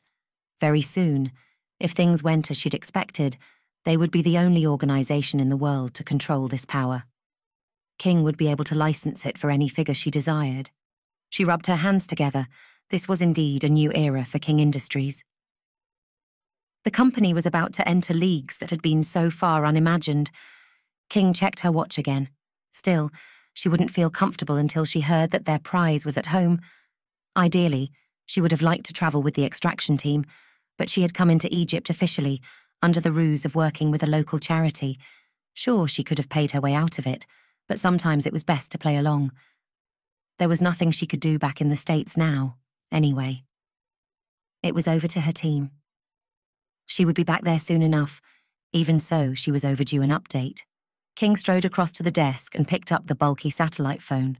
She placed the call to the leader of the extraction team. She held the phone to her ear and wandered back to the window. The phone rang, mysterious and distant. It buzzed three times, King's anxiety rising with each tone before it was answered. The ringing stopped. A voice strained down the line. Yes. It's King. Report on your location. The man, sounding frustrated, reported that they were, as she'd imagined, over the Atlantic. Headwinds are slowing progress, he barked. I'll update you when we make land. Sorry about that, Winslow said, putting the phone down. Some things just can't wait. He turned away from the window, crossed the room, and sat in the chair opposite his daughter. No bother, Eden said, shrugging. They had been talking for over two hours. I have some matters to catch up on this afternoon, Winslow said. Eden's eyes welled with tears as she looked across at her father lounging in a red leather chair. She mentally pinched herself, checking she wasn't in the middle of a very realistic dream and about to wake up. This all feels sort of unreal, Eden said, looking down at her hands. I don't feel as though I can make sense of it right now. She wiped her cheek with the back of her hand. A lot has happened. Winslow climbed to his feet and walked across to Eden. He knelt and kissed her on the forehead. Please remember this, though. I wouldn't have put you through this if I didn't know you could cope with it. I know it's been a lot, life changing even, but we are in a period of great change. In a few years, the world will be thankful for this. Although they won't even know what we've done, Eden said, looking up at her father. Their eyes locked, and Eden felt as though her father was looking deep into her soul. Ever since she'd been a child, her father had been one step ahead. Somehow he always knew her next move. For once, Eden wished she had the upper hand. She wished she knew what was coming next. A typhoon of emotion twisted in Eden's guts. She was overwhelmed with relief that her father was alive and well, but betrayal bubbled deep within her, too. It felt as though her father had expected her to forget all the pain his so called death had caused. I would suggest you could get some rest. Winslow broke the stare and climbed to his feet, but I also know you won't. Rest is the last thing on my mind, Eden said, glancing at the empty cup of coffee on the table. How about Athena gives you a tour of the Bologna? This place will be your home for a little while. That is, if you're happy to stay here. I think I could get used to it. Eden looked around at the yacht's opulent decor. It's a bit like my truck, just a thousand times bigger. I suppose it is. Winslow smiled, we are all very proud of her and all she can do. I don't think much of the service, though, Eden said, staring at the empty cup on the table before her. I've wanted another coffee for almost an hour. For you, that can be arranged. Winslow pressed a button on the communications panel, and Athena appeared at the door within an uncannily short time. Eden figured the other woman must have been waiting right outside. Athena, Please give Eden all the coffee she requires, followed by a tour of the ship. Make sure you introduce her to the team too. Great, more new people, Eden muttered inwards. For a moment, she missed her truck buried deep in the English countryside. Living there, she didn't have to see anyone, unless it suited her. Eden climbed to her feet and followed Athena out into the corridor. At the door, Eden glanced back at her father, lowering himself into the chair while the last two hours had been illuminating in the extreme, there was still so much she didn't understand. I was totally convinced by your act, Eden said, running a few steps to catch up with Athena. The young woman paused, then glanced at Eden. Eden stared into the large Arabic looking eyes, which a few months ago in rural Lebanon had seemed innocent and believable. Athena's gaze was now hard, unyielding, and intelligent. I've had to imitate all kinds of people while working for the Council of Selene, Athena said, turning and leading them further down the corridor. Eden noticed a slight Arabic inflection to her accent. The accent matched her dark hair and olive complexion, but could be just as fake as her previous persona. Please don't take it personally. I'm something of a chameleon. I'm not taking it personally, don't worry. You did what you needed to do. Athena led Eden to a large cafeteria at the rear of the vessel and fixed them both coffees from an impressive looking machine. If there is one thing I do know about my father, it's that he can't stand instant coffee, Eden said, as the machine hissed with steam. I don't think we even allowed it on board, punishable by death, Athena said. Eden crossed to one of the three large circular tables and sat down. The room was simply decorated, and as it seemed with every room aboard the Bologna, floor to ceiling windows led out onto one of the craft's multiple decks. You'll get very used to this place. Athena slid a cup of coffee across to Eden. We can stay at sea for months on end, so when it is time to relax, this is where we do it. Not that it happens as much as it should. Eden didn't reply. After several seconds of silence, Athena spoke again. It must be quite a lot to take in. She locked eyes with Eden across the table. Eden sipped her coffee. That's an understatement, but yes. Yes, it is. Sorry, I can only imagine. It was for me when I first came on board, and I didn't have the whole your father's not dead thing to contend with. Eden looked down at her drink. Sorry, that was. No, not at all, don't be. You know, thinking back to it now, there was always something about it I never believed. In a way, I had always expected him just to walk back into my life. And on several occasions, I got the strange sense that he was nearby, almost as though I could smell. Chamomile cigarettes?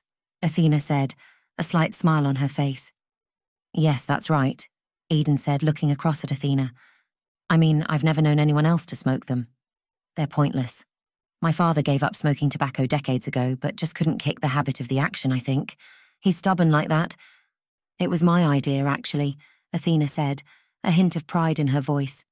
Although your father knew that you could do this, he was worried that you might lose all hope and bury yourself away in your truck. He spent months following you. He wanted to do it himself, wouldn't let anybody else, and smoking those cigarettes, just to keep it fresh in your mind. Clever, Eden said, taking another sip of the coffee. I'm glad you think so. Let's show you our floating headquarters then. Athena finished her coffee and got to her feet. Eden did the same, wondering what other parts of her life had been engineered right here. For most of the day, Eden and Athena strode through the various labs, meeting rooms, offices, and corridors of cabins.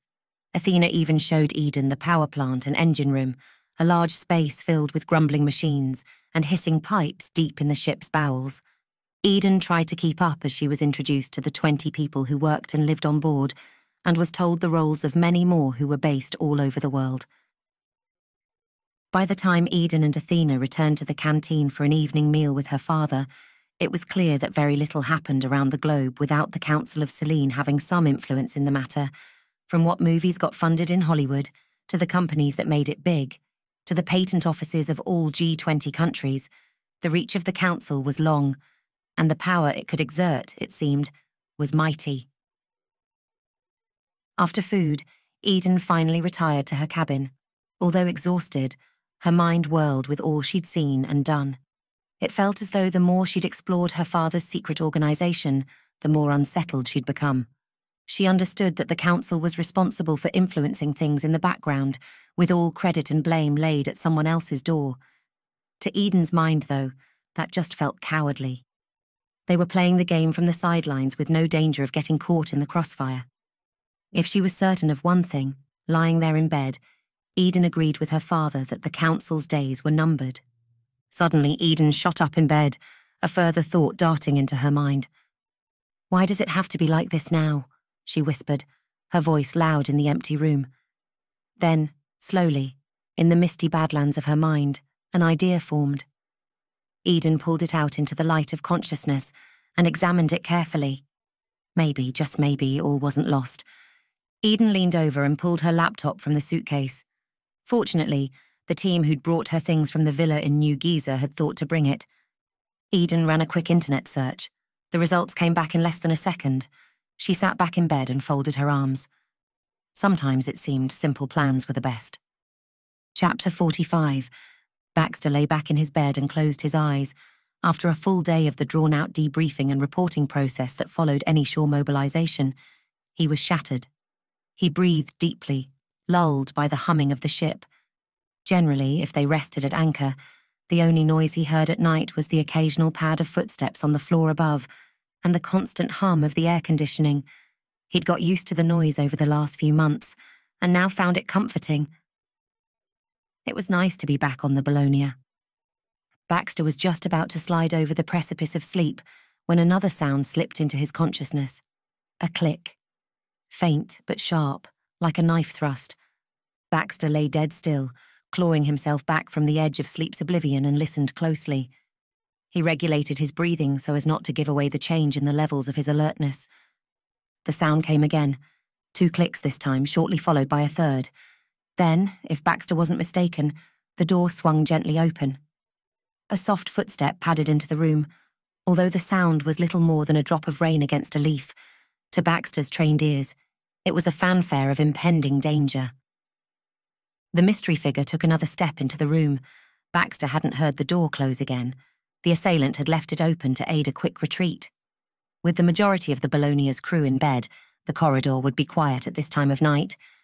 He heard another gentle footstep as the figure moved towards the bed. Whoever his midnight assailant was, Baxter realized, they had either removed their shoes or were wearing soft soled sneakers. That was a clever move, he thought. Professional. Baxter was fully awake now. The sleep to which he had been about to surrender was a distant memory. He turned his attention to calculating the number of assailants. It sounded to him like there was just one, unless they'd synchronized their movements, in which case, that would be even more impressive. Baxter thought about the gun he kept in the top drawer of the nightstand. Although he could reach the weapon in less than a second, there was no guarantee that would be quick enough. But Baxter knew, as the footsteps pattered forward again, he had to try. He had to try before it was too late. Baxter lay still and drew a long inhale. He pictured the movement he was about to make roll to the side, pull open the drawer, reach for the weapon. He tried to remember which way around he had placed the weapon. It was only a small detail, but any delay here could be the difference between life and death. He pictured the gun in his mind's eye. The grip should be facing towards him, but he just couldn't be sure. He counted down from three, slowly. Reaching one, his muscles tensed. He threw himself into a roll just as he'd planned. He kicked off the covers and grabbed for the nightstand. Within a moment, there was a weight on top of him. The intruder was quicker and closer than he'd estimated. A hand clamped down over Baxter's mouth, the other locked his arms into position. He swept his fingers through the air, as much as the hold would allow, hoping to reach the nightstand. His fingers grabbed at nothing but the empty air. He struggled again, forcing himself forwards, gaining an inch or so in the process. Then he heard a soft voice, a woman's voice. Stop struggling, Eden whispered. Don't make a noise. I don't want to wake anyone. Recognizing the voice, the power drained from Baxter's hands, he relaxed. Eden leaned over and clicked on the bedside light. Adrenaline drained from Baxter's body, and embarrassment swelled. Eden scrambled off the bed, strode across the room, and pushed the door shut. The lock clicked back into place. What are you doing? Baxter asked, rubbing the sleep from his eyes. He tried, and failed, to act like the whole thing hadn't spooked him out. I need your help with something. It's urgent. The tone of Eden's voice told Baxter she meant what she said. Okay, sure, but why couldn't you just knock? You know, like a normal person. Baxter's eyes strained into focus. And how did you? Baxter pointed towards the door. It's amazing what you can learn on YouTube, Eden said, shrugging. Baxter realized that Eden was already dressed in black tactical clothes, a rucksack strapped to her back. You going somewhere? he asked, still sounding groggy. We are going somewhere. Eden glanced unconsciously at Baxter's torso as the cover slipped down. I'll wait in the bathroom. Get ready, don't be long. As Eden padded through to the bathroom, Baxter noticed that she was wearing soft soled sneakers. At least I got something right, he muttered, climbing out of bed and trying to shake off the embarrassment of being bested by someone half his size. The fact she was female didn't concern him one bit. Baxter had served alongside brave men and women. He found that when it came to the crunch, someone's gender made no difference at all. It was their spirit that counted for everything. The fact she was a civilian, though, with next to no military training, now that stung. Baxter dressed quickly and was tying his laces as Eden came back in from the bathroom. she quickly explained her plan to him. Hearing the details, Baxter paled. Helios. Baxter paused, then locked eyes with Eden. I mean, your father won't like this. This really isn't how the council does things. There's got to be process and deniability. Forget process and deniability, Eden hissed as loud as she dared. Lulu King is still out there. She's going to use this technology to become one of the most wealthy and powerful people on the planet, while the rest of humankind suffers. On my watch, that's not okay. I'm going to put that right tonight. Okay, okay. Baxter held out his hands to quiet Eden down. What do you need me to do? Eden and Baxter, keeping in the shadows as much as possible, shuffled towards the Bellonia's back deck. After Eden had explained her plan, Baxter admitted there was a good amount of logic to it. They had scurried down to the Bellonia's arsenal on the third floor. Eden had taken a special interest in the weapons cache during her tour that afternoon, so knew exactly what she wanted. Eden and Baxter now had both sidearms and semi automatic rifles strapped to their bodies. Turning the corner, they paused and looked up at the dormant helicopter. The machine squatted in the gloom, menacing and angular like a giant insect. Somewhere far below them, the gentle waves of the Mediterranean lapped against the yacht. Baxter looked up at the sky.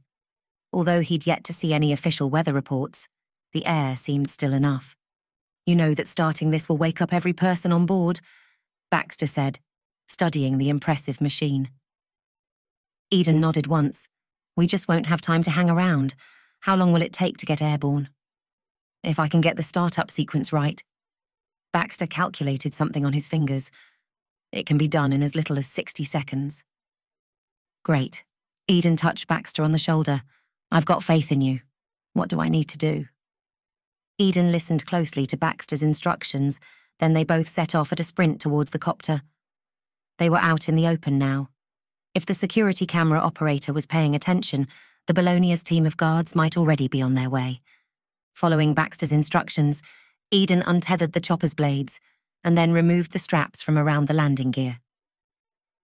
Baxter ran straight for the door, swung it open, and leaped into the pilot's seat.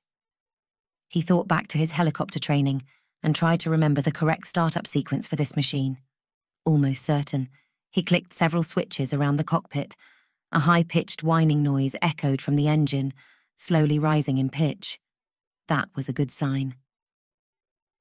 Eden clambered into the seat beside Baxter. The rotors began to spin lazily through the air. Come on, come on, Eden muttered, watching the rotors complete another slow circuit. With an audible click, lights flooded on around the Bellonia, illuminating the helicopter and dazzling Baxter and Eden. Eden looked up at the rotors. The blades swished through the air more like a rotary washing line than a flying machine. What's going on? We won't get anywhere like this. Baxter's training flashed through his mind again. He glanced up at the banks of switches overhead.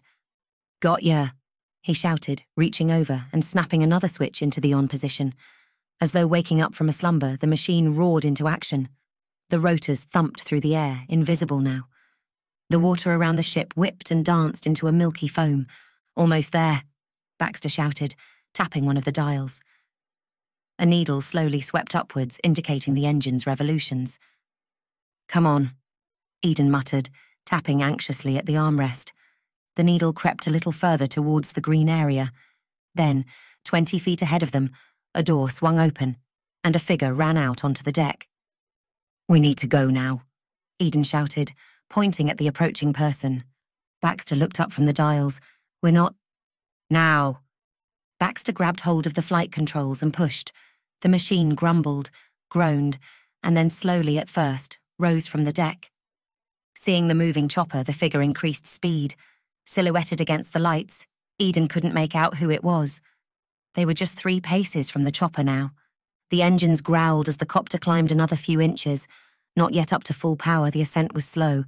Baxter toyed with the controls and the copter swung to the left, increasing the gap between them and their pursuer. The figure increased speed again, pounding across the deck, their arms hammering like pistons. The chopper climbed another inch. Baxter used the elevation to push them back another few feet. The pursuer closed the gap in a couple of seconds. Finally, the needle crept into the green area. The engines now settled into a primeval growl. Hold on, Baxter shouted, pulling back hard on the controls. The chopper lurched forwards, almost colliding with the back of the ship. Just in time, the nose tilted towards the sky and then shot backwards, leaving the deck of the Bologna far below. As the chopper lurched forward, the pursuer dropped to the deck. That was close, she hissed, crashing hard against the deck. A moment later, and the machine would have flattened her. She rolled over and looked up at the copter's giant glinting belly, a salute against the sky. The machine hovered and swayed above her, like a drunk trying to find their feet. The rotors thundered, air whipping and tearing against her skin. In one swift move, she leaped back up to her feet and then jumped clear of the deck. Noise roared in her ears, threatening to disorientate her completely. Her hands swung out in front of her, fingers bent, ready for the catch. Like a sports champion making the catch of their career, her fingers closed around the front of the chopper's landing gear. She closed her hands tight, the muscles in her forearms straining. The chopper remained still for a microsecond, as though balancing on a precipice. Then it shot backwards, clearing the deck and gaining 30 feet in less than two seconds. She gripped on. Her fingers felt as though they might be torn from her palms. She gritted her teeth, straining, focusing all attention on her hold. After a few seconds, the chopper leveled out and swung around to face the distant shoreline. She swung this way and that like a rag doll. The copter's nose tilted towards the ocean, now 50 feet below them, and set off towards the coast. She heaved herself upwards, getting first one arm, then the next across the landing gear. She swung her legs up and over. Gripping the bar with her legs, she swung upward and grabbed the door handle. She peered through the glass at Eden and Baxter, both their eyes facing forward. Here goes, she muttered, sliding open the chopper's rear door and launching herself inside. Alarms shrieked through the chopper. The sound of the rotors increased to a roar. Eden spun around just in time to see a figure throw themselves through the door and into the rear of the chopper. With no lights on, the chopper's back cabin was completely dark. Eden flew into action, jumping out of her seat and scrambling into the back. Baxter, distracted by the movement, lost control of the machine. It swung left to right several times, causing Eden to bang between the seats. I've got this, Eden shouted, barely audible against the engine's roar. You fly this thing. Baxter turned back to the controls. Eden sprang down on the figure, determined to pin them to the floor before they had a chance to move. The figure rolled away just in time. Eden crashed hard against the floor, then scrambled up against the seats, and without pausing, pushed forward for another attack. The figure was up now and moving quickly. Eden heard the intruder say something but couldn't make out the words against the roaring engines. She didn't give the interloper a chance to gain ground. Her hands raised in a fighting stance. Eden charged forwards. Behind the figure, the night air roared through the open door. Eden swung a right hook, but her opponent parried just in time. Eden tried again, this time with her left. The intruder seized her arm and pulled in tight, locking them together. The interloper was a similar size to Eden and moved quickly. The two of them tumbled to the floor, rolling towards the open door. Eden struggled, trying to right herself. She looped her leg around one of the chair supports, stopping their slide towards the open door. Eden then pushed the intruder towards the precipice. While she didn't intend to kill the opponent, if the mission's only chance of success was pushing them out and into the sea, then so be it. Eden shoved harder. The intruder scrabbled against the floor, shouting something unintelligible. The engine roared and wind howled. Suddenly, a light clicked on, bathing the cabin in a bright glow. Eden finally saw her opponent. It wasn't one of the Bologna security team, but Athena. Fear surrounded the young woman's eyes as she neared the open door. The woman wasn't fighting back. Eden grabbed Athena under the arms and heaved her away from the door. Her arms now free, Athena reached up and slid the door shut. The sound of the rotors sunk from a disorientating thunder to a distant growl. Eden stepped back, still unsure, and scrutinized the woman. Athena took a headset from a hook and slipped it on. Eden did the same. At last, she could hear what the woman had to say. I know you're going after King. I'm coming with you. The man known as Helios, or Alexander Winslow, stood at the railing at the rear of the Bologna and watched the helicopter pound back in the direction of Egypt. Reaching inside his jacket, he removed a packet of chamomile cigarettes. Eden, you're so predictable, he said to no one. He shook one of the cigarettes from the packet and placed it between his lips. And you know what? That's just what the world needs. He lit up and drew a lungful of the sweet smoke. Chapter 46 Eden peered down at the ground below as Baxter navigated the chopper around the town of El Katatba. Since they'd crossed the coast half an hour ago, they had avoided all population centres in an attempt not to attract attention. Much of the land here was unpopulated, leaving great swathes of the desert beneath the chopper black and featureless. Ahead and to the left, light pollution from Cairo radiated high into the sky. Baxter glanced carefully down at the controls as they followed the line of a road which led like a sunbeam directly into the heart of the city. A car, sliding down the road just a few hundred feet beneath them, was the only indication there was a road there at all. Eden glanced from the map on the chopper's central console to the land beneath them. Two miles ahead on the left, Eden said, peering through the windshield.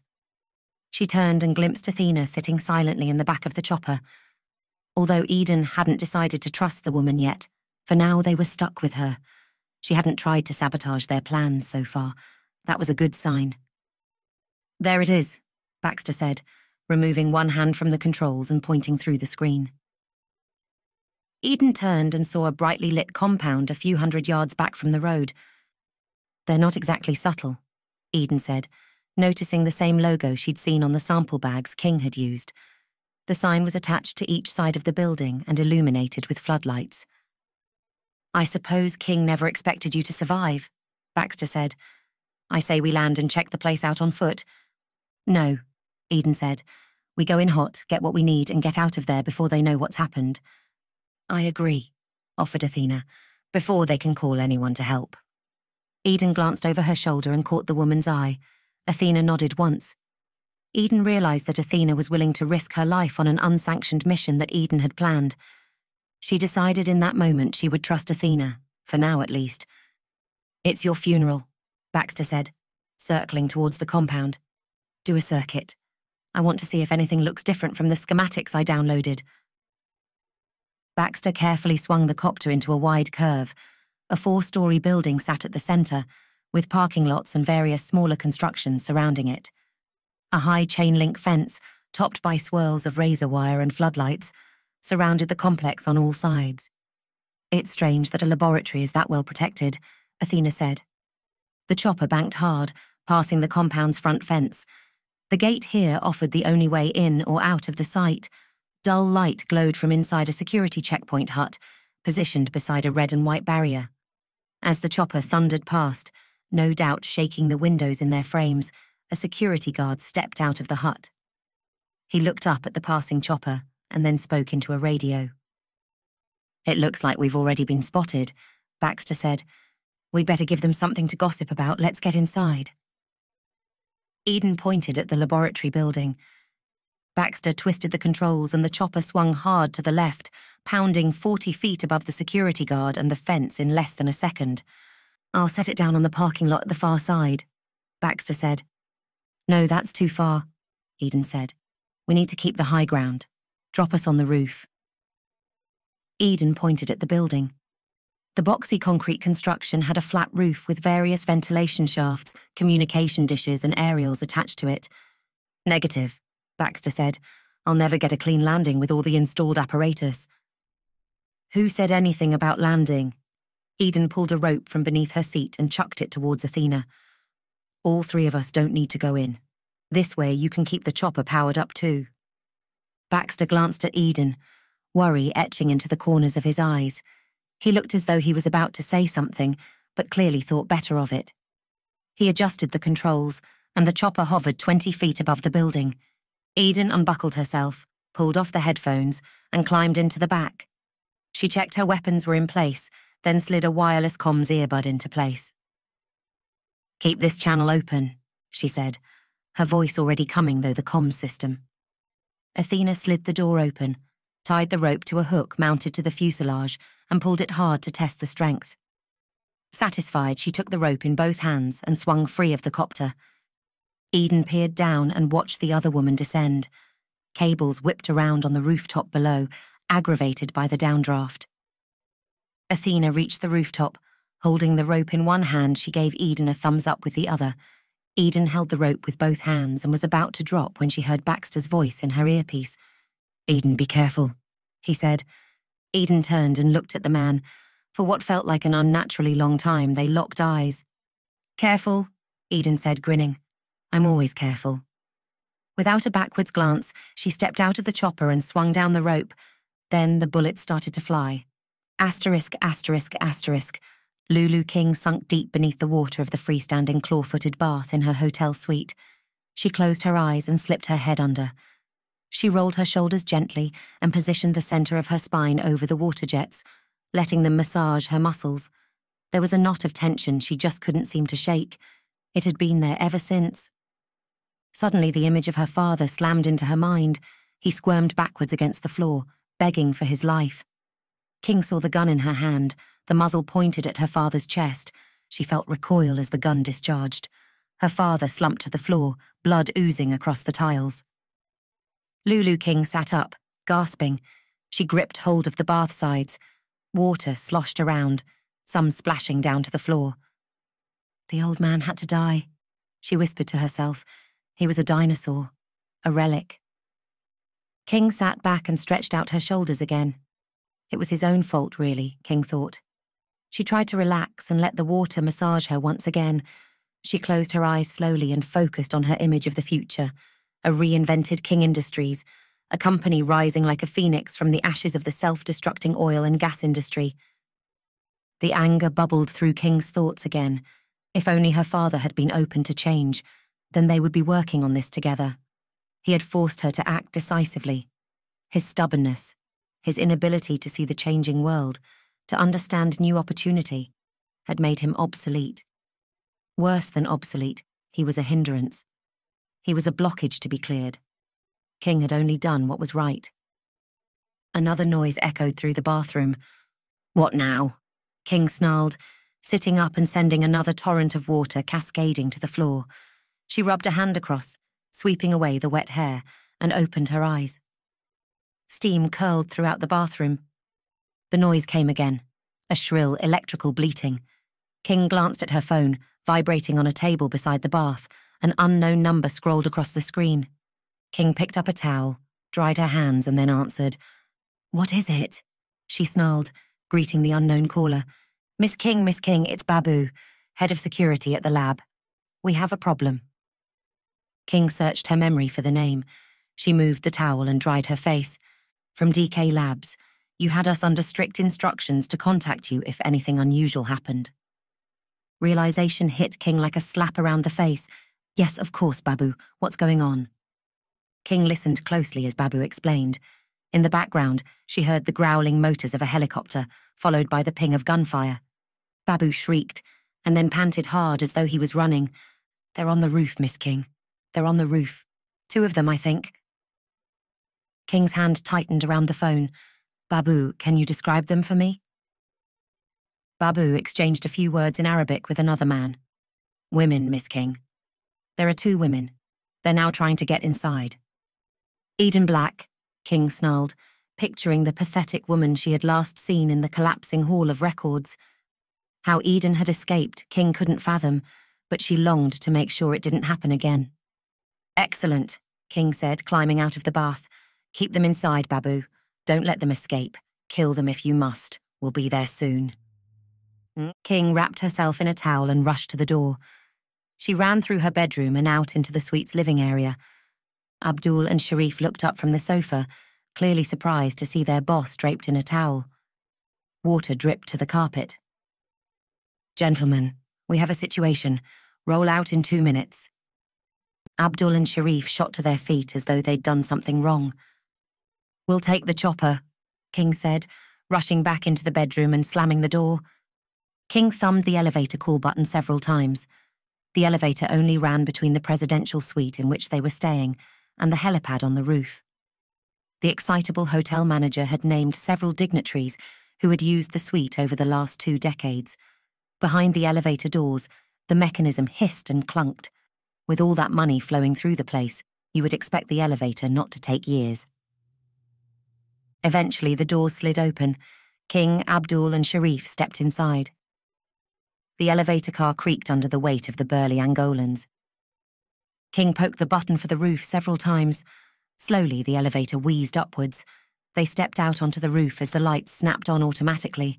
Their Airbus Tiger sat on the helipad, its four drooping rotors tethered to the roof. Abdul and Sharif, having spent several years flying such machines for mercenary groups across Africa, leapt into action. Abdul climbed into the pilot's seat and set about the startup sequence, while Sharif removed the machine's tethers. Less than one minute later, the rotors now pounding, they lifted from the hotel rooftop and powered in an easterly direction. How long? King said, adjusting the headset and microphone. She didn't much like being in the back seat, but Abdul and Sharif had more experience operating one of these machines than she did. Sharif checked the navigation.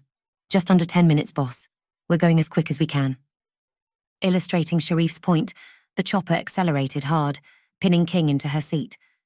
King slid out her phone and called the security guard at the lab. She turned the phone to its highest volume, still struggling to even hear it ringing against the thundering of the Tiger's twin engines. What's happening? They're heading for the roof right now. Several gunshots came down the phone. Stop them, King snarled. You need to stop them. King hung up the phone and glanced out of the window as they powered high above the Giza plateau. She smiled to herself. Did Eden Black really think she was stupid enough to keep the Ark of the Covenant in a lab protected by amateurs? King thought of the Ark, already halfway back to the States. Eden, you're just too late, King whispered, and now you'll pay. Chapter 47 Eden dropped the last 15 feet and landed in a crouch on the rooftop. Get down, Athena roared. Another flurry of bullets sung through the air, Fortunately, whoever was firing them was not a great shot. The round raked across the concrete, but didn't hit much else. Eden ducked in behind an air vent. Making a circular motion with her hand, she indicated to Baxter that the rope was now clear, and he should get out of there. Baxter didn't wait around. The chopper pounded away overhead. Another barrage of bullets thundered and pinged around the rooftop. Two shooters, three o'clock. Athena peered over the vent then ducked in again just in time. Keeping low, Eden scrambled across to the edge of the roof, using the air vent as protection. When she was 20 feet from her previous position, she peered out. Two guards stood in the centre parking lot beneath, guns raised up at the roof. They're amateurs, Eden shouted towards Athena. She swung her semi automatic across the vent and fired a short burst down into the parking lot. The guards leapt to the ground and scurried for cover, Eden almost laughed out loud. A car alarm wailed, adding to the mayhem. The labs are on the top floor, western side, Eden said, pointing across the roof. While the rent-a-cops were still scrambling for cover, Eden and Athena ran out of sight across the roof. That will be perfect. Athena pointed at a large aluminum vent running down into the building. About five feet in diameter, the vent extended a few feet above the rooftop and then curved 90 degrees. Eden inspected the system. A cool current of air flowed from the vent. She pulled her laser cutter from her bag and cut the vent's wire grill. That's cool, Athena said, looking at the device. Yeah, it's my friend's design. Probably why you guys haven't locked it away. Eden pulled the wire grill out of place and tossed it aside. The sound of several more raised voices came from the parking lot below. It sounds like they've got reinforcements, Athena said. That's good. All the time they're in the car park, they're not going to bother us up here. Eden heaved herself up into the vent and looked down the shaft. Several feet below, the vent curved out of sight. Eden slid down inside the vent, her hands and feet scraping and clattering against the metal, despite her efforts to remain silent. At the base of the shaft, she paused. The vent now ran horizontally in both directions. Light streamed up through grills set every few feet. Athena slipped down the vent behind her, almost silently. Eden was impressed but didn't say anything. Eden recalled the schematic of the building she'd seen earlier. She took a moment to get her bearings. This way, she said, pointing to the left. Together, Eden and Athena crawled along the pipe. Eden paused at the first grill and peered down inside. Getting her face close to the bars, she could just about make out the corridor below. It looked as though the large vent followed the corridor, with smaller divisions branching off into each room. It looks as though we're alone, Eden said, sliding out the laser cutter again. A few seconds later, The grill clanged to the floor below. Eden swung down out of the vent and landed on the floor. The corridor was bare and colourless with doors lining both sides. The air had a strange chemical laden taste common in medical or scientific buildings. Eden clocked a security camera mounted at each end of the corridor. Although the building was quiet right now, it wouldn't be for long. Together, Eden and Athena hurried down the corridor. King stole a sample of my hair and blood for DNA, Eden explained as they checked each door. The bag she put it in had the logo of this laboratory. She planned to set me up for a couple of murders back in England. Wait, what? Athena stopped running and glared at Eden. We came here for that. The council can get that sort of thing forgotten in an instant. Here it is. Eden ran for the final door, ignoring Athena's interjection. The two women barged through the door. The lights came on automatically. Eden looked around. Filing cabinets lined both sides of the space, and several computers sat on a table in the centre. It was a large space, occupying at least a third of the building's floor space. Eden, Athena said, more aggressively now. Even if this were important, we don't even know where to start looking. The guards will be up here in seconds. Eden turned and smiled sweetly at the other woman. It's just lucky I remembered the serial number of the bag she put the sample in. Yes, but it's just not. Baxter's voice coming down the in ear com system interrupted Athena's protest. We've got company. Incoming fast. Do you read me? Eden touched the device to activate the microphone. Go ahead. It's another chopper. Still a couple of miles out, but on path for your location. I've touched down 200 feet away. Engines still live. I can be with you in less than a minute. Eden cut the communication and turned to face Athena. The worry had melted from Athena's expression. She grinned wolfishly. You don't care about the DNA, Athena said. You just wanted another go at King. Absolutely. This part of the plan is important to her. I knew she would have eyes on this place. While we're here, though, we might as well get what we came for.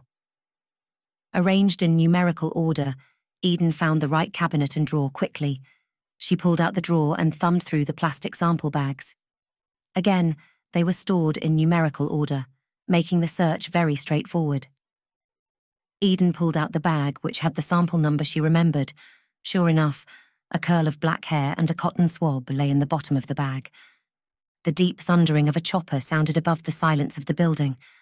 Athena rushed across to the window and yanked down the blinds in one aggressive move. Light strobed high in the black sky. It was difficult to tell how far away the chopper was. They were incoming fast. How long have we got? Eden asked. One minute, 90 seconds tops. Eden paced over to the central table, pulled open the sample bag, and tipped out her hair and the cotton swab. She made sure the bag was empty before taking another sample bag from her rucksack. She held the bag up to the light. There were several strands of golden hair inside. What are you doing now? Athena said. We need to get out of here. As though reinforcing the point, the grumbling and grunting of the copter engine increased. A pair of shouting voices echoed from the corridor, too. Footsteps pounded across the linoleum. Insurance, Eden said. Help me with this. Eden shoved three top of the range computers to the floor and then barged the heavy table towards the door. The blockade wouldn't stop the guards for long, but it may buy Eden and Athena the minute they needed. There's one more thing, Eden said. I'm not totally sure it'll be here, but my hunch says it is. Athena rolled her eyes. You've got to be kidding, right? This isn't the time for hunches. What is it? Eden told Athena about the vial she had tried to take from around the neck of the golden woman in the Hall of Records, the vial that King had snatched from her before attempting to trap them inside. She would want to run tests on it, that I know. I don't think she would give it up to anyone else either. She took it from me for no other reason than I wanted it. She'll be bitter about it. Eden looked around the lab frantically, searching for any indication of where the vial might be. Through the window, the enemy helicopter rattled closer. Another burst of voices came from the corridor. The door crashed hard against the table. Okay, Athena said, holding up her hands. I can see you're not going to let this go. It'll be quicker if I just help you look. If it's in this room, we'll get it. Eden ran over to the cabinet from which she'd got the last sample and started flicking through the drawer. Her heart sunk. With over a hundred plastic bags inside, It would take several minutes to even search one drawer. The door thudded open again. This time the men continued pushing. The table scraped across the floor.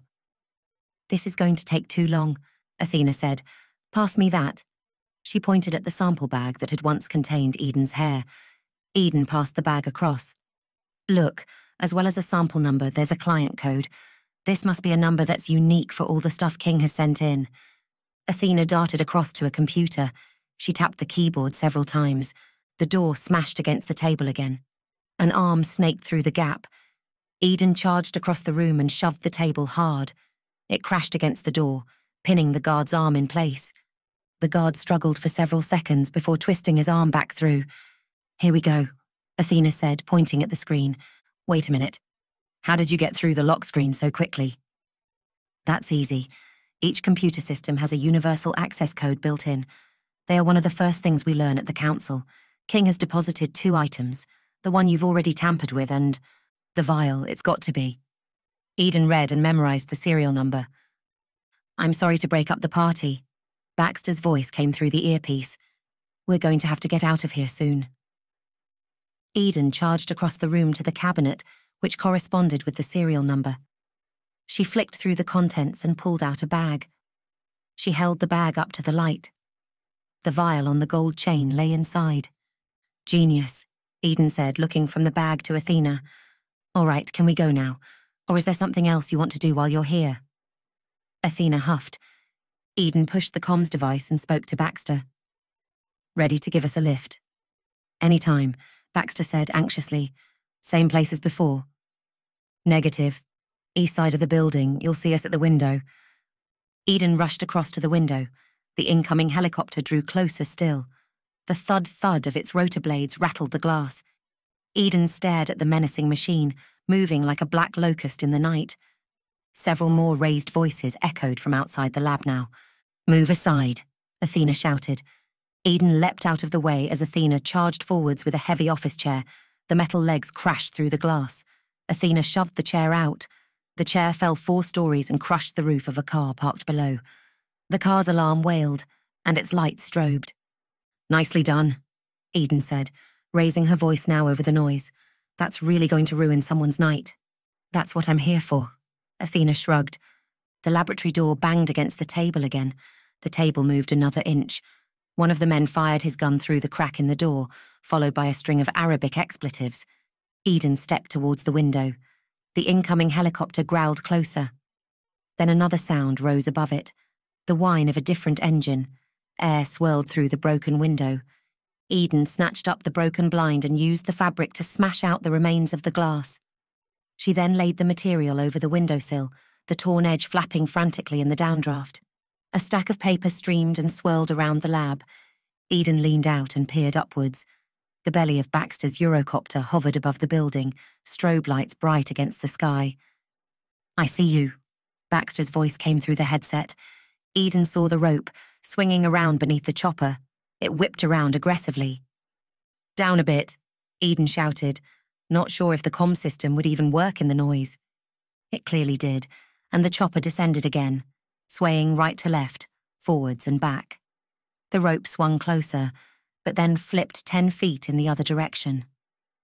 Come on, Eden muttered, leaning out of the window, her fingers extended.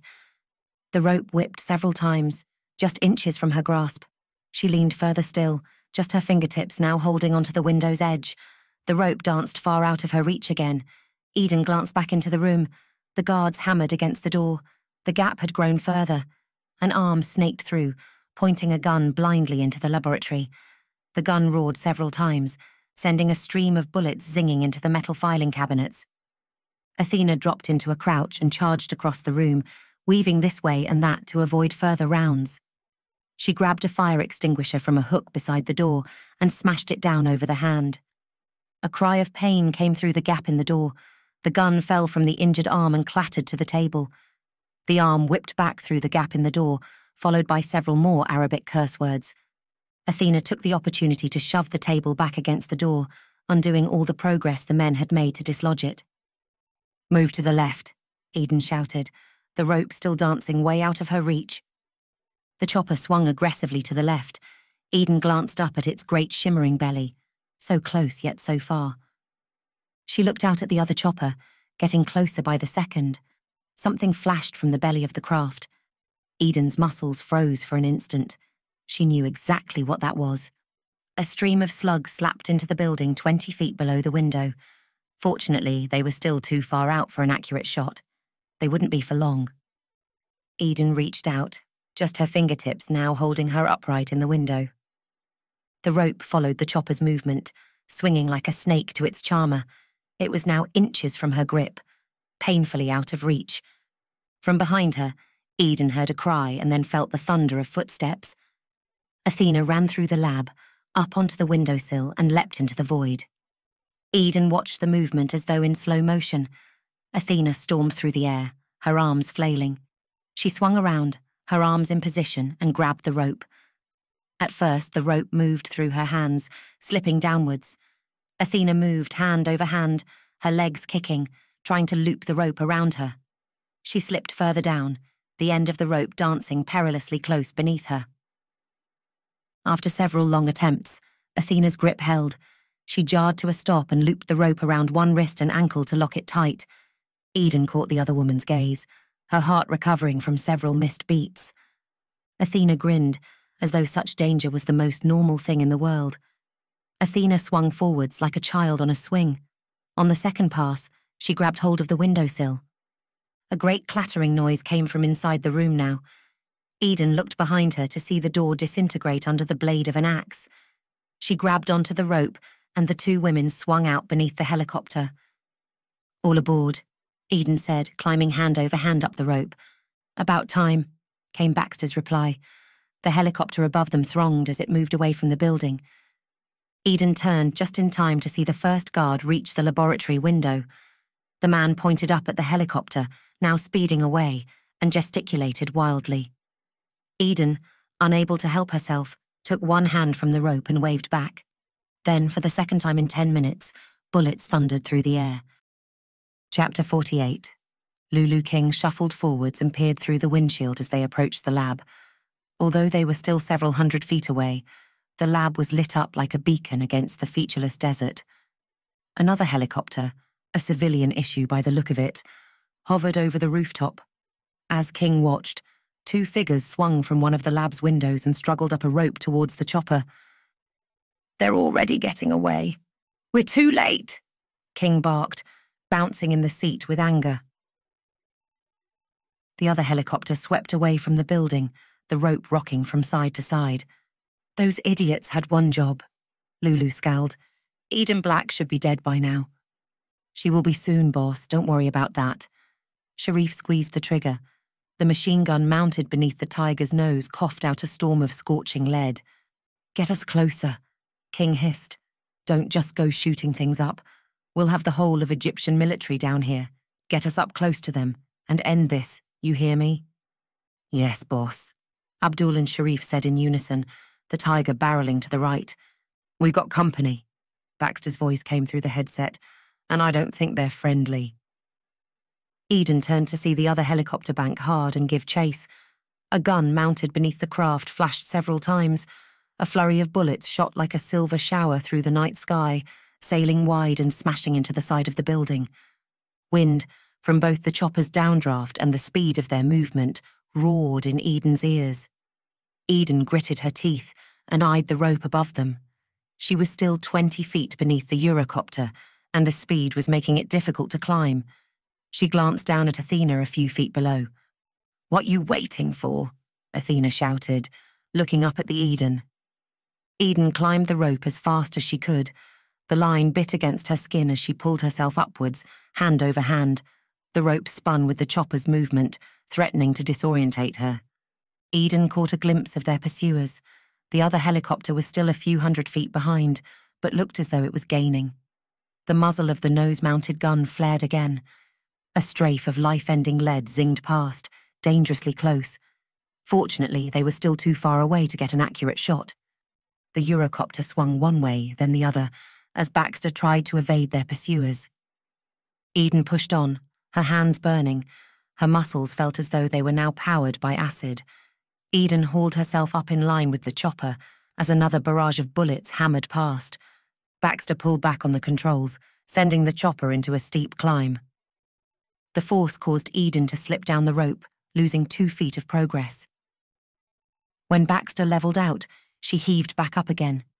Reaching the top of the rope, Eden swung into the chopper.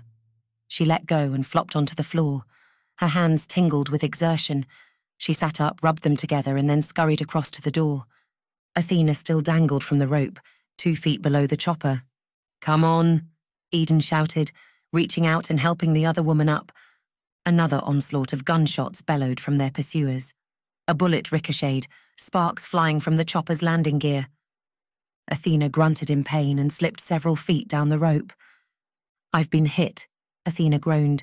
She continued to climb uncharacteristically slowly, gaining just an inch or two in what looked like a gargantuan effort. Eden leaned out further and pulled on the rope, dragging Athena up. When the other woman was close enough, Eden grabbed her beneath the arms and heaved her inside. Both women collapsed to the floor, their chests heaving. Eden scrambled up and slid the door shut. She glanced down into the formless night below.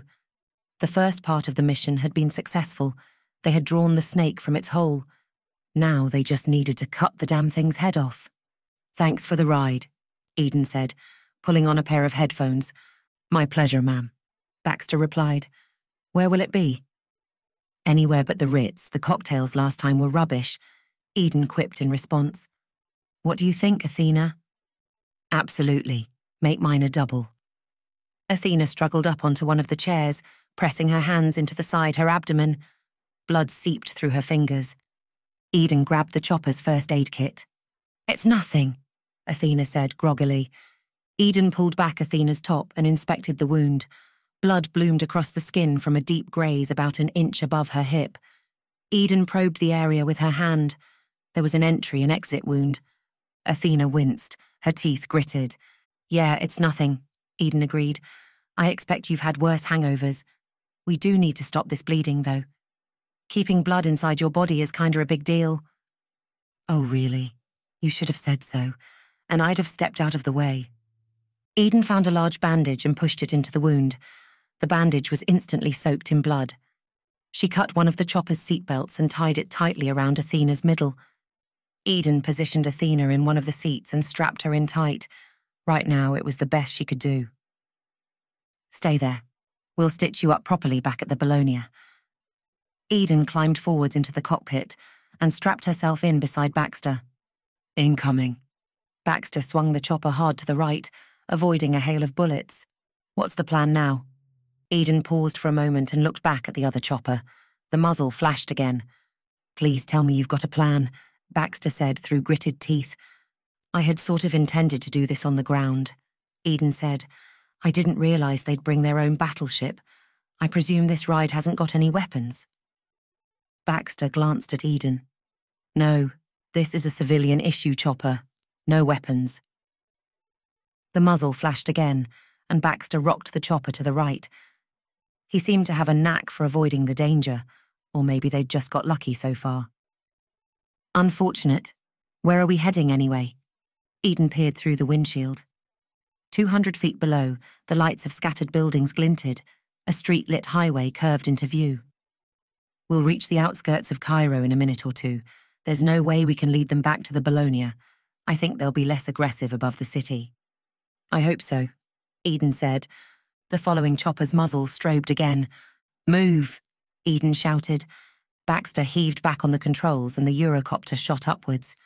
Eden braced back into the seat. For a few seconds, they saw nothing but the stars curving up ahead. Did you get a look at their chopper? Eden said, when they'd levelled out. What are we dealing with? No, sorry, I didn't have the chance to. Move, Eden shouted again. Baxter heaved the controls and the Eurocopter swung to the right. This time they weren't so lucky. Several rounds thwacked into the back. Eden and Baxter didn't speak for a moment, waiting for something to happen. No alarms shrieked and the craft didn't spiral to the ground. Close one, Eden said. Too close. Baxter agreed. Clearly up here in the open air, they're faster and more deadly than us. I bet we could outmaneuver them, though. Take it down close to the ground. We'll give them a run around. Baxter peered down at the land below them. They were now flying several hundred feet over suburban Cairo. Lit streets panned out in rectangles on both sides. Most of the buildings were dark. A mile or so away, the pyramids of Giza shone against the plateau. What? Eden said, sensing Baxter's reluctance. You're not up for the challenge, Captain? Without another word, Baxter adjusted the controls and the chopper's nose swung towards the ground. Eden glanced at Athena in the back. Athena gave a weak thumbs up. Baxter levelled off the descent when they were 50 feet from the ground. Boxy concrete buildings now reached up on both sides. Eden looked out of the side window. Their quarry was still behind, but descending more slowly. Perhaps she'd been right. Their craft was less maneuverable. Further down, Eden said. Baxter glanced at Eden as though she was mad. They won't dare follow us in that. She pointed up at the other chopper, which had stopped descending 50 feet above them. I think they know it's too large to fly between the buildings. Baxter did what he was told and lowered the chopper further.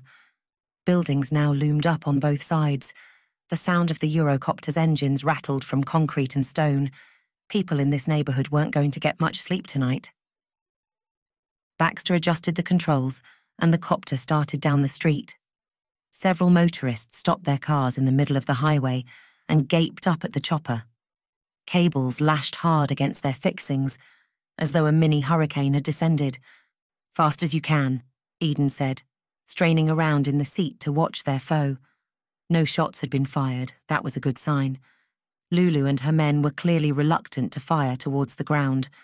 They were now watching and waiting for their time to strike. The sky above them was starting to lighten. It's getting light. Eden pulled out her phone. That's good news, I think. She found the information she was looking for. Sunrise is in 13 minutes. That gives me an idea. Eh, this better be a good one because we can't keep doing this. Baxter paused as they reached a junction. A highway ran in both directions. Ahead of them, the Giza Plateau stretched out, the pyramids floating on unlit sands. That way, Eden said, pointing directly across the plateau. Twenty feet below, a police car screamed to a halt, and an officer leapt out. He held onto the car door to prevent himself being blown over by the downdraft. We'll have the whole Air Force here in a few minutes. Baxter adjusted the controls, and they picked up speed. It will all be over by sunrise, Eden said, her fingers flying across her phone. They swung across the plateau, just 20 feet above the ground. How can you be so confident? Baxter said, navigating them carefully between the Great Pyramid and the Second Pyramid. Sand billowed in great clouds all around them now. Because we've got Helios on our side. They reached the other side of the plateau and slid back in between the buildings. Now you're making no sense at all. We will use one of the oldest tactics of all time Looking at the pyramids now behind them, Eden was reminded of little Mo, now lost to that subterranean world. They needed to finish this for him. We will attack at sunrise.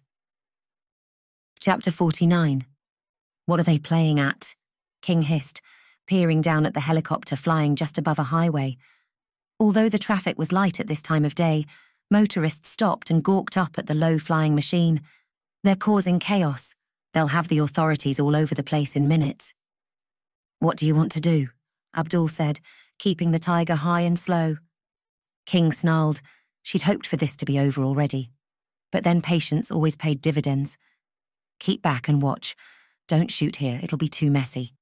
At some point, they'll either ditch the chopper and run for it, or they'll leave the city. Either way, we'll be waiting. Baxter cut the chopper carefully through the narrow streets surrounding the plateau, Reaching a highway, they turned south and accelerated. The road was wide enough for the copter to fly down the centre with ease, just making sure to stay well above the streetlights and signs. The traffic had picked up too. Some drivers slowed and gazed at the low flying chopper. Others seemed to continue unaffected. Maybe seeing strange things like this was a normal occurrence on the streets of Cairo. We've got less than ten minutes. We need to speed up, Eden said, checking the time on her phone. I'm still not sure about this plan of yours, Baxter said, reluctantly pushing the chopper faster. Buildings on both sides of the road blurred past. You have a better one, do you? Eden quipped. Baxter didn't reply, focusing on the tricky job of keeping the copter steady. Eden turned and caught a glimpse of their pursuers. King had pulled back and was now keeping her distance. That's perfect, Eden thought. A shot hadn't been fired in several minutes. That's the way Eden wanted it to stay. The cloudless sky blanched slowly from purple to pink. In the next few minutes, the sun would rise, and this would all be over. Or so Eden hoped. They streamed southbound, making use of the wide roads to keep a good speed. After a few minutes, Eden saw the stepped shape of the Pyramid of Djoser off to the right.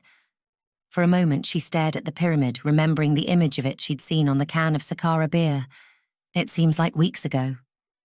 Eden turned and gazed closely into the lightning sky on the left. The four chimneys of Cairo's South Power Station stretched upwards like claws. Eden carefully reiterated the plan to Baxter, who nodded slowly. They had one shot at this, and even then, it was a very long shot. Ninety seconds before the sun was due to peek over the horizon, Baxter pulled back on the controls. The chopper leapt into the sky. The buildings beneath them grew small as they ascended first 50, then 100, then 200 feet. Baxter turned his head and caught a glimpse of the other craft powering towards them. In the budding daylight, he recognized it as a Tiger, the larger military cousin of their own Eurocopter. The pilot in the other chopper wasted no time.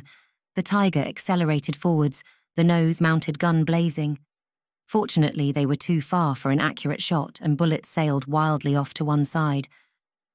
It's going to work, we've got this, Eden said. Baxter hoped she was right.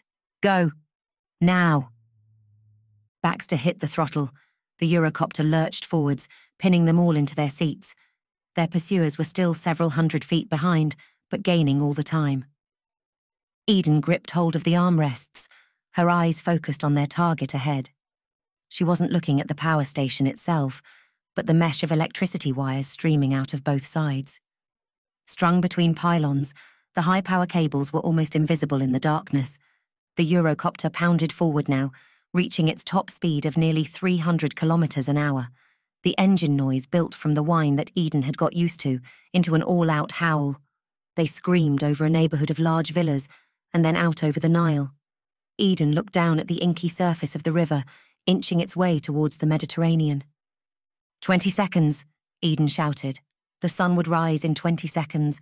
Only then would they know if this mad plan would work. Now, King roared, forcing herself forwards in the seat. Take them down, right now. Abdul gunned the Tiger's twin engines. The machine roared forwards, hundreds of pounds of thrust surging through the machine. King fought against the acceleration, trying to force her back into the seat. Like jet fuel in the engine above their heads, adrenaline pounded in her veins. She gritted her teeth and narrowed her gaze. No one stood in her way. She wanted to witness the moment they finally nailed the other helicopter and sent it spinning into the waters of the Nile. There'll be breakfast for the crocodiles, King muttered, reveling at the thought. The higher powered Tiger gained on the Eurocopter in seconds. It was like an eagle and a pigeon in a fight to the death. When they were within range, Sharif squeezed the trigger. The machine gun bellowed, spitting scorching lead at 30 rounds a second. King grinned, focused totally on the upcoming demise of the other helicopter, and along with it, Eden Black. Get closer to the water, down, down, Eden said. Baxter did what he was told and pulled the chopper down, increasing the speed further. Great white circles spun out across the surface of the river. Eden peered behind them. The other helicopter was almost on top of them now. The gun blazed. Baxter lurched the chopper to the right. Eden's muscles ached from the movement. Just a few hundred feet away, the barely visible tangle of power lines reared up like a wall of crisscrossing wires. Eden tried to calculate the distance and the time, but it didn't seem to help. Baxter inched the chopper upwards, his hands nervously handling the controls now. Then, all at once, it happened. Over the horizon, which had been promising to split with sunlight, the great ball of the morning sun emerged. It shot through power lines, through the windscreen and straight into Eden's eyes. Pull up now, Eden shouted, squinting. As she'd expected against the dazzling African sun, the power lines were completely invisible. She had no idea how close they were, but it couldn't be far. Baxter heaved back on the controls, forcing them into a near vertical climb. The Eurocopter groaned and stuttered, protesting at the sudden movement. But reliably it climbed, forcing Eden and Baxter hard into their seats. They shot upwards, missing the highest power line by 20 feet. They spun into a turn. Everything inside the chopper shook and rattled against its tethers. An alarm sounded, warning Baxter that the move was too much for the machine. They slowed aggressively and jarred somewhere into a hovering halt, just in time to see the destruction. Harsh sunlight streamed into the cab of the tiger. King squinted, trying to block the light out, while still watching their prey. She raised her hand and tried to block out the light, but it made no difference. The scene in front of them danced and spun as her eyes struggled to adjust. Sharif kept the trigger depressed, peppering whatever was before them with bullets. Sparks flashed as the bullets struck something. Excitement flared in King's stomach in the hope they'd hit the other craft. King blinked hard several times, unable to make sense of what she saw. When her eyes finally achieved their focus again, the blood in her veins chilled liquid nitrogen. She physically shuddered. Her hands covered her mouth.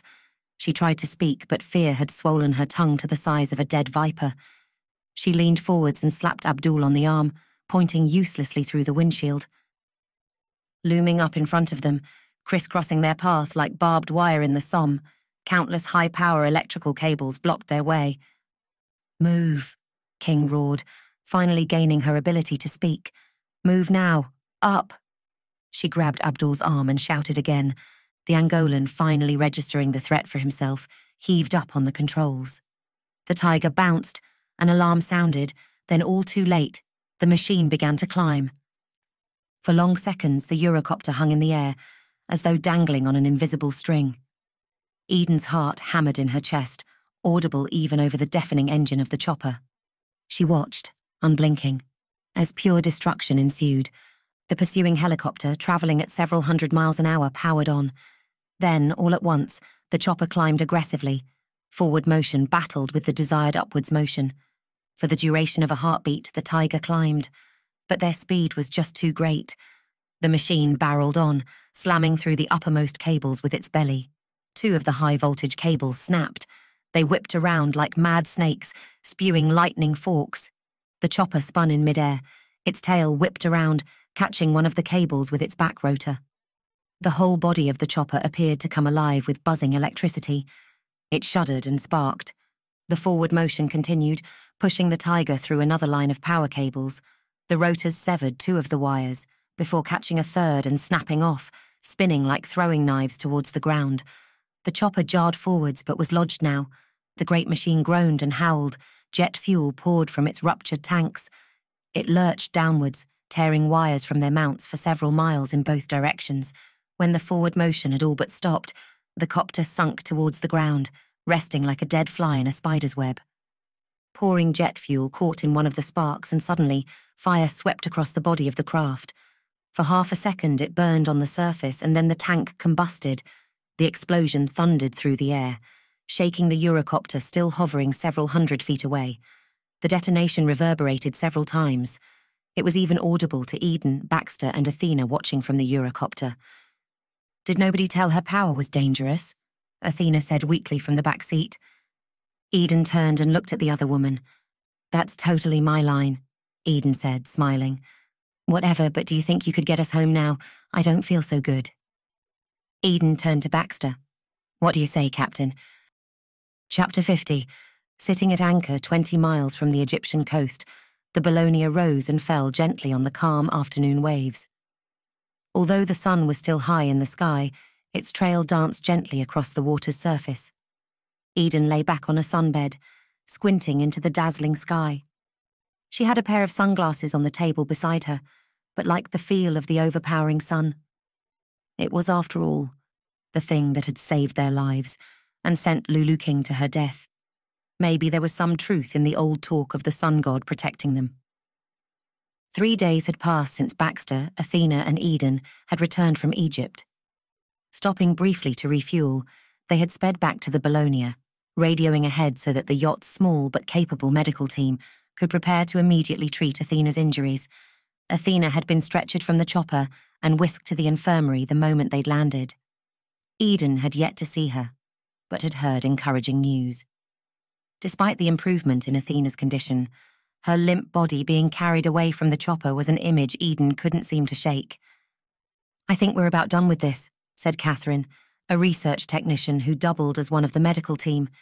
It seemed everyone aboard the Bellonia fulfilled two or three different roles. Eden didn't yet understand what everyone did, let alone know what her place in the system might be. This might sting a little, Catherine said, preparing to remove the needle from the crook of Eden's arm. Athena had lost a lot of blood from her wound and was currently in need of frequent transfusions. Fortunately, both Eden and another member of the team were the same blood type, so they'd been giving blood as often as safe to do so. Catherine unhooked the bag of blood and held it up to the light. She turned to look at Eden. How are you feeling? You know, with everything that's going on.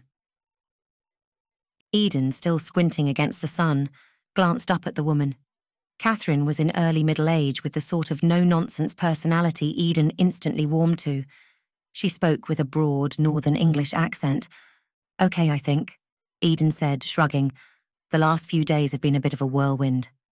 Catherine nodded knowingly and pointed out towards the sea. You see that over there? Eden looked but couldn't see anything beyond the glittering waves. No. That's a special place we reserve for moaners and pessimists as far away from the rest of us as possible. Eden barked a humorless laugh. I just can't help but feel like I dragged Athena into this. She almost died on that chopper. Here we go. Catherine crouched down beside Eden. Athena is a very skilled operative working for the council. She has seen more dangerous situations than you and I have had hot dinners. She will be back and fighting fit in no time. Eden exhaled. Maybe it was the loss of blood, or the chaos of the last few days, but she just felt weak right down to her core. Tell you what, Catherine poked Eden's shoulder with a chubby finger. Give me five minutes to get little Missy in there, hooked up with this good stuff, and you can pop in and see her. I think she'd like to see someone other than me. A few minutes later, Eden stood outside the door of Athena's cabin. Just five minutes, though, Catherine said, bustling out of the room. The woman needs her beauty sleep. Eden knocked gently on the door. She paused for a moment, trying to force the image of Athena's pale and unconscious body from her mind's eye. Athena was propped up in bed, watching a news report on the television. Eden was pleased to see how well she looked. The colour had returned to her face, and her eyes sparkled with life. How are you doing? Eden said, nervously crossing the room. Stupid question, I know. I mean, considering. Apparently, I'm very lucky to be alive, Athena said, muting the TV. Eden nodded, her face serious. But that's nonsense, isn't it? Athena said. I'm lucky that I'm not a single cell organism or wasn't born as a slug. Eden risked a smile, a weight of worry lifting from her shoulders. Athena beckoned for Eden to sit on the edge of the bed. I do hate it when people say that, Eden said. It doesn't make any sense at all. What makes me feel even less lucky is that I've been told when I'm finally off this I've got to take it easy for a couple months. Athena pointed at the IV drip. Eden made quote marks with her fingers. Take it easy. What's that? I know, right? How boring. At least we made headlines, though. Athena nodded towards the television. She picked up the remote again and turned up the sound. Three people died on Monday when their helicopter collided with power lines just outside Cairo. One of the dead is thought to be Lulu King, daughter of the late Raymond King and heiress to the vast King Industries empire. Authorities are investigating as to how the accident, which left half of Cairo without power, happened. Police in England have also revealed that they were looking to extradite King on suspicion of murder. They report that hair fibres matching Miss King's were found on three bodies discovered in a woodland near London. Eden almost laughed at how well the cover up had come together. Learning of King's plans to implicate her in murder, Eden had instructed a contact to remove her truck and any evidence she'd been there at all from the woodland. The truck was now waiting in a warehouse a few hundred miles away for Eden to return to, should she want to. Then, after the body was reported to the police, one of Winslow's contacts dropped King's hair fibres right into the middle of the investigation. It was a fitting end to the whole sorry mess, Eden thought. The TV newsreader went on to the next story. Athena clicked off the sound again and peered curiously at Eden. How did you. Eden smiled. Actually, don't tell me. Athena held up her hands in mock surrender. Whatever you and your father have cooked up, I don't want to know about it. You know, if you did feel well enough to come back to work sooner, I reckon we could break into the lab and steal the doctor's notes, Eden said. Absolutely not. I'm not breaking into anything for at least a week. Athena folded her arms and then winced in pain. Apparently, I would have died in that helicopter if it hadn't been for your rudimentary first aid. Rudimentary is definitely the word. Unlike you, I can't do everything. Yet, Athena interrupted with a grin. Maybe there are a few things you can learn with us. I'm not sure. Eden looked through the window at the gently sparkling waters of the Mediterranean. Living on a boat with a bunch of highly skilled secret agents sounds a bit boring. Maybe, but at least we don't eat rehydrated food every day. Eden narrowed her eyes. How did you know? Ah, Beaumont, the little snake. He said he liked that meal. That's my specialty. Athena laughed out loud. Give it a try, all right? You'll do that? Sure. Eden nodded, staring once again out of the window. I think I can give it a try. I've actually got a surprise for you, Athena said, her eyes now sparkling mischievously. What? Eden said, narrowing her gaze. If you look out of the window.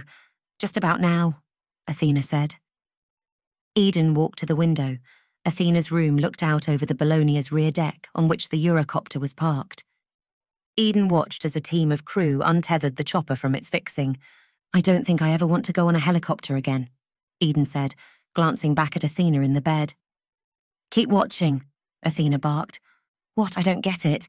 What am I supposed to be looking at? Then Eden saw something that physically riveted her to the spot. Her jaw dropped open. She stuttered several inaudible words. Down on the deck below them, several members of the Bellonia's crew carried an object across the deck and loaded it carefully into the chopper. Although Eden recognized the item instantly, it took her a few seconds to make sense of what she saw. That's the Ark of the Covenant. Why's the Ark of the Covenant here? Another group of crew carried two large flight cases, which no doubt contained the recovered manuscripts of the Book of Enoch and the Book of Giants. What's going on? Eden said, whipping around to face Athena. Didn't King take. Athena laughed out loud, real colour returning to her skin now. A bit of class deception. Simple, really, Athena said, recovering enough from her laughter to explain. King had a team all set up ready to take the Ark of the Covenant straight out of the country in a cargo jet. All we did was just step in and impersonate them. You did what? Eden still didn't totally understand. We had some of our team turn up at the laundromat, pretending to be the extraction crew that King had arranged. She was so excited to get it back to her research facility that she handed the thing straight over. Never even noticed.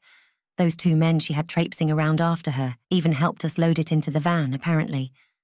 So now we find out how it works and. Athena shook her head interrupting Eden's excitement. Eden's face dropped. You're not going to like this bit, Athena said. No, Eden said, shaking head. Tell me we're not? Athena nodded slowly. Yep, we're going to give it back to the King estate. The colour drained from Eden's face. She now looked like the one that needed the IV drip. But don't you worry, Athena said, grinning sweetly. Your father has a plan. Deep within the bowels of the ship, something started to grumble. Several deep clunking noises echoed through the superstructure. I'm getting really sick of my father's plans, Eden said, turning away from the window and walking back into the room. What's that noise? We've started to move, Athena said. What? Why? Eden turned, her brow furrowed. No idea. I don't know where we're going either. That's part of the fun of this job. We don't really find out until we get there. But it looks like that's been decided for you, though, right? What's that? You're coming with us. Eden narrowed her eyes at the other woman. I'm coming with you for now. Chapter 51 Two floors above Athena's cabin, the man known as both Alexander Winslow and Helios reclined behind his desk. He knitted his fingers together, placed them on top of his head, and stretched. Feeling his tired muscles tense, he closed his eyes and let the events of the past few days roll across his memory. Things had gone almost exactly the way he'd predicted. He smiled to himself. It was a good result. The Ark of the Covenant would soon be making its way to the free market now that Lulu King wouldn't be able to control it. Soon it would be studied by scientists across the globe. Some of these scientists, of course, would use what they found for personal gain, or even for bad things. That was just part of being human. Others, though, Helios knew, would put it to work for the betterment of humankind. As with any new technology, adoption and acceptance would take time, but the genie was out of the bottle now, and love, money, or wild horses wouldn't be putting it back in again.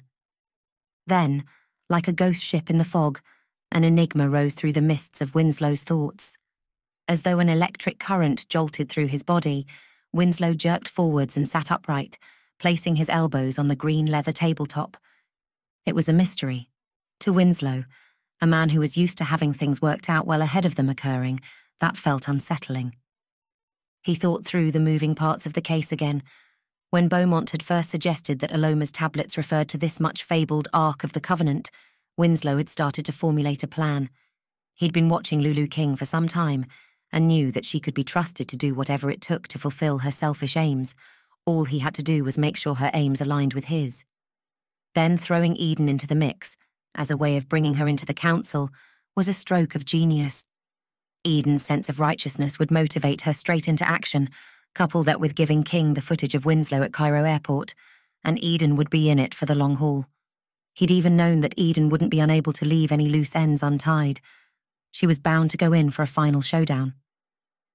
Winslow had instructed Baxter and Athena to help her in any way possible, which was fortunate with the way things turned out. But still, there was something that troubled him, something which didn't make sense. Well, Winslow corrected himself, it made perfect sense. He just couldn't understand how it made sense. The phone on the desk buzzed, pulling Winslow out of his thoughts. He reached over and pressed the button. Captain Baxter to see you, sir. Send him in, thanks. Winslow shook the troubling thoughts from his mind and stood. How are you feeling after your ordeal? Winslow asked as Baxter entered the room. All fine. It could have ended up a lot worse. That daughter of yours is pretty good under pressure. Yes, that she is. Winslow lost focus for a second. If only she'd put some of the work into planning before getting into a difficult situation to begin with. Maybe that's the curse of youth. I suppose that's true. Winslow scowled in thought. I think you both complement each other rather well, Baxter said. You're excellent at tactical forethought, and she's inspired on the ground. Do you think she'll be staying with us on the Bellonia? Sensing an unusual warmth to the question, Winslow turned to look at Baxter. He studied the younger man for a second. I sense that you would like her to. Baxter blushed. Of course I would too. Winslow added quickly, curtailing Baxter's embarrassment. She would be an asset to the organisation, that I know for sure. I've asked Athena to sow that seed on our behalf. If anyone can get an idea across to Eden, it's Athena. You say they worked well together on the last deployment. They did. After some initial friction, it was like they've been partners for years. They're like stray cats. Winslow grinned. They've got to work out the hierarchy before anything can get done. Winslow's expression melted into one of concern. Have you redone the tests? Yes, I've seen to them personally. Baxter opened the manila folder he'd been carrying and drew out a plastic evidence bag. He placed the folder on the desk and passed the evidence bag to Winslow, Winslow held the bag up to the light and examined the contents. A small golden vial on a chain sat in the bottom of the bag. Inside the vial, several strands of hair floated in a clear liquid. And the results? Winslow placed the bag carefully on the table, the same as the previous two times we'd taken the test. And there's no chance that the vial had been tampered with? None. Our technicians tested part of the seal they had to take from the vial to access the contents. And it was at least 3,000 years old. Winslow shook his head slowly. He turned his back on Baxter and walked slowly to the window overlooking the sea. Several seconds of silence passed between the men. What are your thoughts? Baxter asked. It's one of those things I really don't like. It's a mystery. First, we find Eden mentioned by name in a set of hieroglyphs at the entrance to the hall. Has anyone been able to offer an interpretation as to what that could mean? None at all. We've asked several experts at universities all around the world. All have come back with similar, or even identical, translations. Now we have this vial which was taken from around the neck of a golden statue in the Hall of Records, which looked a lot like Eden. It was almost identical, eerily similar. I wish I had been able to take a photo. Winslow bit his lip in thought. And inside that vial, he continued, are strands of hair, somehow preserved for several thousand years, which match Eden's DNA 100%. Both men stood silently for a few seconds. Things are moving much more quickly than I had imagined, Winslow muttered almost inaudibly. But then, time is relative. Pardon, Baxter asked, not understanding. Nothing, nothing. Winslow descended into silence again. Are you going to tell her about this? Baxter asked finally. Winslow stood motionless, deep in thought for another few seconds. Not yet, although she'll find out soon enough. I was hoping we'd have a little more time before facing our next challenge, but clearly not. Winslow turned to face Baxter. It's time for us to move again. You prepare the crew. I'll send coordinates to the bridge within the next few minutes. Baxter agreed and strode across the room. At the door, he turned back to face Winslow. The older man stood, staring out of the window, his eyes already glazed over in thought. Here we go again. Baxter muttered to himself, unable to stop a smile breaking across his face. Epilogue King Industries headquarters, New York. Two months later, the glass and chrome of the King Industries Tower, a skyscraper on the edge of Central Park, shone in the bright morning light. The tower and the businesses which occupied it had been quiet since the murder of its charismatic owner, Raymond King, in the penthouse suite some months ago. It seemed bad luck continued as Raymond's only heir, his daughter Lulu, met her untimely end just weeks after her father. A pair of journalists hurried across the street and up the front stairs of the tower. One of them, a woman in her twenties, paused to look up at the imposing building. Once a symbol of corporate power the world over, the tower had become something of a misnomer now that the company that owned it could barely afford to keep the lights on. A young woman, her black hair streaming around her face in New York's unforgiving breeze, hurried on inside. Here for the press conference, Eden Black said to the two person security team. She flashed her fake press card, which suggested she worked for the New York Times, dumped her bag on the belt for the x ray machine, and stepped through the security scanner. Beside Eden, Athena showed her press card too. Second floor, the beefy security guard barked. The man squinted lazily at the identification cards then went back to examining Athena's legs as she trotted through the scanner. Eden and Athena grabbed their bags from the belt and hurried up the stairs to the second floor. A headline mainstay for decades, Raymond and Lulu had been well known to the media on both sides of the Atlantic, often appearing at sporting events, political rallies, or celebrity fundraisers. The press lapped up their flippant comments on clearly very complex issues. Now in death, it seemed as though their notoriety had only increased. It was fair to say that the last two months had been nothing short of disastrous for King Industries. Since the death of their chairman, and then his heir, fighting amongst the executive board and the insecure future of the company had resulted in plummeting share prices, various loans being recalled, and the company falling into dramatic liquidation. Three weeks ago, administrators had arrived at the tower to salvage anything valuable from the sinking company before it was too late. Eden and Athena pushed into the hall filled with journalists from around the globe and settled into seats right at the back. Eden removed an audio recording device from her bag and pressed a few buttons. Athena dug out a pen and paper and prepared to take notes. Aboard the Bellonia, now making its way to their next position, Helios knew what was about to be announced. He had, through various streams of influence, appointed the administrators. Two nervous men in grey pinstripe suits stepped up to the dais. One of them shuffled forward and tapped the microphone. The sound thundered through the loudspeakers, followed by a howl of feedback. The man reeled backwards, startled. He shuffled his papers on the lectern and then began. He started by thanking the assembled crowd for their attendance and then listed some of the company's assets. Many, including the tower itself, were to be sold in auction the following month. As for King Industries Research and Development Subdivision, the administrator said some minutes later, which includes all research projects currently underway and historical records of their previous work. Eden and Athena strained forwards in their seats.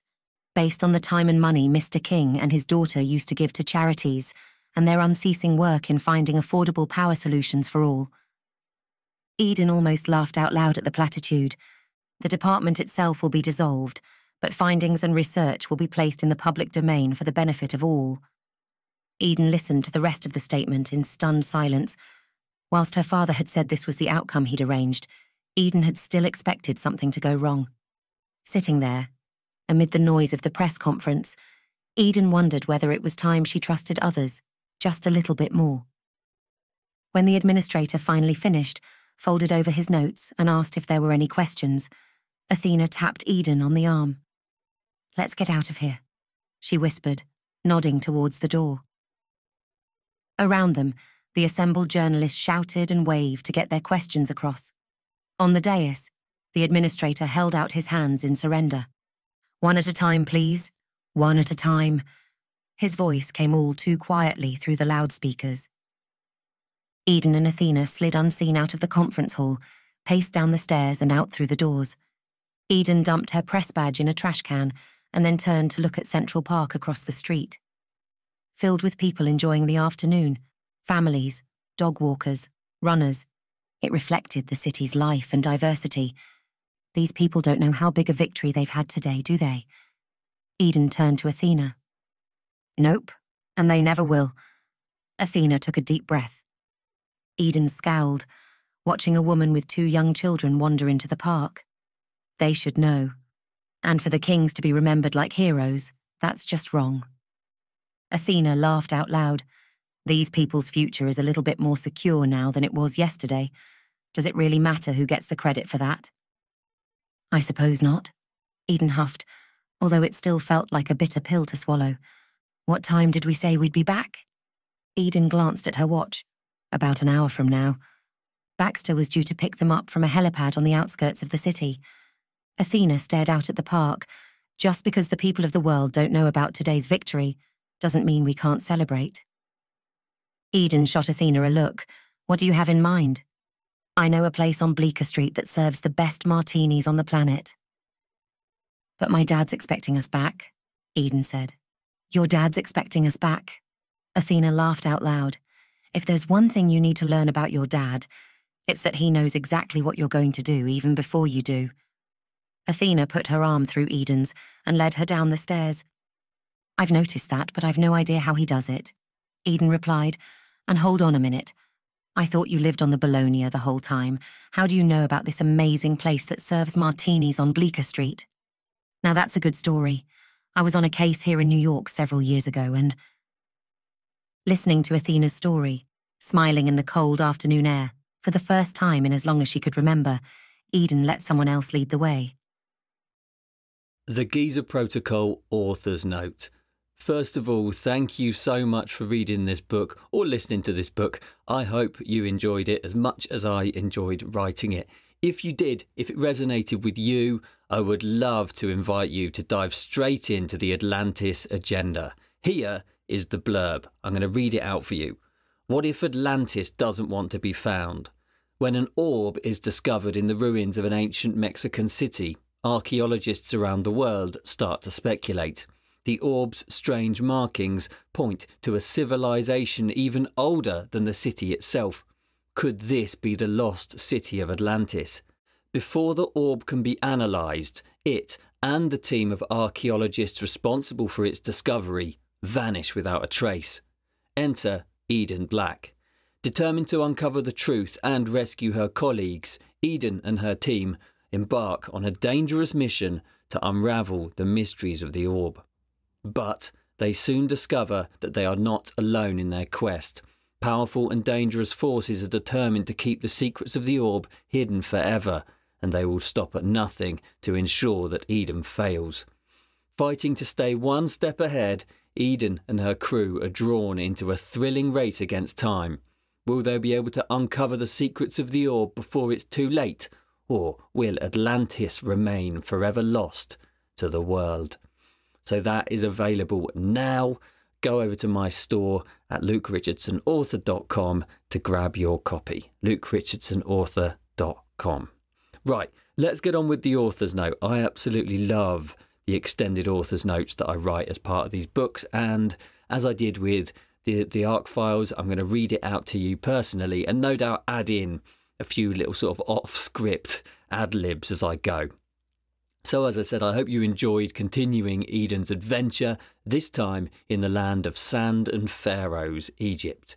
I love bringing Eden and her friends to life, and it has been my pleasure and my privilege to entertain you for the last few hours. Now, if you read the author's note at the back of the Ark files, I think you know what will be coming next. Because I can tell you that there are parts of this story, the story you've just listened to, that could well be true. Yet again, the idea for the story came after talking to a friend of mine who will remain anonymous. Now, he has spent his life researching many mysteries, including those featured in the Ark files and in this book, The Giza Protocol. He really is the sort of friend every archaeological thriller author needs. Now, it wasn't until I looked into it, though, that I realised how little evidence there is for the mainstream view of much of our history. Take the pyramids of Giza, for example. At school, you might have learned that these were giant mausoleums built for pharaohs. And that makes sense until you learn that there were no bodies ever found inside. Also, a few hundred miles further south, pharaohs were found buried in the Valley of Kings, and their tombs are decorated in the most wonderful hieroglyphs, some of which still retain their colour today. But there are no hieroglyphs inside the pyramids of Giza. Of course, this isn't proof that the pyramids weren't used as tombs, but I think it's enough doubt to make you think twice, right? There are also a growing number of historians who are coming around to the idea that the pyramids and other structures in the world are much older than commonly believed. These historians suggest that the geology doesn't match up with the established view. This not only throws into question why such structures were built, but who built them in the first place. I won't go into details here, as we'll explore some of that in Eden's future adventures. In the meantime, though, should you be interested in alternative opinions, look up the works of Ian Lawton, Andrew Collins, Robert Bauval, and Graham Hancock. The Sun Temple appearing in the receding waters of Lake Nasser is true. Unfortunately, with the changing climates of our planets, this sort of thing happens pretty frequently. The temple isn't in the place I said it was here, and nor do I think it contains instructions to find the Hall of Records. But then I don't really know for sure. I don't think anyone does. As for the Hall of Records appearing beneath the Giza Plateau, this was originally envisioned by Edgar Cayce, who was an American clairvoyant. One day during his meditations, he pictured being led into the hall and coined the phrase, the Hall of Records. Although no one had called it that before, many had referred to this mythical place as Seth's treasure vault. Ancient historians such as Herodotus and Flavius Josephus describe a completely different history for the Giza Plateau than modern historians do. Then, of course, there is the Book of Enoch and now the Lost Book of Giants, which are being translated and some pages of which contained in the Dead Sea Scrolls texts. It seems that, bit by bit, ancient historians' writings are being vindicated. Yet, modern historians still choose to ignore these facts and prefer to guess rather than rely on writings that are closer to the periods in question. As for Little Mo's suggestion that the Giza Plateau was a representation of our solar system, that might well be the case. Twenty years ago, Terence Maxwell proposed that the Giza Plateau was a representation of the solar system, accounting for all ten pyramids in the correct order, following Mercury, Venus, Earth, Mars, Ceres, Jupiter, Saturn, Uranus, Neptune, plus one trans Neptunian object. We know that NASA and astronomers have been trying to locate the 10th planet for some time in the constellation of Libra.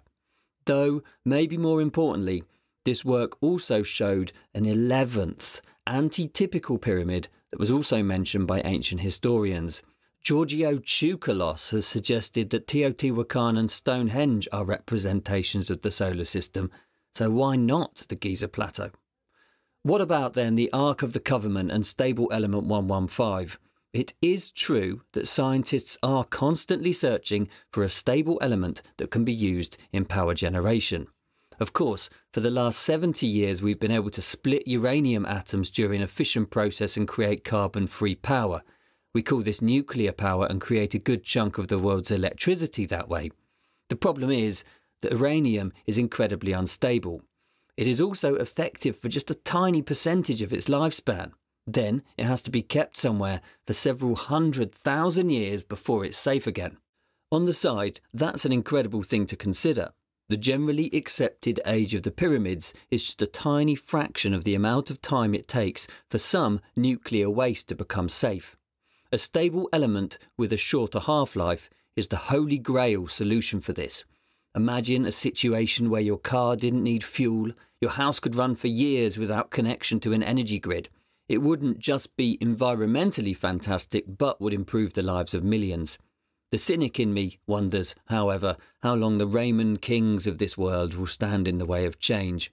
Did Nikola Tesla find a way to produce free energy for the world, only for it to be suppressed by the powers that be because there was no way to charge the population for it? Linking this to the Ark of the Covenant was a stretch, but the Ark was said to have some electricity like characteristics.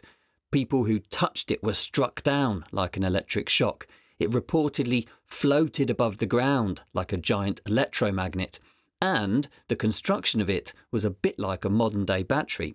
It seemed too good not to put the two of them together here. This also plays on the idea that the pyramids themselves could have been used in power generation. Christopher Dunn proposes a very intriguing theory regarding the function of the Queen's Chamber, which is buried deep within the Great Pyramid there are two narrow shafts which lead down to this chamber. One of these shafts, traces of hydrochloric acid have been found, and in the other, zinc chloride. Mixing these two substances together produces hydrogen. Dunn suggests that the Queen's chamber was the engine room of a great power plant, where hydrogen was created to be turned into electric or electromagnetic energy. Element 115 was made infamous by Robert Lazar in his revelations regarding Area 51. However, moscovium is a synthetic element with the symbol Mc, an atomic number 115. It was first synthesized in 2003 by a joint team of Russian and American scientists at the Joint Institute for Nuclear Research in Dubna, Russia. In December 2015, it was recognized as one of four new elements. Michio Kaku, an American theoretical physicist, has produced some good products and programs related to Element 115, which are now worth a view. But is any of it actually true? Honestly, I don't know. But it could be, and that makes it a really cool story, right? In January 2023, I took a trip to Egypt to research for this book. I had, in fact, written the book's first draft by then, but the trip helped me to refine all the details. My time in Egypt also helped me to breathe more life into the characters here too, as they were inspired by the people I met on the way.